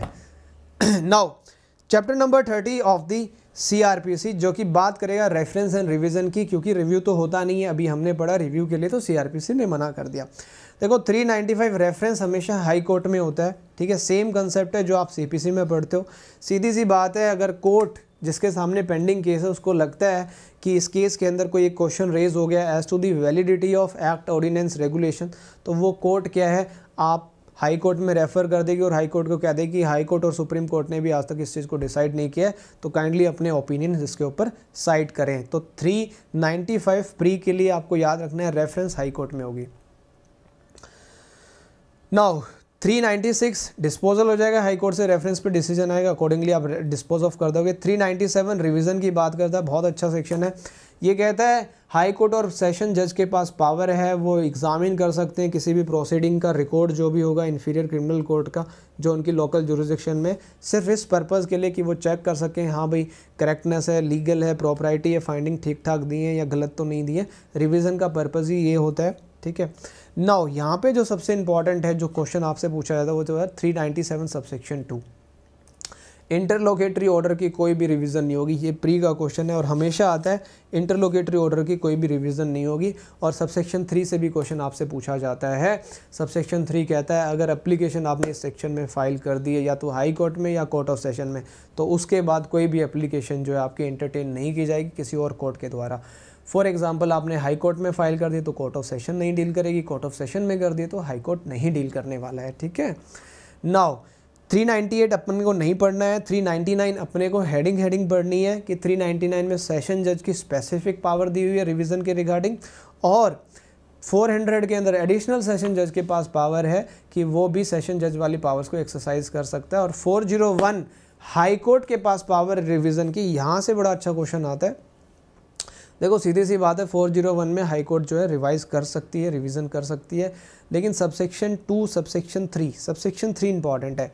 ये कहता है रिवीजन की पावर को एक्सरसाइज करते हुए हाई कोर्ट जो है कन्वर्ट नहीं कर सकती फाइंड आउट ऑफ़ अक्यूटल को कन्विक्शन में नहीं, वो सिर्फ़ एपिलेट कोर्ट करेगी।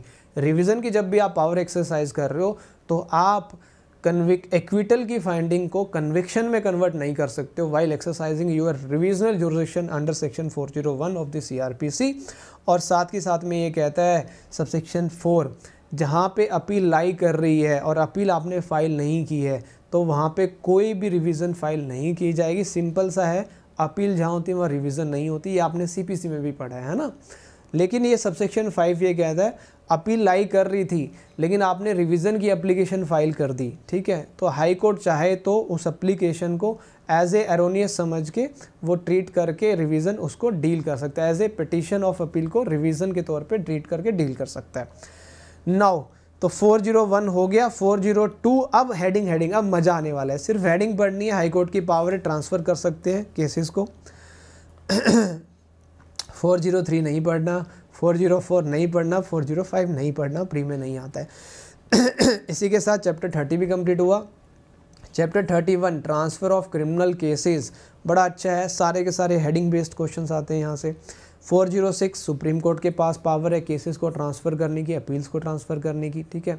बड़ा सिंपल सा है, सुप्रीम कोर्ट को जब भी ऐसा लगता होगा कि for the ends of justice ये ज़रूरी है, किसी पर्टिकुलर केस को अपील को ट्रांसफ़र किया जाए एक हाई कोर्ट से दूसरे हाई कोर्ट में तो सुप्रीम कोर्ट कर सकता है, ठीक है?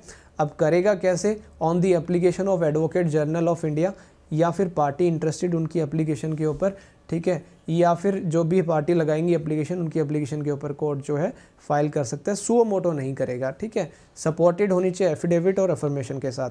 अगर कोर्ट को लगता है भाई फ्रीवलियस वैक्सीस एप्लीकेशन है तो उसको कोर्ट डिसमिस कर देगा। सेम कंसेप्ट 407 में 407 में हाई कोर्ट के पास पावर है ट्रांसफ़र करनी केसेस को और अपील्स को। अगर हाई कोर्ट को ऐसा लगता है कि भाई फेयर और इम्पार्शल इंक्वायरी नहीं हो पा रही है, ठीक है? क्रिमिनल कोर्ट जो सबॉर्डिनेट है उसके द्वारा, या कोई क्वेश्चन ऑफ़ लॉ इन्वॉल्व है, जिसको डिसाइड नहीं किया जा रहा है, ठीक है? या कोई ऑर्डर ज़रूरी है पास करना for the ends of justice तो वो ऑर्डर पास कर सकती है कि भाई, जो इंक्वायरी इस कोर्ट में चल रही है, जो ट्रायल इस कोर्ट में चल रहा है, किसी और कोर्ट में भेज दिया जाए पर्टिकुलर केस को दूसरी कोर्ट में भेज दिया जाए, कोई एक पर्टिकुलर केस एक कोर्ट ऑफ़ सेशन में चल रहा है, दूसरे में चला जाए, ठीक है? कोई पर्टिकुलर केस अपील ट्रांसफ़र की जाए और ट्राई की जाए, खुद ही कर ले कोर्ट ठीक है? हाई कोर्ट यहाँ पे जो है या तो लोअर कोर्ट की रिपोर्ट पे या पार्टी की एप्लीकेशन पे और सुओ मोटो भी हाई कोर्ट कर सकता है। तीन चीज़ें हैं पार्टी की एप्लीकेशन पे लोअर कोर्ट की रिपोर्ट पे या सुओ मोटो भी कोर्ट कर सकता है। एक बार ज़ोर से, भाई, जाओ मत क्लास छोड़ के जोश हाई रहना चाहिए क्लास छोड़ के मत जाओ। मैं चाहता हूँ कि हंड्रेड स्टूडेंट्स रहें, जो स्टार्टिंग में थे, वो एंड में भी मेरे साथ रहें और काफ़ी सारे बच्चे हैं। ठीक है? सो ज़ीरो सेवन आप प्री के लिए हेडिंग हेडिंग पढ़ेंगे। ज़्यादा इन डिटेल यहाँ से क्वेश्चन आता नहीं है वैसे। नाउ डायरेक्टली हमें आना है four zero eight four zero eight session जज की पावर के बारे में बात करता है, ठीक है? हेडिंग हेडिंग पढ़नी है। ये तो केसेस ट्रांसफ़र की बात होगी। अब विड्रॉल की बात की गई है दो सेक्शन में। फोर ज़ीरो नाइन हेडिंग की जो सेशन जज हैं, वो विड्रॉ कर सकते हैं अपील को भी और केस को भी, और फोर ज़ीरो टेन में जुडिशल मैजिस्ट्रेट जो हैं, वो विड्रॉ और वो कर सकते हैं। फोर इलेवन नहीं पढ़ना मेकिंग और विड्रॉल नहीं है रीजंस टू बी रिकॉर्डेड नहीं पढ़ना। Now come to next chapter chapter number thirty two execution suspension remission and competition of sentence की बात करता है। ये करता है चार सौ तेरह। फोर थ्री सिक्सटी एट में अपन ने पढ़ा था ना? थ्री सिक्सटी एट में कन्फर्मेशन हो रही थी, तब तक आप इसको सस्पेंड करके रखेंगे। जब तक कन्फर्मेशन नहीं हो जाती, उसके बाद आप वारंट इशू करके एग्जीक्यूट करवा देंगे। तो three four hundred thirteen four hundred thirteen के बाद फोर फोर्टीन आपको पढ़ना है। अगर डेथ सेंटेंस पास किया हाई कोर्ट ने तो उसकी एग्जीक्यूशन कौन कराएगा? हमेशा याद रखिएगा court of session pass execution कराएगी। डेथ सेंटेंस हाईकोर्ट ने पास की तो उसकी एग्जीक्यूशन कोर्ट ऑफ़ सेशन करवाएगी, ठीक है? फोर फिफ्टीन, हेडिंग पढ़नी है। एग्जीक्यूशन ऑफ़ सेंटेंस डेथ जो है पोस्टपोन हो जाएगी अगर आपने हाई कोर्ट की, जो सुप्रीम कोर्ट में अपील फ़ाइल कर दी है, आर्टिकल 134 के अकॉर्डिंग। तो पोस्टपोन हो जाएगी एग्जीक्यूशन 416 से क्वेश्चन आता है भाई। देखो, ये सीधा सा यहाँ से क्वेश्चन आता है। प्रेग्नेंट वुमेन के ऊपर अगर आपने कैपिटल सेंटेंस दी है तो वो जो डेथ सेंटेंस है, उसको कॉम्यूट करके इम्प्रिजनमेंट फॉर लाइफ में कन्वर्ट कर दिया जाएगा। हंड्रेड एंड वन परसेंट यहाँ से क्वेश्चन आता है फोर सिक्सटीन से। पावर टू फोर सेवनटीन नहीं पढ़ना है अपने को। ठीक है स्टेट गवर्नमेंट के पास पावर है इम्प्रिजनमेंट का प्लेस डिसाइड करनी। Four eighteen four nineteen four twenty नहीं पढ़ना है। फोर ट्वेंटी वन पे आ जाइए। फोर ट्वेंटी वन पे आ जाइए। फोर ट्वेंटी वन कहता है warrant for levy of fine ठीक है? फ़ाइन इम्पोज करने के लिए जो कोर्ट है वारंट इशू कर सकती है, ठीक है? अमाउंट अटैचमेंट कर लो प्रॉपर्टी उसकी सेल करवा दो मूवेबल प्रॉपर्टी ये सिर्फ़ फ़ाइन की कलेक्शन के लिए फ़ाइन को कैसे रिकवर किया जाए, जो आपके ऊपर इम्पोज किया गया है? अगर इमूवेबल प्रॉपर्टी है तो कलेक्टर को वारंट इशू कर देगी, ठीक है? कलेक्टर को वारंट इशू कर देगी और कलेक्टर जो है इमूवेबल प्रॉपर्टी के रिगार्डिंग जो जैसे रिवेन्यू रिलीज़ करता है रिवेन्यू के तौर पर उस अमाउंट को रिलीज़ कर देगा। तो three twenty four twenty one जो है प्री के लिए आता है। अब डायरेक्टली आपको पहुँचना है सेक्शन नंबर 428 पे। बाकी सेक्शन नहीं पढ़ने हैं, ठीक है? कौन इशू कर सकता है? ये एग्ज़ाम में नहीं आते। 428 आता है, जैसे आप लोगों ने सीपीसी में सेट ऑफ़ का कंसेप्ट पढ़ा होगा तो 428 में भी यही कंसेप्ट है कि जो व्यक्ति अंडर ट्रायल प्रिजनर है और ट्रायल कंप्लीट होने के बाद उसको सज़ा मिलती है तो वो जो अंडर ट्रायल वाली सेंटेंस है, वो उसमें से सेट ऑफ़ कर दी जाएगी, ठीक है? बची हुई सज़ा वो काटेगा, बाकी की जारी सेट ऑफ़ हो जाएगी। नेक्स्ट 432 432 साफ़ साफ़ कहता है कि पावर टू सस्पेंड और रिमिट सेंटेंस हमेशा अप्रोप्रिएट गवर्नमेंट के पास है। आईपीसी में भी पढ़ाऊँगा, कभी मौका मिला ना, पूरी आईपीसी करवाऊँगा। 432 में अप्रोप्रिएट गवर्नमेंट के पास पावर है कि वो रिमिट कर सकती है। नाउ 433 इंपॉर्टेंट है, ये बड़ा इंपॉर्टेंट है, बहुत इंपॉर्टेंट है, बहुत बार क्वेश्चन यहाँ से आता है प्री मेंस में। पावर टू कॉम्यूट सेंटेंस देखिए ये क्या कहता है अप्रोप्रिएट गवर्नमेंट बिना कंसेंट के, उस पर्सन की जिसको सेंटेंस किया गया। कॉमिट कर सकती है डेथ सेंटेंस को। कोई भी पनिशमेंट में जो आईपीसी में दी हुई है लाइफ को 14 ईयर्स तक कर सकती है रिग्रेस इम्प्रेजमेंट को सिंपल कर सकती है और सिंपल को फाइन में कन्वर्ट कर सकती है। ये चार पाँच चीज़ें 433 में की जा सकती है, लेकिन 433 ए रिस्ट्रिक्शन इम्पोज करता है पावर ऑफ़ रिमेशन और कॉम्यूटेशन के ऊपर। ये कहता है कि जहाँ पे सेंटेंस देखो साफ़ साफ़ कहते हैं, जहाँ sentence of imprisonment for life impose की गई है on conviction of a person for an offence of death देखो, आपने एक ऐसा ऑफेंस कमिट किया जिसकी पनिशमेंट डेथ है, लेकिन आपको लाइफ इम्प्रिजमेंट सजा दी गई है, ठीक है? या फिर where sentence of death impose की गई है, लेकिन उसको कॉम्यूट करके लाइफ कर दिया गया है तो इन केसेस के अंदर आपको मिनिमम 14 साल तो जेल में काटने ही पड़ेंगे। 14 ईयर्स आपको मिनिमम जेल में काटने पड़ेंगे, कम से कम। इसलिए हम कहते हैं कि 14 ईयर्स हम कहते हैं ना कई बारी कि 14 साल मतलब लाइफ इम्प्रिजमेंट वो ये कंसेप्ट है कि मिनिमम 14 ईयर्स आपको जेल में काटने पड़ेंगे।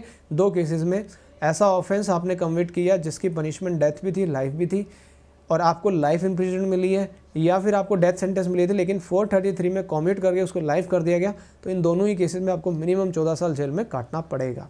जेल का खाना खाना पड़ेगा, जेल में जाना पड़ेगा। ठीक है 434 नहीं पढ़ना है 435 अगेन नहीं पढ़ना है। अब फाइनली चलते हैं चैप्टर नंबर 33 के ऊपर बेल एंड बॉन्ड की बात करते हैं। बेल एंड बॉन्ड की बात करते हैं। देखो 436 बात करता है बेलेबल ऑफेंसेस की। ये कह रहा है कि किस केसेस में आप बेल ले सकते हो। बड़ी सिंपल सी बात है, अगर आपको नॉन बेलेबल ऑफेंस देखिए, कोई भी पर्सन है, ठीक है, जो बेलेबल ऑफेंस में अरेस्ट किया गया है तो एज ए राइट आप यहाँ पे बेल क्लेम कर सकते हो। 436 में आपका राइट है। अब यहाँ पे कहता है कि अगर वो इंडिजेंट पर्सन है, अगर वो बेल फर्निश नहीं कर पा रहा है, दे नहीं पा रहा है तो एक्सप्लेनेशन कहती है कि आपको कैसे पता लगेगा वो इंडिजेंट पर्सन है? अगर वो कह रहा है कि विद इन ए वीक अगर वो अप्लाई नहीं कर पा रहा है बेल के लिए तो आप समझ लीजिए वो इंडिजेंट गरीब व्यक्ति है तो आप उसको बेल प्रोवाइड कर दीजिएगा, ठीक है? नाउ सबसेक्शन टू कहता है, ये कैंसिलेशन ऑफ़ बेल की बात करता है। अगर आपने बेल बॉन्ड से कंप्लाई नहीं किया तो आपकी बेल जो है कैंसिल कर दी जाएगी सबसेक्शन टू के अकॉर्डिंग सॉरी 436 ए बहुत इंपॉर्टेंट है प्री का। ये 2005 में इनकॉर्पोरेट किया गया डीके बसु वाला केस अंडर ट्रायल प्रिजनर के ऊपर, विचारों के ऊपर।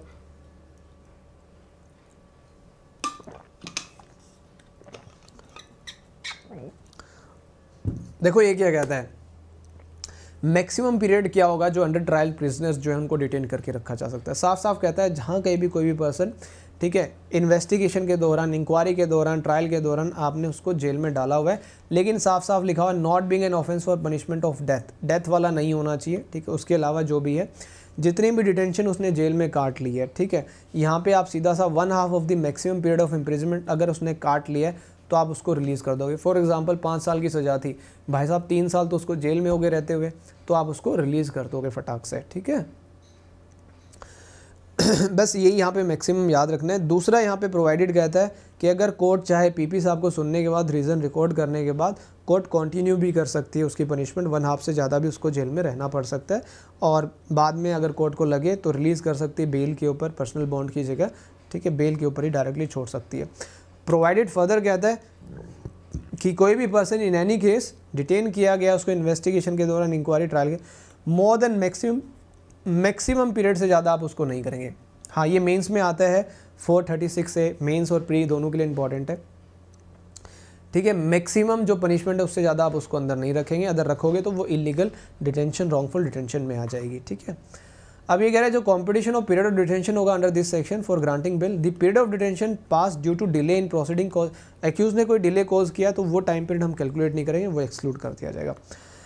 अब 437 ये कहता है नॉन बेलेबल केसेस के अंदर भी क्या आपको बेल मिल सकती है? 437 कहता है, अगर कोई व्यक्ति एक्यूज है सस्पेक्टेड है, जिसने नॉन बेलेबल ऑफेंस कमिट किया और जिसको अरेस्ट कर लिया गया डिटेन कर लिया गया बिना वारंट के तो वो आपका, देखिए साफ़ साफ़ लिखा हुआ है, किसी कोर्ट के सामने लेके आया गया तो अदर देन हाई कोर्ट और कोर्ट ऑफ़ सेशन नहीं होनी चाहिए, उसको रिलीज़ किया जा सकता है।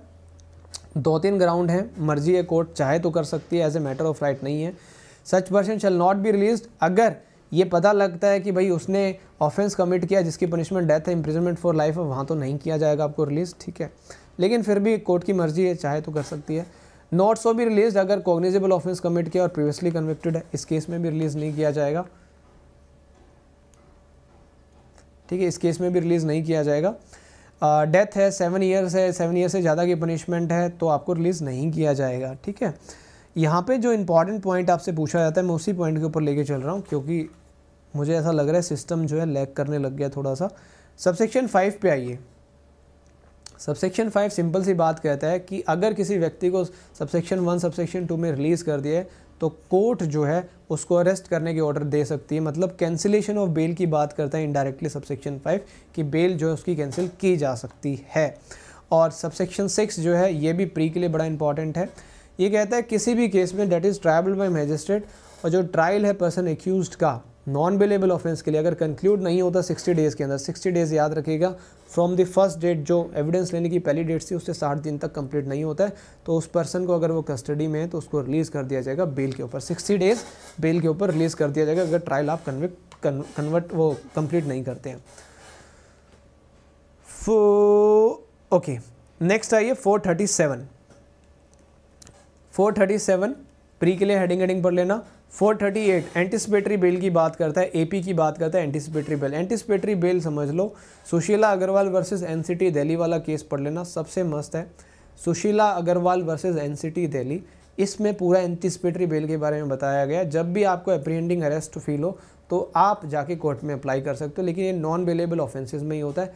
कोई भी पर्सन जिसको ऐसा लगता है कि उसको अरेस्ट किया जा सकता है on accusation of committing non bailable offence तो वो हाई कोर्ट या कोर्ट ऑफ़ सेशन में अप्लाई कर सकता है। हाई कोर्ट या फिर कोर्ट ऑफ़ सेशन में अप्लाई कर सकता है और वहाँ से डायरेक्शन आ सकती है कि जब भी आप इसको अरेस्ट करो, इसको छोड़ देना, ठीक है? नाउ यहाँ पे फिर वही कंसेप्ट है आपका। सबसेक्शन थ्री कहता है कैंसिलेशन के बारे में सबसेक्शन थ्री पे आ जाओ। कैंसिलेशन के बारे में कहा गया सबसेक्शन थ्री में कि बिल जो कैंसिल किया जाएगा, ठीक है? नहीं वो डिफ़ॉल्ट बिल नहीं होती है अनिता। वो डिफ़ॉल्ट बिल नहीं डिफ़ॉल्ट बिल सिर्फ़ 167 में ही होती है। सबसेक्शन फोर 2018 में ऐड किया गया। कोई भी एंटिसिपेटरी बिल नहीं दी जाएगी जहाँ पे आपने ऑफेंस कमिट किया है। रेप का 376, 376 A B three D A ये रेप के ऑफेंसेस में एंटिसिपेटरी बिल अब नहीं मिलेगी। 2018 के अंदर क्रिमिनल अमेंडमेंट के द्वारा इसको इनकॉर्पोरेट कर दिया गया है। तो इस चीज़ को भी ध्यान रखिएगा। नेक्स्ट आइए 439 वेरी वेरी इंपॉर्टेंट ये बात करते हैं स्पेशल पावर्स हैं हाई कोर्ट के पास और कोर्ट ऑफ़ सेशन के पास। रिगार्डिंग बेल देखो, यहाँ पे रेगुलर बेल एप्लीकेशन लगाई जाती है जब आप कस्टडी में हो। ठीक है 439 हाई कोर्ट और कोर्ट ऑफ़ सेशन अगर चाहें तो आपको बेल दे सकते हैं अंडर सेक्शन 439 और जो भी टर्म्स एंड कंडीशंस जो भी दी गई हैं, उनको भी चेंज कर सकते हैं मॉडिफाई कर सकते हैं। और साथ ही साथ हाई कोर्ट और कोर्ट ऑफ़ सेशन के पास पावर है सब सेक्शन टू के अकॉर्डिंग कि जो भी आपने जैसे जिसको भी रिलीज़ किया गया बेल पे, उसको कैंसिल भी कर सकते हैं। 439 सबसेक्शन टू बहुत बार आता है और प्रोवाइडेड यहाँ पे दो इनकॉर्पोरेट प्रोवाइडेड किए गए हैं 2018 अमेंडमेंट के थ्रू पहला प्रोवाइडेड कहता है कि हाई कोर्ट और कोर्ट ऑफ़ सेशन जब भी बेल ग्रांट करेगी, जो भी अक्यूज है 376 और ये रेप वाली केसेस का नोटिस इशू करेगी पीपी साहब को within a period of 15 days from the date of receive 15 दिन का नोटिस आप देंगे, ठीक है? हाँ ये क्लास यूट्यूब पर रहेगी टेंशन मत लो। और यहाँ पे जो जो प्रेजेंस है इन्फॉर्मेंट की और एनी पर्सन जो भी ऑथराइज है, उसकी बहुत ज़रूरी है जब भी बेल अप्लीकेशन को सुना जाएगा। ठीक है? बेल अप्लीकेशन को सुना जाएगा। क्या करूँ सीवी मेरी आदत नहीं है मैं ऊपर ऊपर से पढ़ाने की? अब मैं पढ़ाने लगता हूँ ना तो अंदर ज़्यादा घुस जाता हूँ, चाहते, ना चाहते हुए भी ज़्यादा पढ़ा देता हूँ। मैंने सोचा था दो तीन घंटे में ऐसे ही पढ़ा दूँगा C R P C but पढ़ाने में इतना मज़ा आ गया कि सारा ही पढ़ाता चला गया। साहब सब कुछ ही बता दिया मैंने तुम्हें। चलो, अच्छी बात है। Four forty amount of bond and reduction नहीं पढ़ना bond of accused and shortage नहीं पढ़ना, फोर फोर्टी फोर पढ़ना है आपको, फोर फोर्टी फोर आपको पढ़ना है। संदीप को पता है कि सर पढ़ाते हैं, जब मतलब बस पढ़ाते ही चले जाते हैं, उनको ही नहीं पता वो कितना पढ़ा जाते हैं। बाद में पता लगता है, अरे यार, बहुत ज़्यादा पढ़ा दिया तो। डिस्चार्ज ऑफ़ श्योरिटीज़ ये प्री के लिए हमेशा याद रखना कि श्योरिटीज़ को डिस्चार्ज किया जा सकता है, ठीक है। बस प्री में आता है हेडिंग बेस्ड ठीक है। फोर फोर्टी सिक्स, एक बार आ जाइए। 446 पे आइए directly procedure when bond has been forfeited bond forfeit हो जाएँगे तो आप उनको दोबारा कह दोगे, भाई फ्रेश बॉन्ड लेके आ. ठीक है? फ्रेश बॉन्ड का कंसेप्ट है यहाँ पे. 446 ए ये प्री मेंस में आता है 446 और 446 A cancellation of bond and bail bond जितनी भी जगह हमने बेल बॉन्ड भरवाए हैं चाहे हमने 106, 107 में भरवाए हों चाहे हमने बेल के टाइम पे भरवाए हों सारे के सारे बेल बॉन्ड यहाँ पे कैंसिल हो सकते हैं due to any of the reasons ठीक है? अगर आपको लगता है जो श्योरिटी है उसने कैंसिल करवा लिया है या मतलब जो भी सिचुएशंस है यहाँ पर कैंसिलेशन हो सकता है बॉन्ड का। 447 इंसॉल्वेंसी हो जाए डेथ हो जाए श्योरिटी की तो उनके इसमें फॉरफिट हो जाएँगे। यहाँ से बॉन्ड वाले में से ज़्यादा इतने क्वेश्चंस नहीं आते ठीक है? इसलिए इसको मैं स्किप करते हुए निकल रहा हूँ। चैप्टर नंबर थर्टी फोर पे आ जाइए। डिस्पोजल ऑफ़ प्रॉपर्टी 451 एंड 452 दोनों बहुत इंपॉर्टेंट है। प्री में भी आते हैं मेंस में भी आते हैं। देखो 451 क्या कहता है?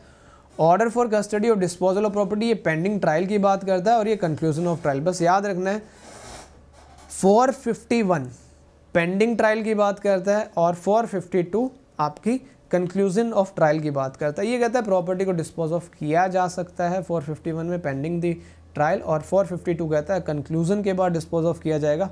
लेकिन यहाँ पे जो सबसेक्शन फोर है, जहाँ पे टू मंथ्स का टाइम पीरियड दिया हुआ है, ये भी याद रखना कि अगर लाइव स्टॉक है या स्पीडी नेचुरल डीके हो सकती है प्रॉपर्टी तो उसको तुरंत भेज दो।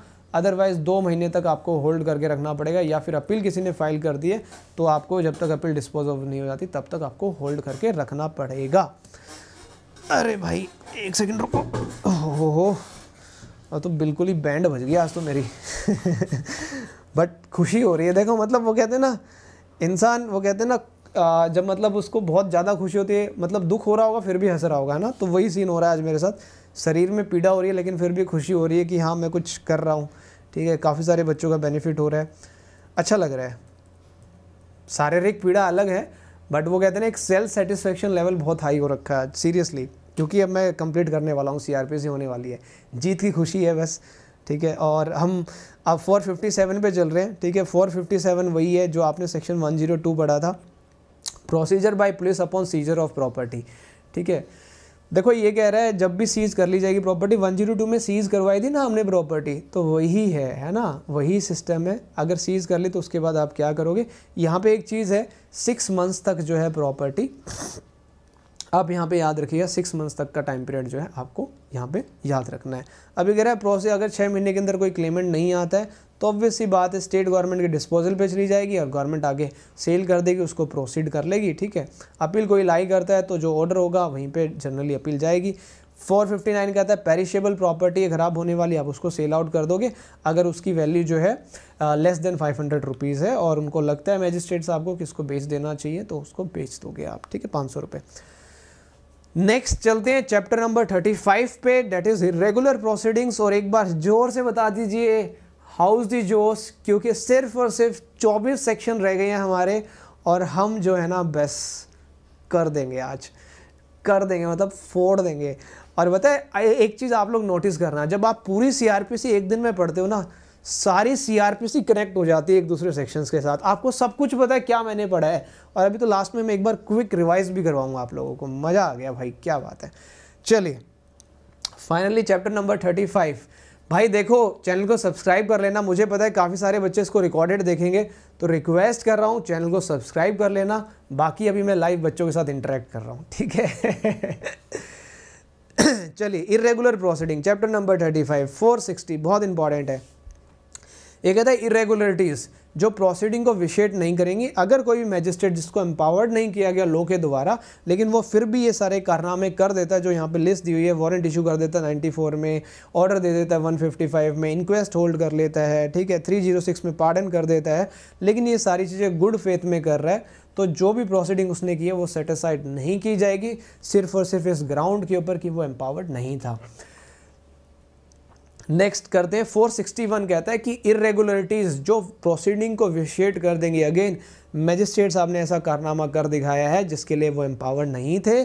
जैसे कि प्रॉपर्टी अटैच कर ली 87 में सर्च वारंट इशू कर दिया है सिक्योरिटी मांग ली है। पीसिंग पीस के लिए गुड बिहेवियर के लिए, ठीक है मेंटेनेंस के ऑर्डर पास कर दें, जो कि उनको नहीं करना चाहिए था। तो यहाँ पे जो उनकी प्रोसीडिंग है, सारी की सारी वॉइड हो जाएँगी वॉइड हो जाएँगी। यस अपने आप में एग्जॉस्टिव लिस्ट है ये। नौ 462 कहता है प्रोसीडिंग अगर गलत जगह पे हो जाए रॉन्ग प्लेस में हो जाए तो ये कोई ग्राउंड नहीं है किसी भी फाइंडिंग को सेंटेंस को सेटिसाइड करने का। सिर्फ़ और सिर्फ़ इस ग्राउंड के ऊपर प्रोसीडिंग गलत जगह पे हुई है सेटिसाइड नहीं होंगी। हाँ एक्सेप्शन ऑलवेज देर अगर फेलियर ऑफ़ जस्टिस हो जाता है due to that particular proceeding in a wrong place तो आप उनको कर सकते हो सेटिसाइड 463 कहता है 164 और 281 की कंप्लाइंस नहीं की। तो यहाँ पे एविडेंसेस लिए जाएँगे नॉन कंप्लाइंस के रिगार्डिंग अगर इंजरी वगैरह कोज हुई है तो उसको नल एंड वॉइड कर दिया जाएगा और ये कारनामा 463 का जो है आपकी court of appeal reference and revision भी कर सकती है। और एविडेंस बिल्कुल। बेटा देखो, सारी चीज़ें फ्री में नहीं बता सकता राजवंती।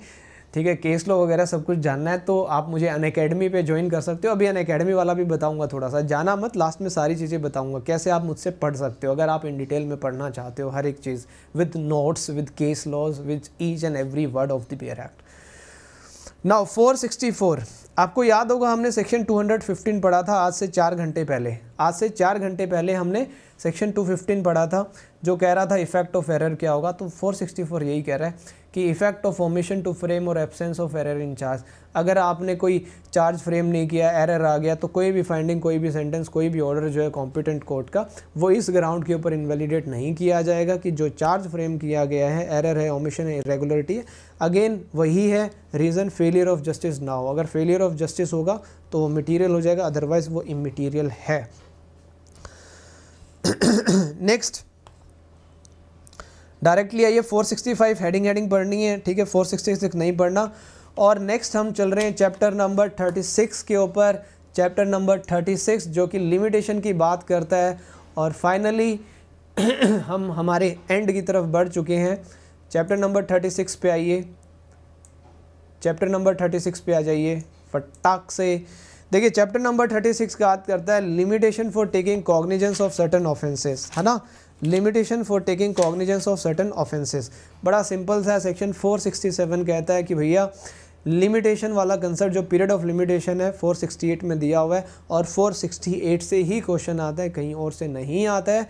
468 कहता है कि बार है, आप कॉग्निजेंस नहीं ले सकते after a period of limitation देखिए क्या कहता है। पीरियड ऑफ़ लिमिटेशन जो है सिक्स मंथ्स रहेगा, जहाँ ऑफेंस सिर्फ़ और सिर्फ़ फाइन के लिए पनिशेबल है।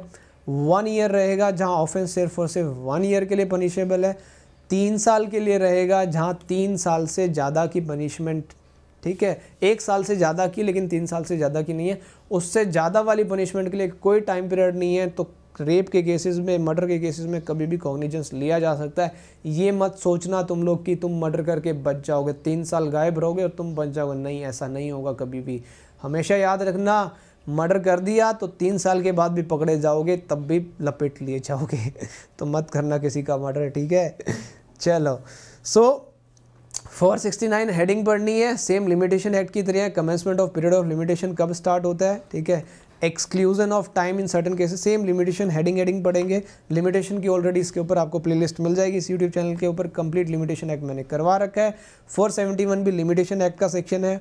472 भी लिमिटेशन एक्ट की तरह कॉन्टिन्यूइंग ऑफेंस में बार बार fresh period of limitation start होता रहेगा। और 473 कहता है कॉन्डोनेशन ऑफ़ डिले कि जो है पीरियड को एक्सटेंड किया जा सकता है कुछ सर्टन केसेस के अंदर। And finally, we are on the last chapter of our code of criminal procedure, that is chapter number 37 और हमें हो गए हैं साढ़े छः घंटे पढ़ते हुए। साढ़े छः घंटों की मेहनत के बाद हम लास्ट चैप्टर पे पहुँच गए हैं। मतलब ये देखो ये देखो मतलब सीआरपीसी का लास्ट चैप्टर आ गया। इतनी खुशी हो रही है ना, इतना मोटा बेरेक्ट हम यहाँ पे पहुँच गए लास्ट के कुछ चंद पन्नों पे पहुँच गए ठीक है? चलिए मिसलेनियस लास्ट चैप्टर है, जिसके अंदर आपको फोर सेवेंटी फोर जो है trial before court of high court इसके अंदर कहा गया है कि जो सेशन कोर्ट है, वही वाला प्रोसीजर आप यहाँ पे ऑब्ज़र्व करेंगे। 475 आपको पढ़ना नहीं है 476 आपको पढ़ना नहीं है 477 आपको पढ़ना है हेडिंग हेडिंग कि पावर है हाई कोर्ट के पास, वो रूल बना सकती है। 478 नहीं पढ़ना है 479 पढ़ना है कि जिस केस में जजेस एंड मजिस्ट्रेट पर्सनली इंटरेस्टेड होंगे, वो उन केसेस को डील नहीं करेंगे without the permission of the court ठीक है? जिनके पास उनकी अपील जाती है, वो कभी भी डील नहीं करेंगे। 480 कहता है, जो प्रैक्टिसिंग एडवोकेट है, वो एज ए मैजिस्ट्रेट नहीं बैठेगा उसी कोर्ट में जहाँ पे उसने प्रैक्टिस की जहाँ पे उसने वकालत की है। नाउ 480 के बाद 481 पब्लिक सर्वेंट जो है सीपीसी में पढ़ते हो सेल नहीं करेगा बिडिंग के अंदर, ठीक है? 482 the inherent power of the high court आप सबको पता है हाई कोर्ट होने के नाते उनके पास एक इनहेरेंट पावर है, ठीक है? सारी सीपीसी में कुछ भी नहीं लिखा हो बट हाई कोर्ट जो है by exercising their inherent power provided by section number 482 saving of inherent power by the high court for the क्या कहते हैं necessary to give effect to any order under this court prevent abuse of process of any court या otherwise to secure the ends of justice तीन ground से इनके ऊपर जो है आप कर सकते हो। 483 आपको पढ़ना नहीं है 484 रिपील हो चुका है, और फाइनली हमने कंक्लूड कर ली है सीआरपीसी नाउ हाउस दी जोश, कैसा है जोश? मेरा तो बस हाई हो रखा है भाई, सच्ची बता रहा हूँ, अभी कोई जाएगा नहीं, क्योंकि एक बार पूरी सीआरपीसी हम रिवाइज करने वाले हैं दस मिनट के अंदर। फटाक से बता दो कैसा है जोश आप सबका। Very very high very very high है सबका जोश। बहुत ज़्यादा हाई है सर सिस्टम फेल कर दिया, सब कुछ हैंग कर दिया सिस्टम है ना? लगा दो कमेंट्स में आग और इस सेशन को शेयर कर देना दबा के और प्लीज़ चैनल को सब्सक्राइब ज़रूर कर लेना, ठीक है? अब फटाक से आ जाओ, एक बार क्विकली रिवाइज करते हैं पूरी सीआरपीसी कहानी की तरह समझते जाओ, सुनते जाओ आइए फटाक से बड़ा मतलब मन को शांत करके, चित्त को शांत करते सुन लीजिए, ठीक है? देखिए, हमने सीआरपीसी स्टार्ट की थी आज से छः घंटे पहले। छः घंटे पहले हमने चैप्टर नंबर वन डिस्कस किया था। चैप्टर नंबर वन बात करता है प्रिलिमरी छोटी मोटी चीज़ों की, कहता है, भाई सेक्शन वन से लेके फाइव तक मैं चलता हूँ, जिसके अंदर हमने डेफिनेशन पढ़ी, हमने पढ़ा ट्रायल कैसे हुआ सेविंग्स पढ़ी। प्रिलिमरी ने बता दिया इंट्रोडक्शन दे दिया, उसके बाद आता है chapter number two chapter number two कहता है, भाई, ये जो सी आर पी है ना, इसके अंदर कुछ क्रिमिनल कोर्ट्स होती हैं और उनके कुछ ऑफ़िस होते हैं। तो हमने सेक्शन सिक्स से लेके सेक्शन ट्वेंटी फाइव ए तक पूरा का पूरा पढ़ा कौन कौन सी कोर्ट्स होंगी कौन कौन से ऑफ़िस होंगे। उसके बाद क्रिमिनल कोर्ट का पता लग गया तो हमने पता किया कि कोर्ट की पावर क्या होती है चैप्टर थ्री में, जो कि 26 से स्टार्ट होकर गई 35 तक चला गया। यहाँ तक सारी चीज़ें समझ में आ गई। फिर हमने सोचा कि पुलिस ऑफिसर के जो बड़े अधिकारी होते हैं, उनकी पावर क्या होंगी? तो वो हमने पता की चैप्टर नंबर फोर में सेक्शन थर्टी से लेकर फोर्टी तक। आप लोग कमेंट करते चलिए मेरे साथ कमेंट करते चलिए फटाफट। फटाफट कमेंट करते चलिए जो भी बता रहा हूँ। हमें पता लग गया कि भाई पुलिस के जो बड़े अधिकारी हैं, उनकी पावर चैप्टर फोर में दी हुई है थर्टी सिक्स से लेकर फोर्टी तक। उसके बाद हमने पता किया कि भाई देखो, पुलिस के बारे में पता लग गया कोर्ट के बारे में पता लग गया कोर्ट की पावर के बारे में पता लग गया। किसी व्यक्ति को अरेस्ट करना हो तो कैसे करें? बोला, भाई चैप्टर फाइव जो है सीआरपीसी का सेक्शन फोर्टी वन से लेकर सिक्सटी ए तक बताता है। पुलिस भी अरेस्ट कर सकती है प्राइवेट पर्सन भी कर सकता है मजिस्ट्रेट भी कर सकता है, सारी चीज़ें वहाँ पर दी हुई हैं। ठीक है भाई। भाई, किसी व्यक्ति को कोर्ट में लेके आना हो तो कैसे लेके आए? बोला, भाई, चैप्टर नंबर सिक्स पढ़ लेना, जो कहता है process to compel appearance section sixty one से लेकर नाइन्टी तक हम पढ़ते हैं, जिसके अंदर सम्मन हम पढ़ेंगे वारंट पढ़ेंगे प्रोक्लेमेशन पढ़ेंगे और अटैचमेंट पढ़ेंगे। बोला, भाई साहब, बंदा तो समझ में आ गया, बंदे की प्रॉपर्टी को कोर्ट में लेके आना हो तो क्या करें? बोला, भाई चैप्टर नंबर सेवन पर चैप्टर सेवन कहता है कि कंपेल कर सकते हो आप production of thing section ninety one से लेके वन ज़ीरो फाइव तक तो पूरा का पूरा पढ़ ले। बोला, उसके बाद बोला, भाई, कोई बंदा है ना, बड़ी उर्दंगबाजी कर रहा है सोसाइटी में पीस को डिस्टर्ब कर रहा है हैबिचुअल ऑफेंडर है, रोज़ चोरी चकारी करता है। बोला, भाई चैप्टर नंबर एट पर सीआरपीसी का, जो कहता है security for peace and good behaviour section one से लेके 124 तक। बोला, यार, ये सब समझ में आ गया। अब बता, भाई मेंटेनेंस मांग रही है घर वाली मेंटेनेंस कहाँ से दूँ, कैसे दूँ, कौन से प्रोविजंस है? बोला, भाई चैप्टर नंबर नाइन है सीआरपीसी का, जो मेंटेनेंस की बात करता है। तेरे पास सफिशेंट मीन्स हैं तो 125 से लेके 128 तक तुझे मेंटेनेंस देना पड़ेगा। घरवाली को भी देना पड़ेगा, बच्चों को भी देना पड़ेगा। जायज़ औलाद है, नाजायज़ औलाद है, तब भी देना पड़ेगा और बूढ़े माँ बाप को भी देना पड़ेगा एक सौ पच्चीस से लेकर एक सौ अट्ठाईस तक। फाइनली आता है chapter number ten. Chapter number ten सीधी सी बात करता है, भाई कोई पब्लिक ऑर्डर को डिस्टर्ब कर रहा है अनलॉफुल असेंबलीज क्रिएट कर रहा है अर्जेंट केसेस ऑफ़ न्यूसेंस है। तीन section section 133 public nuisance conditional order pass किया जाएगा। सेक्शन 144 अगर आप अर्जेंट केसेस में उर्दंगबाजी कर रहे हो तो वहाँ पे आपके अगेंस्ट धारा 144 लगा दी जाएगी और 144 ए अगर आप हथियार वगैरह लेके चल रहे हो। ठीक है भाई, सारी चीज़ें समझ में आ गई। अब एक बात बताओ, सारा काम हम ही करेंगे या पुलिस वाले भी कुछ? बोले भाई, पुलिस वाले करेंगे चैप्टर नंबर इलेवन उन्हीं के लिए। बोला, क्या करेंगे? पुलिस वालों की ड्यूटी है कि वो प्रिवेंट करेंगे कॉग्निजेबल ऑफेंस को।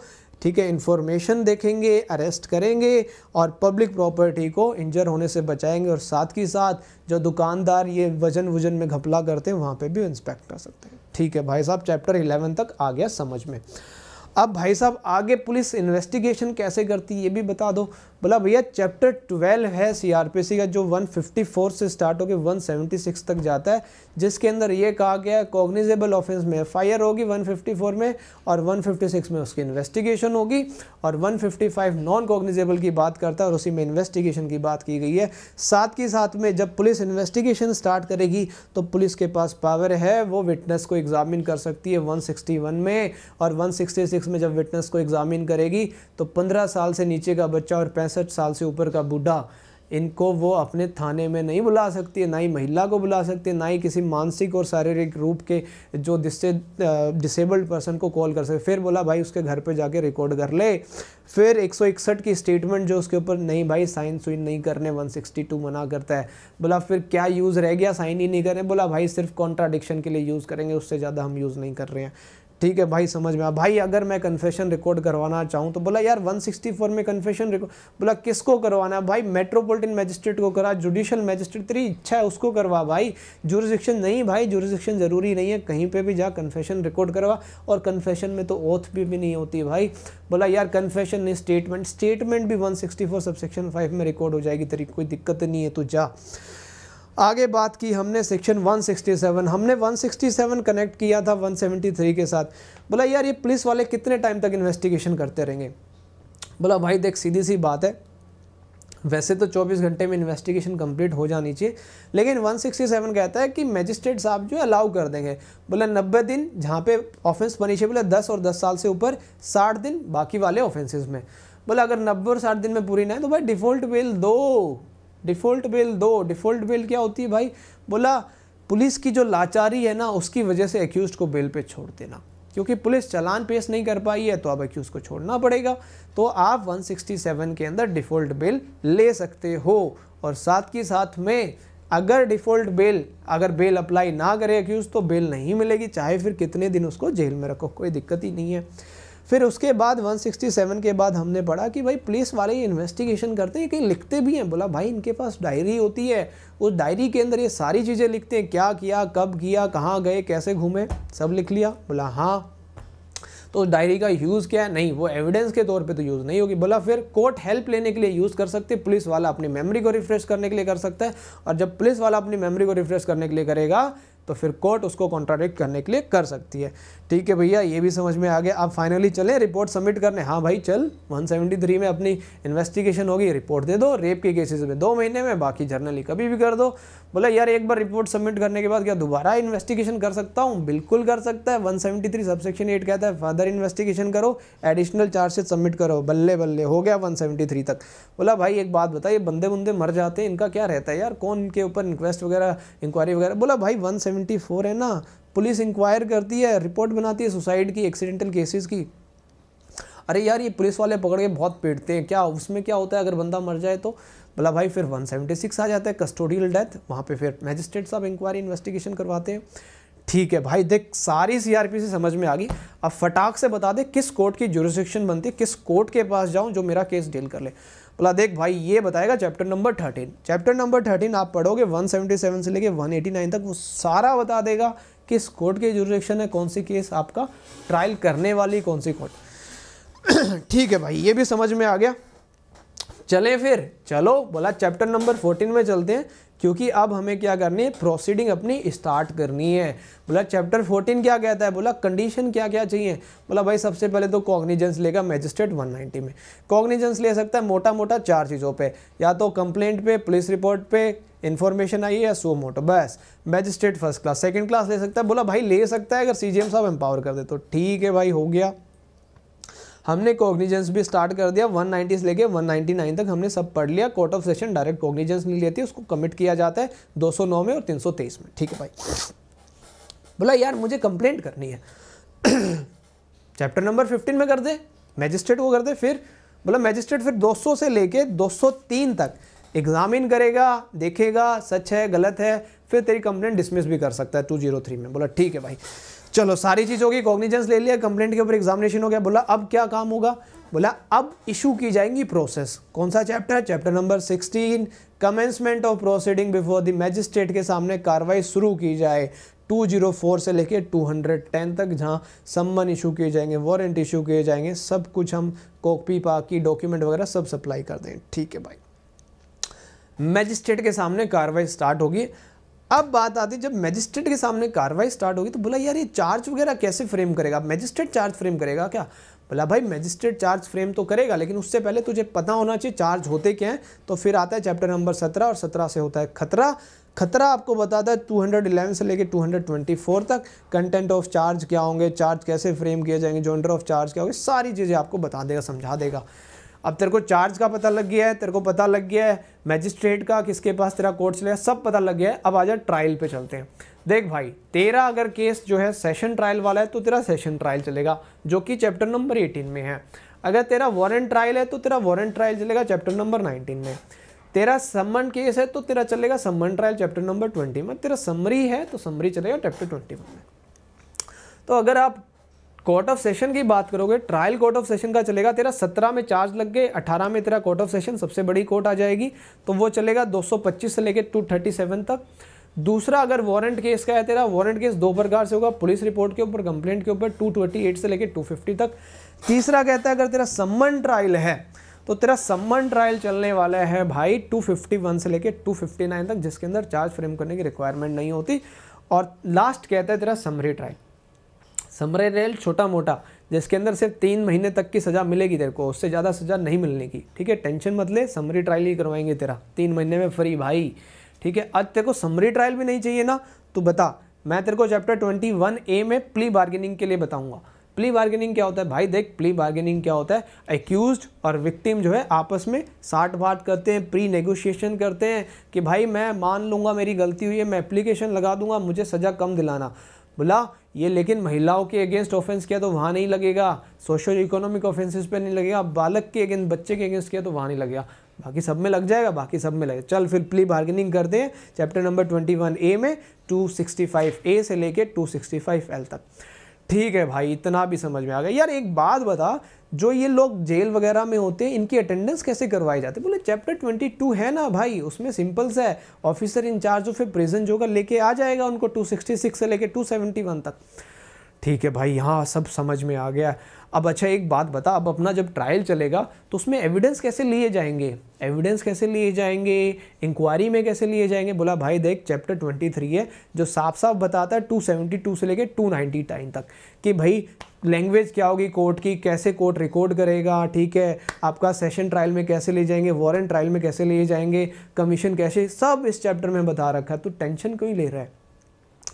ठीक है भाई, ये तो समझ में आ गया। चैप्टर नंबर मेरे को ट्वेंटी थ्री समझ में आ गया यार, एक है ना, ये भी सुना है कि एक बार किसी को कन्विक्ट कर दिया एक्विट कर दिया, दोबारा नहीं कर सकते। वो क्या कंसेप्ट बोला, भाई देख चैप्टर नंबर ट्वेंटी फोर साफ़ साफ़ कहता है, कुछ ऐसे प्रोविज़न है जो हर ट्रायल हर इंक्वायरी पे अप्लाई होते हैं।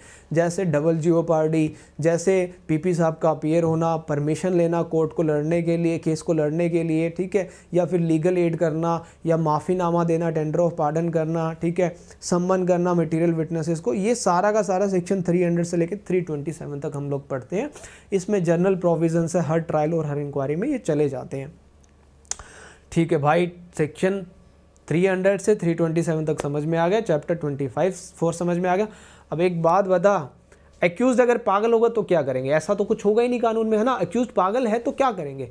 बोला भाई देख, फिर चैप्टर 25 पढ़ लेना 328 से लेके 339 तक। बस पागलों के लिए उतना ही है और हम पढ़ते भी नहीं है, पागलों वाला चैप्टर तू पढ़ लेना, तेरा मन करे तू पढ़ लेना, ठीक है? बोला भाई, उसके बाद उसके बाद चैप्टर नंबर ट्वेंटी आ जाएगा। ट्वेंटी तो जनरल सी बात कहता है अगर आपने कोई ऑफेंस कमिट किया है जस्टिस के खिलाफ कोर्ट के खिलाफ उसका प्रोसीजर दिया हुआ है 340 से लेके 352 तक। ले भाई, तूने तो सब कुछ ही बता दिया। अब यूँ और बता दे जजमेंट कैसे आएगी? बोला, देख भाई जजमेंट आएगी चैप्टर नंबर 27 में।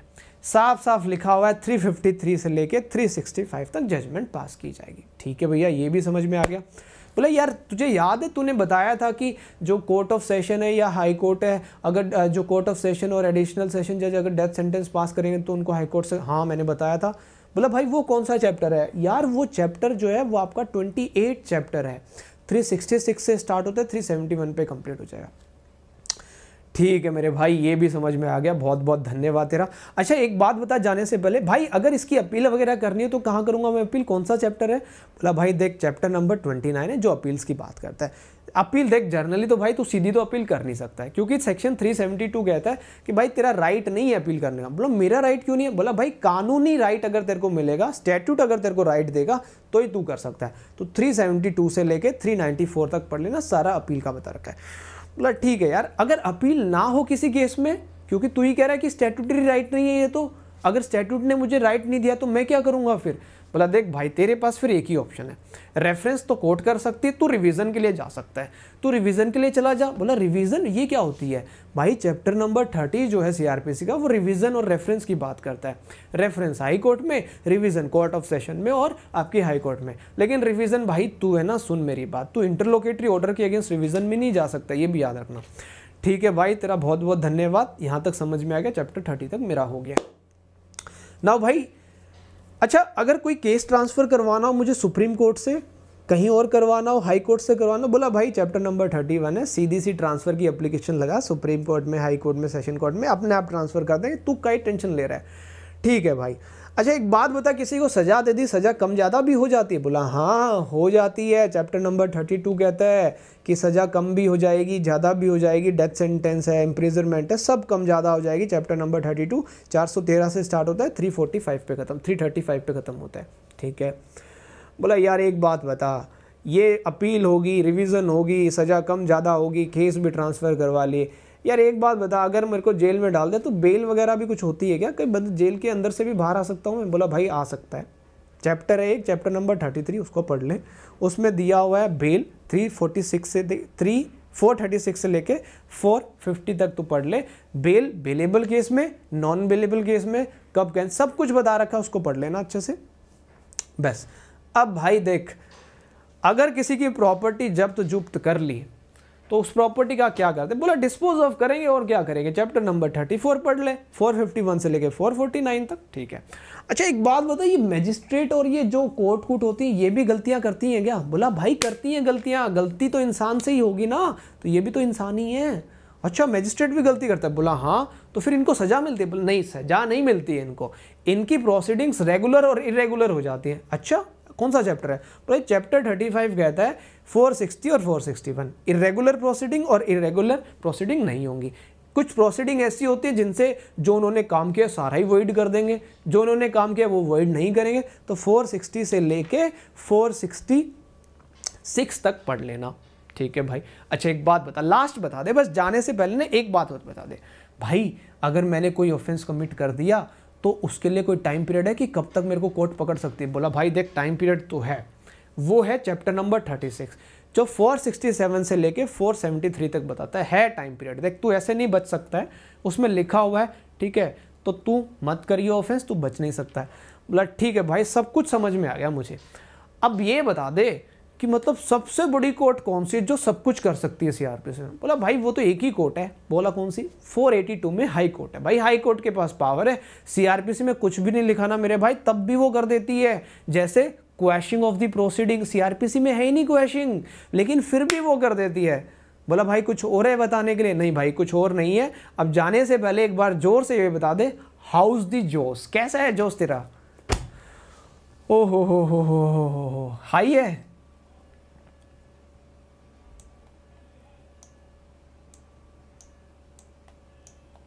चलिए how's the josh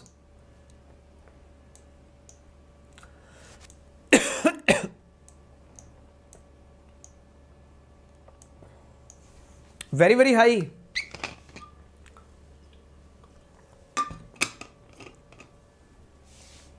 चलिए। प्रॉपर्टी तो वही है है ना? वही सिस्टम है। अगर सीज बिहेवियर के लिए ठीक आपको याद होगा, हमने सेक्शन 215 पढ़ा था। आज से चार के ऊपर स्टार्ट होता है, ठीक है? फोर जो है ट्रायल बिफोर हमने कंक्लूड कर ली है सीआरपी हमें फोर हमें फोर जो है trial before court of high court इसके अंदर कहा चलिए। सो so, जोश हाई है ठीक है अब जाने से पहले दोबारा से एक रिक्वेस्ट कर रहा हूँ। जाने से पहले एक रिक्वेस्ट कर रहा हूँ कि सेशन को इस वीडियो को शेयर कर देना और लाइक कर दो। 2000 से ज़्यादा बच्चे इस वीडियो को देख चुके हैं अभी तक, और आप लोगों से उम्मीद करता हूँ कि इस वीडियो को वन लैख प्लस स्टूडेंट्स देखेंगे, ठीक है? ठीक है, प्लीज़ सब लोग शेयर करना, लाइक करना, और जाने से पहले आप लोगों को दोबारा से रिक्वेस्ट कर रहा हूँ कि आप लोग legal Pathshala YouTube channel, Instagram, Facebook, Telegram सब कुछ ज्वाइन कर लो, और आप मुझे अन अकेडमी पर भी ज्वाइन कर सकते हो, अगर आप बहुत इन डिटेल में पढ़ना चाहते हो हर एक सब्जेक्ट तो आप Unacademy learning app download कर सकते हो प्ले स्टोर से। और जैसे ही आप Unacademy learning app download करोगे तो थर्टी अप्रैल तक फोर्टी परसेंट डिस्काउंट चल रहा है। आपकी स्क्रीन के ऊपर आप इसको चेकआउट कर सकते हो। पॉज करके वीडियो को आराम से देख लीजिए 40 परसेंट फ्लैट डिस्काउंट आपको मिलने वाला है अन अकेडमी प्लेटफॉर्म के ऊपर, ठीक है? Current sir ten code use करना है। अगर आप current sir ten code use करके आओगे ना अन अकेडमी पे तो मैं आपको हमेशा प्रायोरिटी दूँगा प्रिपरेशन के अंदर, ठीक है? So this is for today session from my side and सच्ची बताऊँ I am so excited I am so happy today मतलब मैं इतना खुश हूँ, क्योंकि वो एक चीज़ थी ना, मैंने आपको क्लास स्टार्ट होने से पहले मैंने एक चीज़ बोली थी, क्या? मंजिल क्या है, रास्ता क्या है, हौसला हो तो फासला क्या है ना? चक दिए ना फटे तो वही बात है, हौसला हो तो फासला क्या है? हमेशा याद रखिएगा जीवन में कि हौसला है तो फासला कुछ भी नहीं है। ठीक है, लो मैं बड़ा हो जाता हूँ तुम्हारे लिए अब थोड़ा सा।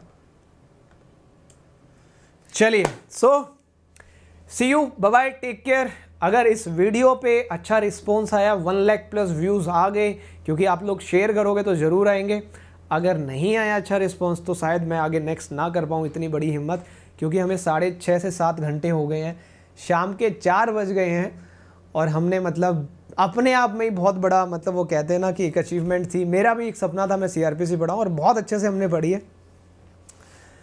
नहीं, अब अब सोने का मन नहीं पता है अब क्या हो रहा है? अब बहुत ज़्यादा जोश हो रहा है। अब मतलब बॉडी बॉडी पेन कर रही है। बट वो कहते हैं ना कि आप बहुत एक्साइटेड हो। जैसे आप लोग मेहनत कर रहे हो, ठीक है? दिन रात आप प्रिपरेशन कर रहे हो। और जिस दिन आपका जुडिशरी का एग्ज़ाम आ जाएगा ना, उस दिन आप थके होगे, ठीक है? एग्ज़ाम दोगे एग्ज़ाम का रिज़ल्ट आएगा, तब भी आप टेंशन में होगे। आपकी बॉडी थक रखी होगी, आप चार पाँच साल से मेहनत कर रहे हो, लेकिन जब रिज़ल्ट आएगा ना, उसकी एक्साइटमेंट अलग ही होगी। अगर लिस्ट में नाम आ गया तो तुम्हारी सारी थकावट दूर। तो मेरे साथ यही हो रहा है, क्योंकि मैंने आज सीआरपीसी एंड कर दी है। तो मैं वैसे थका हुआ हूँ, लेकिन मेंटली मैं बहुत ज़्यादा स्ट्रॉन्ग हूँ, क्योंकि इतने सारे बच्चों का सपोर्ट इतने सारे बच्चों का प्यार मेरे साथ है।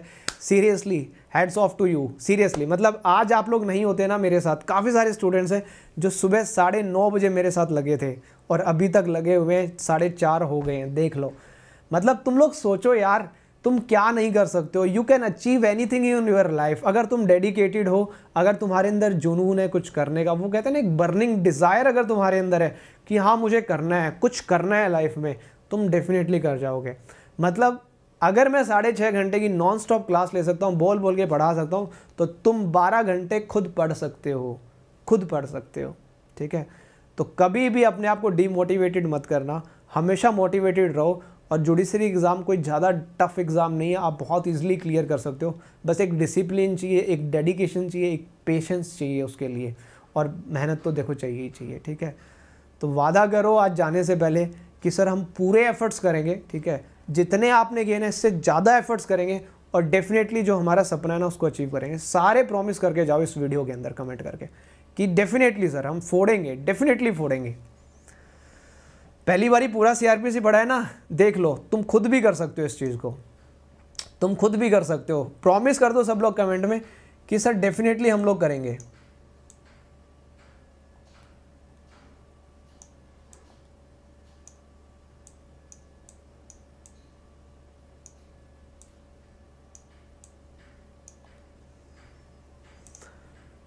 सो बाय टेक केयर चलें, अब जाने का मन नहीं कर रहा होगा ना तुम्हारा। अब तुम्हारा मन कर रहा है, थोड़ा सा और घर ले, पढ़ ले। चलो भाई, सच्ची बताऊँ, सच्ची देखो, हकीकत तो ये है कि मेरी बैक में बहुत पेन हो रहा है, मेरे पैरों में बहुत दर्द हो रहा है, ठीक है?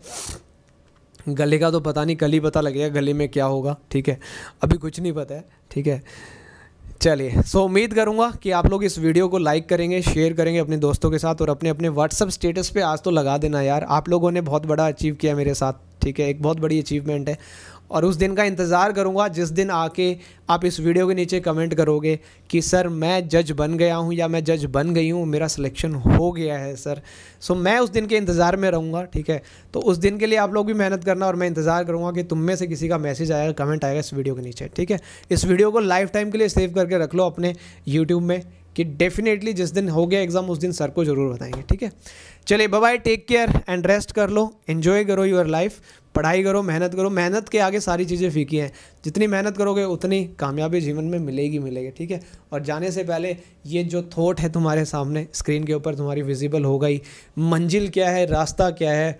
हौसला हो तो फासला क्या है? और इस कोट को, इस थोट को आज हमने साबित कर दिया। हम सुबह साढ़े नौ बजे लगे थे, ठीक है? और अब टाइम हो रखा है साढ़े चार। वो कहते हैं ना, मंजिल कुछ भी नहीं है, रास्ता कुछ भी नहीं है। हौसला है तो फासला कुछ भी नहीं है, ठीक है? जो दूरियाँ हैं वो नज़दीकियों में तब्दील हो जाती हैं। तो एक बार जाने से पहले दोबारा से, हाउस दी जोश राइट नाउ, हाउस दी जोश। एक बार कमेंट कर दो, फिर मैं आपको छोड़ रहा हूँ। Bye.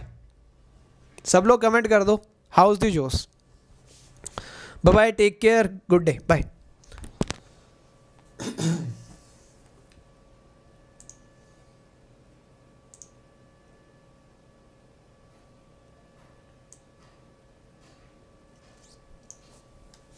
bye bye bye bye bye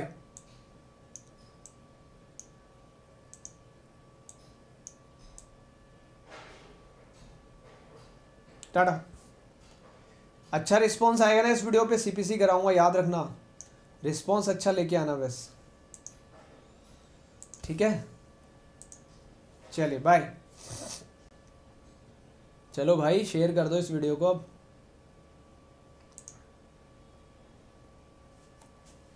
हाँ बिल्कुल, गार्गल में कर लूँगा। मैं तो खाना खाऊँगा भाई मेरे, है ना? मैं तो खाना खाऊँगा जाके फटाक से।